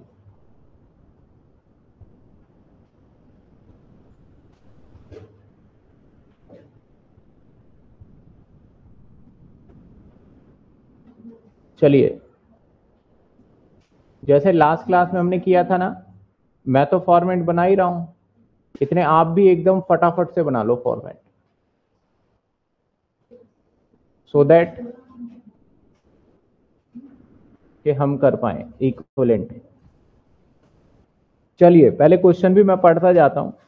कहता है, हमें जी लिमिटेड का 31 मार्च 2015 का इंफॉर्मेशन गिवन है। जिसके अंदर इन्वेंट्रीज, ओपनिंग स्टॉक है, परचेज दे रखा है, वेजेस दे रखा है, कैरिज दे रखा है। अब ये कैरिज कौन सा इनवर्ड है? ध्यान रखना। जब कुछ ना बोला जाए तो ये कैरिज इनवर्ड होता है। और फर्नीचर दे रखा है, सैलरी दे रखा है, रेंट दे रखा है और एक्सपेंस है debtor plant and machinery cash at bank patents bills receivable purchase return दे रखा है, यानी सर परचेज के ऊपर है एडजस्टमेंट सेल्स भी है डिस्काउंट रिसीव है सरप्लस ये सरप्लस बताओ कौन से वाला है? ये सरप्लस कौन से वाला है? ओल्ड वाला. ये कौन से वाला है हमारा?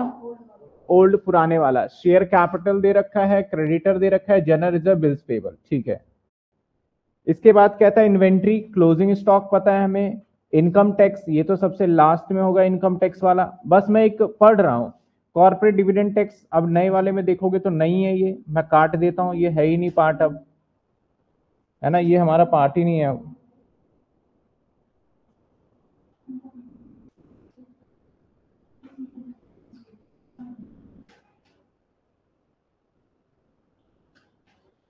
मैंने हटा दिया इसको।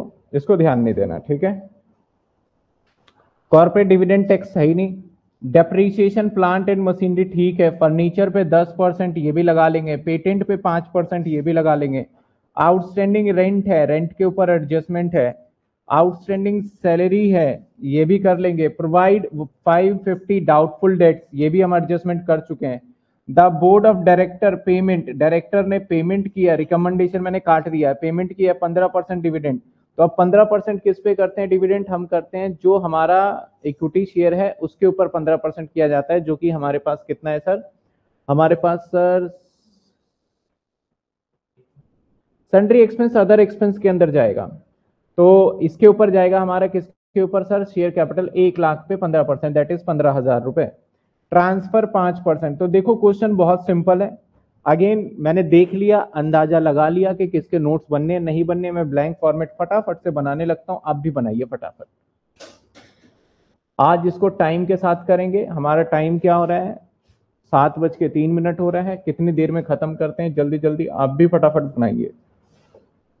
जितने बच्चे नए ज्वाइन हो रहे हैं, वो भाई, उनको ये चैप्टर समझ में अभी नहीं आएगा, उनको स्टार्टिंग से करना पड़ेगा ट्यूसडे से न्यू चैप्टर स्टार्ट कर रहे हैं, तब उनको नया समझ में आने लगेगा। हमारा फ़र्स्ट पार्ट है equity and liability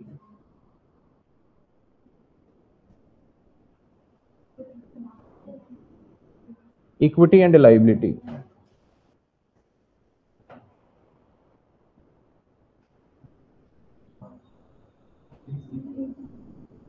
इसके अंदर जाएगा हमारा ए पार्ट नहीं ए नहीं वन जाएगा पहले. वन होता है हमारा share holder fund A part जाएगा शेयर कैपिटल बी पार्ट जाएगा रिज़र्व एंड सरप्लस ठीक है? सर अब सेकंड पार्ट क्या लिखेंगे हम? क्या यहाँ डिबेंचर है? डिबेंचर का कहीं दूर दूर तक नामो निशान नहीं है तो सीधा आ जाएगा करंट लाइबिलिटी ठीक है? सीधा क्या आ गया हमारा? समझ रहे हो कैसे आए करंट लाइबिलिटी क्योंकि बीच की चीज़ें है ही नहीं। तो सीधा हमने वो नेम दे दिया। करंट लाइबिलिटी में क्या क्या आएगा हमारा? एक आएगा ट्रेड पेबल क्रेडिटर था। Other current other current asset अरे एसेट्स क्यों लिख दिया? लाइबिलिटी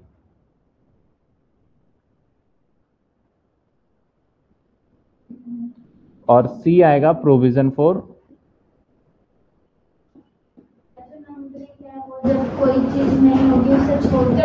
बिल्कुल बिल्कुल बिल्कुल।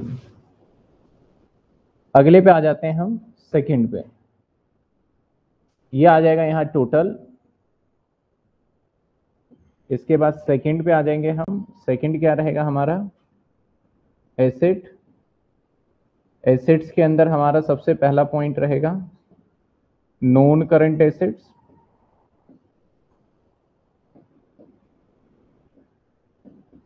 देखो क्वेश्चन आपको पहले पढ़ लेना चाहिए। आप देख रहे होगे, फ़ायदा मेरे को टेंशन नहीं है।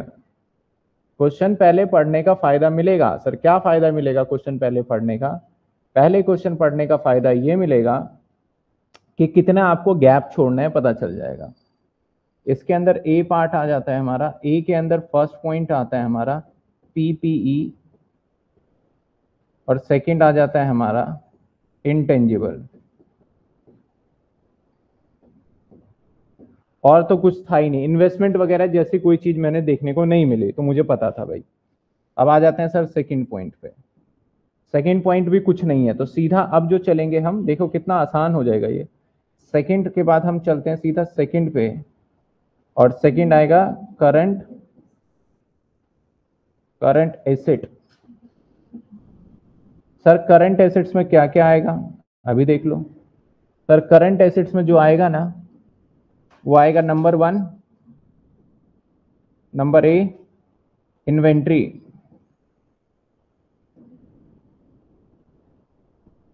number B B क्या आएगा हमारा? Cash and cash sorry trade receivable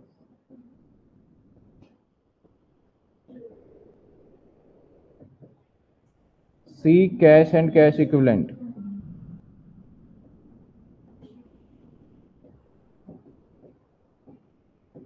ये जी, ये लो, ये आ गया। थोड़ा विजुलाइज कर दिया आपको। चलिए जी।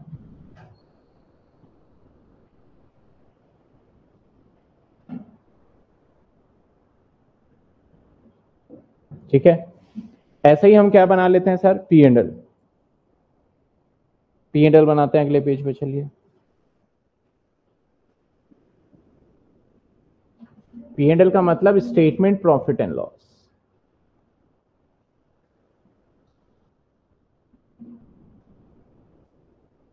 और मैं उम्मीद कर रहा हूँ कि आप सब भी बना रहे होंगे साथ के साथ, सिर्फ़ इंतज़ार नहीं कर रहे होंगे कि मैं करूँगा। आप सभी मेरे से स्पीड में बना रहे होंगे फॉर्मेट नोट अमाउंट पर्टिकुलर इसके बाद यहाँ पे क्या चलता है नंबरिंग हमारा सर यहाँ पे चलता है हमारा रोमन में one revenue from operation second other income third total fourth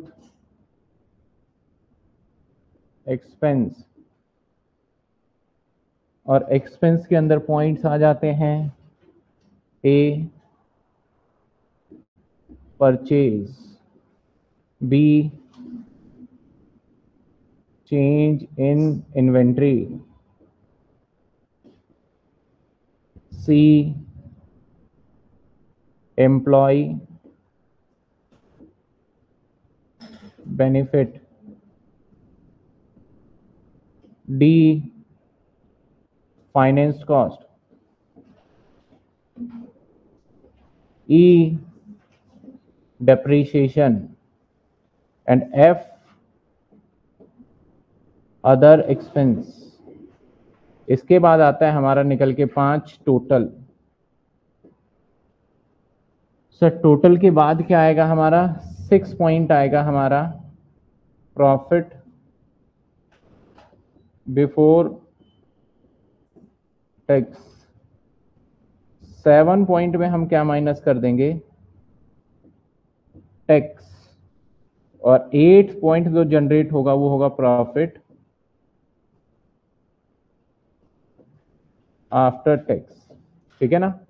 चलिए एक एक एडजस्टमेंट करते जाएँगे और नोट भी बनाते जाएँगे। मैं नोट के लिए भी पहले ही काम कर लेता हूँ थोड़ा। इसके अंदर मुझे उम्मीद है काफ़ी नोट नहीं बनने वाला।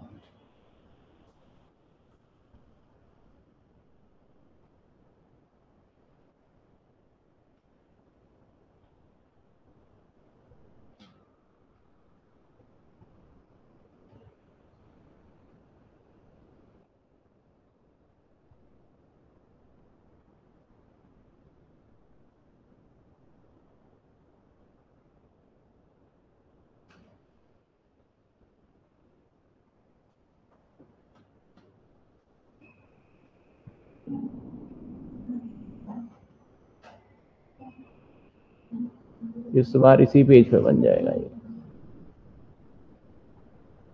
चलिए सर, नोट बनाने का क्या तरीका है? हम एक एक करके क्वेश्चन पढ़ेंगे और करते जाएँगे। मैं इसे मिटा के क्लीन कर देता हूँ ताकि मैं टिक मार्क लगा पाऊँ। चलिए।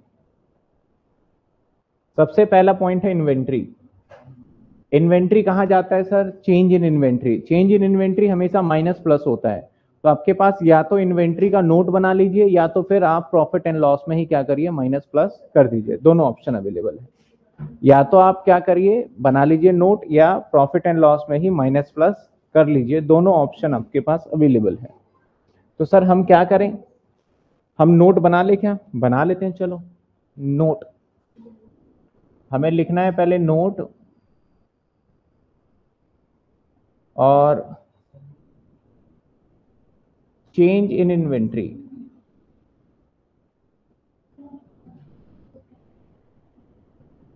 इन्वेंट्री ठीक है? ओपनिंग स्टॉक और ऑल दो इसको बिना बनाए भी बात बन सकती है। कितने का है सर? पिछहत्तर हज़ार सेवेंटी फाइव थाउज़ेंड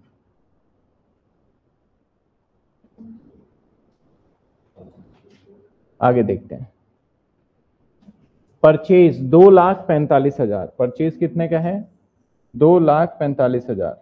तो सर, परचेज का भी नोट बना लिया जाए, क्योंकि इसमें परचेज रिटर्न भी मैंने देखा था। परचेज। यहाँ आ जाएगा परचेज। दो लाख पैंतालीस हज़ार। इसके बाद है हमारा वेजेस वेजेस किसका एम्प्लॉय बेनिफिट का. क्या वेजेस के अलावा सैलरी भी है? जी हाँ. तो एक और नोट बन जाएगा एम्प्लॉयमेंट बेनिफिट नोट एम्प्लॉयमेंट को डबल ई लिख रहा हूँ. बेनिफिट और सबके नीचे लाइन खींच दे तो बेहतर है. नोट के नीचे ना.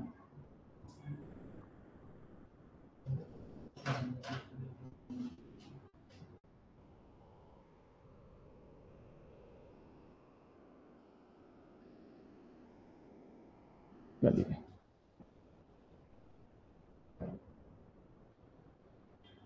एम्प्लॉय बेनिफिट में पहले क्या लिख लें हम? वेजेस सर इस पे भी एडजस्टमेंट था तो मैं तो एडजस्टमेंट बाद में करता हूँ। तीस हज़ार रुपये कितने आ गए तीस हज़ार। इस पे हालाँकि मैंने देखा है आउटस्टैंडिंग था। अब वेजेस के बाद क्या गिवन है सर कैरिज अब कैरिज को ना दो जगह दिखा सकते हैं। या तो आप परचेज में ऐड करिए या फिर दूसरा ऑप्शन है अदर एक्सपेंस में दिखाइए आप। ये आपके ऊपर अवेलेबल डिपेंड करता है कहाँ दिखाएँगे। सर परचेज में क्यों ऐड होगा ये? एक बार बता देना क्लियर विजुअल है आप सभी को? सर प्रोविज़न की जगह शॉर्ट टर्म प्रोविज़न आएगा। हाँ वो मैं कर दूँगा, कोई दिक्कत नहीं। पहले आप बता दो, एक बार क्लियर विजुअलिटी अवेलेबल है आप सभी को?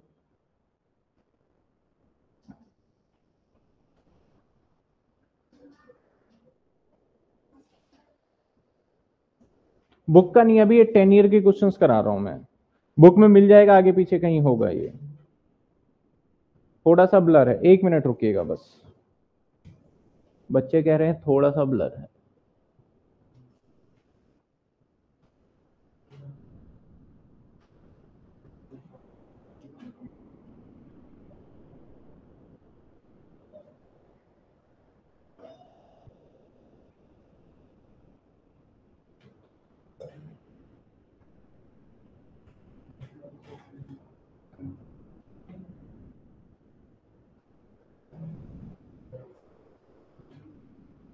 चलिए, अब देखिए क्लियर है नाव नाव सेम ही है या फिर क्लियर है?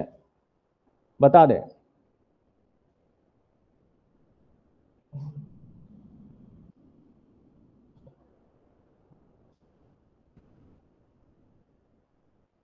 कह रहे सर बुक के क्वेश्चन सिक्स हैं। बिल्कुल सिक्स हो सकता है। मैंने कहा ना, मैंने टेन ईयर में भी और वहाँ भी एग्ज़ाम में आए हुए क्वेश्चंस कर रहे हैं।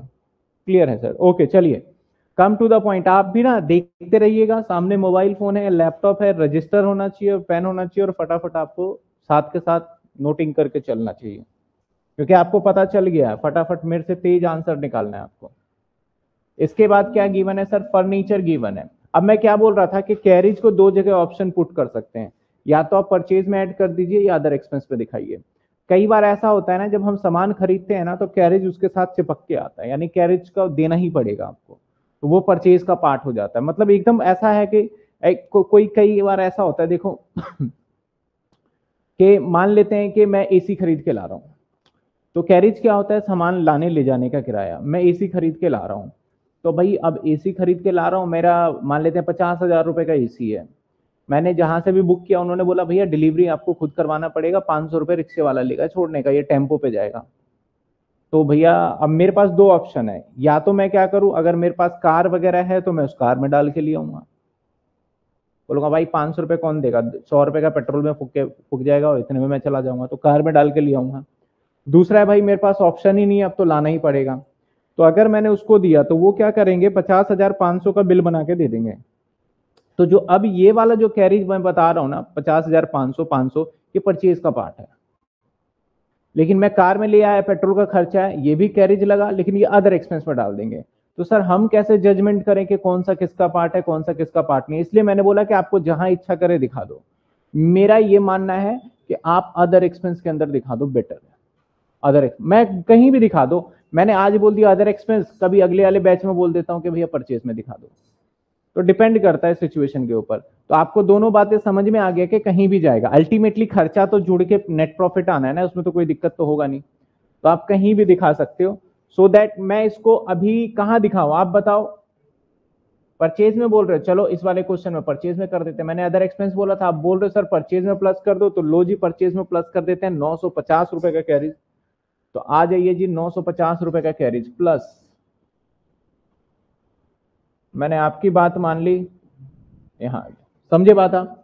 इसका दूसरा ऑप्शन कहाँ था? अदर एक्सपेंस ऐसा नहीं, दोनों जगह दिखाना है, ये ध्यान रखना चलिए सर, इसके बाद अगले पॉइंट पे आते हैं सर। अगला, इसके बाद है furniture furniture PPE property plant and equipment का पार्ट है, सत्रह हज़ार। तो एक नोट बना लेते हैं पीपीई पीपीई सर।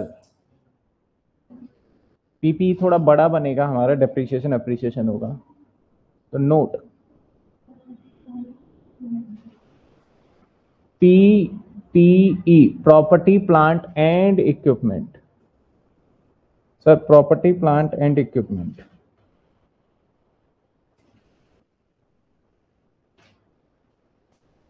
क्या लिखा था? फर्नीचर कितने रुपए का था? बुक के अंदर बच्चे कह रहे हैं, छठा क्वेश्चन है, देख लेना एक बार। कितने था? पंद्रह सत्रह हज़ार।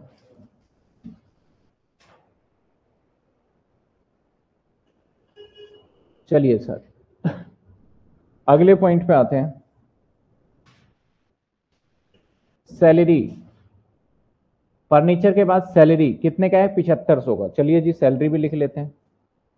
तो एम्प्लॉय बेनिफिट में आएगा सैलरी कितने का? सेवेंटी फाइव हंड्रेड सैलरी भी। टिक करते जाना, आप भी क्वेश्चन पेपर में, ठीक है? रेंट पिछहत्तर रेंट कितने का है? चार हज़ार का। रेंट है सर चार हज़ार। तो रेंट चार हज़ार है तो ये अदर एक्सपेंस का पार्ट होता है रेंट और यहाँ पे देखो ना आप, क्वेश्चन में मैंने पहले ही पढ़ लिया था कि सर आउटस्टैंडिंग रेंट भी है और आउटस्टैंडिंग सैलरी भी है। तो दैट्स वाई मैंने यहाँ पे अंदर लिखा है। तो अब अदर एक्सपेंस आपको बताया था अदर एक्सपेंस का बड़ा होता है थोड़ा सा नोट है ना? Note other expense other expense sir, अब अदर एक्सपेंस में क्या आ रहा है हमारा? रेंट कितने रुपए का रेंट है बताओ? चार हज़ार का। इसके ऊपर अंदर रख रहा हूँ एडजस्टमेंट है। चलिए। अगला है हमारा सन्ड्री एक्सपेंस ये भी अदर एक्सपेंस का पार्ट है, सोलह हज़ार नौ सौ पचास। सोलह हज़ार नौ सौ पचास तो other expense sundry expense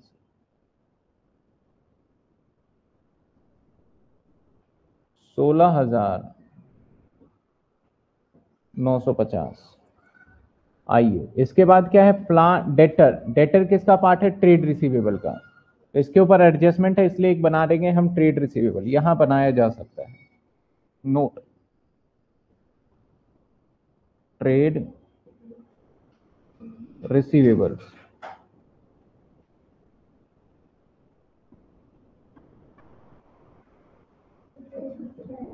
trade receivable trade receivable में क्या आएगा, सर? डेटर कितने का है डेटर सर डेटर कितने का है? डेटर सत्ताईस पाँच सौ। सत्ताईस पाँच सौ। चलिए, सर डेटर के बाद क्या गिवन है हमारा? प्लांट एंड मशीनरी उनतीस हज़ार रुपए। तो आ जाइए पीपीई के अंदर लिखेंगे। प्लांट एंड मशीनरी, थोड़ा लाइन छोड़ के plant and machinery. Plant and machinery, कितने? सत्ताईस हज़ार पाँच सौ रुपए। ठीक है? चलिए, प्लांट एंड मशीनरी के बाद आते हैं। Cash and cash equivalent cash and cash equivalent का बनेगा? क्योंकि डिविडेंड का याद होगा। जब डिविडेंड पेमेंट करते हैं तो मैंने बोला एक बैंक से माइनस कर देना और एक क्या करना आप, सर? एक डिविडेंड दिखा देना। आप एडजस्टमेंट देखो तो हम कैश एंड कैश इक्विलेंट का भी नोट बनाएँगे। उनतीस है, सत्ताईस पाँच सौ किसने लिखवा दिया फिर उनतीस हज़ार। अच्छा ये था सत्ताईस पाँच सौ। उनतीस है। उनतीस हज़ार। इसके बाद क्या है? कैश एंड कैश इक्विलेंट इसका भी नोट बना लेते हैं। कैश एंड कैश इक्विलेंट कितने का है कैश एंड कैश इक्विलेंट बताओ, आपके बुक का ही क्वेश्चन है, नंबर भी बता दिया मैंने तो। थोड़ा डिफरेंट है।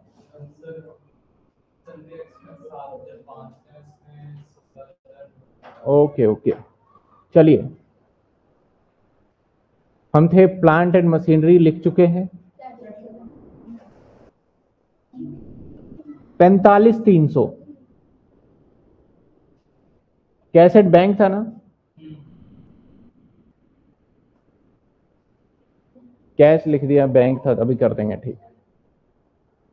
इसके बाद पेटेंट अड़तालीस सौ तो ये होगा इंटेंजिबल एसेट्स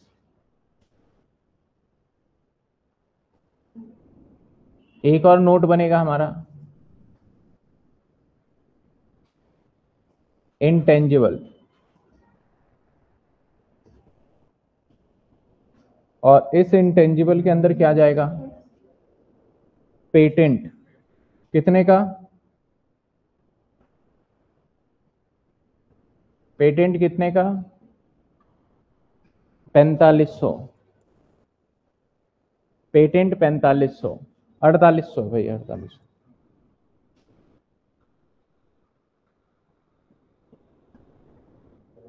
इसके बाद आगे देखा जाए तो बिल्स रिसीवेबल पाँच हज़ार। तो हमने नोट पहले से ऑलरेडी बना रखा है ट्रेड रिसीवेबल का। ये देखिए तो यहाँ पे मैं नीचे लिख देता हूँ बी आर कितने का है? पाँच हज़ार। ठीक है। बस क्वेश्चन खत्म होने वाले ये तीन चार परचेज रिटर्न कहाँ से माइनस हो जाएगा? हज़ार। तो लेस परचेज रिटर्न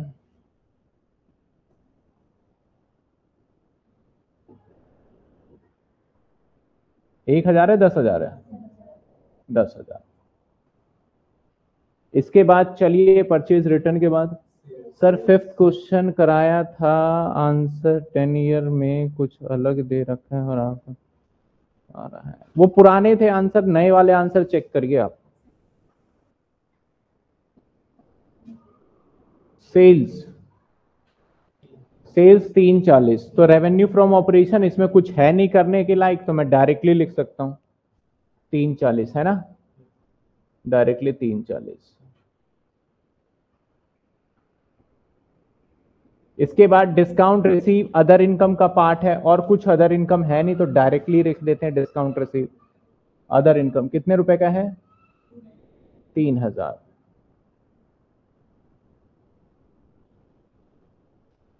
इसके बाद डिस्काउंट रिसीव के बाद ओल्ड प्रॉफिट एंड लॉस है तो रिज़र्व एंड सरप्लस का सबसे बड़ा नोट बना लेते हैं।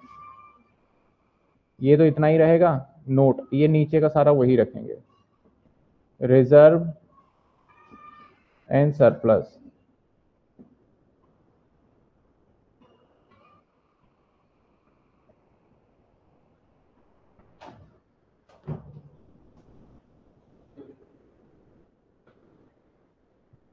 इसके बाद है सर क्रेडिटर सत्रह हज़ार पाँच सौ रुपए। क्रेडिटर है सर सत्रह हज़ार पाँच सौ रुपए का।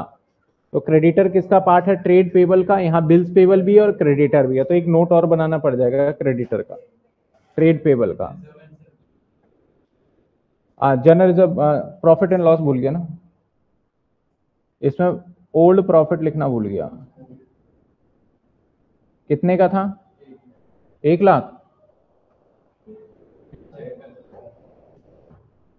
पंद्रह हज़ार और शेयर कैपिटल एक लाख का है। पंद्रह हज़ार। इसके बाद सर मैंने ये बनाया क्यों था? इसके बाद है हमारा शेयर कैपिटल एक लाख का, कुछ था ही नहीं डायरेक्ट लिख देते हैं, हटाओ इसको। सिर्फ़ एक लाख है लिख दिया हमने। बनाना चाहते हो ऑल कोशिश करना शेयर कैपिटल का नोट बनाओ। कुछ नहीं दे रखा था, मुझे नहीं लगा, मैंने डायरेक्ट लिख दिया, ठीक है ना? इसके बाद आगे देखा जाए तो क्रेडिटर जनरल रिज़र्व पंद्रह हज़ार पाँच सौ। तो एक और नोट बना लेते हैं। तो मुझे लगता है अदर एक्सपेंस का कुछ इतना खासा रोल नहीं है तो यहाँ बना सकता हूँ मैं। Note trade payable sir trade payable में क्या क्या आएगा? एक आएगा क्रेडिटर और एक आएगा बिल्स पेबल सर क्रेडिटर कितने का है? क्रेडिटर सत्रह पाँच सौ बिल्स पेपल सात हज़ार। सत्रह पाँच सौ सात हज़ार। ठीक। और जनरल रिज़र्व पंद्रह हज़ार पाँच सौ। जनरल रिज़र्व पंद्रह हज़ार पाँच सौ। तो जी आर हम थोड़ा हट के लिखते हैं। पंद्रह हज़ार पाँच सौ। तो लीजिए जी, सारा का सारा हमने पॉइंट कवर कर लिया ये वाला। अब इसके बाद एडजस्टमेंट कहते हैं 88,000 का इन्वेंट्री है। तो सर दो जगह जाएगा। आप चेक भी करना अपने नोट्स में ना। एडजस्टमेंट को जैसे मैंने एडजस्टमेंट लिखवाया वैसे करना है। तो आपका इन्वेंट्री क्लोजिंग कहाँ जाता है? दो जगह। एक चला जाता है हमारा एसिड्स के अंदर एक चला जाता है चेंज इन इन्वेंट्री में। तो एसिड्स में अकेला इन्वेंट्री है तो इसलिए मैं यहाँ पे डायरेक्ट लिख रहा हूँ अट्ठासी हज़ार। और एक नोट के अंदर ले जाऊँगा चेंज इन इन्वेंट्री के अंदर माइनस कर देंगे अट्ठासी हज़ार less closing stock closing stock कह लो इन्वेंट्री कह लो 88,000 टोटलिंग का प्रोसेस हम बाद में करते हैं है ना? इसके बाद आ जाते हैं। पहला एडजस्टमेंट हमारा डन दूसरे पे आ जाते हैं प्रोवाइड इनकम टैक्स सबसे लास्ट का पार्ट होता है। इसके बाद डेप्रीशिएशन पे 15 परसेंट प्लांट एंड मशीनरी पे 15 परसेंट फर्नीचर पे 10 परसेंट। सर दो जगह एंट्री जाएँगे। तो प्लांट एंड मशीनरी पे फर्नीचर पे प्लांट एंड मशीनरी पे कितने था? प्लांट एंड मशीनरी पे था हमारा 15 और फर्नीचर पे 10 तो फर्नीचर पे 10 तो लेस डेप 10 परसेंट सत्रह सो। और यहाँ से भी लेस डेप 15 परसेंट कितना होगा? पंद्रह परसेंट कितने होंगे? तिरतालीस सौ पचास। अब क्योंकि डेप्रीशिएशन दो हो चुके हैं तो इसलिए हमें इसके लिए भी एक नोट बनाना पड़ेगा किसका? डेप्रीशिएशन का। पिछले सवाल के अंदर डेप्रीशिएशन एक ही था तो नोट नहीं बनाया था। तो एक इसका नोट बनाना पड़ेगा? किसका डेप्रीशिएशन का? मुझे लगता है यहाँ पे मुझे जगह मिल जाएगा इसके लिए। तो सो so दैट मैं यहीं पे बना लेता हूँ इसके लिए। नोट डेप्रीशिएशन एक लग गया प्लांट एंड मशीनरी पे और एक लग गया फर्नीचर पे। प्लांट एंड मशीनरी पे लग गया हमारा तैतालीस सौ पचास। और फर्नीचर पे लग गया हमारा सत्रह सौ। पेटेंट पे कहता है पाँच परसेंट है। अब देखिए ध्यान से, वैसे पेटेंट एमोटाइज होता है, लेकिन सवाल में कह रहा है पेटेंट के ऊपर कितने परसेंट है हमारा पाँच परसेंट। मैं एक बार इसको और क्लियर कर देता हूँ ताकि आप दोबारा पढ़ पाओ। ठीक है, ये लो, मैं दोबारा क्लियर कर दिया मैंने। तो सर, ये वाला पार्ट हो चुका है डन टिक मार दिया। Depreciation plant and machinery done दोनों जगह कर चुके हैं। फर्नीचर डन दोनों जगह कर चुके हैं। पेटेंट के ऊपर पाँच परसेंट अभी नहीं किया तो कर लेते हैं चलो पेटेंट के ऊपर पाँच परसेंट। तो पेटेंट हमारा यहाँ पे था इसके ऊपर लेस कर देंगे पाँच परसेंट डेप्रीशिएशन और ये कितना आ जाएगा? दो सौ चालीस रुपए। और यहाँ पे डेप्रीशिएशन आ जाएगा पेटेंट पे। दो सौ चालीस। ठीक है?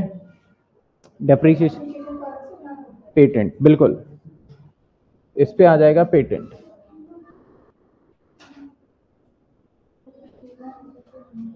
ओहो।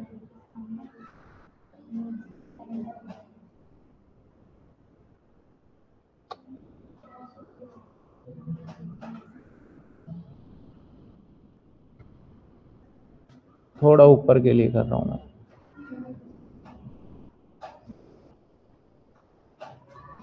चलिए सर एडजस्टमेंट पूरा डन हो चुका है ये। कहता है आउटस्टैंडिंग रेंट आठ सौ रुपए आउटस्टैंडिंग सैलरी नौ सौ रुपए। तो सर आउटस्टैंडिंग रेंट आठ सौ रुपए। तो सर आउटस्टैंडिंग रेंट है और सैलरी है।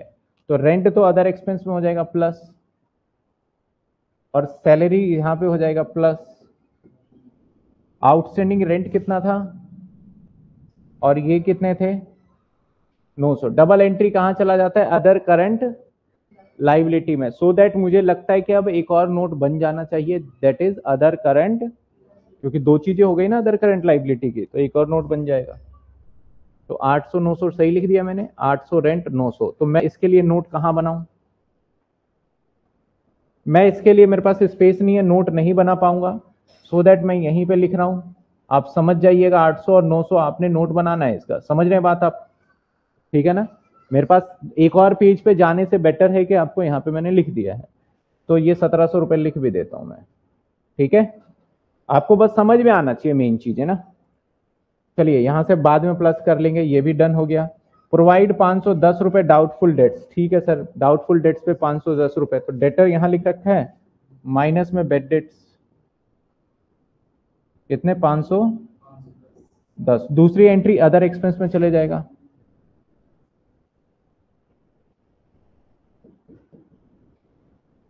कितने? 510 रुपए। ठीक है ना?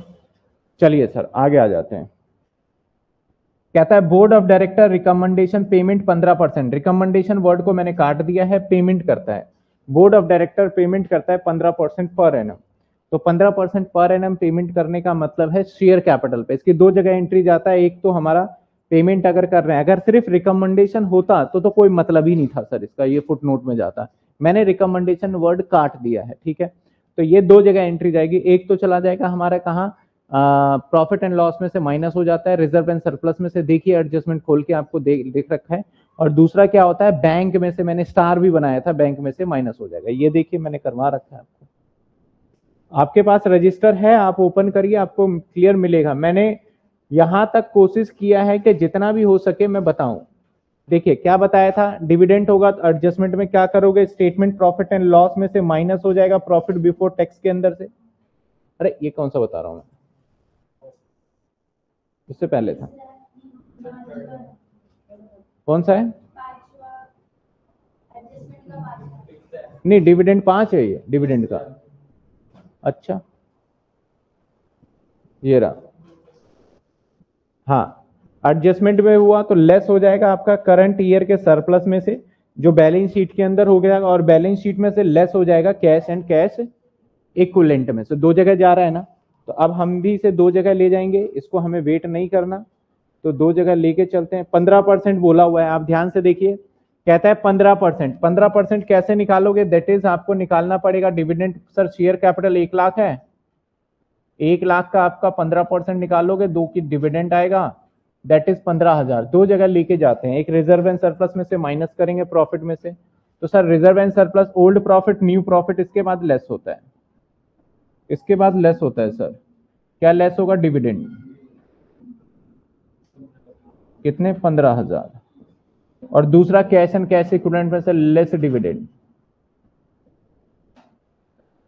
कितने? पंद्रह हज़ार। समझे बात हम? कोई दिक्कत यहाँ तक। क्लियर है? चलिए सर ये एडजस्टमेंट भी कर चुके लास्ट कहता है पाँच परसेंट। ये एडजस्टमेंट सबसे लास्ट में होगा और एक इनकम टैक्स का एडजस्टमेंट सबसे लास्ट में होगा। अगला प्रोसेस क्या होता है हमारा? सारे टोटलिंग कर लेते हैं फटाफट से। दो टोटल को छोड़ के। आ, एक ही टोटल छोड़ते हैं बेसिकली रिज़र्व एंड सरप्लस को।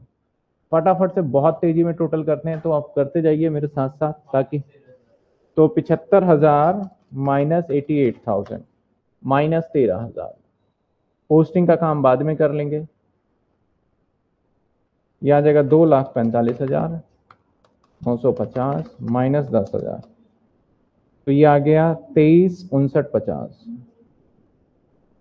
तेईस उनसठ पचास, ठीक है?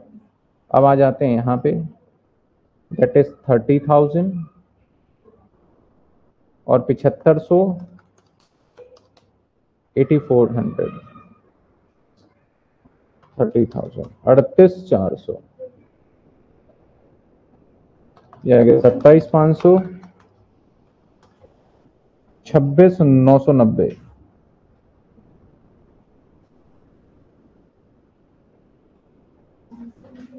थोड़ा छोटा करके ऊपर ले जाते हैं।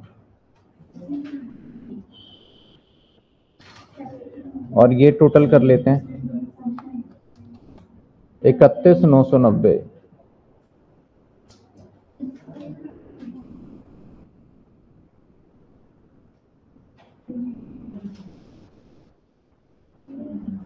चलिए सर, ये कितना हो गया? सत्रह हज़ार टेन परसेंट लेस करके पंद्रह तीन।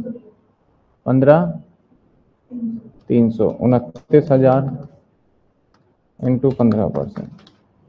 चौबीस छः सौ आप सभी भी करें चौबीस छः सौ पचास, टोटलिंग करें। उनतालीस नौ सौ पचास। ये अड़तालीस।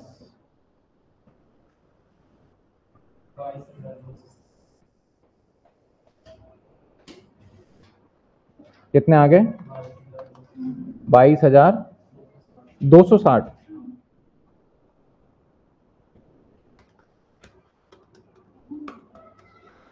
बाईस दो सौ साठ। बीपी सत्रह पाँच सौ प्लस सात हज़ार सात सात चौबीस पाँच सौ। ठीक है सर, अभी नोट नंबर नहीं डाला हमने। इसके बाद कैश एंड कैश, पैंतालीस, तीन सौ माइनस पंद्रह हज़ार, तीस तीन सौ। डेप्रीसिएशन तिरतालीस सौ पचास, सत्रह सौ, दो सौ चालीस, बासठ नब्बे। टेंजिबल अड़तालीस सौ पाँच परसेंट। पैंतालीस, साठ। इसे तो बंद करना ही नहीं है। सब टोटल कर लिया। अब जिसके आगे अमाउंट है, उसको छोड़ देंगे, बाकी को नोट दे देंगे। सर, इसके आगे एक अमाउंट है, छोड़ दो। इसको नोट एक। इसके आगे नहीं है, दो। इसके आगे है, इसके आगे ये तो नहीं डालते, क्योंकि डायरेक्ट आ जाता है। ठीक है, इसके आगे तीन। इसके आगे चार, इसके आगे है, इसके आगे पाँच, इसके आगे छ चलिए सर, अब आ जाते हैं इसके इसके आगे सात, इसके आगे आठ। अच्छा इसके आगे सात, इसके आगे आठ, इसके आगे नौ। फाइनेंस कॉस्ट था ही नहीं, ये दस, ये ग्यारह, बस। ठीक है ना? आप फटाफट नोटिंग करते जाते हैं चेंज इन इन्वेंट्री को क्या नंबर दिया है सर आठ। है ना? इसके बाद परचेज को क्या नंबर दिया है? सात। कितना आसान हो जाता है। एम्प्लॉय बेनिफिट को नौ। ट्रेड रिसीवेबल को पीछे चेक करते हैं।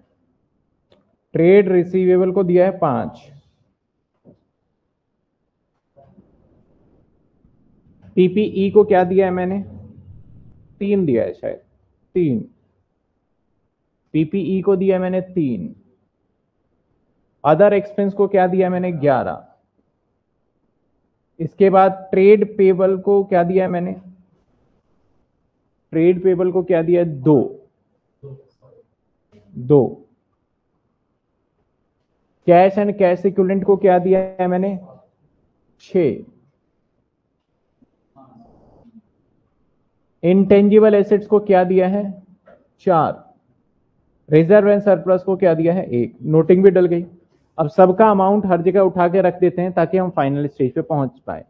ये आ गया तेरह हज़ार रुपए माइनस का तो चलिए यहाँ तेरह हज़ार माइनस का। परचेज तेईस, उनसठ, पचास।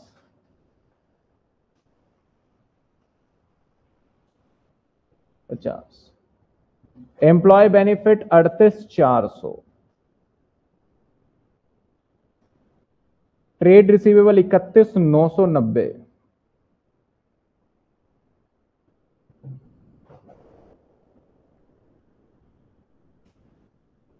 पीपीई उनतालीस नौ सौ पचास।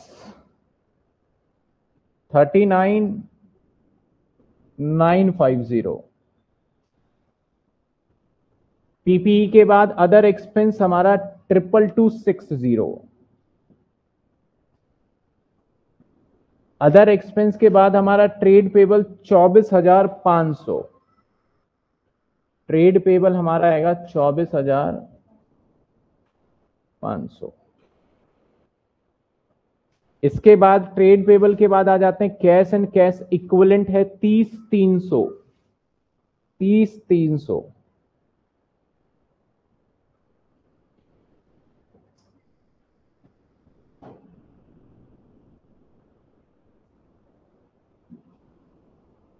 इसके बाद है हमारा इंटेंजिबल एसेट्स पैंतालीस साठ।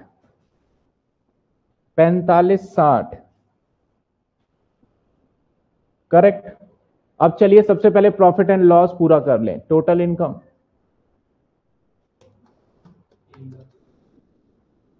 चौंतीस हज़ार।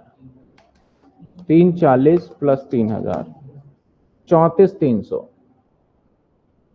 चौंतीस तीन हज़ार। करेक्ट अब टोटल कर लेते हैं इसको।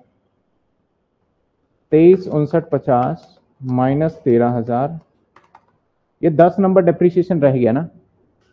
डेप्री ये है डेप्रिसिएशन कहाँ है? कहीं तो बनाया तो था। अच्छा ये बीच बासठ नब्बे। तो ये आ गया प्लस अड़तीस, चार सौ, बासठ, नब्बे। ये आ गया अट्ठाईस, nine nine, zero. Minus four, three forty three. तिरपन हज़ार एक सौ। टैक्स रेट देख लो अब इसके ऊपर। अब इस टैक्स लगाने का टाइम आ गया। कितने परसेंट है? पैंतीस परसेंट। तो इसके ऊपर पैंतीस परसेंट निकाल लेंगे। अठारह, आठ सौ अठारह पाँच सौ, ये माइनस हो जाएगा। जब इसको माइनस करेंगे तो आ जाएगा चौंतीस पाँच सौ पंद्रह। और ये आ जाएगा हमारा करंट ईयर का प्रॉफिट।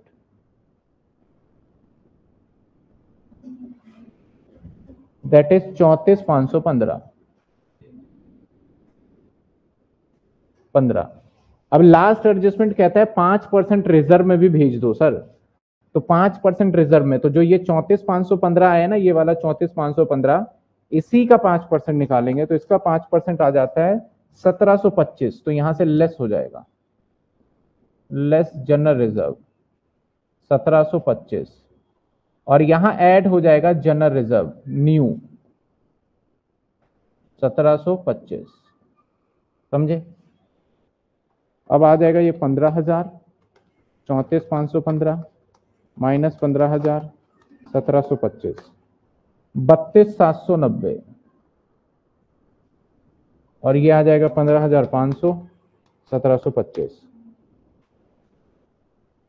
सत्रह दो दो पाँच। टोटल कर लो, बत्तीस सात सौ नब्बे।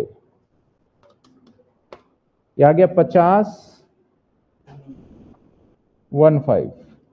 तो नोट नंबर वन, पचास हज़ार पंद्रह रुपए।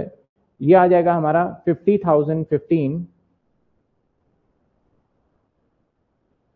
सर, सारा नोट लिख दिया, अब इसको टोटल कर लो। एक लाख, चौबीस पाँच सौ। सर, ये आ गया seventeen sixty two one five. Sir, इसका भी टोटल सेम आना चाहिए।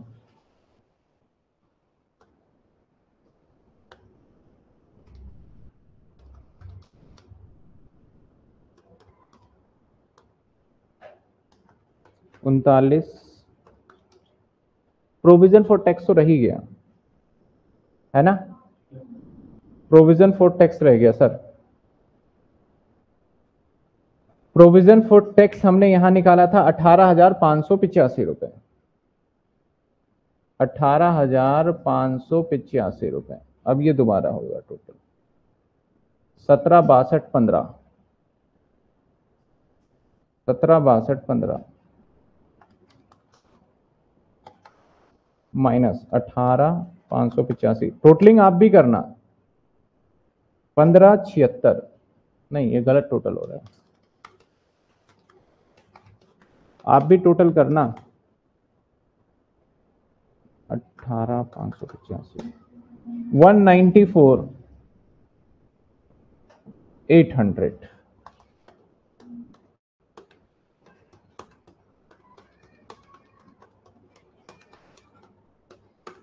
one ninety four eight hundred sir दोनों साइड मैच हो।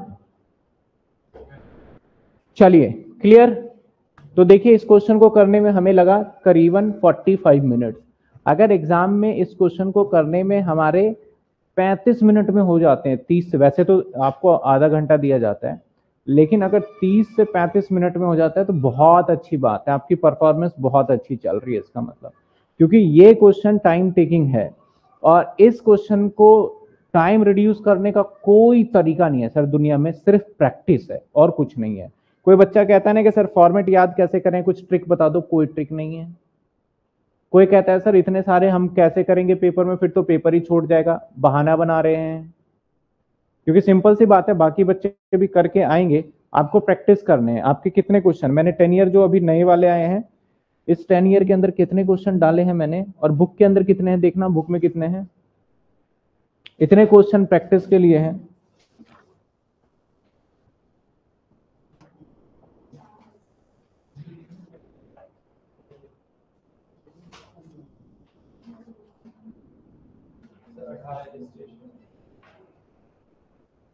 अठारह इलिस्ट्रेशन है। अठारह नहीं वो पाँच या छह से तो स्टार्ट है।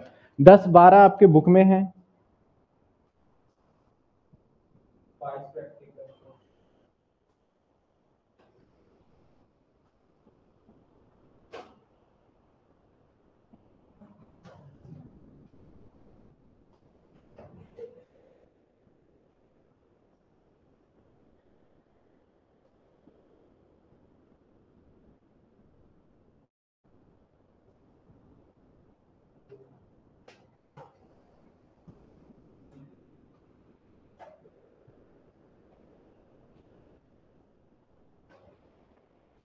और टेन ईयर में ना एक मेरे से ही मिस्टेक रह गया लास्ट में, जो बच्चे देख रहे होंगे। यहाँ पे मैंने क्या करा था, मैं बता देता हूँ। प्रोविज़न फॉर डाउटफुल डेट्स मैंने शॉर्ट टर्म प्रोविज़न में डाल दिया, जो थोड़ा सा मिस्टेक कह लो वो। मिस्टेक है। मैंने यहाँ वाला करा है, ये करेक्ट है, ये बुक के आपको करके आने हैं एग्ज़ाम के अंदर। ठीक है, इस बात का ध्यान रखना। यहाँ पे गलती से स्किप रह गया जल्दी जल्दी बनाने के चक्कर में। पिछले वाले क्वेश्चन में था ही नहीं dividend provision for doubtful dividend मैं डिविडेंड की बात कर रहा हूँ। प्रोविज़न फॉर डिविडेंड आपका प्रपोज डिविडेंड की बात कर रहा हूँ। इस टेन ईयर के अंदर क्या है? जो नए वाला आपका टेन ईयर आया हुआ है, इस टेन ईयर में क्या करा मैंने? शॉर्ट टर्म प्रोविज़न में डाल दिया, जो कि पिछले साल तक डला करता था। इस साल थोड़ा चेंज आया, वहाँ से हटाना भूल गए, उसको कहाँ से माइनस कर देना है? कैश से। बस बाकी कोई चेंजेस नहीं है। शिवदास का टेन ईयर है ये, ठीक है? तो एक बार फटाफट बताइए, कोई डाउट किसी को? किसी एडजस्टमेंट में अगर डाउट है तो पूछिए। सर, ये पॉइंट समझ में नहीं आ रहा, पूछिए। अगर आपको सब कुछ समझ में आ रहा है तो फिर पूछने वाला सवाल नहीं, आपको फिर प्रैक्टिस करना है। आप पूछिए, किसी को कोई भी डाउट है तो। सर कॉस्ट अकाउंट का हाइब्रिड वाला शिवदास आएगा नॉर्मल मिल रहा है। टाइम लगेगा हाइब्रिड वाला ना, क्योंकि बहुत सारा काम आ गया अभी। पहले सेमेस्टर टू का मैं बना रहा हूँ कॉर्पोरेट का। तो वो आप ले लीजिए नॉर्मली मैं वैसे आपको अलग से प्रोवाइड करवा दूँगा।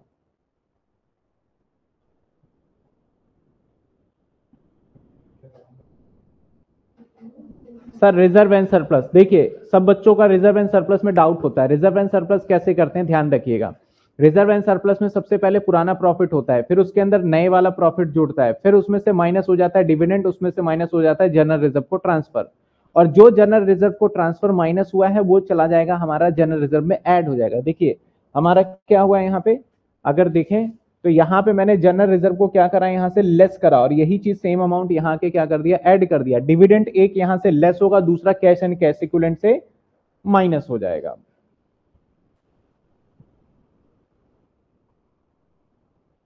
ये रहा एक था पीएलएल वाला स्लाइड आपका।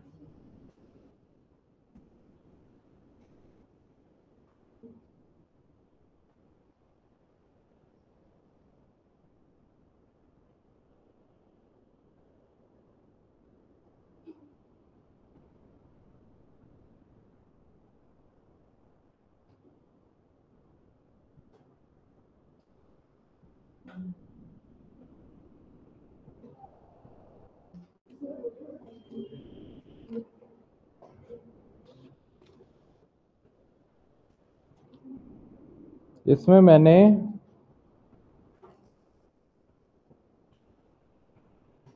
बारह क्वेश्चन आपके इस टेन ईयर में डाले हुए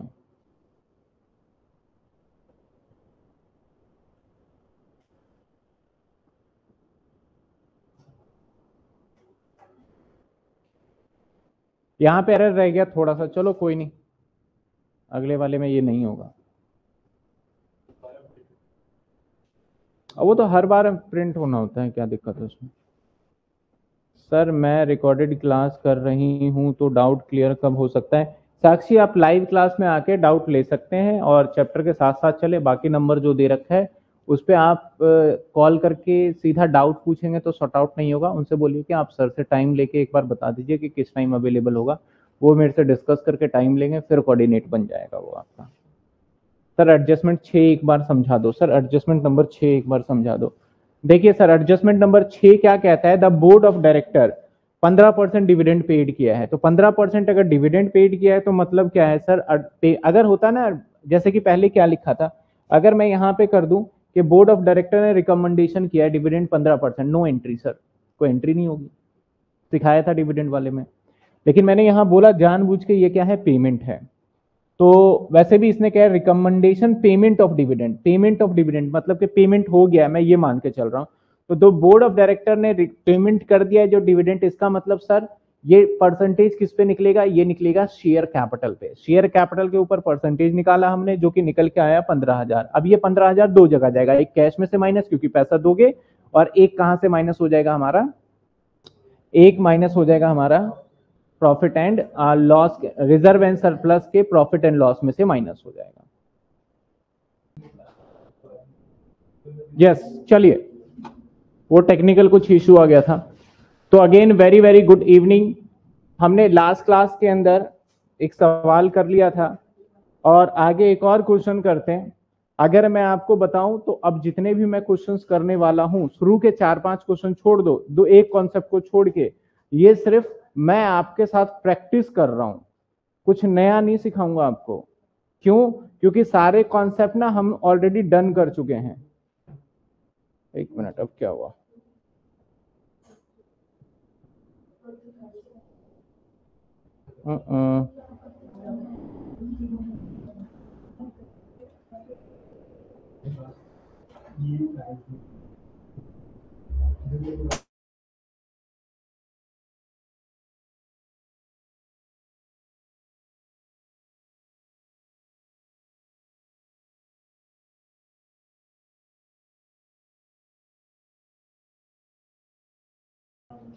Was going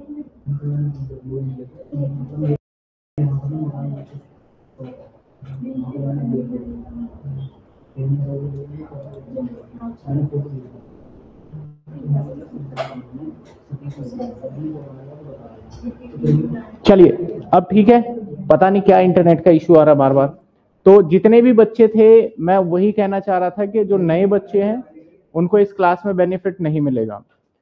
उनको पहले पुरानी वीडियो देखना पड़ेगा। अब रहा सर कुछ बच्चों का मैं कमेंट देख रहा था लेकिन आ, उसमें कुछ इशू आ रहा था कि सर चैप्टर कब खत्म होगा? तो मैं बताऊँ तो मैंने लास्ट क्लास में भी और उससे पिछली क्लास में क्वेश्चन किया। सिर्फ़ आपको ना करने का मैं तरीका बता रहा हूँ सिर्फ़ मैं आपके साथ प्रैक्टिस कर रहा हूँ। आज दो सवाल करेंगे और वो भी एक एज अ प्रैक्टिस को ही ट्रीट में करने वाला हूँ। बाकी जो क्वेश्चंस है आपने करने होंगे। एक्स्ट्रा कॉन्सेप्ट कुछ नहीं रह गया। कि मैं इसमें आपको करवाऊं। चलिए ठीक है।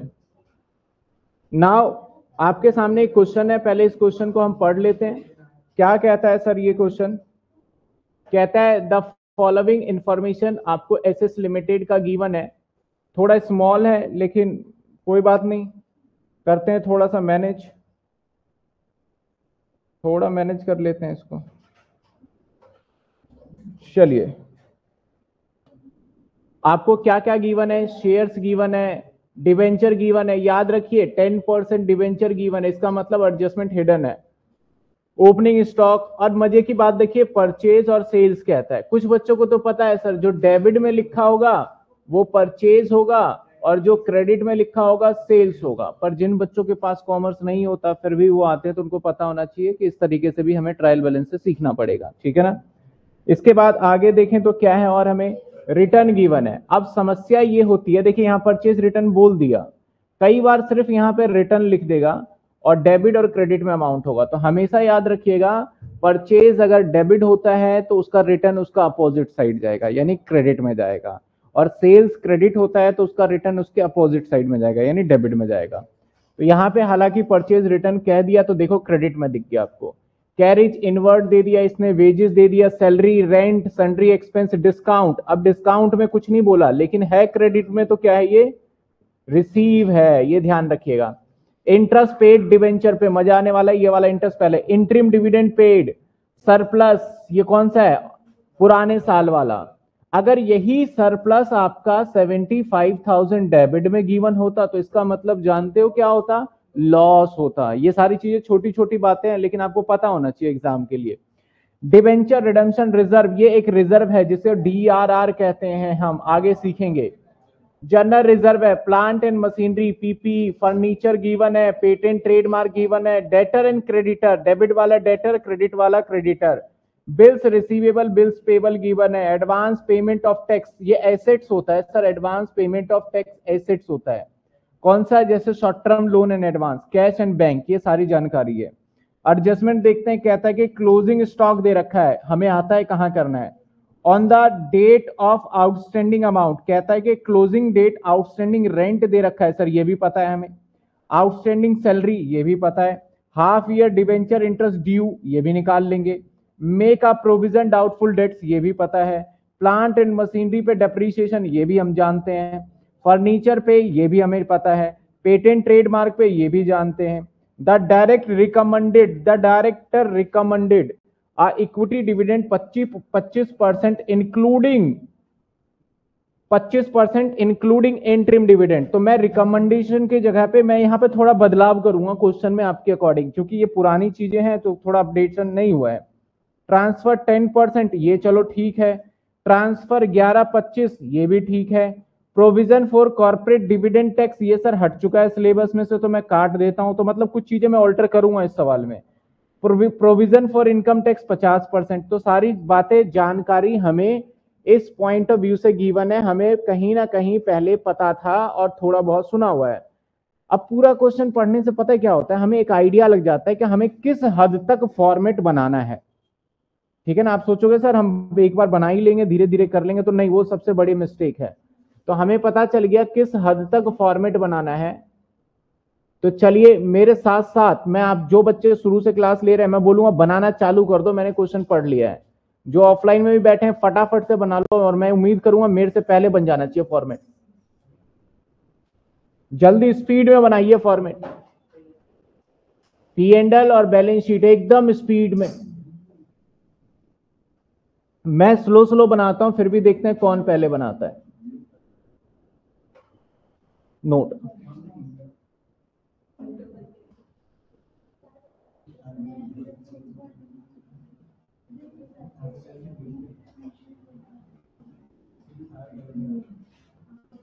One.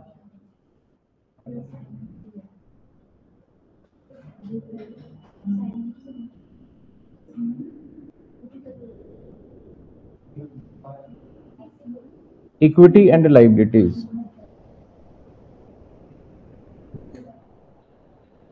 Equity and liability. अरे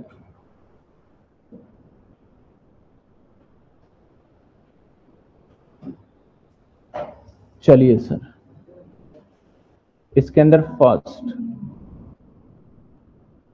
शेयर होल्डर साफ़ साफ़ लिखना है। देखो, मैं भी साफ़ साफ़ लिख रहा हूँ। और मैं चाहूँ तो पहले ही एक बार फॉर्मेट को कॉपी कर सकता हूँ। आप जानते हो इस बात को। लेकिन मैं इसलिए करता हूँ आपके साथ साथ और पूरा मैं फ्रेश इसलिए करता हूँ ताकि आपको भी अंदाज़ा लगे कि भाई इस तरीके से किया जा सकता है। ठीक है ना? तो फटाफट से कुछ बच्चों को पहले से ही फॉर्मेट बना के आना चाहिए तो ज़्यादा बेहतर रहता है कि भैया चलो पता है। Share capital sir reserve and surplus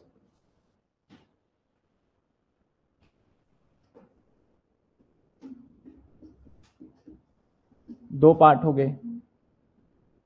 sir, क्या इसमें नॉन करंट लाइबिलिटी आएगा? जी हाँ डिवेंचर है।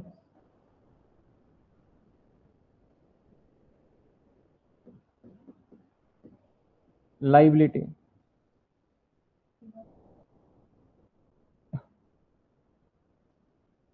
इसके बाद, इसके अंदर आएगा A part long term borrowing long term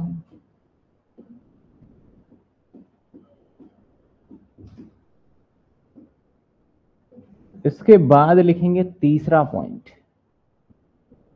current liability मेरा बैलेंस शीट बनने वाला है, आपका भी बनना चाहिए। फटाफट पेन पेंसिल निकाल के लिखते जाइए बस।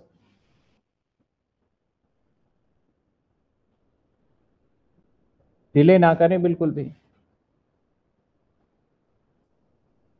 इसके अंदर। Trade payable trade payable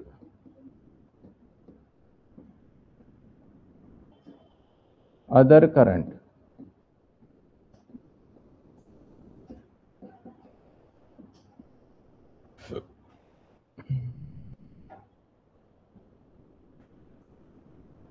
C short term provision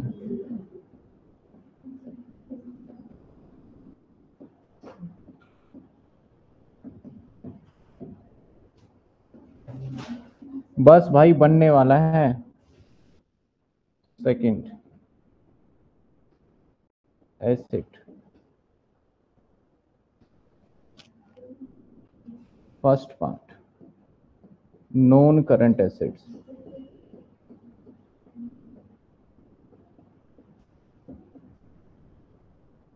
non current assets इसके अंदर। ए part fix assets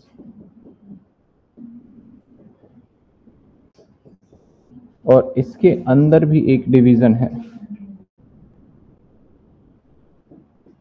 property plant equipment और दूसरा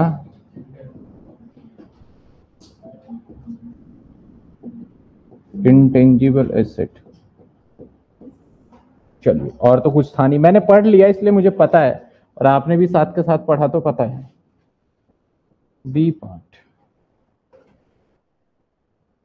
बी भी नहीं है, कुछ भी नहीं है यहाँ पे। आ जाइए। Second part.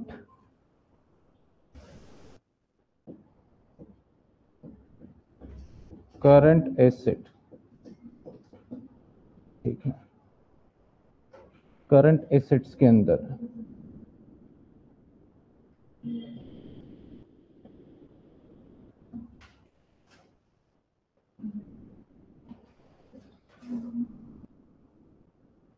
करंट एसेट्स के अंदर A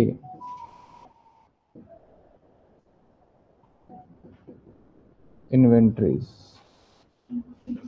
B trade receivable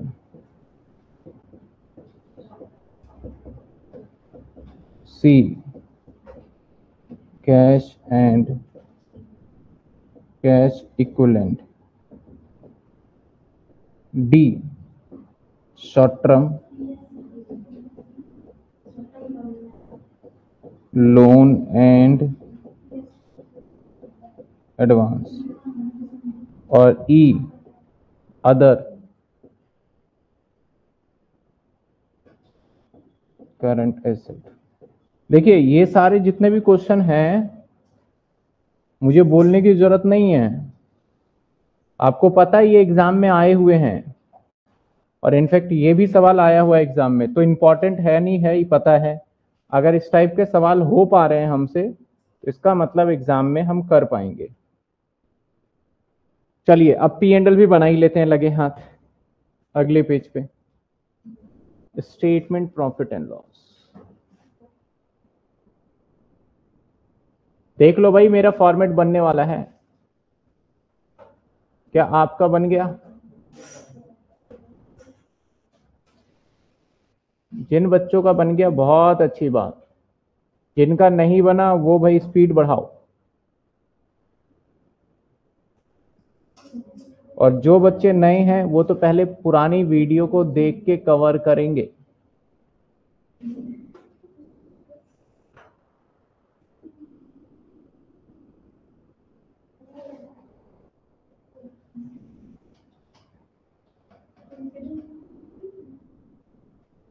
चलिए। इसके अंदर चलेगा। One revenue from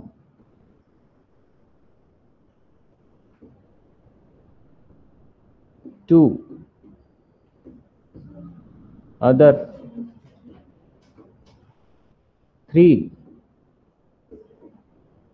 total four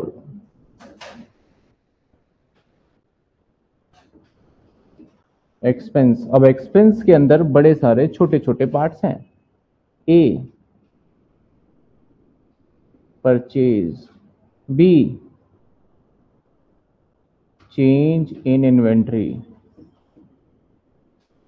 C बताओ क्या होता है? एम्प्लॉय मेरे साथ भी बोलते रहना। Benefit D finance cost E depreciation F other expense अब क्या आएगा? अब आएगा total point number five total फिर आएगा हमारा point number six profit before tax फिर पॉइंट नंबर फोर लिख दिया ये तो मैंने। सिक्स है ये। Seven income tax eight profit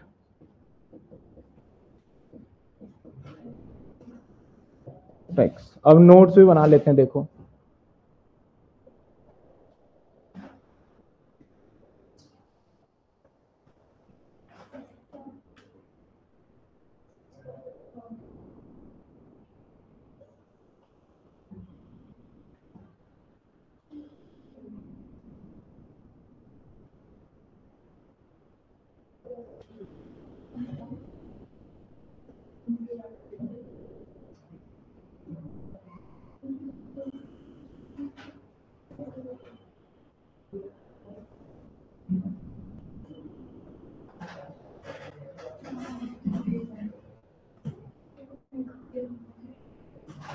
चलिए सर नोट भी बना लिया। कितने बच्चों का फॉर्मेट बन चुका है? बिल्कुल advance payment of income short term loan and advance में डाल देंगे। Short term loan and advance advance tax है वो। न्यू वाले टेन ईयर का आंसर और पुराने वाले टेन ईयर आंसर दोनों सेम दे रखे हैं। नहीं फ़र्क है उसमें। आंसर में जो थोड़े बहुत मैंने चेंजेस करे हैं, पुराने के हिसाब से उसमें फ़र्क मिलेगा। और उसकी चिंता ना करें, वो आंसर्स मैं आपको प्रोवाइड कर दूँगा सारा। चलिए डन गुनगुन का डन हो गया, राजलक्ष्मी का डन सर मेरा फॉर्मेट बन गया। बिल्कुल बन गया बन गया। जिन बच्चों ने मेरे साथ साथ फॉर्मेट बना लिया, मान लो वो सही डायरेक्शन पे है एग्ज़ाम में अटेम्प्ट करने के लायक हो गए हैं क्वेश्चन बन गया फॉर्मेट बन गया। चलिए। सर, अब क्वेश्चंस को करने का क्या तरीका होता है? वेरी वेरी सिंपल क्वेश्चन को करने का क्या तरीका होता है? एक एक पॉइंट्स पढ़ेंगे और टिक मारते जाएँगे और करते जाएँगे। तो सबसे पहला पॉइंट क्या है हमारा? सबसे पहला पॉइंट आपको दिख नहीं रहा तो अभी दिखा देते हैं कि बड़ा करते हैं आपके लिए। ये आपके लिए बड़ा हो गया। और बड़ा। एडजस्टमेंट तो बाद में करेंगे ना, और बड़ा। पहला पॉइंट है इक्विटी तो सर इक्विटी के ऊपर कोई एडजस्टमेंट नहीं है। मैंने शुरू से लास्ट तक देख लिया। तो आपकी इच्छा है कि आप इसका नोट्स बनाना चाहते हैं तो बनाइए और इच्छा नहीं करता तो मत बनाइए। बाकी रेगुलर कॉलेज वाले बच्चे अपने प्रोफेसर से एक बार पूछ लें कि सर, हम ऐसा कर सकते हैं या नहीं कर सकते? वो जैसा सजेशन करेंगे, क्योंकि पेपर वहीं पे सर्कुलेट होता है, कहीं ना कहीं चेक होता है तो वो बता देंगे। तो मेरे हिसाब से तो एक के लिए हम नहीं करेंगे।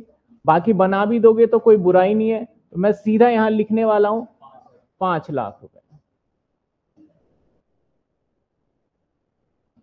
इसके बाद टेन परसेंट डिवेंचर ये भी अकेला है और कोई लोन नहीं है। तो लॉन्ग टर्म बोरिंग में लिख दूँगा मैं टेन परसेंट डिवेंचर और ये भी दे रखा है हमें दो लाख। चलिए, ये भी हो गया, ये भी हो गया। Opening stock. ये हमारा चेंजिंग स्टॉक का पार्ट होता है तो हम एक नोट बना लेते हैं सबसे पहले नोट क्या नोट का नाम लिखेंगे नंबर अभी नहीं। चेंज इन इन्वेंट्री सबसे पहले ओपनिंग स्टॉक और माइनस कर देते हैं हम यहाँ पे। क्लोजिंग स्टॉक बताइए ओपनिंग स्टॉक का वैल्यू क्या था?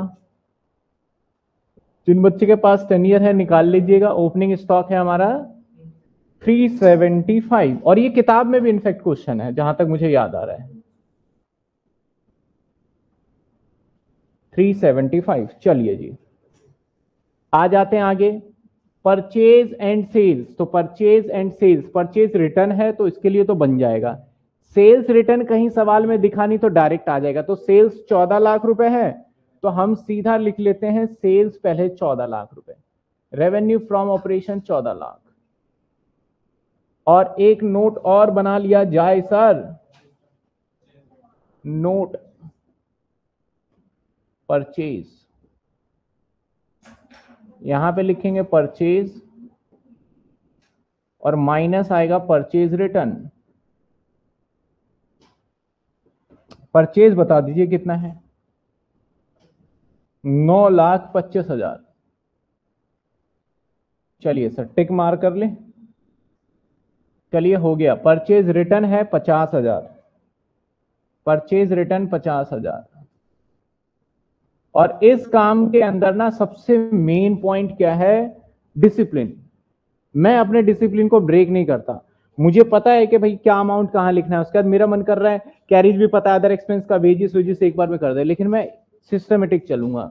अब आ गया कैरिज तो कैरिज के लिए एक नोट बन जाएगा अदर एक्सपेंस का। हालाँकि इसको दो जगह मैंने बताया था, या अदर एक्सपेंस में डाल सकते हो, या फिर परचेज में एड ऑन कर सकते हो। इसको चलो परचेज में ऐड कर देते हैं। परचेज में ऐड कहाँ करें बताओ? इस बार अदर एक्सपेंस में, चलिए। अदर एक्सपेंस का बड़ा नोट बनता है तो यहाँ लिख लेते हैं नोट अदर एक्सपेंस और यहाँ पे है कैरेज अमाउंट कितने का है? कितने?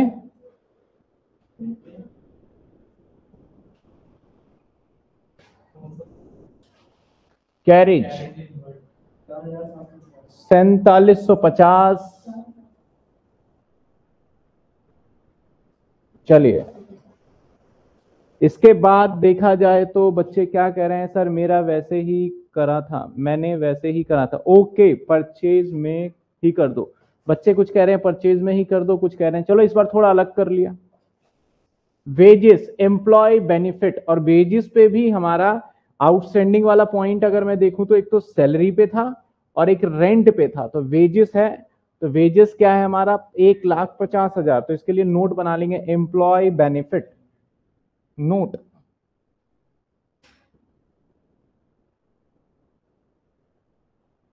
employee benefit क्या हो गया? बेनिफिट सर क्या है यहाँ पे पहले? वेजेस कितने रुपए था? एक लाख। सर, इस पे एडजस्टमेंट है दैट्स वाई अंदर रख लेते हैं। और सैलरी देता है सैंतीस हज़ार पाँच सौ। एडजस्टमेंट जो कहता है, वो पता है किस पे है?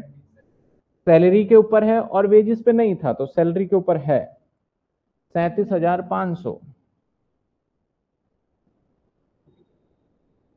थर्टी सेवन फाइव हंड्रेड चलिए टिक मार्क लगाया, नहीं लगाया, लगा लेते हैं। रेंट अदर एक्सपेंस का पार्ट है बीस हज़ार, इस पे एडजस्टमेंट है। रेंट थोड़ा नीचे या यहीं लिख लेते हैं। और अंदर लिखेंगे बीस हज़ार। रेंट के बाद आ जाते हैं। सन्ड्री एक्सपेंस छियालीस हज़ार सात सौ पचास forty six thousand seven fifty तो sundry expense forty six thousand seven fifty, छियालीस हज़ार सात सौ पचास। इसके बाद देखा जाए तो क्या है हमारा? डिस्काउंट। अब डिस्काउंट को चेक करो कौन से वाला है? रिसीव, यानी अदर इनकम की बात है। अदर इनकम अकेला यही है तो हम एक ही लिख देंगे, पंद्रह हज़ार रुपए में अदर इनकम में कितने? पंद्रह हज़ार। चलिए, आइए। टिक मार्क लगाया, लगा दिया। डिबेंचर इंटरेस्ट, ये किसका पार्ट है? फाइनेंस कॉस्ट का। इसके ऊपर चूँकि एडजस्टमेंट है, क्योंकि एडजस्टमेंट इसलिए नोट बना लेंगे। क्या है हमारा फाइनेंस कॉस्ट? कितना दे रखा था? दस हज़ार? हाँ। फाइनेंस कॉस्ट, एक मिनट। नोट। Finance cost. अब फाइनेंस कॉस्ट में इंटरेस्ट कितना है इंटरेस्ट अमाउंट दस हज़ार। इसके बाद क्या कहानी होगा हम देखेंगे बाद में? हाँ जी, आपका डिस्काउंट कहा जाएगा? डिस्काउंट क्योंकि क्रेडिट में है इनकम है तो अदर इनकम का पार्ट माना जाएगा। ठीक है? अगले पॉइंट पे आ जाते हैं sir interim dividend interim dividend क्या होता है हमारा? डिविडेंट जाता है हमारा, दिमाग लगाओ दिमाग लगाओ।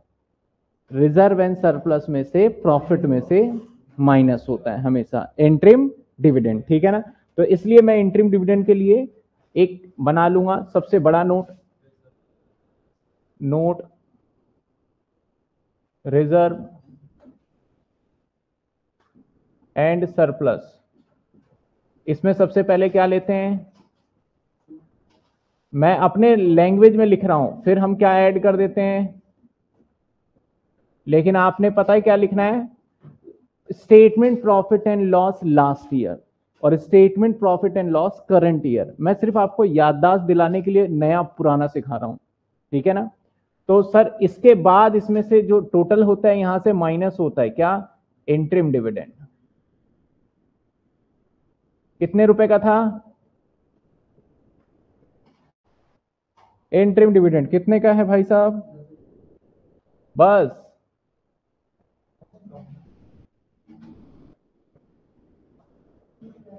दस हज़ार रुपए इंट्रीम डिविडेंड अरे भाई साहब।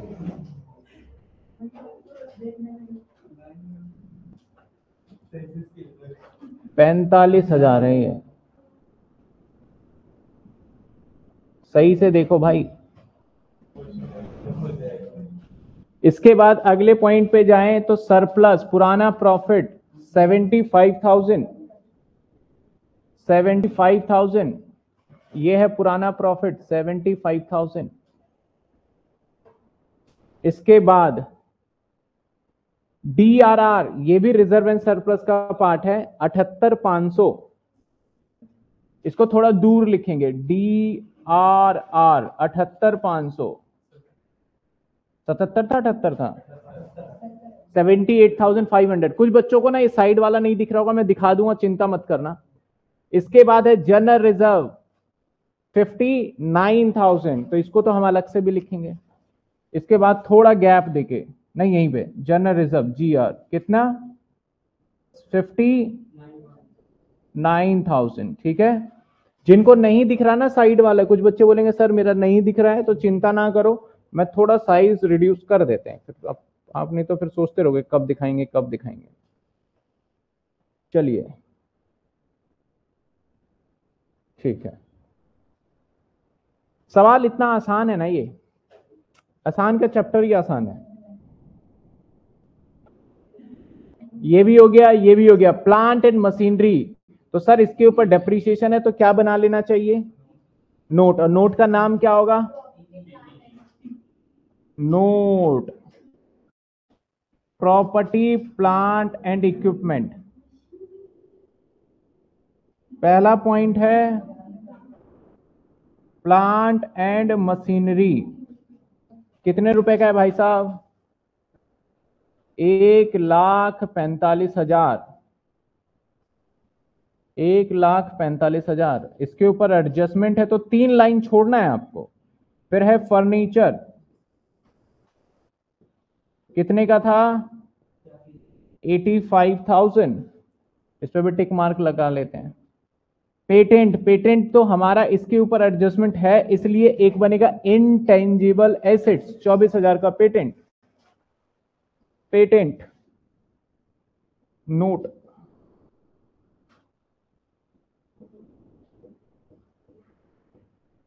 इसमें आ जाएगा, अरे, यहाँ तो इंटेंजिबल आएगा।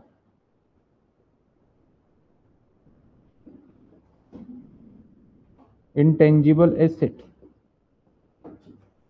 इसके बाद आएगा पेटेंट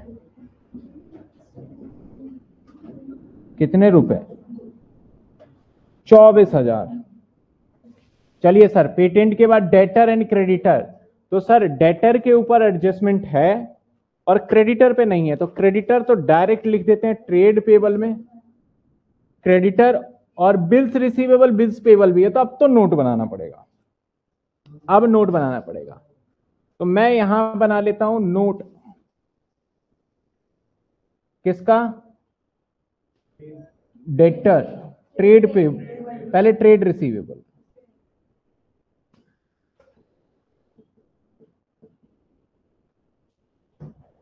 ट्रेड रिसीवेबल इसमें क्या बनाओगे सर डेटर एक बना लेंगे ट्रेड पेबल तो भाई साहब, यहाँ पे काम बनने वाला है नहीं। अगले पेज जाना पड़ेगा? चलिए चलते हैं। तीन पेज पे ना थोड़ा काम बढ़ जाता और क्वेश्चन आप सभी के पास है और ऑलरेडी कंटेंट में भी डाल दिया था, जो मुझे बताया गया, वो बता रहा हूँ।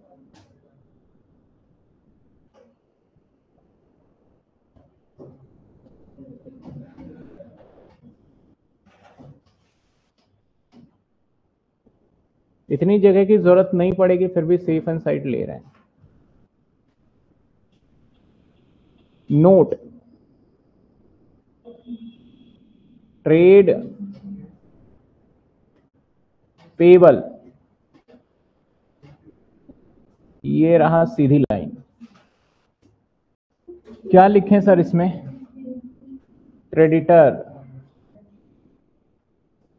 चलिए, बताइए क्रेडिटर का amount eighty seven five hundred. चलिए, इसके बाद डेटर का भी अमाउंट बता दीजिए, क्योंकि टिक तो उसी पे लगाया था। One thirty seven five hundred चलिए, आ जाते हैं। टिक देखो रूल ब्रेक नहीं करना, मुझे पता है, आगे मैं पूछ सकता था, लेकिन पहले टिक लगाऊँगा मैं। बी आर बी पी तैतीस और तिरतालीस तो सर बी आर है तैतीस हज़ार तो यहाँ नीचे लिखेंगे B R forty three forty three है भैया? थर्टी थ्री और बीपी के लिए आगे चले जाएँगे। बिल्स पेबल फोर्टी थ्री चलिए। आगे चले। एडवांस इनकम टैक्स तो भैया ये सीधा जाएगा। Short term loan and advance का पार्ट है ये। तो सीधा मैं लिख देता हूँ short term loan and advance में ये आ जाएगा sir thirty nine five hundred उनतालीस हज़ार पाँच सौ रुपए। अब यहाँ आ गया कैश एट बैंक यानी कैश एंड कैश इक्वलेंट इस पे एडजस्टमेंट डिविडेंड पेड वाला लग जाता है। तो कैश एंड कैश इक्वलेंट बना लेते हैं note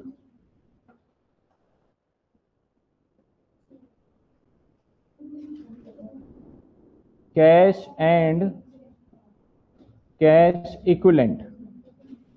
बताइए, कैश कितना है? चार लाख तीस हज़ार। चलिए सर, अब एडजस्टमेंट एक एक करके खत्म करेंगे ओके चलिए इसको ऊपर कर दें थोड़ा। चलो भाई, चलो एडजस्टमेंट दिखाना है इनको।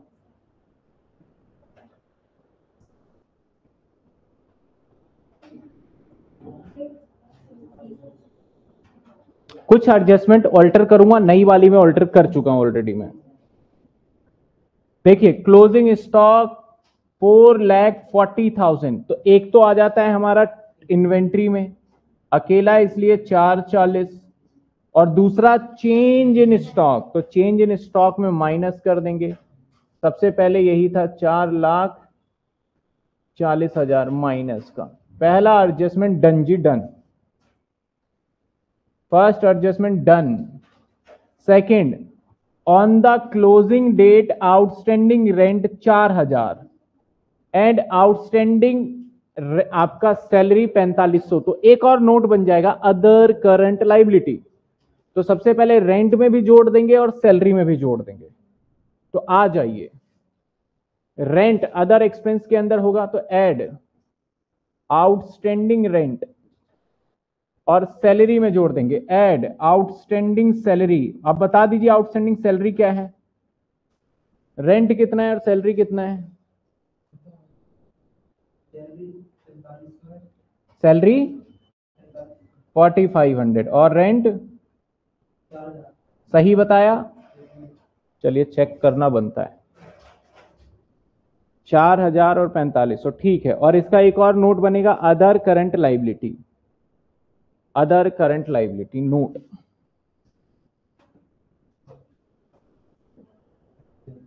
other current liability other current liability चलिए sir other current liability outstanding rent पैंतालीस सौ आउटस्टैंडिंग सैलरी पैंतालीस सौ और ये है चार हज़ार।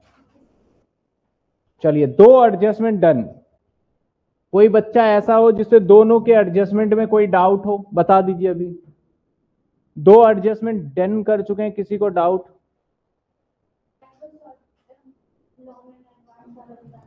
लोन देखो, आपका क्या है? एडवांस टैक्स एडवांस टैक्स का मतलब सरकार को अपने एडवांस में टैक्स जमा करना होता है। जब कभी भी हमें टैक्स हमारा बहुत सारा बनता है तो उस केस के अंदर, अगर हमारी टैक्सेबल इनकम दस हज़ार से ऊपर टैक्स लाइबिलिटी बनती है तो सरकार को जमा करवाना पड़ता है। तो यहाँ पे हम एडवांस में दे देते हैं सरकार को। तो एडवांस दे रखा है तो इसलिए short term loan and advance में डाल देते हैं। ये अगली बार एडजस्टमेंट लग जाता है। बाकी आप बोलते हो ना, इसके ऊपर डिटेल डिस्कशन पेंडिंग है, इसलिए मैं थोड़ा सा इसमें ज़्यादा बोलने से अभी बच रहा हूँ। क्योंकि आप स्टार्टिंग में देखेंगे टेन ईयर में ना तो मैंने इसी के क्वेश्चन डाले हुए हैं, दूसरा और तीसरा क्वेश्चन जो है। ठीक है? सर, अगला हाफ़ ईयर ड्यू डिबेंचर पे तो सर डिबेंचर था कितने का? दो लाख का। दो लाख पे कितने percent ten percent that is ब्याज बन रहा था, और आपने देखा कि दस हज़ार ऑलरेडी पेड कर रखा है तो दस हज़ार क्या बनेगा?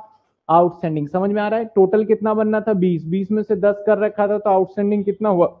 दस। तो दस हज़ार आउटस्टैंडिंग दो जगह एंट्री चली जाएगा ये। सर आउटस्टैंडिंग इंटरेस्ट कहाँ जाता है? फाइनेंस कॉस्ट के अंदर जाता है। और फाइनेंस कॉस्ट कहाँ है हमारा? ये रहा। प्लस आउटस्टैंडिंग इंटरेस्ट एक तो फाइनेंस कॉस्ट में चला गया ये पी एंड एल में। एक लाइबिलिटी में भी जाएगा। और लाइबिलिटी में कहा जाएगा? Other current liability outstanding interest check करो, यही लिखवाया था क्या? कुछ और लिखवाया तो नहीं था कहीं मैंने? चेक कर सकते हो।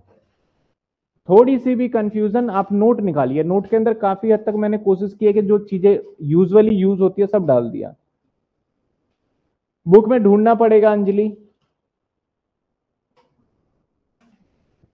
बुक में क्वेश्चन ढूंढना पड़ेगा। अभी मेरे को, मुझे भी नहीं पता। मेरे को याद है कि लगभग ऐसा क्वेश्चन देखा था। यही लिखा है जो मैंने किया।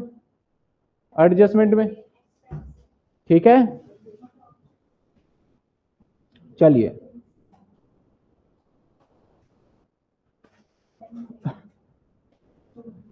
अगले पॉइंट पे आ जाते हैं। मेक प्रोविज़न डाउटफुल डेट्स मज़े की बात, बाई पच्चीस सौ पचास रुपए अमाउंट दे दिया। दो जगह एंट्री एक डेटर से माइनस एक अदर एक्सपेंस तो चलिए सर डेटर से माइनस करते हैं। डेटर से माइनस प्रोविज़न बाईस सौ पचास। दूसरा अदर एक्सपेंस में अदर एक्सपेंस में प्रोविज़न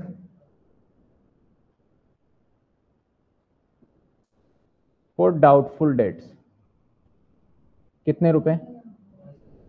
बाईस सौ। किसी को डाउट यहाँ तक हो तो बता दो भाई। और मुझे नहीं लगता मेरी समझ से कि इसमें कोई डाउट होना चाहिए, क्योंकि बिल्कुल वही चीज़ें आ रही है बार बार। डेप्रीसिएशन प्लांट एंड मशीनरी अभी पूछ लेंगे। पंद्रह परसेंट, दस परसेंट और पाँच परसेंट। चलिए, पंद्रह दस पाँच। तो पीपीई लेस डेप्रीसिएशन पंद्रह परसेंट। Less depreciation 10 percent. और ये कितना आएगा? इक्कीस सात सौ पचास। और एक लेस डेप्रीसिएशन पाँच परसेंट। बारह सौ। और ये तीनों चला जाएगा डेप्रीसिएशन में तो एक नोट बना लेना चाहिए। नोट बना लिया लो जी। Depreciation depreciation on plant and machinery इक्कीस हज़ार सात सौ पचास। Depreciation on furniture eighty five hundred depreciation on patent बारह सौ रुपए, ठीक है ना? फिर इन सभी को जोड़ के लिख देंगे, ठीक है? चलिए सर। अगले पॉइंट पे आ जाते हैं, क्या लिखता है? कहता है, अब इसके अंदर मैं कुछ बदलाव करने जा रहा हूँ, जिस बदलाव को आपको समझना है। कहता है, द डायरेक्टर रिकमेंडेशन, इसे काट दिया गया है। अरे, इसे काट दिया गया नए वाले टेन ईयर में ऑलरेडी मैंने शायद काट दिया हो इसे। है तो और भी कुछ चीज़ें काटी होगी। डायरेक्टर रिकमेंडेशन की जगह पे द डायरेक्टर चल जाएगा, वैसे रिकमेंडेशन ऐसा नहीं है। कहता है equity dividend 25 percent including interim dividend कहने का मतलब है, भैया इक्विटी पे जो डिविडेंड दिया जाएगा, वो 25 परसेंट दिया जाएगा। अभी बताते हैं ट्रेड पेपर इक्विटी पे जो डिविडेंड दिया जाएगा, इसे मिटा देते हैं। 25 परसेंट दिया जाएगा। तो सर इक्विटी जो था हमारा, कितना था इक्विटी पाँच लाख। और पाँच लाख पे मैंने अनाउंसमेंट कर दिया 25 परसेंट डिविडेंड दैट इज़ एक लाख, पच्चीस हज़ार, जिसमें से हम पहले ही डिविडेंड पेड कर चुके हैं कुछ। कहता है इंक्लूडिंग इंट्रीम डिविडेंड यानी जो पहले दिया है उस सबको मिला के एक लाख पच्चीस हज़ार होगा। समझना बात को। इसका मतलब सर, यहाँ से माइनस आप पहले से ही इंट्रीम डिविडेंड दे चुके हो। कितने का दे चुके हो, सर इंट्रीम डिविडेंड देखो ना कितने का दे दिया है। देखो इधर आपने कितने का दे दिया है। कितने का? पैंतालीस हज़ार। इसका मतलब सर, अस्सी हज़ार रुपए का और डिविडेंड देना है फ्रेश। अस्सी हज़ार रुपए का और डिविडेंड देना है फ्रेश। इस एडजस्टमेंट को एक बार मैं यहाँ पे कुछ बात करना चाहूँगा, सभी जवाब देंगे। मेरा इक्विटी शेयर कैपिटल है, मान लेते हैं दस लाख। डिविडेंड जो देना है, मान लो देना है मेरा पंद्रह परसेंट। और इंट्रीम डिविडेंट है इंट्रीम डिविडेंट है मेरा पचास हज़ार। मुझे बताइए कि डिविडेंड जो है वो कितना होगा? कौन बच्चा बताएगा डिविडेंड कितना पेड होगा? इंट्रीम डिविडेंड मैंने लिख दिया है, कितना लिखा है? पचास हज़ार। कौन बताएगा डिविडेंड कितना पेड होगा?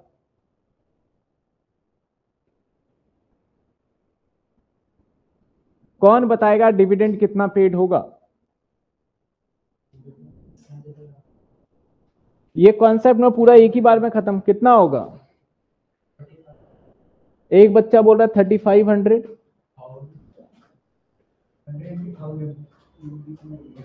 चलो इसे दस लाख कर देते हैं कंफ्यूजन ना हो, ठीक है? दस लाख कर दिया। गुनगुन का कहना है, सर, अस्सी हज़ार पेमेंट कर दीजिए।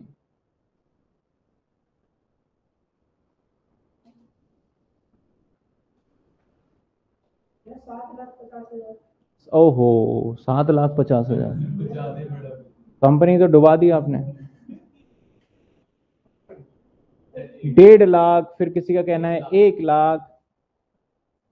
चलिए, हर किसी का अपनी ओपिनियन और कुछ बच्चों की मन के अंदर क्वेश्चन मार्क तो भैया, जब ऐसे बोलता है ना डिविडेंट सिर्फ़ पंद्रह परसेंट इंट्रीम इसका मतलब होता है ये तो अलग मिलेगा और ये अलग मिलेगा। यानी राइट आंसर इज़ एक लाख। पचास हज़ार। और ये पचास हज़ार अलग। मैंने बोला था, डिविडेंड और कितना देना होगा? और पूछ रहा था मैं आपसे। ठीक है? चलिए, एक और सवाल हो जाए।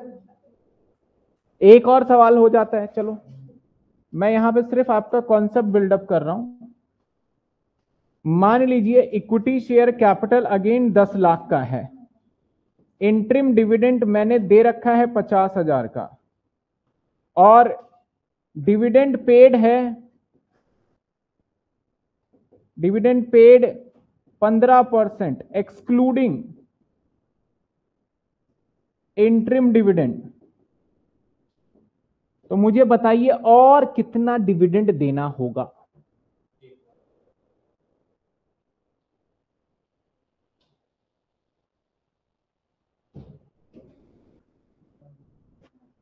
और कितना डिविडेंड देना होगा? भाई, जितने बच्चे लाइव है, फटाफट जवाब दे दीजिए बस। गुनगुन कहती है, डेढ़ लाख। हिमांशु, एक लाख। सार्थक, डेढ़ लाख। भाई साहब, एक जवाब सुनोगे? एक लाख सत्तावन हज़ार पाँच सौ रुपए। ये गणित से परे आंसर था ये तो। डेढ़ लाख डेढ़ लाख डेढ़ लाख। जी हाँ सही जवाब है डेढ़ लाख। मैंने कहा कि जो मैं डेढ़ पंद्रह परसेंट डिविडेंड पेड करूँगा एक्सक्लूडिंग इंट्रीम डिविडेंड एक्सक्लूडिंग मतलब ये वाला तो मिलेगा, इसके अलावा पंद्रह परसेंट मिलेगा। इसका मतलब सही जवाब कितना होगा? डेढ़ लाख रुपए। सही जवाब कितना होगा? डेढ़ लाख, जिन बच्चों ने दिया। एक और पॉइंट चलिए, एक और पॉइंट अब देखते हैं कौन बच्चा कामयाब होता है। मैंने कहा, equity share capital that is दस lakh. Interim dividend that is पचास हज़ार। और डिविडेंड पेड एक lakh including interim dividend including interim dividend तो बताइए और कितना डिविडेंड पेड करूँगा? और कितना डिविडेंड पेड करेंगे?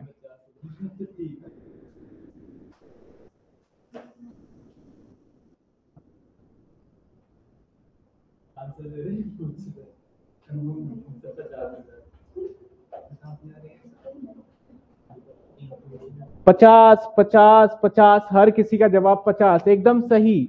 यानी टोटल आप जो डिविडेंड पेड करने वाले हो, एक लाख रुपए पेमेंट करने वाले या परसेंटेज के माध्यम से मैं दस परसेंट भी बोल सकता था। लेकिन एक लाख रुपए इंक्लूडिंग इंट्रीम डिविडेंड है मतलब सर, ये एक लाख रुपए में ये पिछला जोड़ करके होना चाहिए। तो पचास पहले पेड कर चुके तो पचास और पेमेंट करना पड़ेगा। सर, यानी इसका मतलब आपको समझ में नहीं आया हो तो एक बार मैं नोट ही बना देता हूँ, मेरा मन कर रहा है। डिविडेंड सर, तीन तरीके से एग्जामिनर आपको यहाँ घुमा सकता है। तीन तरीके से सवाल पूछा जा सकता है। Number one equity share capital दस lakh interim dividend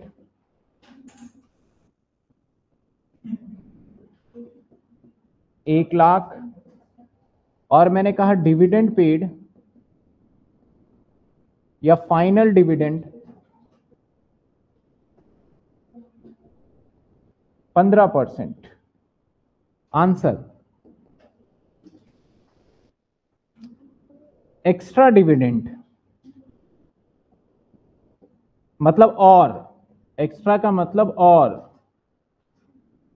extra dividend answer आएगा। डेढ़ लाख रुपए। Second point. Equity share capital, दस लाख। डिविडेंड, एक लाख। इंट्रीम है ये। इंट्रीम डिविडेंड है। Final dividend. फाइनल डिविडेंड, पंद्रह percent. Excluding,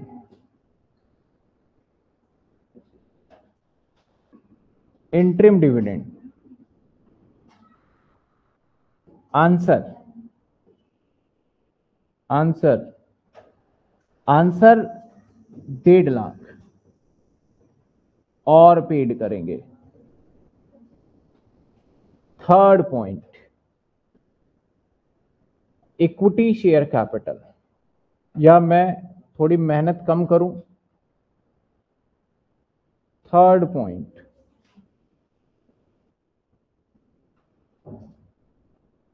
सेम क्वेश्चन तो सर, आंसर सेम, बस एक शब्द को चेंज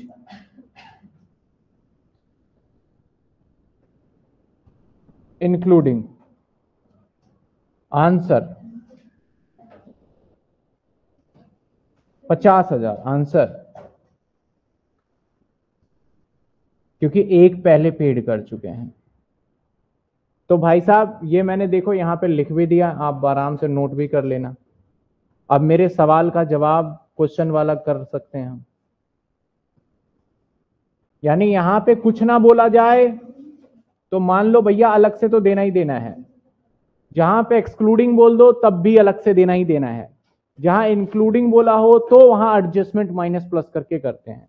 तो मेरे वाले सवाल में भैया, आप मुझे बताइए, कहता है कि 25 परसेंट डिविडेंड पेड करेंगे, और इंक्लूडिंग इंट्रीम डिविडेंड की भी बात कर रहा है तो मैंने यहाँ पे सवाल के अंदर यहाँ मिटा देता हूँ मैं। अब मुझे जवाब दीजिए कि मैं कितना पे करूँगा? मेरा इक्विटी शेयर कैपिटल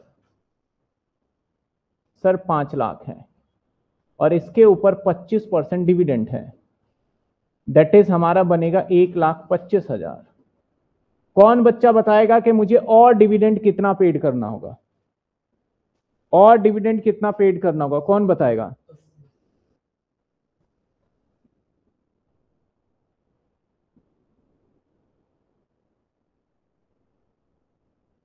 बताइए। सवाल आपके सामने मैं हट जाता हूँ।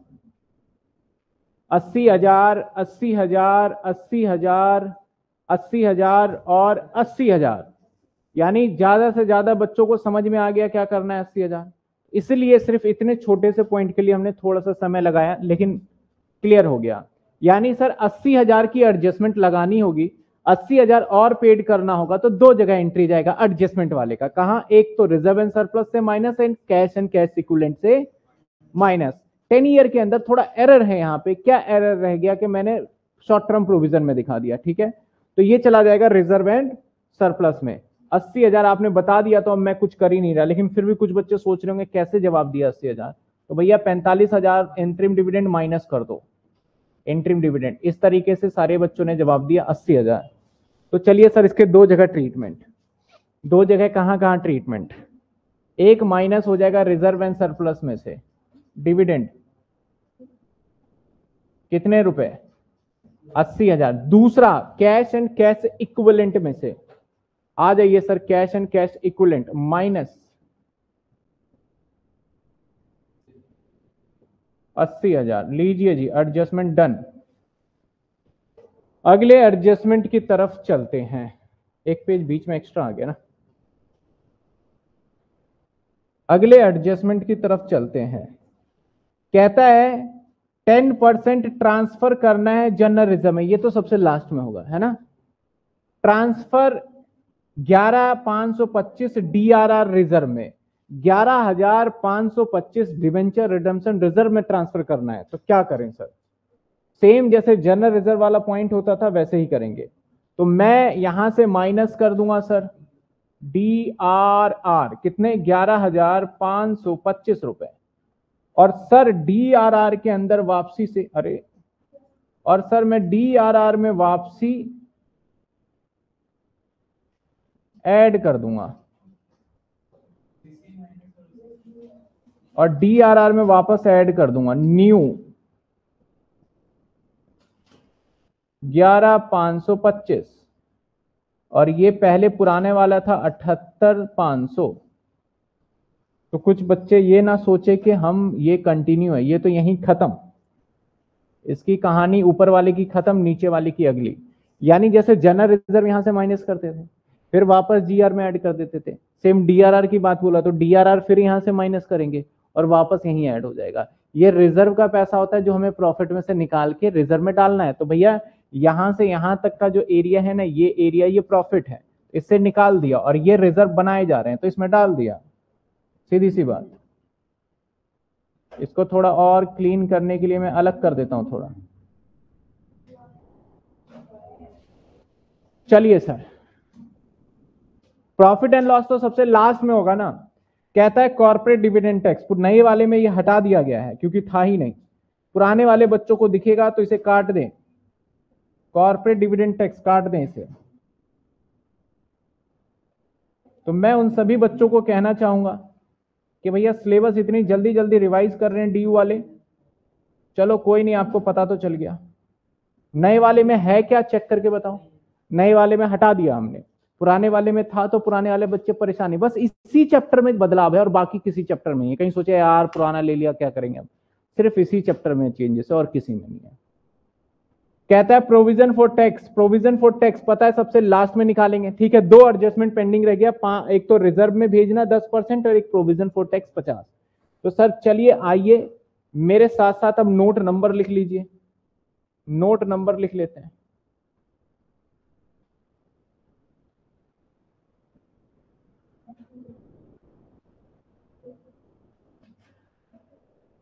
नोट नंबर लिख लेते हैं, सर।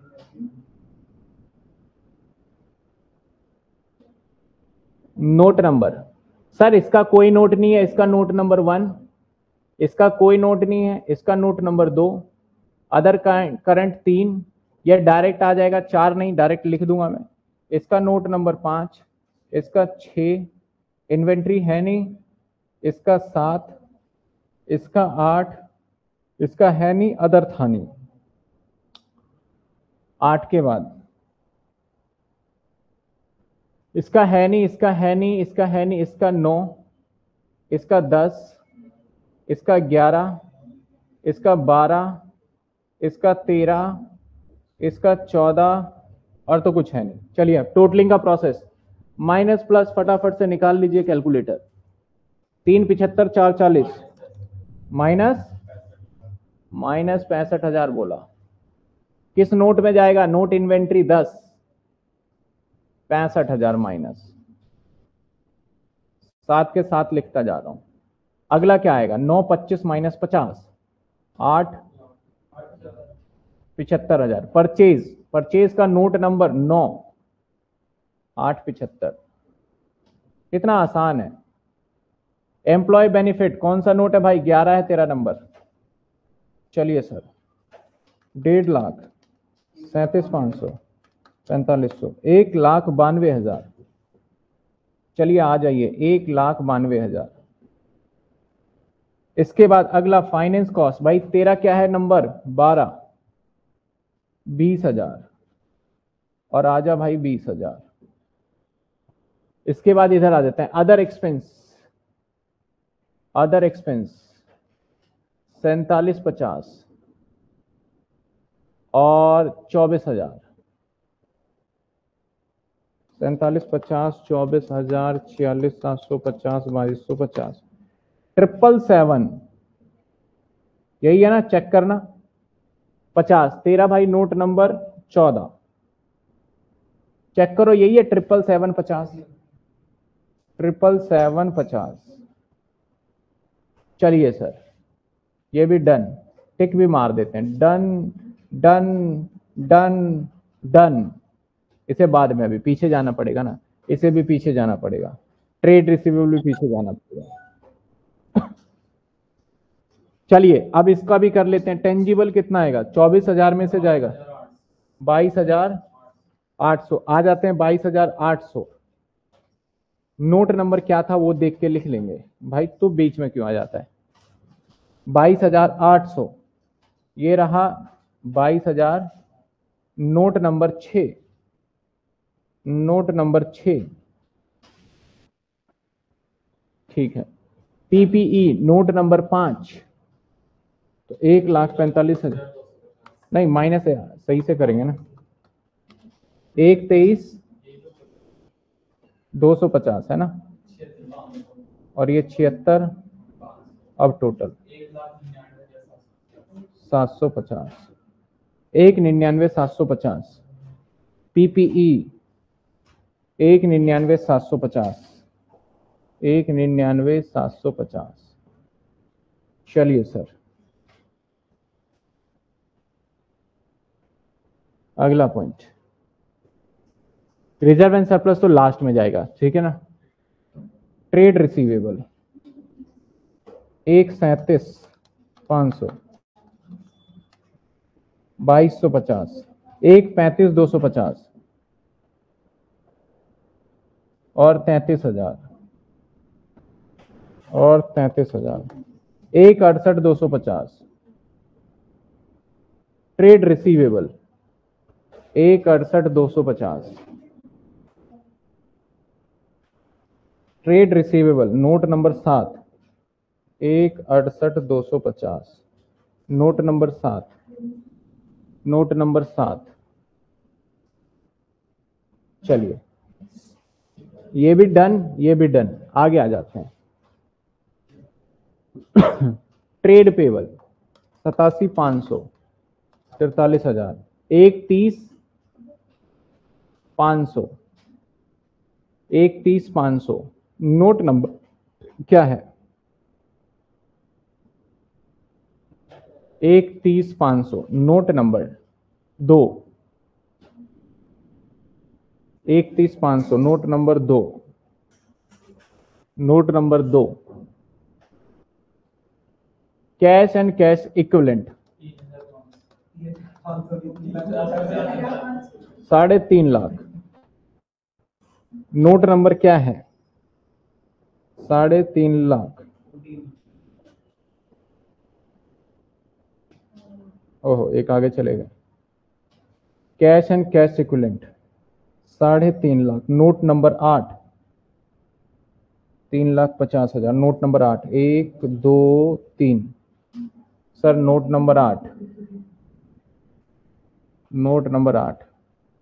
अदर लाइबिलिटी, चार हज़ार, पैंतालीस सौ, दस हज़ार, अठारह हज़ार पाँच सौ और अठारह हज़ार पाँच सौ। नोट नंबर अठारह हज़ार पाँच सौ। अदर नहीं, क्या था ये? अदर करंट लाइबिलिटी अठारह हज़ार पाँच सौ। नोट नंबर तीन, एक, दो, तीन। नोट नंबर तीन, बहुत हैवी फ़ाइल हो होगी स्लो काम कर रहा है। अब इसके बाद, इकतीस हज़ार चार सौ पचास। नोट नंबर डेप्रीशिएशन का क्या था? एक, दो। एक ही था भाई। डेप्रीशिएशन का नोट नंबर सर तेरह। क्या था? इकतीस? नोट नंबर तेरह, डाल देते हैं, चलो। तेरह। अब बस इसका टोटल टोटल इनकम चौदह लाख पंद्रह हज़ार।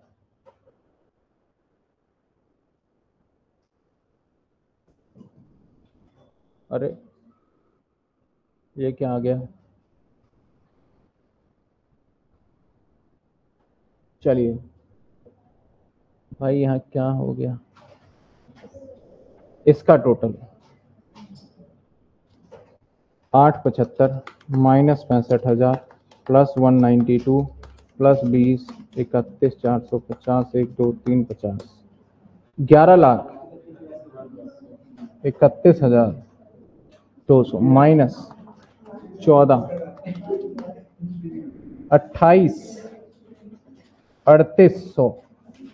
फिफ्टी परसेंट टैक्स है तो fifty percent one four one nine double zero minus one four one nine double zero current year का प्रॉफिट चेक कर आंसर चेक कर सकते हैं आंसर में कोई कमी नहीं होगी।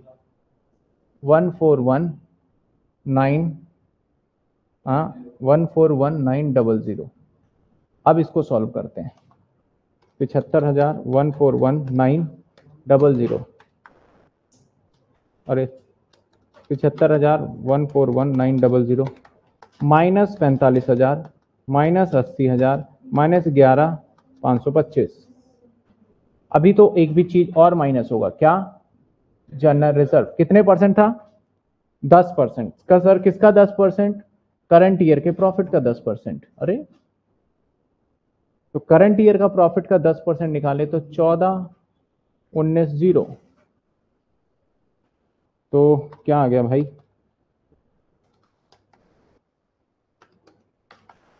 पैंतालीस।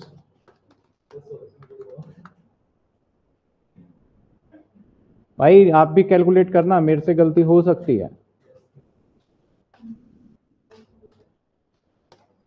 छियासठ, एक सौ पिचासी। ठीक है? और यहाँ जी आर एड हो जाएगा।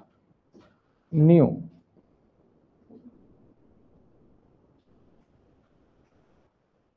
fifty nine thousand plus चौदह, एक सौ नब्बे।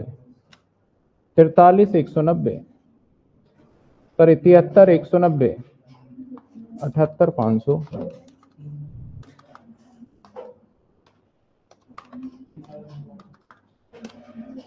Nine zero two five. अब इन तीनों का जोड़ जाएगा। छियासठ एक सौ पचासी, nine double zero two five, तिहत्तर एक सौ नब्बे, बाईस चौरानवे सौ। नोट नंबर टू, बाईस चौरानवे सौ। एक है सर, बाईस two lakh twenty nine thousand four hundred इसको हम नाम देंगे नोट नंबर वन चलिए सर, अब इसके बाद हमारा जो टैक्स है टैक्स की भी तो एंट्री करनी है। टैक्स कितने का निकला था? One four one nine double zero one four one nine double zero one four one nine double zero अब भाई साहब, अब सबसे मुश्किल घड़ी यही है। चलिए, पाँच लाख।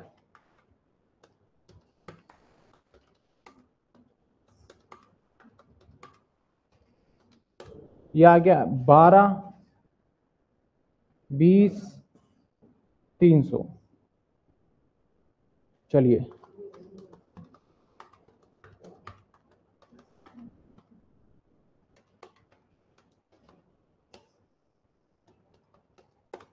बारह, बीस और इसमें लड़ाई में हम जीत गए।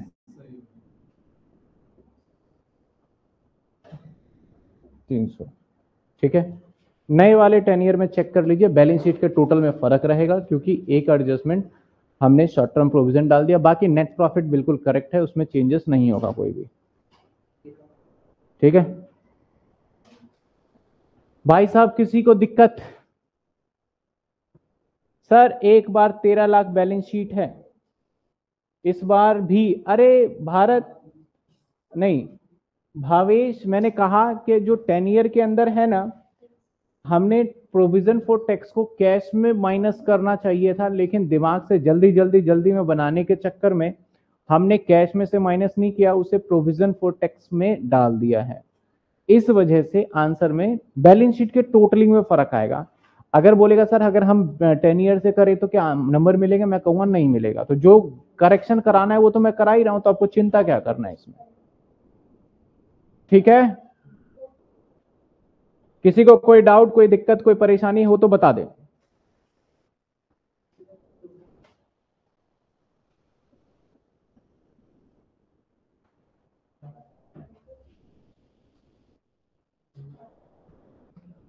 कह रहे हैं, सर 2550 होगा provision for other expense provision में 2550 होगा।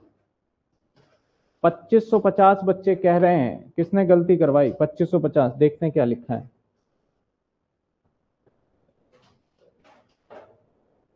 ये देखो, एक बच्चे ने देखो गलती पकड़ ली।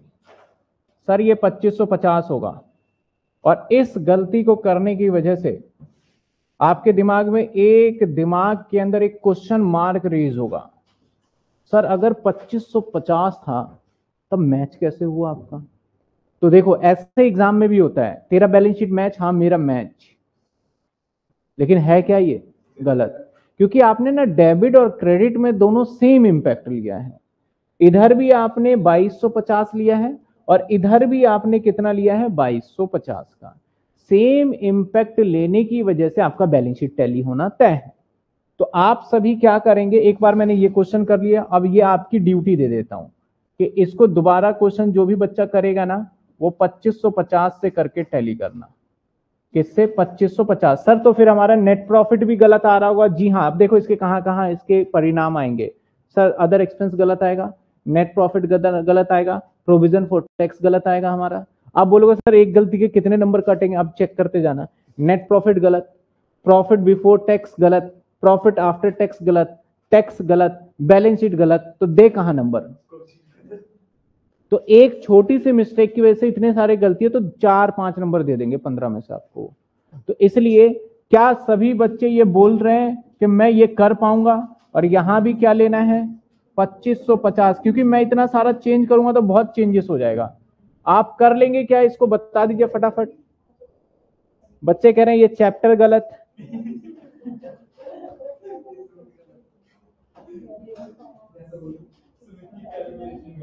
भावेश कह रहा था, मैं बहुत देर से बता रहा था, आप देख ही नहीं रहे थे।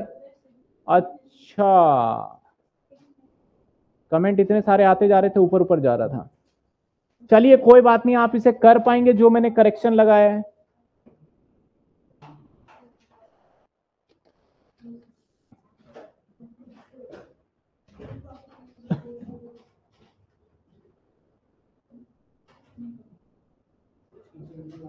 चलिए ठीक है डन